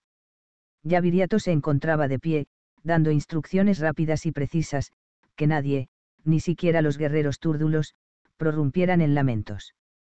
Los ritos fúnebres tendrían que esperar, pues si el espíritu de Criso los recibía, podría retirarse así sin asistir al ataque durante el cual lo vengaríamos, y también, pensé adivinando el pensamiento de Viriato, los romanos estaban demasiado cerca de nosotros, el fuego de la pira y los lamentos denunciarían nuestra posición. Después de la batalla, tendría Criso sus honras fúnebres. Los hombres de Conímbriga aceptaron este argumento. Lo que no podíamos negarles era la ceremonia de vela, durante toda la noche, los guerreros túrdulos rodearon el cadáver de su jefe entonando cánticos en sordina. No obstante, de mañana no parecían fatigados, al contrario, el deseo de venganza les había dado nuevas fuerzas, y cuando suplicaron a Viriato que les permitiera ir en vanguardia, para ser los primeros en atacar, el jefe accedió. Luego, suspiró, volviéndose hacia mí. Es una cuestión de justicia, pero, desgraciadamente, vamos a perder el contingente de Conímbriga. Serviliano avanzaba creyendo que nos perseguía. En realidad, venía a nuestro encuentro. Los dos ejércitos se avistaron, hicieron alto para reconstruir la formación y tomar posiciones para el combate. Viriato envió mensajeros a los jefes de los contingentes confirmando las instrucciones del día anterior. Después, alzó la mano derecha, que empuñaba la lanza, y dio el grito de guerra. Le respondió, como un eco, el mismo grito, entonado por la hueste entera con furor. Se inició el ataque. El espíritu de Criso quedó satisfecho viendo a sus conimbrillenses en primera línea, el ímpetu de la carga fue tal que rompió la vanguardia romana, y nuestra caballería se precipitó por la brecha. Esta se amplió rápidamente bajo la carga de infantería, y los legionarios empezaron a ceder terreno, sin dejar de combatir. Durante unos momentos, perdí la noción del tiempo, me entregué a la lucha sin pensar.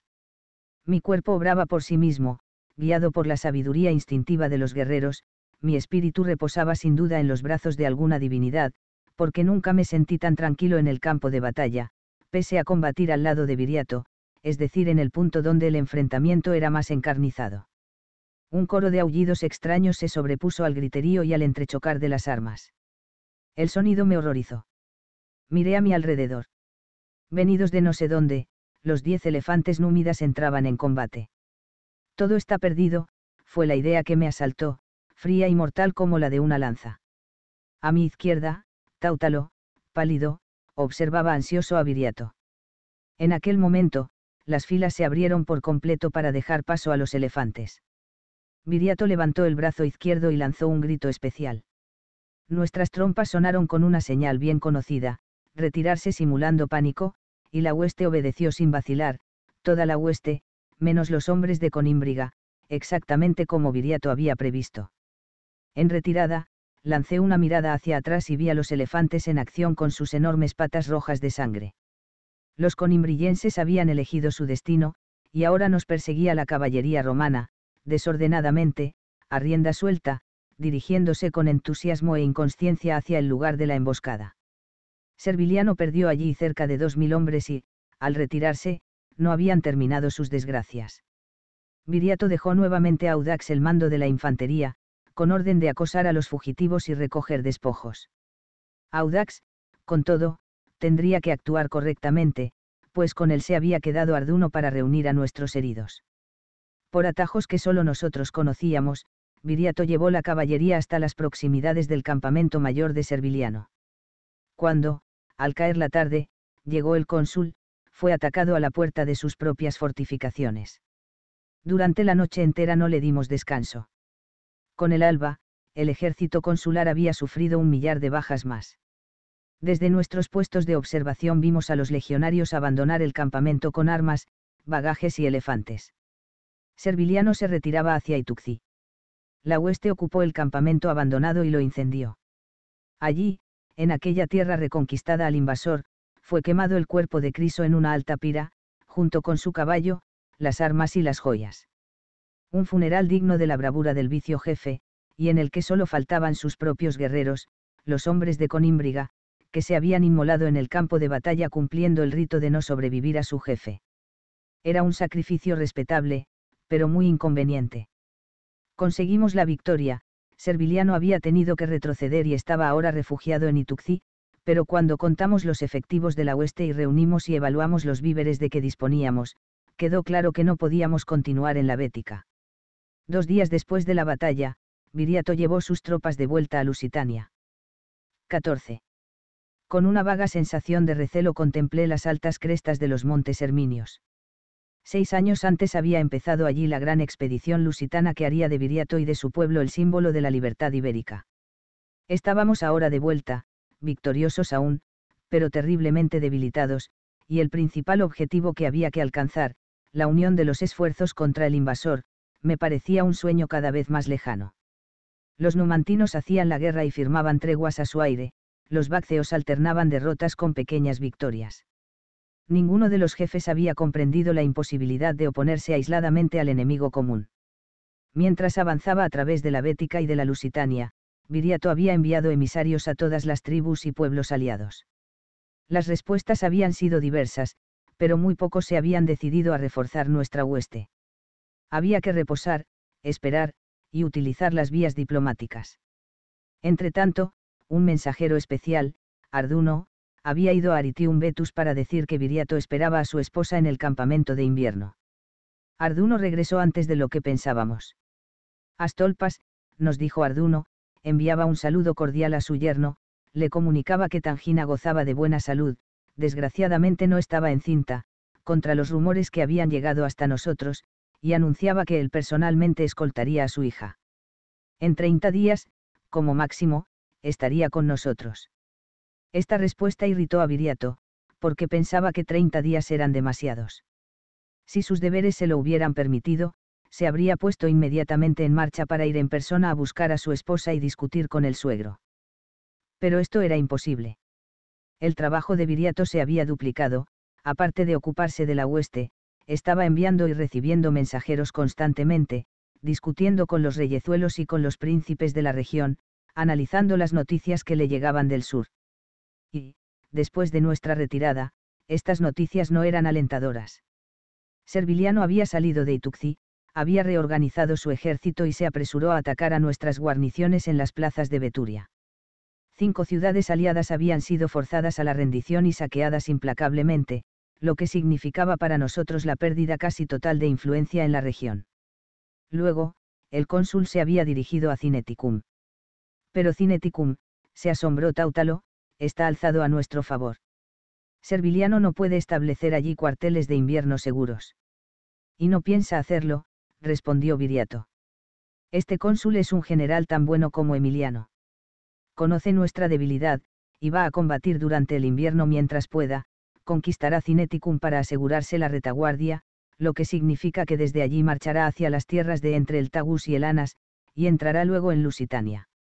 Es una ocupación metódica. Cayó, dio unos pasos y me miró.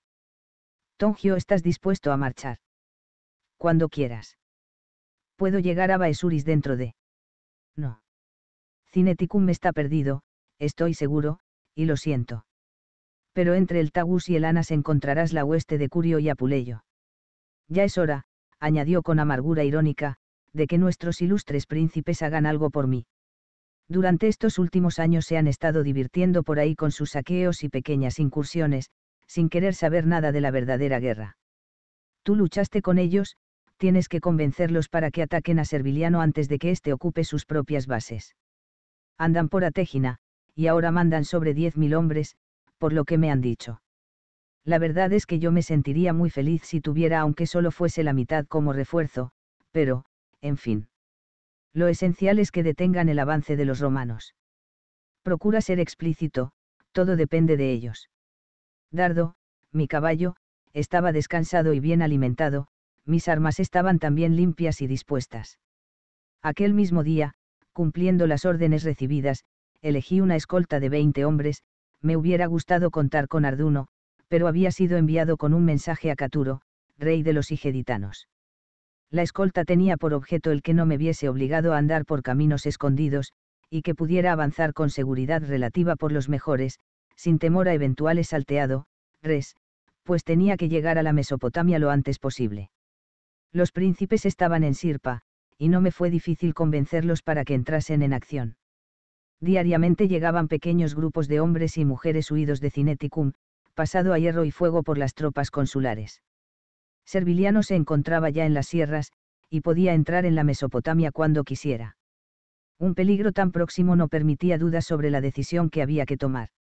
Curio me preguntó si participaríamos en el ataque mis camaradas y yo, y le respondí que sí, en cierto modo, nuestra presencia allí establecía un enlace entre Viriato y los príncipes, lo que coincidía con los deseos de nuestro jefe. Tras haber pasado seis años combatiendo bajo la enseña del toro, el contraste entre Viriato y cualquier otro jefe guerrero de la Bética me parecía aún mayor. Lo que distinguía sobre todo a nuestro jefe era el arte de transformar las bandas de guerreros en un ejército, y no a la manera romana, sino aprovechando las mejores cualidades de los combatientes ibéricos y anulando sus defectos, un ejército con una organización reducida al mínimo, pero perfectamente disciplinado, lleno de movilidad, flexible y eficiente. Curio y Apuleyo no tenían esa virtud. Se imponían a sus hombres solo por la fuerza y la bravura. Y los guerreros los obedecían, pero no formaban un cuerpo unido. Con ellos, la guerra, si guerra podía llamarse a las correrías e incursiones a que se entregaban, era algo que se improvisaba día a día al albur de los deseos de los jefes. Estos acusaban visiblemente el paso de los años y las marcas de los combates. Curio tenía todo el pelo blanco y se movía con gestos pesados. Apuleyo tenía la mejilla izquierda surcada por una enorme cicatriz que le rozaba el extremo del ojo. En torno a los dos príncipes, eran pocos los veteranos, aquellos con quienes yo había combatido, los guerreros más viejos habían caído ya. Partimos de Sirpa en medio de una discusión encendida de contenido estratégico, Apuleyo, confiando en los efectivos de la hueste, se inclinaba por lanzarse a una batalla campal, Curio se mantenía fiel al excelente y ya probado método de las emboscadas, de los ataques y de las fugas constantes. Cabalgando uno al lado del otro, discutían a gritos como dos comadres, una escena poco digna, pensé. Los hombres de la hueste, habituados ya, sin duda, a escenas semejantes, parecían divertidos con el espectáculo. En cuanto a mis camaradas, parecían asombrados, aquello era inimaginable en el ejército de Viriato. Volvimos a tener noticias de Serviliano, había entrado ya en la Mesopotamia. La discusión, que se había prolongado durante varios días, se volvió más violenta. Curio acabó por vencer, con el apoyo de la mayoría de los guerreros, y Apuleyo se encerró en un mutismo furioso. Pero el día elegido para el ataque, apareció, pese a todo, activo y bien dispuesto, dando órdenes con su voz alegre y violenta, una voz que, por lo que yo recordaba, impelía a los guerreros a una obediencia inmediata. En mi opinión, el terreno elegido para la emboscada no era el mejor, pero los legionarios romanos avanzaban inadvertidos y se dejaron sorprender. La caballería de Apuleyo cayó sobre la vanguardia e hizo estragos terribles en las filas de los lanceros, mientras, aprovechando la confusión, Curio se apoderaba de la columna de los bagajes, donde estaba el botín de Serviliano tras la campaña del Cineticum. Nos apoderamos de la columna de asnos y acémilas cargadas con el riquísimo botín, y llevamos lejos de allí a los atemorizados animales mientras se daba la señal de retirada general. La caballería de Apuleyo se desprendió al galope del enemigo, que empezaba en aquel momento a reorganizarse, y vino a nuestro encuentro. Era una primera victoria, limpia, bien lograda, brillante, por ahora. Los dos cuerpos de la hueste iban ya a reunirse en una cola cuando Apuleyo gritó. Deteneos. No he acabado aún. Dio media vuelta y galopó de nuevo contra la legión obligando a sus hombres a seguirle. Curio estaba rabioso. Ese idiota. Maldito perro idiota. Quiere librar su batalla campal, aunque nos pierda a todos. Por endobélico, runesos cesios, por Atégina, por todos los dioses y diosas, juro que como lo agarre lo desuello. Para desollar a Apuleyo había que echarle la mano encima, y pronto lo vimos rodeado por los romanos. Con una última blasfemia, Curio acudió en su ayuda. Con nuestra carga abrimos brecha durante el tiempo suficiente para que Apuleyo y los suyos pudieran librarse del cerco, y nos batimos de inmediato en retirada hasta un lugar seguro. Mi primer cuidado fue reunir y contar a mis camaradas, estaban presentes todos, menos uno. Los restantes no tenían heridas graves, y yo mismo solo había recibido una estocada en el costado que solo había desgarrado la coraza, sin llegar a la piel. Solo después reparé en lo que pasaba a mi lado, en los gritos y señales de tristeza. Curio había regresado de la carga tumbado sobre el cuello del caballo, con dos guerreros sosteniéndole a un lado y a otro. Había recibido un lanzazo en el pecho y estaba moribundo. Apuleyo, que se encontraba lejos, ocupado en concentrar a sus hombres y en contar las bajas, aún no sabía nada.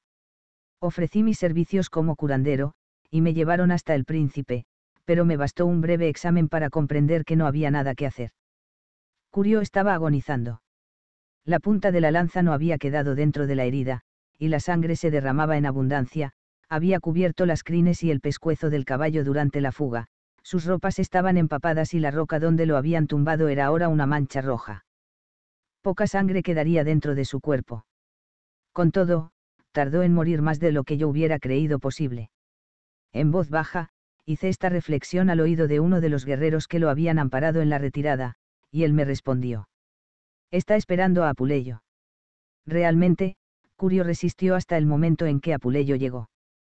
Se miraron los dos con un silencio que me pareció largo, pero que no podría serlo. Al fin, Curio reunió sus últimas fuerzas para decir burro. Intentó una sonrisa, y su alma partió. Nunca oí grito tan prolongado, con tanta desesperación y tan salvaje como el que salió de la boca de Apuleyo. Traspasó el aire, vibró en las hojas de los árboles y en los roquedales, acalló los lamentos de la hueste, y murió en una especie de rugido. Inmediatamente, la misma voz soltó otro grito, este articulado. Al ataque. Mientras montaba pensé, es la hora de la venganza, y quizá también del desastre. La furia es la peor consejera de un jefe de guerra. No fue exactamente un desastre, pero perdimos el botín. Serviliano, que había venido detrás de nosotros, lo recuperó con facilidad, porque nadie se acordó de llevar los bagajes a las colinas y protegerlos con una guardia. De todos modos, el cónsul pagó cara su venganza, pues este segundo ataque, tan inesperado como el primero, le causó bajas muy elevadas. Dos o tres días después del encuentro, la legión se retiró hacia el Anas, cruzó el río y regresó a la Bética. Aunque entristecido por la muerte de Curio, respiré profundamente, el objetivo de Viriato se había alcanzado. Y mi alivio rebasaba con mucho las cuestiones puramente militares, porque, como es fácil de suponer, desde la entrada de Serviliano en tierras conias, vivía yo angustiado pensando en Lobesa y, sobre todo, en mi hijo. Había llegado incluso a enviar un mensajero al santuario, con palabras de advertencia, y en respuesta había obtenido un corto y lacónico recado, que no me inquietase, que el dios había garantizado su constante protección. Pero la retirada de los romanos me daba aún más alivio. En la vasta llanura, la pira alzada para consumir el cuerpo de Curio se alzaba como una torre. La hueste había formado, apenada. Delante de ella, solo y silencioso, estaba Apuleyo, con la espada, el escudo, la lanza, su mejor coraza y todos sus adornos.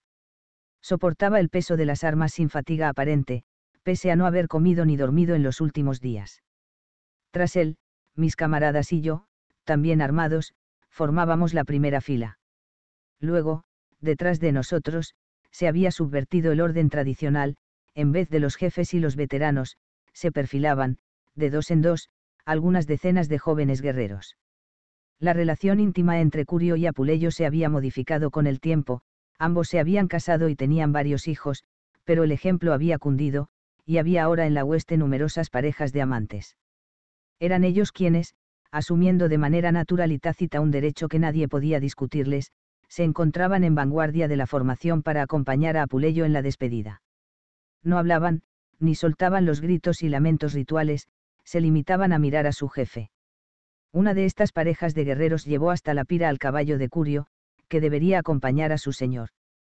Apuleyo ejecutó el sacrificio con gestos precisos y sobrios, y fue también el quien empuñó la antorcha y prendió el fuego a la madera resinosa. Las llamas se fueron extendiendo lentamente antes de ganar fuerza y altura. Cuando el humo ocultó el cadáver, un esclavo se aproximó a Apuleyo con una copa llena de vino en cada mano, cosa que me pareció realmente extraña. El príncipe tomó una de las copas, vertió el vino en una libación y lo echó en la hoguera, me di cuenta de que aquella era la copa de Curio. Tendió de nuevo la mano para coger la otra y el esclavo, que estaba pálido y estremecido, dudó antes de entregársela, pero una mirada amenazadora le obligó a obedecer. Apuleyo cogió la copa, se volvió hacia atrás, y dijo, casi silabeando las palabras. Este hombre no puede ser castigado, cumplió órdenes. Bebió el líquido hasta la última gota. Debía de haber escogido un veneno muy fuerte, pues se doblaron sus rodillas incluso antes de vaciar la copa, y cayó de inmediato. Corrí hacia él, pero ya estaba muerto. En la pira, rugían las llamas, atizadas por el viento. A través de las filas de la hueste, cuyos hombres parecían estatuas, alguien se abrió camino empujando a los que tenía delante como si apartara espigas de trigo en un sembrado. Lo reconocí. Era Lucio, el más temible y sanguinario de los veteranos se detuvo junto al cadáver de Apuleyo, sin apresurarse, posó la lanza y el escudo en el suelo, tomó en sus brazos el cuerpo del príncipe y, con un gesto vigoroso, le lanzó sobre la pira, donde las llamas empezaban a menguar. Y mientras otros cargaban más leña para la hoguera, Alucio recogió las armas y volvió a su lugar. Trompas y bocinas sonaron en un último saludo a los dos príncipes. Con las muertes de Curio y Apuleyo, se disolvió la hueste muchos guerreros regresaron a sus tierras, otros formaron pequeñas bandas. Aproveché esta oportunidad que me permitiría aportar refuerzos a Viriato. No me interesaban hombres como Alucio, pese a su indiscutible valor en el combate, porque veteranos como él causan más problemas que los que ayudan a resolver, y están siempre dispuestos a pendencias por mujeres o por el producto del saqueo. Me dirigí a los guerreros más jóvenes, capaces de aceptar y entender la disciplina y la organización que había entre nosotros tanto y tan bien hablé, con la ayuda de los dioses, pues la elocuencia no es mi fuerte, que logré llevar conmigo cerca de tres mil hombres. Cuando volví a ver los Herminios era ya pleno invierno y las cumbres estaban cubiertas de nieve. Nuestra hueste seguía acampada en el mismo lugar, protegiéndose del frío como podía, pero no faltaba leña ni alimentos, porque, oh, prodigio, Astolpas, el opulento Astolpas, no se había limitado a acompañar a su hija, sino que había llegado con 1.500 guerreros y abundantes provisiones para colocarse bajo las órdenes de su yerno. Esta era la gran novedad que me esperaba, o al menos, la mejor y quizá la única buena noticia. Las otras, que me fueron relatadas por Arduno, eran mucho menos agradables. Durante el viaje de regreso, Viriato había seguido recibiendo informes de nuestros aliados, Serviliano, que había dado la espalda a la Bética para volver a Cineticum, se encontró con que varias ciudades ocupadas se habían puesto de nuestro lado y habían aniquilado a las guarniciones romanas, esa fue, pues, una de las razones que le llevaron a abandonar precipitadamente la Mesopotamia. Serviliano, cuyo consulado estaba a punto de rematar, había marchado primero en dirección a Córdoba, hasta encontrar un destacamento enviado por el Quiuaste con una carta del Senado. Sin duda éste le ordenaba que continuase en el gobierno de la Hispania ulterior, como procónsul, pues, en vez de seguir hacia Córdoba, reanudó las operaciones de guerra. Y lo hizo con éxito. Tres de las ciudades sublevadas, Astigis, Obulcola y la propia Ituxi, habían caído de nuevo en poder de los romanos. El castigo había sido durísimo, los emisarios hablaban de 500 hombres decapitados de inmediato, apenas firmada la rendición, y de más de 10.000 ejecuciones en los días siguientes. Después, el mal tiempo había impedido al procónsul intentar nuevos ataques, y lo había obligado a entrar en sus cuarteles de invierno. ¿Y qué vamos a hacer ahora? Pregunté a Arduno. Se encogió de hombros. Continuar, supongo. Con los refuerzos de Astolpas, y con los que tú has traído, es casi seguro que en primavera salgamos al encuentro de Serviliano. Viriato ha jurado impedir su entrada en Lusitania. Le hice otras preguntas, ¿cuál había sido la respuesta de Caturo? El rey había prometido enviar un pequeño contingente de higeditanos. Estaba en cinta Tangina. No, que él supiera, pero las relaciones entre los dos esposos parecían excelentes, y entre Viriato y Astolpa se cambiaban palabras cordiales. Todo bien en casa, todo bien fuera de ella, concluyó Arduno. Sus previsiones eran correctas. Pese al rigor de la invernada, Viriato empezó a entrenar a los nuevos efectivos. Aún nevaba cuando recibimos orden de levantar el campamento. Entre preparar hombres, caballos y armas, pasamos unos días que aprovechamos para inmolar víctimas y leer los presagios, que anunciaron mucha sangre y una victoria. Por mi parte, me deshice de un brazalete de oro, que entregué a un sacerdote para que ofreciera un buey a los dioses y preguntara sobre el futuro de mi hijo, no había quedado descansado, ni siquiera sabiendo que Serviliano estaba en Córdoba. La respuesta fue corta y severa, el niño estaba bajo protección divina y no debía hacer más preguntas. Rompía la primavera cuando entramos en Beturia y nos enterarnos de que Serviliano estaba ya en campaña. Había aplastado a las tropas de Connovas, nuestro aliado turdetano, y se hallaba ahora en Beturia, preparándose para acercar Erisana. La noticia era particularmente grave, porque la derrota de Connovas había sido definitiva. El príncipe se había rendido al procónsul y estaba prisionero. Serviliano le había perdonado, pero mandó cortar la mano derecha de todos sus guerreros, gesto de crueldad gratuita que nos indignó, aunque esta crueldad gratuita era un gesto muy típico de los romanos. El corte de manos era practicado por casi todas las tribus lusitanas, pero como oferta consagrada a los dioses, para que éstos concedieran su auxilio en las incertidumbres de una guerra. Es una costumbre que viene de la noche de los tiempos, ordenada e instituida por las divinidades, que exigen este sacrificio. Los romanos cortan fríamente las manos de los prisioneros, solo para castigar a los bárbaros, como ellos dicen, castigarlos por su amor a la libertad y a su patria.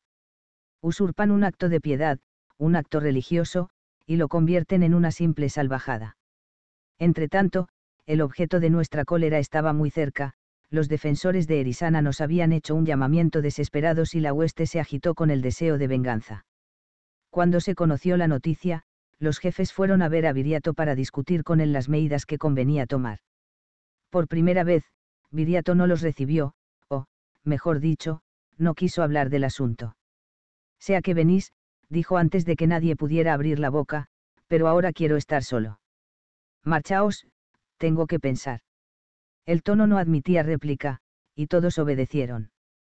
Tautalo anunciaba, a gritos, que iba a empezar a coleccionar manos de legionarios romanos. Viriato se aisló completamente. Por la noche, se negó a cenar, y ni siquiera durmió en la tienda. De madrugada, me vi sacudido en medio del mejor sueño. Era él. No hagas ruido, y ven conmigo. Me levanté, medio aturdido aún, eché mano al manto de pieles, el aire estaba helado fuera de la tienda, y le seguí. En el claro encontré dos caballos dispuestos, uno de ellos era mi dardo. El guerrero que los tenía de las riendas saludó al jefe. Este correspondió, y se volvió hacia mí. Óyeme bien, Tongio. Podrías pasar por un romano, en caso necesario. No digo por un legionario, sino por el hijo de un colono, por ejemplo. Lo pensé un poco, y respondí. Creo que sí, pero solo durante un tiempo, hasta que alguna palabra me traicione. Es solo para una emergencia. Escucha, Cantios, Cantios era el hombre que sostenía los caballos, conoce un camino hasta Erisana. Como sabes, los romanos están cercando la ciudad, y necesitamos saber en qué punto están. Cuando llegues a la vista de las murallas, tendrás que ir solo, porque así, si te agarran, podrás inventar una historia cualquiera, decirles que Itálica fue atacada por los lusitanos, por ejemplo, y que conseguiste huir, que te perdiste, que anduviste vagando por las montañas. ¿Y mi ropa? En aquel envoltorio que está junto a tu caballo hay ropa romana. Póntela cuando te acerques a Erisana. Si todo va bien, vamos a darle a Serviliano una respuesta merecida. Una respuesta que le debemos desde hace ya demasiado tiempo. Contra lo que yo esperaba, salí bien librado. Conseguí acercarme a la ciudad sin ser visto, y observar la situación, el ejército del procónsul se había dispuesto frente a la puerta principal, a una distancia que lo ponía al abrigo de las armas arrojadizas. Grupos de esclavos y de auxiliares excavaban trincheras y levantaban empalizadas, pero el trabajo apenas estaba comenzado. Cuando iba a regresar, se acercó a mí una patrulla a caballo. Escondido en la copa de un árbol contuve la respiración y recé a todos los dioses de la guerra pidiéndoles que la rama no cediera y que ningún ruido me delatara a los romanos. La patrulla se alejó, y, en cuanto pude, me dejé caer deslizándome por el tronco y traté de salir de allí. Cantios me esperaba en un lugar acordado, y no protestó cuando insistí en cambiarme de ropa, no quería llevar vestidos romanos por más tiempo del que me era necesario. Avanzaba el día.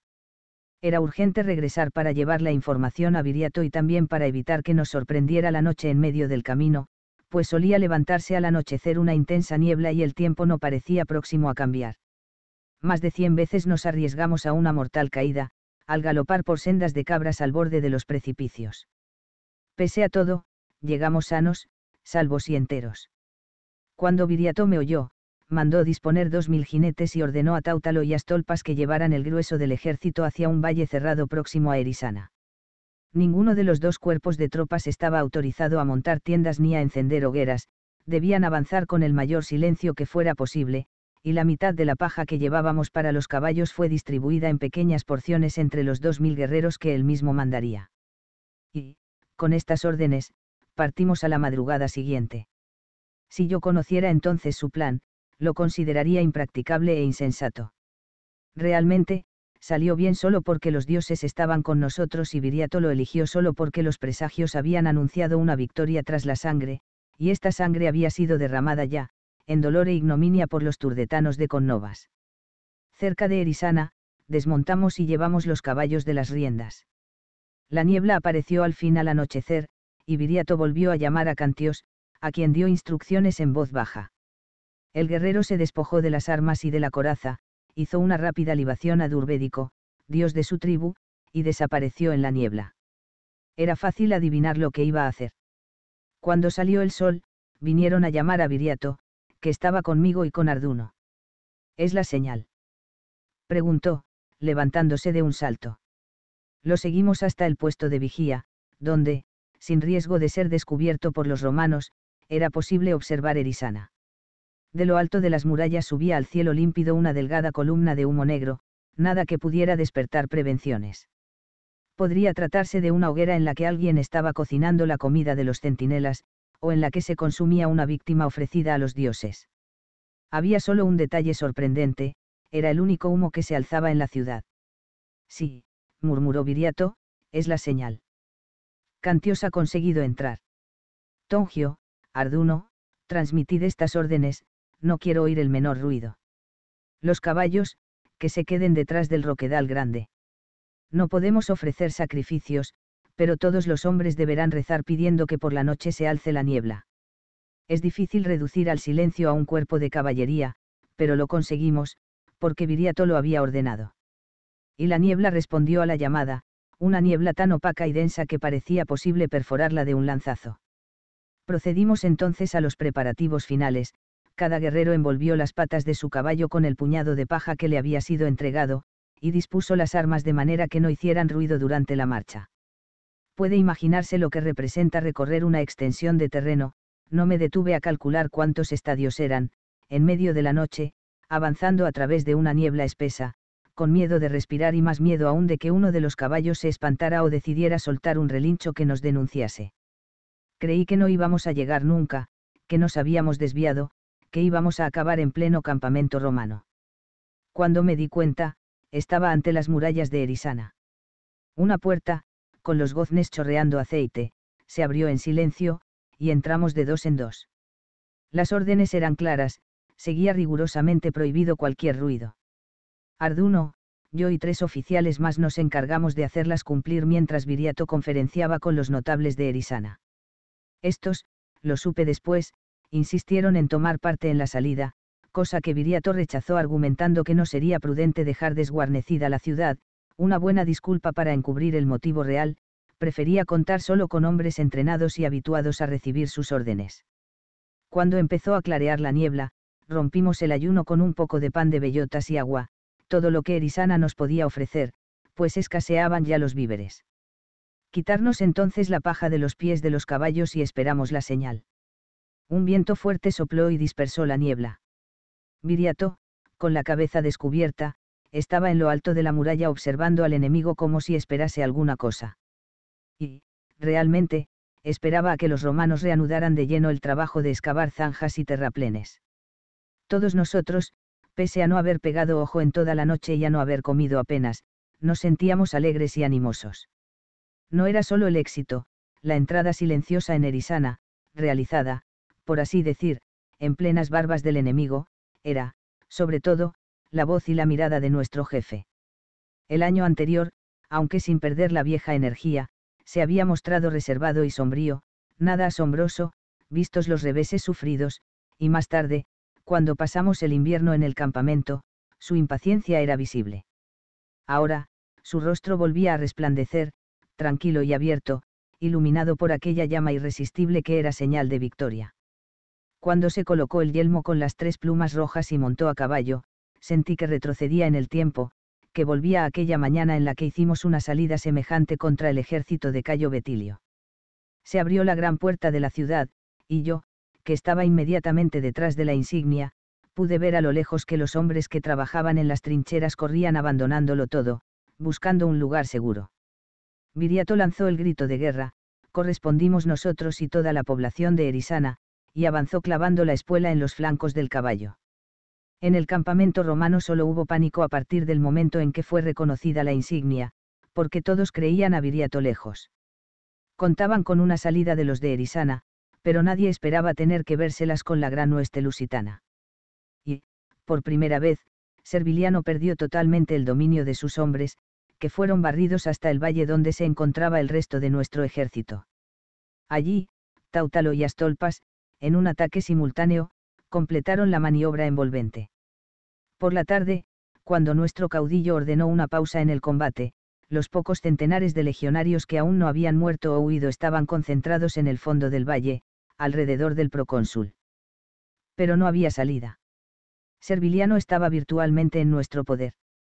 15. Serviliano intentó, al menos por dos veces, si no me traiciona la memoria, forzar una salida, cosa completamente imposible. La hueste lusitana, que ocupaba todos los pasos y senderos, podía observar los menores movimientos de los legionarios romanos. Esperábamos una orden para el ataque final y discutíamos si el procónsul tendría valor suficiente para suicidarse antes de caer en nuestras manos, cuando un toque de cuerno convocó a los oficiales a una reunión. Viriato había trepado a una gran roca desde la que podía ver el valle entero. Los romanos, en una acción desesperada, intentaban improvisar defensas y habían construido un muro irregular con piedras y rocas sueltas. Como he dicho, era una medida desesperada o quizás Serviliano quisiera tener ocupados a los legionarios para mantener alta su moral. Obedeciendo a un ademán de Viriato, nos sentamos dispersos por lo alto de la roca, que era grande y con un remate casi plano. Amigos, empezó, la situación es esta, el procónsul está ahí, a nuestra merced. Podemos destrozarlo, a él y a todos sus hombres, liberarlo bajo rescate o usarlo como rehén. O. O cortarle la mano derecha, sugirió uno de los presentes, como él hizo con tantos de los nuestros. No recuerdo quién dijo esto, pero sí que no fue Táutalo, a pesar de que había anunciado su intención de coleccionar manos de legionarios. Tautalo estaba callado, y recordé entonces que poco antes lo había visto en animada conversación con Viriato. Este, entre tanto, estaba respondiendo al hombre que lo había interrumpido. Ganaríamos poco y perderíamos mucho. No. Os he llamado para deciros que voy a ofrecer la libertad a Serviliano, bajo condiciones. No pude contenerme, y exclamé. Pero si tú mismo nos has dicho que no se puede creer en palabra de romanos. Sin exaltarse, nunca se exaltaba cuando nos oía, respondió. Ya hablaremos sobre eso. Ahora, quiero que sepáis lo que he pensando en estos últimos tiempos, con el auxilio y la protección de los dioses hemos conseguido vencer a los ejércitos que los romanos enviaron contra nosotros. Pero ¿cuántos ejércitos enviará Roma aún? Todos los años entramos en campaña y obligamos al enemigo a retroceder y todos los años llega un nuevo ejército. Amigos, no podemos olvidar que luchamos contra la ciudad más poderosa del Inundo. Hemos intentado unir contra ella a los pueblos de Iberia, no lo hemos conseguido. Nuestros campos están sin cultivo por culpa de la guerra.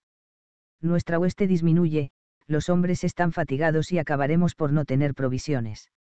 No podemos continuar combatiendo sin descanso, derrotando ejército tras ejército. Pero podemos salvar nuestra libertad, y ahora tenemos la mejor ocasión de hacerlo. Y tal vez la última. Había hablado moviéndose un poco al azar, era el único que estaba en pie, pero se quedó parado al llegar a mí. Los romanos mienten, es cierto, y faltan a su palabra. Pero lo que voy a exigirles no es una promesa, y sí un tratado, firmado con juramentos ante los dioses y ratificado por el Senado de Roma. Un tratado que ellos no pueden violar sin cometer perjurio, sin traicionar ni ofender a los dioses. Ningún hombre, ningún pueblo es loco hasta el punto de faltar a la palabra dada a sus divinidades. El castigo sería terrible. Nadie objetó nada contra este argumento, y así, poco después, dos guerreros, empuñando los símbolos de paz, avanzaron lentamente hasta el campo romano. Los vimos, a lo lejos, detenerse a escasa distancia del muro improvisado. Algunos legionarios, entre ellos, casi con seguridad, un intérprete, se aproximaron, y hubo un cambio de palabras. Luego, nuestros hombres regresaron al galope. No tuvimos que esperar mucho. Los romanos se sabían perdidos, y tenían que estar empezando a sufrir hambre y sed.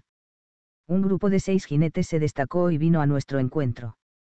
Al frente se veía al procónsul, un hombre alto, de anchos hombros, cabello cano y rostro severo. Pese al odio que sentía por él, me causó buena impresión. Se dominaba perfectamente, y si tenía miedo no permitía que se notara. Realmente, se mostró a la altura de las circunstancias, a pesar de que Viriato se encontraba a pie y con la cabeza descubierta, Serviliano, que nunca lo había visto de cerca, se dirigió a nuestro jefe inmediatamente y en tono firme. Soy Quinto Fabio Máximo Serviliano. ¿Cuáles son tus condiciones? El intérprete que él había traído empezó a traducir, o mejor dicho, a intentar traducir, su conocimiento de nuestra lengua era rudimentario, y los sonidos que articulaba parecían bajidos. Viriato me miró. Avancé unos pasos, y dije en latín. Viriato, hijo de Cominio, caudillo de la hueste de Lusitania, desea hacerte una propuesta de paz. Ellos no esperaban oír a un, bárbaro, hablar su propio idioma con fluidez, y la sorpresa que demostraron me hizo sonreír. Viriato empezó a hablar, y yo iba traduciendo su discurso. Romano, has entrado en nuestras tierras como invasor, has hecho correr sin piedad la sangre de los guerreros que aprisionaste, y ni siquiera te mostraste clemente con la población de las ciudades que cayeron en tu poder. Ahora, estás a mi merced. Pero no quiero tu vida. Lo que yo quiero, es la libertad de mi pueblo. Por eso estoy dispuesto a dejarte marchar. Cuando acabé de traducir la frase, Serviliano habló de nuevo. Vuelvo a preguntar cuáles son las condiciones. Te dejaré partir, y juraré ante los dioses no levantar las armas contra vosotros. Eso es lo que exijo, un tratado de paz. Exijo, no de ti, sino de Roma, que se reconozca la libertad de los reyes y jefes que son mis aliados. Exijo, con juramento, que Roma no vuelva a atacarnos. Exijo, en fin, que Roma me reconozca como amigo de su pueblo. En cambio, haré también un juramento, Viriato, amigo del pueblo romano, hará honor a esa amistad. Ahora, vete. Esperaré tu respuesta hasta el alba. Cuando los romanos se alejaron, me dirigí a nuestro caudillo y le pregunté si pensaba que Serviliano iba a aceptar sus condiciones. Él me dio una palmada amistosa en el hombro. No tiene otra salida, Tongio, a no ser que prefiera morir, pero creo que va a aceptar. Me acerqué un poco más, y bajé la voz. Sabes que el título de Amicus Populi Romani solo es concedido por Roma a reyes aliados suyos. Él hizo un gesto afirmativo, y yo continué. Entonces. Este es realmente el primer paso para. Quizá. Si es esa la voluntad de los dioses y puso fin a la conversación con otra palmada en mi hombro. El procónsul no esperó a la mañana siguiente. A media tarde, nuestros vigías lo vieron montar a caballo y salir del cercado de piedras rodeado por sus oficiales. Viriato montó también, y fue a su encuentro, seguido por su estado mayor. Cuando los dos grupos se hubieron reunido, Serviliano saludó a Viriato gravemente, debía de ser la primera vez que saludaba a un lusitano, y me miró, como solicitando que tradujera sus palabras. Acepto tus condiciones, pero he de advertirte que, según nuestras leyes, el tratado solo puede ser válido cuando el Senado lo aprueba en Roma. Por mi parte, puedo jurar por los dioses del Capitolio que lo respetaré. Pero tendrás que confiar en mi palabra. Viriato clavó los ojos en él. Serviliano sostuvo su mirada. Luego de un breve silencio, Viriato dijo. Confiaré. El tratado fue redactado y firmado de acuerdo con las condiciones de Viriato, y se hicieron ante los dioses los juramentos solemnes para que ninguna de las partes pudiera faltar al acuerdo sin cometer sacrilegio. Después, nuestra hueste abandonó las posiciones que ocupaba en la salida más ancha del valle, y los restos del ejército romano marcharon en dirección a Córdoba, mientras nosotros regresábamos a Erisana para festejar la victoria. Festejar, es un término exagerado, pues Viriato prohibió los grandes festines, y dio órdenes en el sentido de que durante un tiempo se mantendría la situación de alerta. Aquella misma noche, en conversación con los amigos, acentuó que solo deberíamos considerarnos en paz cuando recibiéramos la noticia de que el Senado había ratificado el tratado. Hasta entonces, se podía esperar aún un ataque de las tropas romanas de la Citerior. ¿Y de la ulterior no? Pregunté. Él movió la cabeza. Confío en Serviliano no ha dudado en jurar por los loses de su ciudad. Es una excepción, un romano honrado, qué pena que haya tanta sangre entre nosotros, porque podría ser su amigo. Intervino Tautalo. A pesar de todo lo que ha hecho. Viriato se encogió de hombros. ¿Y qué hicieron los otros? Para ellos, castigar a los bárbaros, es como matar moscas en verano. Pero Serviliano, a diferencia de los otros, aprendió que somos hombres como él lo aprendió cuando se vio cercado, cuando esperaba tener que lanzarse sobre su propia espada para escapar a la vergüenza y a la tortura. Lo vi en su cara cuando nos encontramos por primera vez, y luego, en el momento de jurar. Realmente, Serviliano se mantuvo fiel a su palabra. Regresó a Córdoba, mandó reforzar las guarniciones de sus plazas fuertes, pero se abstuvo de acciones ofensivas, y aún hizo más, dos meses después, envió un mensajero a Viriato saludándolo como amicus populi romani. El Senado había ratificado el tratado, y la paz, al fin, se había conquistado. Devolver la espada a la vaina, dormir un sueño completo sin temor de ataques nocturnos, montar a caballo por la mañana solo para ir de caza, y pensar en encontrar mujer que me diese hijos. La paz tenía para mí el sabor de una bebida fresca después de un día cálido y seco. La amé sin moderación el espíritu del viejo Criso debió de quedar escandalizado. Entretanto, había aún mucho para hacer. Viriato disolvió todos los cuerpos de la hueste, los hombres ansiaban volver a sus tierras ya las familias que habían dejado, pero los guerreros de su tribu y los amigos más allegados se quedaron con él, unos 1500 jinetes en total. Faltaba ahora completar la misión, transformar a los lusitanos en un pueblo organizado, con un rey que lo defendiera, y esto tendría que conseguirse por la voluntad libre de los jefes y de los príncipes de Lusitania. Sabíamos que la tarea sería ardua, pero la reciente victoria permitía todas las esperanzas. Más confiados nos sentíamos aún cuando llegaron hasta nosotros mensajes de varios pueblos, no solo de Lusitania sino también de otras regiones, las tribus aclamaban a Viriato como protector de la libertad ibérica, y como tal fue saludado durante el viaje de Erisana a Aritium Betus, donde lo esperaba Tangina. A finales de aquel año supimos que había ocurrido algo también muy importante, Serviliano había terminado su mandato en la ulterior y había sido sustituido por su propio hermano de sangre, el procónsul quinto Servilio Escipión. Pensamos entonces, esta es la última garantía que nos faltaba. Y nos regocijamos todos. 16. Sí, nos regocijamos como niños que ven llegar el lobo y creen que es el perro guardián. Y por eso estábamos ahora refugiados en la Carpetania. Una hueste reconstituida a toda prisa y forzada luego a retroceder para que no la aplastaran. Una pequeña hueste sometida a los rigores de un invierno cruel, y empeñada en un desesperado esfuerzo de supervivencia. Servilio Escipión no había perdido tiempo en ocultar sus intenciones. Los emisarios que Viriato le envió como mensajeros de paz y amistad fueron sabiendo, a medida que se acercaban al campamento romano, de constantes ataques romanos contra poblaciones libres, aliadas nuestras, y al comprobar que el gobernador mandaba personalmente estas incursiones, se volvieron atrás. Viriato era hombre de reacciones rápidas, pero estaba preso del juramento, y su palabra era sagrada. Pensó, naturalmente, que Escipión obraba por su cuenta y riesgo, rebelde a las órdenes del Senado romano, para obligarnos a responder a las provocaciones y a reanudar la guerra. Huyendo de esa trampa, pidió refuerzos a los betones y a los calaicos, pero no abrió las hostilidades, antes bien, consideró la posibilidad de mandar una protesta al gobernador de la Hispania Citerior e incluso al mismo Senado, en Roma. Entretanto, abandonó Aritium Vetus con los hombres de que disponía, y marchó hacia Veturia. No contaba con la prisa de los romanos en traicionar compromisos. Al entrar en Veturia, supimos que Erisana estaba cercada.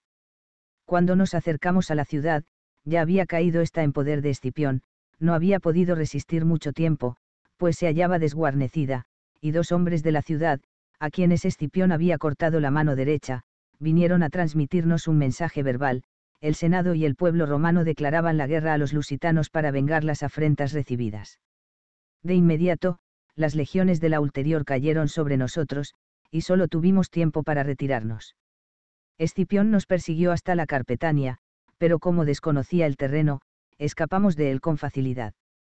Allí estábamos, tratando a los heridos e intentando recuperar fuerzas. Creíamos aún que el procónsul mentía, que la declaración de guerra había sido una iniciativa suya, pero la ilusión se deshizo cuando nos enteramos de que el cónsul Popilio Lenate, gobernador de la Citerior, había recibido órdenes del Senado de romper las treguas con los numantinos. Cuando recibimos esta noticia, que nos llegó con un agotado mensajero que venía de Numancia, nuestros rostros ansiosos se volvieron hacia Viriato, que había oído al hombre en silencio y con los dientes apretados. Me equivoqué, dijo por fin, al pensar que los romanos son hombres. Hombres. ¿Qué hombres? ¿Qué pueblo humano hay que sea capaz de cometer semejante impiedad? ¿Qué ciudad es esa que se burla de sus propios dioses? El mundo está siendo dominado por un pueblo de fieras. Su voz había subido de tono hasta acabar en un grito. Sacudió la cabeza, y volvió a hablar casi en un susurro. Pues bien, voy a tratarlos como fieras, sin ahorrar ardid ni fingimiento, ni golpe a traición. Vamos a inclinarnos, amigos, vamos a ceder, vamos a suplicar. Vamos a aceptar sacrificios y humillaciones, vamos a ganar tiempo. Y cuando llegue el momento. Dejó cortada la frase. Su rostro reflejaba una ferocidad que nunca le había visto. Pero ahora, prosiguió, es tiempo de sumisión y quiero que todos comprendan una cosa, los sacrificios que nos veamos obligados a hacer no hay que tomarlos como vergüenza. Serán, para nosotros, una operación militar más. El numantino, agotado por el viaje, se tambaleaba, y Viriato se apresuró a pedirle disculpas, y ordenó a Arduno que le diera comida y un espacio donde pudiera descansar. Hecho esto, la reunión siguió. Hay una esperanza, dijo Viriato, y esa esperanza es Popilio Lenate. Mientras que Escipión llegó a Iberia decidido a destruirnos, Lenate respetó la tregua con Numancia hasta recibir órdenes de Roma. Será él a quien ofrezcamos nuestra sumisión. Tocaba el invierno a su fin cuando regresó nuestra embajada. Las condiciones de Lenate eran más duras de lo que esperábamos, el cónsul exigía un tributo elevado, la entrega de desertores romanos, había muchos en la Carpetania, y tanto ellos como nosotros respetábamos un tácito pacto de no agresión, y también la entrega inmediata de los jefes de los contingentes de la hueste como rehenes. Viriato oyó la respuesta, se aisló durante un día entero, y, llegada la noche, nos llamó. Acudimos todos, y nos sentamos alrededor de la hoguera que ardía ante su tienda. Tenemos que ceder, anunció, porque no hay más solución. Y hay que hacerlo cuanto antes, para que nos crean desmoralizados y abatidos. A todos vosotros, hablaba a aquellos que serían entregados, os lo repito, esta es una parte de la guerra. Con vosotros irán nuestras bendiciones. Arduno carraspeó, y Viriato lo miró con aire interrogante. Has hablado con nuestros emisarios, dijo Arduno, y hay algo que no te han dicho, que no han tenido valor para decirte. El cónsul quiere que Astolpa sea entregado con los otros rehenes. Algunos de los presentes gritaron indignados, otros, entre ellos, yo, sintieron que se les cortaba la respiración. Nadie habló, y no era preciso, pues todos sabían el significado de la exigencia, era un arma que apuntaba directamente contra nuestro jefe. Astolpas, que hasta aquel momento había estado sentado en un tronco de árbol, se levantó. No. Su voz era tranquila. No pedía que evitaran su retención, no intentaba huir del infortunio, hablaba como quien discute un problema cualquiera. No. Esa condición es inaceptable. Si los romanos quisieran retenerme solo como represalia, o por haber roto yo las relaciones que tenía con ellos, con alguno de ellos, sería tal vez admisible. Pero quieren tenerme allí porque Viriato es mi yerno. Además, estoy demasiado viejo para el cautiverio o para la suerte, cualquiera que sea, que puedan reservarme. Viriato había palidecido, hasta el punto de que pensé que iba a desmayarse, cuando lo vi que se apoyaba en la lanza. Se sentó cerca del fuego, con los ojos clavados en las llamas, y ordenó. Dejadme a solas con Astolpas. Nos fuimos, y quedaron ellos dos junto a la hoguera, hablando en voz baja. Avanzó la noche, dormía ya el campamento, pero Arduno y yo no nos recogimos en la tienda. Preferimos encender otra hoguera, alejada, y allí nos mantuvimos velando, conversando, intentando imaginar qué podrían estar diciéndose Viriato y Astolpas había acabado por nacer cierta amistad entre los dos. Astolpa seguía siendo, y no cambiaría, un hombre orgulloso y pronto a la ostentación de su riqueza, pero se había unido a la hueste, combatía con valor y nunca había disputado la supremacía de su yerno, muy al contrario, aceptaba su mando como cualquiera de nosotros. En definitiva, había dudado antes de dar su adhesión, pero, una vez dada, se había convertido en hombre de viriato. ¿Qué sucedería ahora? negarse a entregarlo era confesar ante Lenate que la sumisión de los lusitanos no era definitiva. Entregarlo, sería colocar a Viriato ante el dilema de aceptar el yugo romano o condenar al padre de Tangina a una muerte vergonzosa. Solo hay una solución, murmuró Arduno. Y repitió, más bajo aún, solo hay una solución. De madrugada, los cuernos despertaron a los guerreros con orden de formación para el combate. Contrariamente a lo que era su hábito, Viriato no dio instrucciones ni explicaciones, él y se habían recogido en sus tiendas y nadie sabía qué iba a pasar. Cuando la hueste estuvo pronta, aparecieron ambos, armados y con la cabeza descubierta, Astolpas avanzando con paso firme y lento, con el rostro impasible, y Viriato, aún muy pálido, con movimientos bruscos y la frente sudorosa, pese al frío. Ofrecieron ambos libaciones a los dioses, nada más había que ofrecerles, pues estábamos reducidos a comer pan, aceitunas y raíces. Luego, Astolpas llamó a tres de sus guerreros y ordenó en voz alta, para que se le oyera suficientemente. Hoy mismo partiréis para Aritium Betus y le contaréis a mi hija todo lo que habéis visto. Decidle que esta es mi voluntad y que su marido está libre de toda sospecha. Hizo un gesto imperioso, como todos los suyos, y un esclavo le entregó una copa de oro. Astolpas bebió rápidamente y se la pasó a Viriato, que, a su vez, se la pasó a Audax. Desgraciadamente, el esclavo había mezclado mal el veneno, o no había echado una cantidad suficiente. Caído en el suelo, Astolpa se retorcía de dolor y estuvo gimiendo hasta que tendió un brazo a su yerno. No podía hablar, de la boca le salía una espuma roja, pero el gesto lo decía todo. Viriato empuñó la daga y le asestó un golpe en el pecho. Los hombres que llevaban el mensaje a Tangina partieron al día siguiente, llevándose las cenizas de Astolpas para que reposaran junto a las de sus antepasados. Lenate recibió a los rehenes y los devolvió tras cortarles la mano derecha. Al devolvérnoslos, los hacía portadores de una nueva exigencia, la entrega de las armas. En respuesta, Viriato atacó a una columna de legionarios y se retiró de la Carpetania, donde no le era posible sostener una ofensiva en amplia escala. Nos quedaba el Mons Veneris como único refugio seguro, y allí nos atrincheramos. Una posición defensiva, hasta siendo tan fuerte como aquella, no puede ser mantenida indefinidamente cuando el enemigo tiene una superioridad aplastante y casi entera libertad de movimientos. Hago este comentario para explicar que, a pesar de encontrarse fortificados en el monte, la situación no se había alterado, es decir, teníamos que elegir entre el ataque suicida y la rendición. Viriato lo sabía mejor que nadie, y en consecuencia no había cambiado su decisión. La emboscada de la Carpetania había sido una forma de vengar a Astolpas y a los rehenes y demostrar que los lusitanos eran aún un hueso duro de roer, pero aquella demostración iba destinada, de acuerdo con su pensamiento, a intentar una negociación en condiciones aceptables.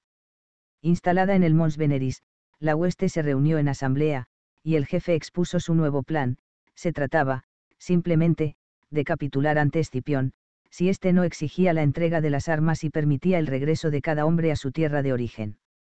Viriato acentuó de nuevo que tal acuerdo nos daría tiempo para recuperar fuerzas y ganar nuevos aliados, en la primera oportunidad sería relativamente fácil efectuar una nueva movilización. Pudieron hablar con todos los que quisieron hacerlo, y se cerró la discusión. Los más ardientes defensores de la rendición eran los hombres de Urso, Audax, Ditalco y Minuro, que no estaban dispuestos a continuar una guerra sin esperanzas de victoria. Y sin esperanzas de pillaje, me desahogué conmigo mismo, incapaz de dominar la vieja repugnancia que sentía por aquellos tres. Por mi parte, di mi voto a la propuesta de Viriato. Lo hice de mala gana, solo porque me habían convencido sus argumentos. En oposición absoluta se encontraba Táutalo, cosa que no era de admirar dado su fogoso temperamento pero cuando la mayoría aprobó la propuesta de nuestro caudillo, también Tautalo aceptó la derrota. Más tarde, fui a ver a Viriato y le pregunté quién iba a llevar nuestra propuesta a Escipión. Audax y sus amigos, respondió. Y, quizá leyendo mi pensamiento, quiso saber la razón de la pregunta.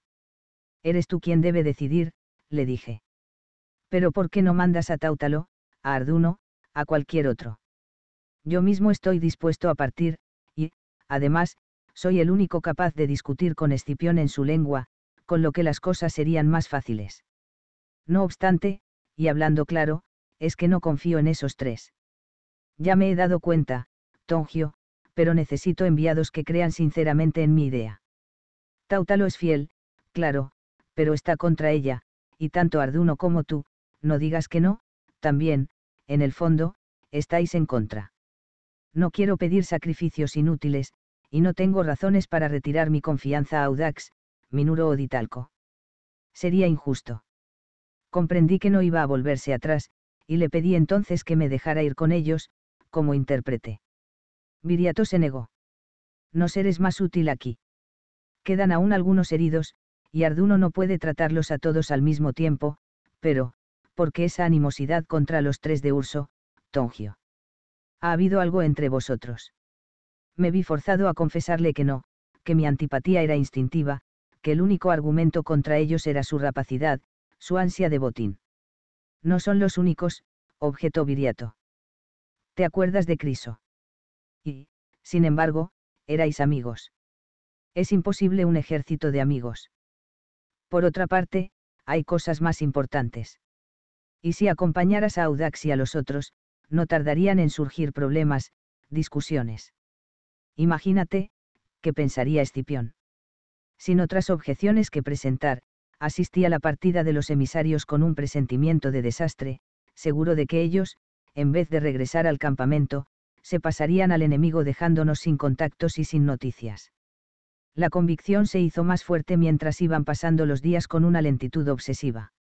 Incapaz de callarme, obligué a Arduno y a Tautalo a oír una y otra vez mis desahogos, hasta el punto de que acabaron burlándose de mí, o evitando mi presencia, cansados de aguantarme.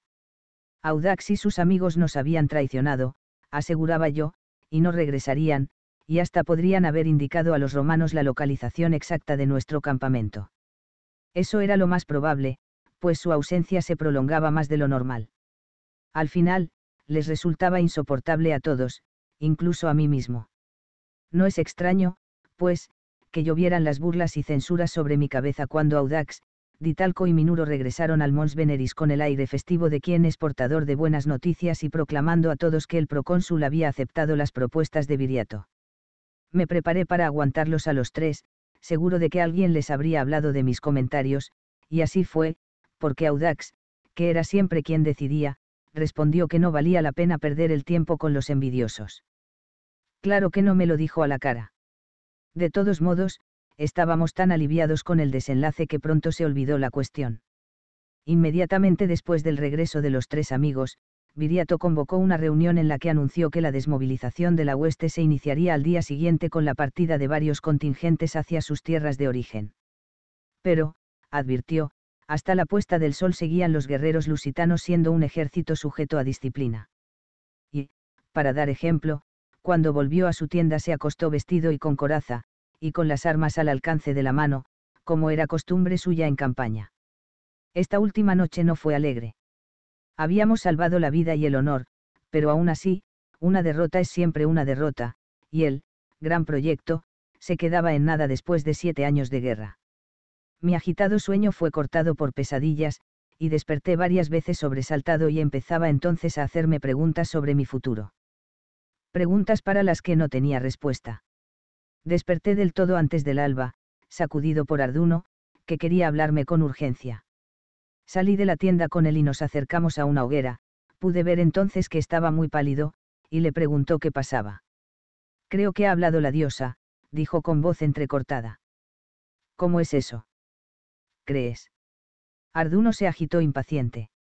Sí, creo, no tengo la seguridad, realmente. Ha sido como aquella vez en la Sierra de la Luna, pero no había nadie cerca de mí. Sé que me quedé dormido en la tienda y desperté de pie, aquí. Había aún un sonido de palabras en el aire. Sé que estas palabras habían salido de mi boca, pero eso es todo lo que sé. ¿Y ahora? Abrí los brazos en un gesto de impotencia. Ahora, nada, ¿qué podemos hacer? Si era un aviso, es decir, si no fue una pesadilla, tal vez la diosa vuelva a hablar. De todos modos, yo ya no voy a pegar ojo, y en definitiva, lo mejor es que nos quedemos aquí. Está ya a punto de amanecer. A pesar de este incidente, no tuvimos el menor presentimiento de la catástrofe. Salió el sol, el campamento empezó a llenarse de ruidos, los hombres preparaban los bagajes, escasos, que eran toda su fortuna. Por mi parte, no tenía prisa. Ni siquiera había decidido a dónde iba a ir no podía regresar a Arcóbriga después de lo que había prometido a Lobesa. La noche me había dejado fatigado y con un fortísimo dolor de cabeza que no me permitía pensar.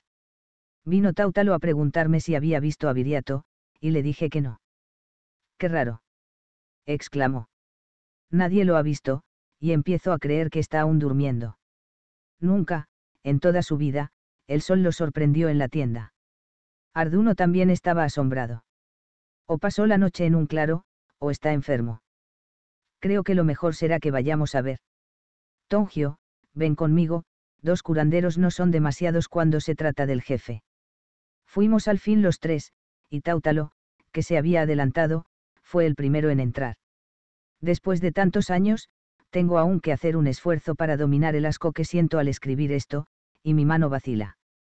Tautalo apareció en la puerta y lanzó un grito inarticulado, un aullido que me horrorizó se volvió hacia nosotros temblando, con los ojos inyectados en sangre. Traición. Traición. Por los dioses, Tautalo. Grité. ¿Qué ha pasado? Viriato. Volvió a repetir, como si nos viese por primera vez. Traición. Y gritó luego. Tongio. Arduno. Cantios. Todos. Alerta general. Que nadie salga del campamento. Matad al primero que intente salir. Pero nosotros nos precipitamos hacia la tienda, lo apartamos de nuestro paso y entramos. La sangre se había secado ya y le pegaba los cabellos al rostro. El cuerpo, protegido por la coraza, estaba intacto, y reposaba como si Viriato durmiera. Solo un punto vulnerable se ofreció al enemigo, el cuello. La cabeza, cortada, separada, se había inclinado hacia la derecha. Los ojos estaban cerrados. Mis rodillas cedieron y caí en el charco de sangre mientras a mi alrededor se desencadenaban las fuerzas del caos. Cuando menguaron un poco el desorden y el pánico, cuando al fin fue posible reunir a todos los guerreros, solo tres hombres faltaban a la llamada, Audax, Ditalco y Minuro.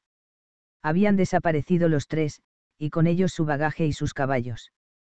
Durante el día y toda la noche, a la luz de hachones, recorrimos los caminos de la sierra, exploramos las grutas, batimos los bosques y las aldeas despertando a los vecinos aterrorizados. No los pudimos encontrar. Los asesinos estaban ya lejos, camino de la Bética, para reclamar a Escipión el pago de su crimen. 3. Endobélico. 1. Un clamor hecho de millares de voces resonó por los bosques en el momento en que las llamas ascendieron por la gigantesca pira. Alrededor, centenares de hogueras más pequeñas consumían los restos de los sacrificios, ovejas, cabras, cerdos y bueyes, rebaños enteros traídos de la llanura o de las poblaciones de la sierra. Fue inmolado en primer lugar el caballo de Viriato. Luego, fue depositado a sus pies, con las armas, el escudo y el yelmo. Nada más podíamos hacer sino lamentar aquella pérdida y manifestar al espíritu del jefe, antes que de él se alejase, el dolor que su muerte nos causaba. Mientras el fuego devoraba los leños, el cuerpo y las ofrendas, formamos en orden de combate y desfilamos alrededor de la pira, soltando los gritos rituales y los lamentos fúnebres que deben saludar a un gran jefe. Pero los gritos y lamentos que salían del corazón de los guerreros no eran el simple cumplimiento de un deber. Ningún rey ibérico tuvo de su pueblo el homenaje que la hueste lusitana y los habitantes del monte de la diosa prestaron a Viriato. La realeza que los dioses no le habían conferido en vida, le fue reconocida por todos nosotros en aquel último adiós. Viriato no partió solo, en los juegos que se realizaron sobre el sepulcro que acogió sus cenizas, más de 200 guerreros combatieron hasta la muerte, para que en el más allá tuviese su escolta, una verdadera guardia real. Toda Iberia se estremeció de pánico y revuelta. Engrosada con bandos llegadas de toda Lusitania, la hueste se reunió en asamblea para elegir un sucesor. La elección recabó, naturalmente, en Táutalo, que recibió los brazaletes de oro. El nuevo jefe de la hueste se recogió durante todo un día, en la cima del monte, y cuando volvió al campamento, las trompas sonaron a sus órdenes. Los lusitanos volvían a la guerra y marchaban contra Saguntum. 2. Arduno había apretado los dientes para no dejar escapar ningún gemido involuntario, pero cuando retiré de la herida el emplaste de hierbas para sustituirlo por uno nuevo, que había estado preparando, protestó roncamente. Deja eso no te has dado cuenta de que no quiero más remedios. Yo lo sabía, pero había intentado engañar su decisión de dejarse morir. La expedición contra Saguntum fue un fracaso. Nos faltó el genio, la intuición y la fuerza vital de Viriato. Derrotados por las tropas de Escipión, volvimos a encontrar refugio en la Carpetania. Arduno había vuelto del último encuentro con una estocada en las ingles, y cabalgó durante cuatro días sin someterse a tratamiento. La herida se había infectado, y él se negó a lavarla o a aplicar cualquier remedio, hasta que yo, demasiado tarde, logré vencer su resistencia. Ahora, consumido por la fiebre, agonizaba. Por vigésima vez le pregunté por qué aquella resistencia. Arduno pidió vino. ¿Por qué? Quiero elegir el tiempo de mi muerte. Se ha acabado todo. Es que no lo entiendes, Tongio. Nuestro mundo se acaba. Roma dominará Iberia. Tendremos que vivir con sus dioses, sus magistrados, las leyes romanas, complicadas y sutiles. Tendremos que soportar perjurios, tributos, impuestos. No quiero vivir en ese mundo, Tongio. Solo sé vivir con los dioses y las leyes simples y sagradas de mi tribu. Aparté las moscas que intentaban posarse en la herida, y guardé silencio. Arduno tosió. Hizo un gesto de dolor y continuó. Cada hombre tiene su destino, y el mío acaba aquí, Tongio. Quiero pedirte un favor. No. No pienses en eso. Arduno intentó reír, pero sin conseguirlo. ¿Ves? Lo has adivinado. Tienes que hacerlo, Tongio. Esperaba que esa herida me llevase pronto. Si al menos no me hubieras puesto esos emplastos repugnantes. Estoy harto de sentir dolores por tu culpa. Me lo debes, Tongio. Y como yo no respondiera, insistió. Voy a decir la verdad. Si no morí en combate fue porque no quería morir en manos de nadie más. Y tú sabes que no tengo salvación. ¿Me oyes? Miré a mi alrededor. Tres o cuatro guerreros asistían a la escena. Uno de ellos, Cantios, me tendió su daga. La cogí con mano temblorosa. ¿Ves? Habló Arduno con voz ronca. ¿Qué amigo eres, que te niegas a lo que te pido? La daga temblaba tanto que la posé en el suelo. Los dioses saben que no quiero hacer esto.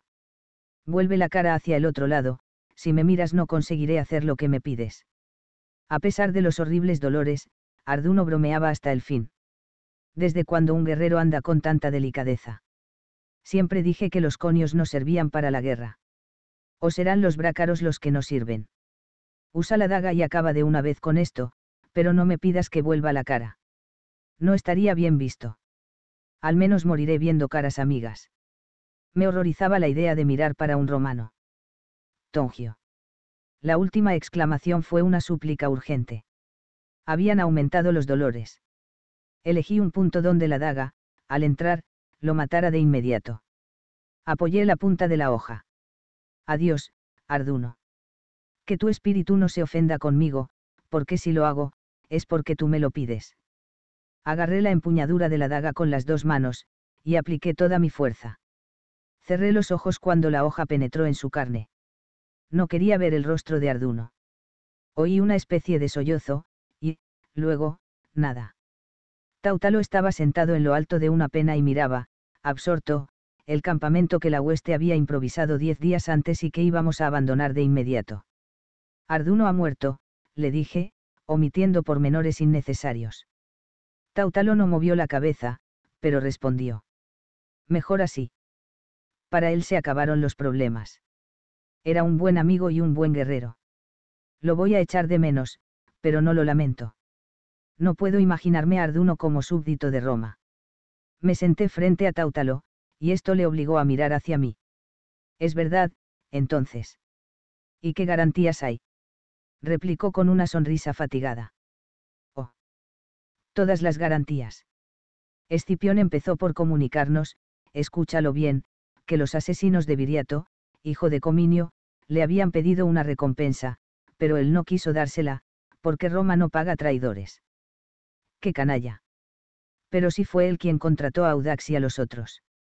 Estoy tan seguro de eso como. No te canses, Tongio. También yo estoy seguro. Pero, de todos modos, lo que ha dicho supone al menos una actitud conciliadora. Escipión jura que no seremos maltratados y, aún menos, esclavizados aceptó estas condiciones, y sabe que si no las respeta tendrá más problemas que ventajas. Además, nos ofrece lotes de tierras en el Valle del Turis. El suelo es fértil allí, ya me he informado. A cambio, exige nuestra sujeción. Tiene lo que quería, no necesitaba cometer más perjurios. En cuanto a nosotros, es la única solución. Bajé la cabeza y comenté en el tono y en los términos que me parecieron más adecuados. Fue una pena que no hubiéramos llegado a Saguntum. En fin, los dioses. La mano de Tautalo se posó en mi hombro. No elijas las palabras, Tongio. Lo sé bien, lo supe siempre, que solo ha habido un viriato. Conozco mi propio valor. Nadie de nosotros, nadie, en toda Iberia, podría hacer lo que Viriato hizo. Si acepté mi elección como jefe no fue porque me hiciera ilusiones, sino porque sabía que todo estaba acabado y que, al menos, era necesario salvar lo que pudiéramos. Entonces, el ataque a Saguntum. Una jugada. Podía resultar, pero no contaba con eso. Había que vengar a Viriato y demostrarle a Escipión que aún podíamos resultarle incómodos, a fin de que se convenciera de que lo mejor era aceptar unas condiciones. Conseguí las dos cosas, y me doy por satisfecho. Es lo mejor que se podía esperar de cualquier jefe, excepto de Viriato. Encontré valor para sonreír. Has cambiado mucho, como todos nosotros. En vez de un jefe impulsivo e inflamado, veo ahora un jefe prudente y... y poco brillante, observó, devolviéndome la sonrisa. Pero, realmente, prudente. Y, como dices, todos hemos cambiado. ¿Y tú? Vienes con nosotros al Valle del Turis. Respiré profundamente antes de responderle. No, Táutalo. No tengo vocación de agricultor. Ni sé bien, en definitiva, cuál es mi vocación. Voy en busca de ella. Sé latín y griego, sé leer y escribir, soy capaz de tratar a enfermos. Eso basta para enfrentarse con el destino. He aprendido a contentarme con poco. ¿Cuándo te vas? Me levanté. Inmediatamente. No quiero asistir a la disolución de la hueste. Hace un momento, tuve que ayudar a Arduno a morir. Eso me basta, por hoy, y para mucho tiempo. Por acuerdo tácito, no nos despedimos. Cuando me alejé, seguía Tautalo silencioso y solo, en lo alto de la roca. 3. Tenía 25 años, y la vida había acabado para mí. Con esta idea hice una larga jornada sin rumbo, al azar. Muchas veces pensé seguir el ejemplo de Arduno, y si no me maté no fue por falta de ganas ni de valor. Siempre, en el último instante, una fuerza superior a la mía paralizó mi brazo. Pasé el primer invierno de mi soledad en una gruta próxima a Maya, viviendo de la generosidad de los pastores, a quienes, en cambio proporcionaba remedios contra las fiebres. Con la primavera llegaron noticias. Y hasta yo, a quien ya nada interesaba, tuve que prestarles atención, las águilas de Roma volvían a extender las garras por todos los territorios situados entre el Tagus y el Anas, por la Mesopotamia. Todas aquellas tierras habían caído bajo su poder. El nuevo procónsul de la Hispania ulterior, décimo Junio Bruto, había atravesado el Tagus, había entrado en Olisipo, y ocupaba Scayavis y Morón. ¿Qué importa todo eso? pensé. Sin embargo, aún no estaba preparado para ver romanos a mi lado, y por eso volví a la vida errante y me dirigí al norte, a las tierras que aún respiraban la libertad por la que Viriato había muerto. Recorrí así muchas regiones donde los pueblos, alarmados por el avance de las legiones de Bruto, se movilizaban para la guerra. Los miré como si fuesen ya fantasmas, hombres condenados a morir bajo el hierro de Roma y un día, llamado no sé por qué voz, tomé la decisión final, abandonaría el suelo de Iberia. Mi vida fue larga y llena de aventuras. Me establecí en varias tierras durante largo tiempo. Incluso llegué a casarme, por dos veces, pero las mujeres a quienes me uní murieron sin darme hijos. Fui a Italia, y, por suprema ironía del destino, recibí la ciudadanía romana. Sí, me convertí en, ciudadano, usé los privilegios que ese estatuto me proporcionaba para ir viviendo con seguridad. Y vi, con terror pero también con un gozo secreto, la venganza de los dioses romanos abatiéndose sobre la república perjura y corrompida, el flagelo de la guerra civil sobre la ciudad, cubriéndola de sangre y de lamentos. Gané experiencia y sabiduría, hice nuevas amistades, pero, en el fondo de mí, solo había un enorme vacío. Me habitué a él, me habitué a ser un simple envoltorio carnal a la espera de la muerte. Me abandoné al lento desfile de los días. Pero es la voz de los dioses quien decide el destino de los hombres, incluso cuando estos se niegan a darle oídos. En el sexagésimo nono año de mi vida, una voluntad imperiosa me empujó a viajar de nuevo, de regreso a Iberia, para, creía yo, ir a morir en mi país o tal vez en pleno camino. Yendo hacia Balsa pasé por el santuario de Endobélico. Los hombres de Arcóbriga y Meríbriga vivían en el valle desde que décimo junio Bruto los había obligado a abandonar sus ciudadelas de los cerros.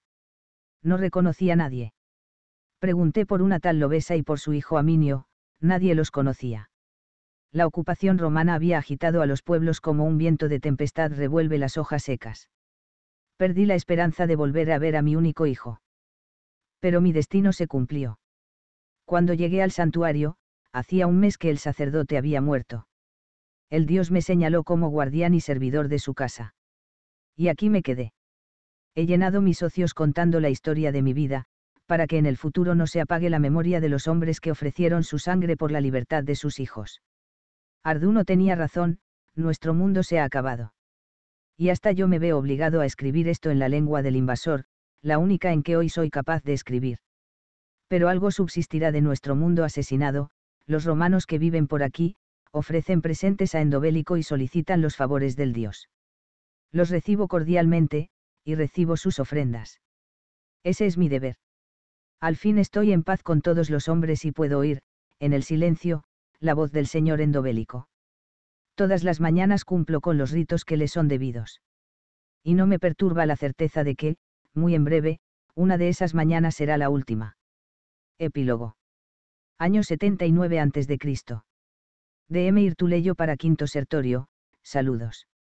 El viaje ha transcurrido sin sorpresas, y los hombres están con moral elevada y se muestran disciplinados. Te escribo desde Arcóbriga, esperando que te encuentres aún en Conistorgis, hacia donde enviaré esta carta. Al llegar aquí he comprobado que muchos de los habitantes del valle habían regresado a sus antiguas casas. Los expulsé de la ciudad con la amenaza de obligarlos a demoler a mano las murallas si volvían a desobedecer. Conforme ordenaste, visité el santuario local, consagrado a un dios bárbaro, endobélico. Lo encontré abandonado, pues el sacerdote murió hace casi un año.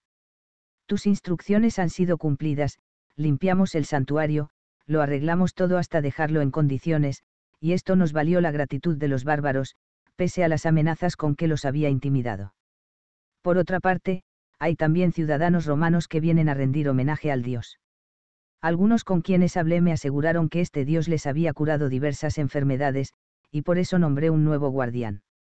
Con esta carta te envío un interesante documento que encontré en la residencia del difunto sacerdote. Ese hombre, que murió de avanzada edad, se entretuvo escribiendo la historia de su vida mientras fue compañero de Viriato, aquel jefe bárbaro que tanto trabajo dio a nuestras legiones en tiempos pasados. Te recomiendo la lectura de este texto, y lo hago por dos razones, porque te ayudará a entender mejor el pensamiento de esta gente, y, sobre todo, porque, con enorme sorpresa por mi parte, se halla en él una clara referencia a tu persona, una profecía en la que habla de la era de la corza. No puede ser más clara, creo yo. Mañana emprenderemos la marcha de regreso hacia la Citerior, donde espero, con ayuda de los dioses, derrotar a Domicio Calvino. 1. Viriato. Viriato surge en los testimonios históricos a partir del momento en que los guerreros lusitanos, cercados por las tropas de Cayo Betilio, lo eligen como caudillo. Sabemos también que fue uno de los supervivientes de la matanza ordenada por Galba, pero se desconoce el lugar y la fecha de su nacimiento, del mismo modo que ignoramos también cuál era su familia y dónde vivió su infancia.